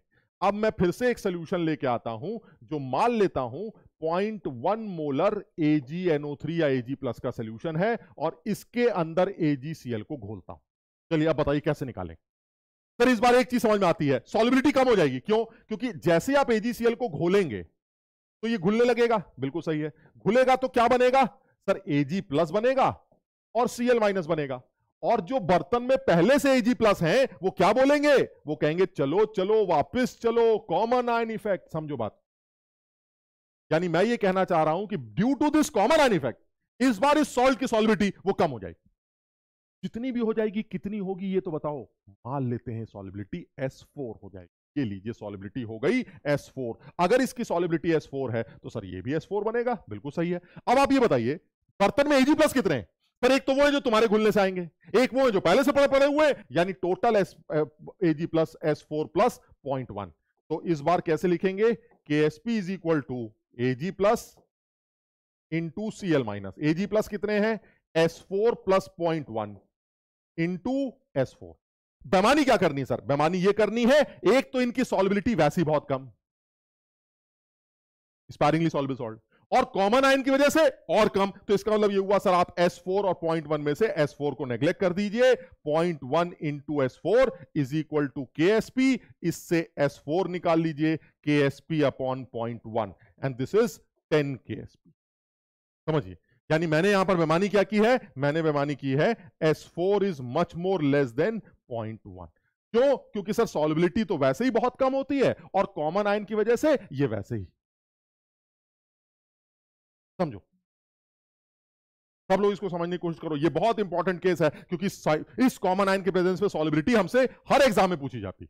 अभी मैं दिखाता तुम्हारे एग्ज़ाम में पूछी गई। यानी जब कभी भी कॉमन आयन की सॉलिबिलिटी कैलकुलेट करनी होगी तो कॉमन आयन की जो कॉन्सेंट्रेशन है, वो सॉल्ट जो अंदर पड़ा हुआ सोल्यूशन है, उसी में से ले ली जाएगी। उस सॉल्ट से आने वाले जो एजी प्लस है, उसको नेग्लेक्ट कर दिया जाएगा। यानी जो टोटल एजी प्लस है, वो दिस प्लस दिस है, जिसमें एस फोर को नेग्लेक्ट करके पॉइंट वन को यूज़ कर लिया जाएगा और सॉलिबिलिटी एस फोर कैलकुलेट कर ली जाएगी। क्लियर है? सबकी ये बात समझ में आ रही है यानी साइमल्टेनियस ये जो सॉलिबिलिटी है जो कॉमन आयन के प्रेजेंस में, आ, में निकाली गई। नहीं नहीं दिव्यांश समझने की कोशिश करो बेटा ये बहुत इंपॉर्टेंट है। मैं मैं एग्ज़ाम्पल के तौर पे तुम्हें दिखाता हूँ ये सवाल हमसे पूछे जाते हैं तुम तुम कहो तो सिर्फ़ एग्ज़ाम्पल से ही तुम्हें ये बात समझा के दिखाता हूँ कि ये हमसे कॉमन आयन ये देखिए आप ये टू का सवाल है के दे रखा है मोल सॉलिबिलिटी निकालनी है इस सोल्यूशन में। किसकी निकालनी है सॉलिबिलिटी जरा बताइए। सर ये देखिए point one molar Ag plus है। और आप ऊपर से घोल रहे हैं एजी टू सीओ थ्री को। तुम बताओ, क्या ये वही सवाल नहीं है? सर एजी प्लस अंदर है, अंदर भी एजी प्लस है तो sir this is the case of common ion अब कैसे करेंगे? अभी तो किया, अभी करके देखते हैं, ये देखो, सबसे पहले एजी टू सीओ थ्री को घोलते हैं।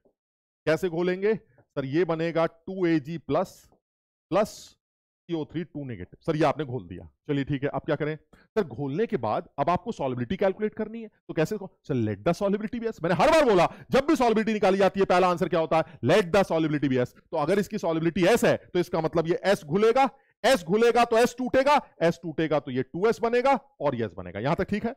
अब जरा केएसपी का एक्सप्रेशन लिखते हैं। क्या है केएसपी का एक्सप्रेशन केएसपी का एक्सप्रेशन है एजी प्लस का स्क्वायर दिख रहा है? Into carbonate what is Ag plus जरा सोच के बताओ। सर एजी प्लस एक तो वो वाले। और एक पहले से प्रेजेंट है कितने? पॉइंट वन सर, ये है एजी प्लस आपका। इसका मतलब ये हुआ this is two S plus point one का होल स्क्वायर इंटू कार्बोनेट कितने हैं? एस पैमानी क्या करनी है? सर, एक तो वैसी सॉलिबिलिटी कम होती है। ऊपर से कॉमन आयन लगेगा। सॉलिबिलिटी और कम हो जाएगी। तो 2s को 1 के रेस्पेक्ट में नेग्लेक्ट कर दीजिए। यानी 2s is much more less than point one बस खत्म हो गया, सर। अब बताइए आंसर कैसे निकलेगा? सर आंसर दिखाई दे रहा है। This is K S P which is equal to point का square that is point zero one into S sir, यहाँ से आप आसानी से केएसपी कैलकुलेट कर सकते हैं। केएसपी को 0.01 से डिवाइड करके सॉलिबिलिटी निकाली जा सकती है। So solubility is KSP divided by 0.01 जो भी ऑप्शन होगा, उसको टिक कर सकते हैं। 8 into ten raise minus twelve upon point zero one that is 8 into ten raise minus ten वो हमारा ऑर्डर बन जाए। ऑप्शन बिल्कुल सही। यानी कॉमन आयन के प्रेजेंस में भी सॉलिबिलिटी हमसे पूछी जाती है। बेमानी सिर्फ़ और हर बार बेमानी करनी है। बेमानी क्या करनी है? सर कॉमन आयन की प्रेजेंस में जब भी सॉलिबिलिटी निकालनी है तो सोल्यूशन से आने वाले जो एजी प्लस हैं, उनको सॉल्ट से निकल के आने वाले एजी प्लस के रेस्पेक्ट में उनको डोमिनेट करवाइए और सॉल्ट से आने वाले एजी प्लस को नेग्लेक्ट कर दीजिए। तो हर बार यस नेग्लेक्ट हो जाएगा। हर बार यस नेग्लेक्ट हो जाएगा। क्या बचेगा सिर्फ़? पॉइंट वन का स्क्वायर तो इससे आप एस कैलकुलेट कर सकते हैं। तो जब भी कभी कॉमन आयन का सवाल आएगा, आप आसानी से काम कर सकते हैं। यह बेमानी आपको हर बार लगानी पड़ेगी। समझ में आई बात? चलिए और एक एग्ज़ाम्पल ले लेते हैं। और एक केस बना लेते हैं। दूसरा केस बनता है हमारा साइमल्टेनियस का। इसी के अंदर एक केस और बनाते हैं जिस पर सवाल बनता है। Next case is simultaneous solubility ये लास्ट केस होगा इसका साइमल्टेनियस सॉलिबिलिटी साइमल्टेनियस सॉलिबिलिटी का क्या मतलब? साइमल्टेनियस सॉलिबिलिटी का मतलब है, आप एक तरफ़ से एजीसीएल को घोलने की बात कर रहे हैं ये मान लीजिए आपको एजीसीएल घोला जा रहा है पानी के अंदर और एक तरफ़ से आप एजीबीआर को घोल यानी साइमल्टेनियसली आप दोनों लोगों की सॉलिबिलिटी कैलकुलेट करना चाह रहे हैं, जिसमें एक आयन कॉमन और ये बहुत इंपॉर्टेंट है। जो बच्चे भी थोड़ा सा थक चुके हैं, वो बिल्कुल दो मिनट और अलर्ट रहे, क्योंकि इस पर भी सवाल पूछा जा चुका है मेंस लेवल पर भी और एडवांस लेवल पर भी। तो सब लोग बहुत अलर्ट रहे, ये बहुत इंपॉर्टेंट है। साइमल्टेनियस का मतलब है, तुम्हें याद होगा, एक साथ एक से ज़्यादा इक्लिब्रियम जिसमें एक आदमी कॉमन हो। अब आप बताइए, हो क्या रहा है? सर, इसमें देखिए, एक तरफ़ से ये होगा कि जो है एजीसीएल घुलेगा। खुलेगा तो सर, ये इक्लिब्रियम बनाएगा। कौन सा इक्लिब्रियम बनाएगा? Ag plus aqueous plus Cl minus x अच्छा एजीबीआर भी घुलेगा सर, उसको कौन रोकेगा? वो भी घुलेगा। चलिए, वो भी ठीक है। जब वो भी घुलेगा तो वो भी एजी प्लस एक्वस बनाएगा। Plus B R minus aqueous बनाएगा। अब आपसे पूछा जा रहा है, क्या बता सकते हैं दोनों लोगों की सॉलिबिलिटीज क्या?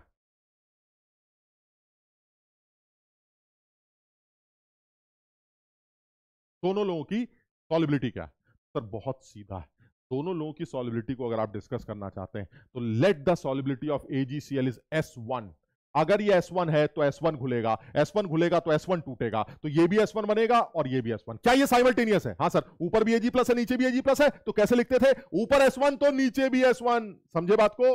फिर नीचे वाला इक्विलिब्रियम बनाएँगे तो let the solubility of AgBr is S2 तो ये एस टू बनेगा, ये भी एस टू बनेगा, और ऊपर भी चुपचाप एस टू लिख देंगे, क्योंकि Ag प्लस कॉमन है so the concentration of Ag plus will be common what is S1 S1 is the solubility of AgCl in presence of AgBr and what is S2 S2 is the solubility of AgBr in presence of AgCl समझ में आया? दो equations दो unknown solve कर लीजिए, खत्म हो गया। पहला इक्वेशन क्या बनेगा? K S P is equal to S one plus S two into S one और दूसरा इक्वेशन क्या बनेगा? ए जी बी आर का जो के एस पी होगा, वो फिर से वही S one plus S two two S two sir, ये दो इक्वेशंस हैं, दो अननोन्स हैं, दोनों को सॉल्व करके एस वन और एस टू कैलकुलेट कर सकते नहीं आ, इस बार S2 को S1 के रेस्पेक्ट में नेग्लेक्ट नहीं कर सकते बिकॉज़ दोनों ही की सॉलिबिलिटी खराब है। बात समझ तो दोनों लोग तो एक दूसरे के सामने आएँगे ही आएँगे। तो आपके पास दो इक्वेशंस हैं दोनों को सॉल्व कर लीजिए दोनों से S1 S2 सॉल्व हो जाएगा और एक बार S1 S2 निकल आया तो आपको दोनों लोगों की सॉलिबिलिटी पता चल जाएगी। ये साइमल्टेनियस का केस इंपॉर्टेंट केस बनता है।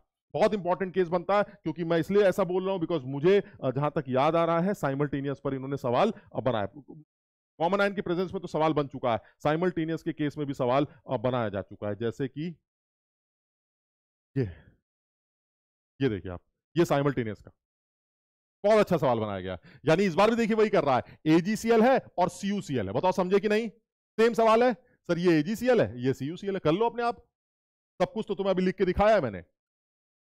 सर इस बार वही है सेम सवाल है sir AgCl CuCl the amount of Cl minus is common so the common ion is Cl minus so this again simultaneous solubility का केस आप मस्त केस बना सकते हैं। सर इस बार फिर से वही होगा। एजीसीएल का सोल्यूशन बनाएँगे। एजीसीएल का सॉलिबिलिटी लिखेंगे। तो ऐसे लिख लीजिएगा। Ag plus plus Cl minus और जब सीयूसीएल के लिए लिखेंगे तो सीयूसीएल के लिए ऐसे लिख लीजिएगा। CuCl solid is in equilibrium with Cu plus plus Cl minus बस let the solubility of AgCl is a S one तो फिर ये एस वन ये एस वन तो नीचे भी एस वन फिर ये एस टू तो ये एस टू जुड़ जाएगा, इधर भी एस टू आ जाएगा। बस खत्म हो गया। सर, दो इक्वेशंस बन गई। पहला वाला जो के होगा एजीसीएल वाला, उससे आप बिल्कुल वैसे ही काम करेंगे। S one plus S two into S one और दूसरा वाला जो के है, जो सीयूसीएल वाला है, वो भी वैसे ही S one plus S two into S two sir, दो इक्वेशंस हैं, दो अननोन्स हैं, जो करना है कर लीजिए।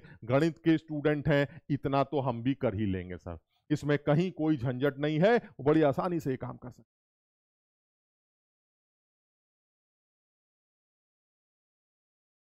क्लियर है? सबके समझ में आ गया?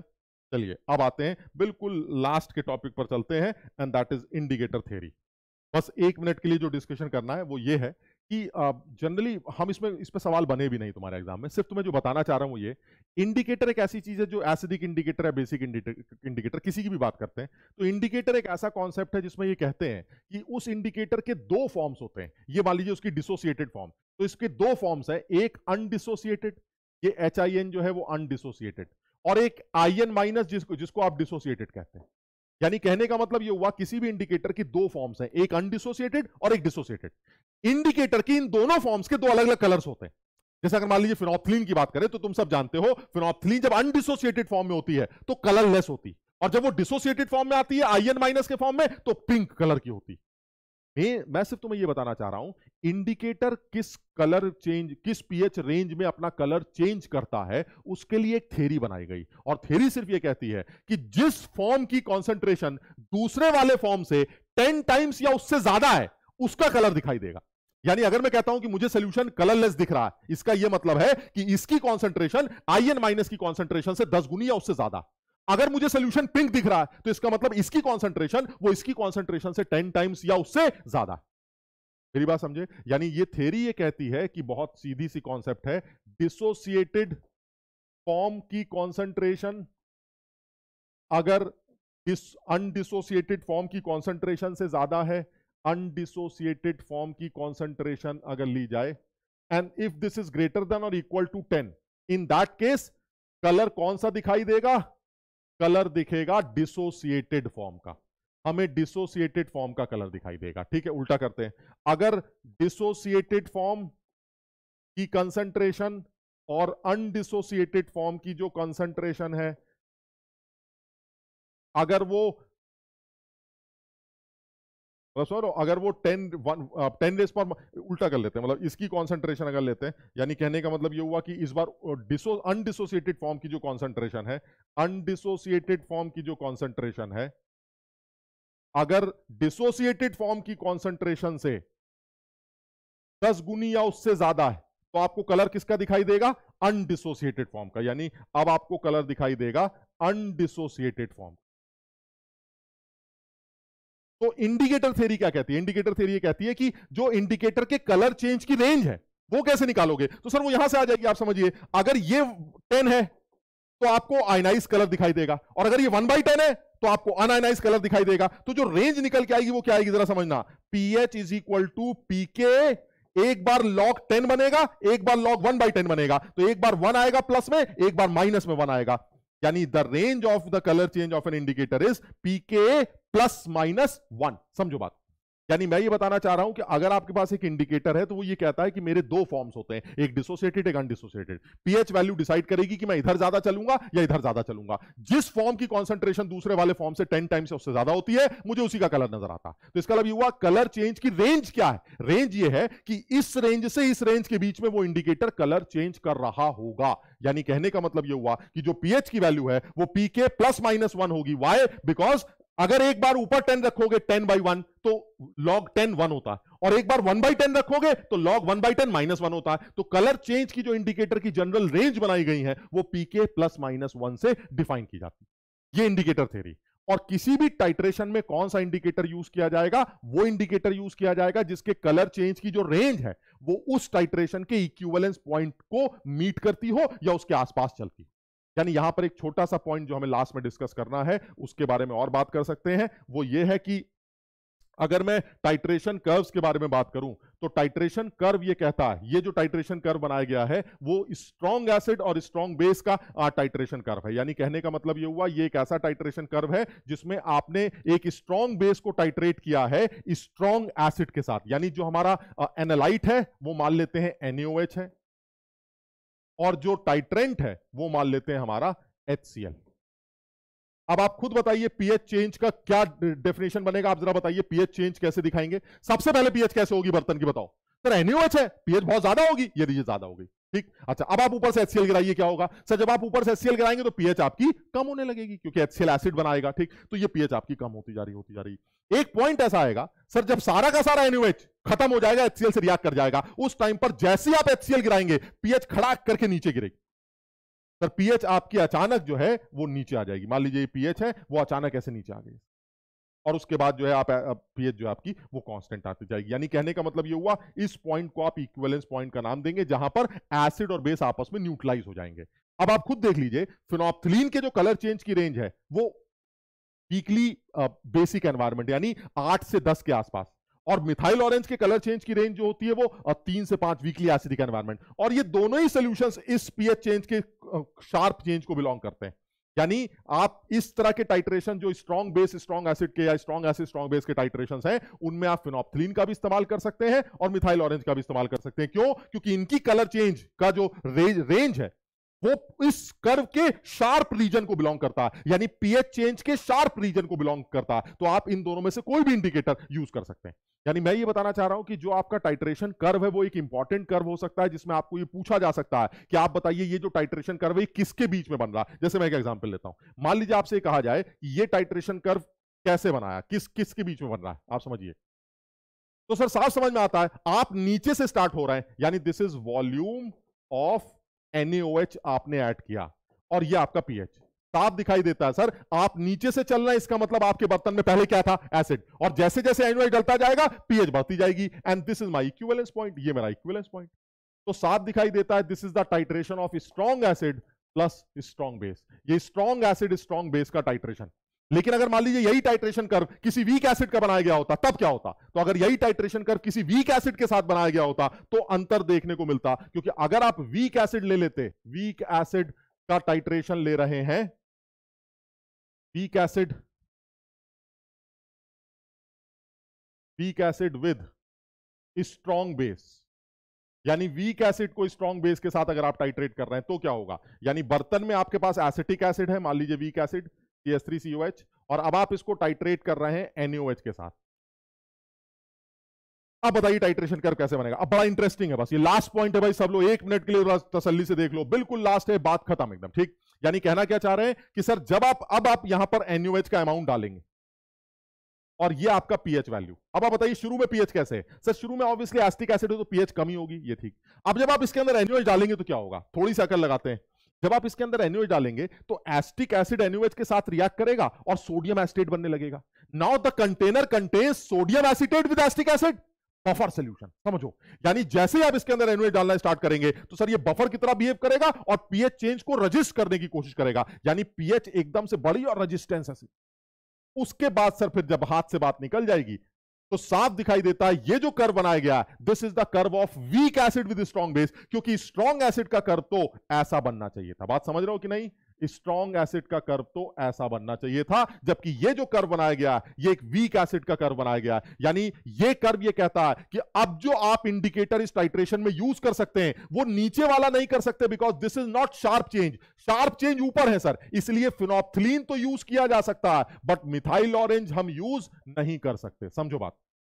यानी मैं ये बताना चाह रहा हूँ कि टाइट्रेशन के जो कर्व्स हैं, वो कर्व्स बनाए जा सकते हैं कुछ दो चार बातों को ध्यान में रखते हुए। और दो चार बातें बड़ी आसान सी हैं कि जब आप ऊपर से कोई टाइट्रेंट गिराते हैं तो सोल्यूशन का बिहेवियर कैसा? है वो सोल्यूशन डिसाइड करता है कि उसका बिहेवियर कैसा? है और वो डिसाइड करता है कि पीएच चेंज कैसे हो रही। तो मेरा सब लोगों से यही कहना है कि ये जो जितने भी टॉपिक हमने किए हैं, इसमें कुछ एग्जाम्पल्स और लिए जा सकते हैं और इनको सॉल्व किया जा सकता है। ये सारी चीज़ें बड़ी आसान है। एक बार सारी चीज़ों को रिवाइज कर लिया जाए। मुझे लगता है मेन पॉइंट्स एसिड्स की pH calculations hydrolysis buffer solutions and solubility ये मेन पॉइंट्स हैं जिसको हमें अच्छी तरह से रिवाइज कर लेना चाहिए। एक बार इनको अच्छी तरह से रिवाइज कर लोगे तो चीज़ें आसान हो जाएँगी। ठीक है? तो इसको एक बार देखते हैं और सब लोग इसको एक बार सही से रिवाइज करते हैं। रिवाइज करने के बाद जो है इसको सही से कुछ सवालों की प्रैक्टिस कर लेते हैं और प्रैक्टिस करने से तैयार कर लेते हैं। ठीक है तो आज इतना ही करते हैं, फिर अगली बार मुलाकात करेंगे। जम के मेहनत करो, खूब तैयारी करो, कोशिश करो कि अच्छा सिलेक्शन हो, जितना आता है, वो सारी चीज़ें एक बार कवर कर ली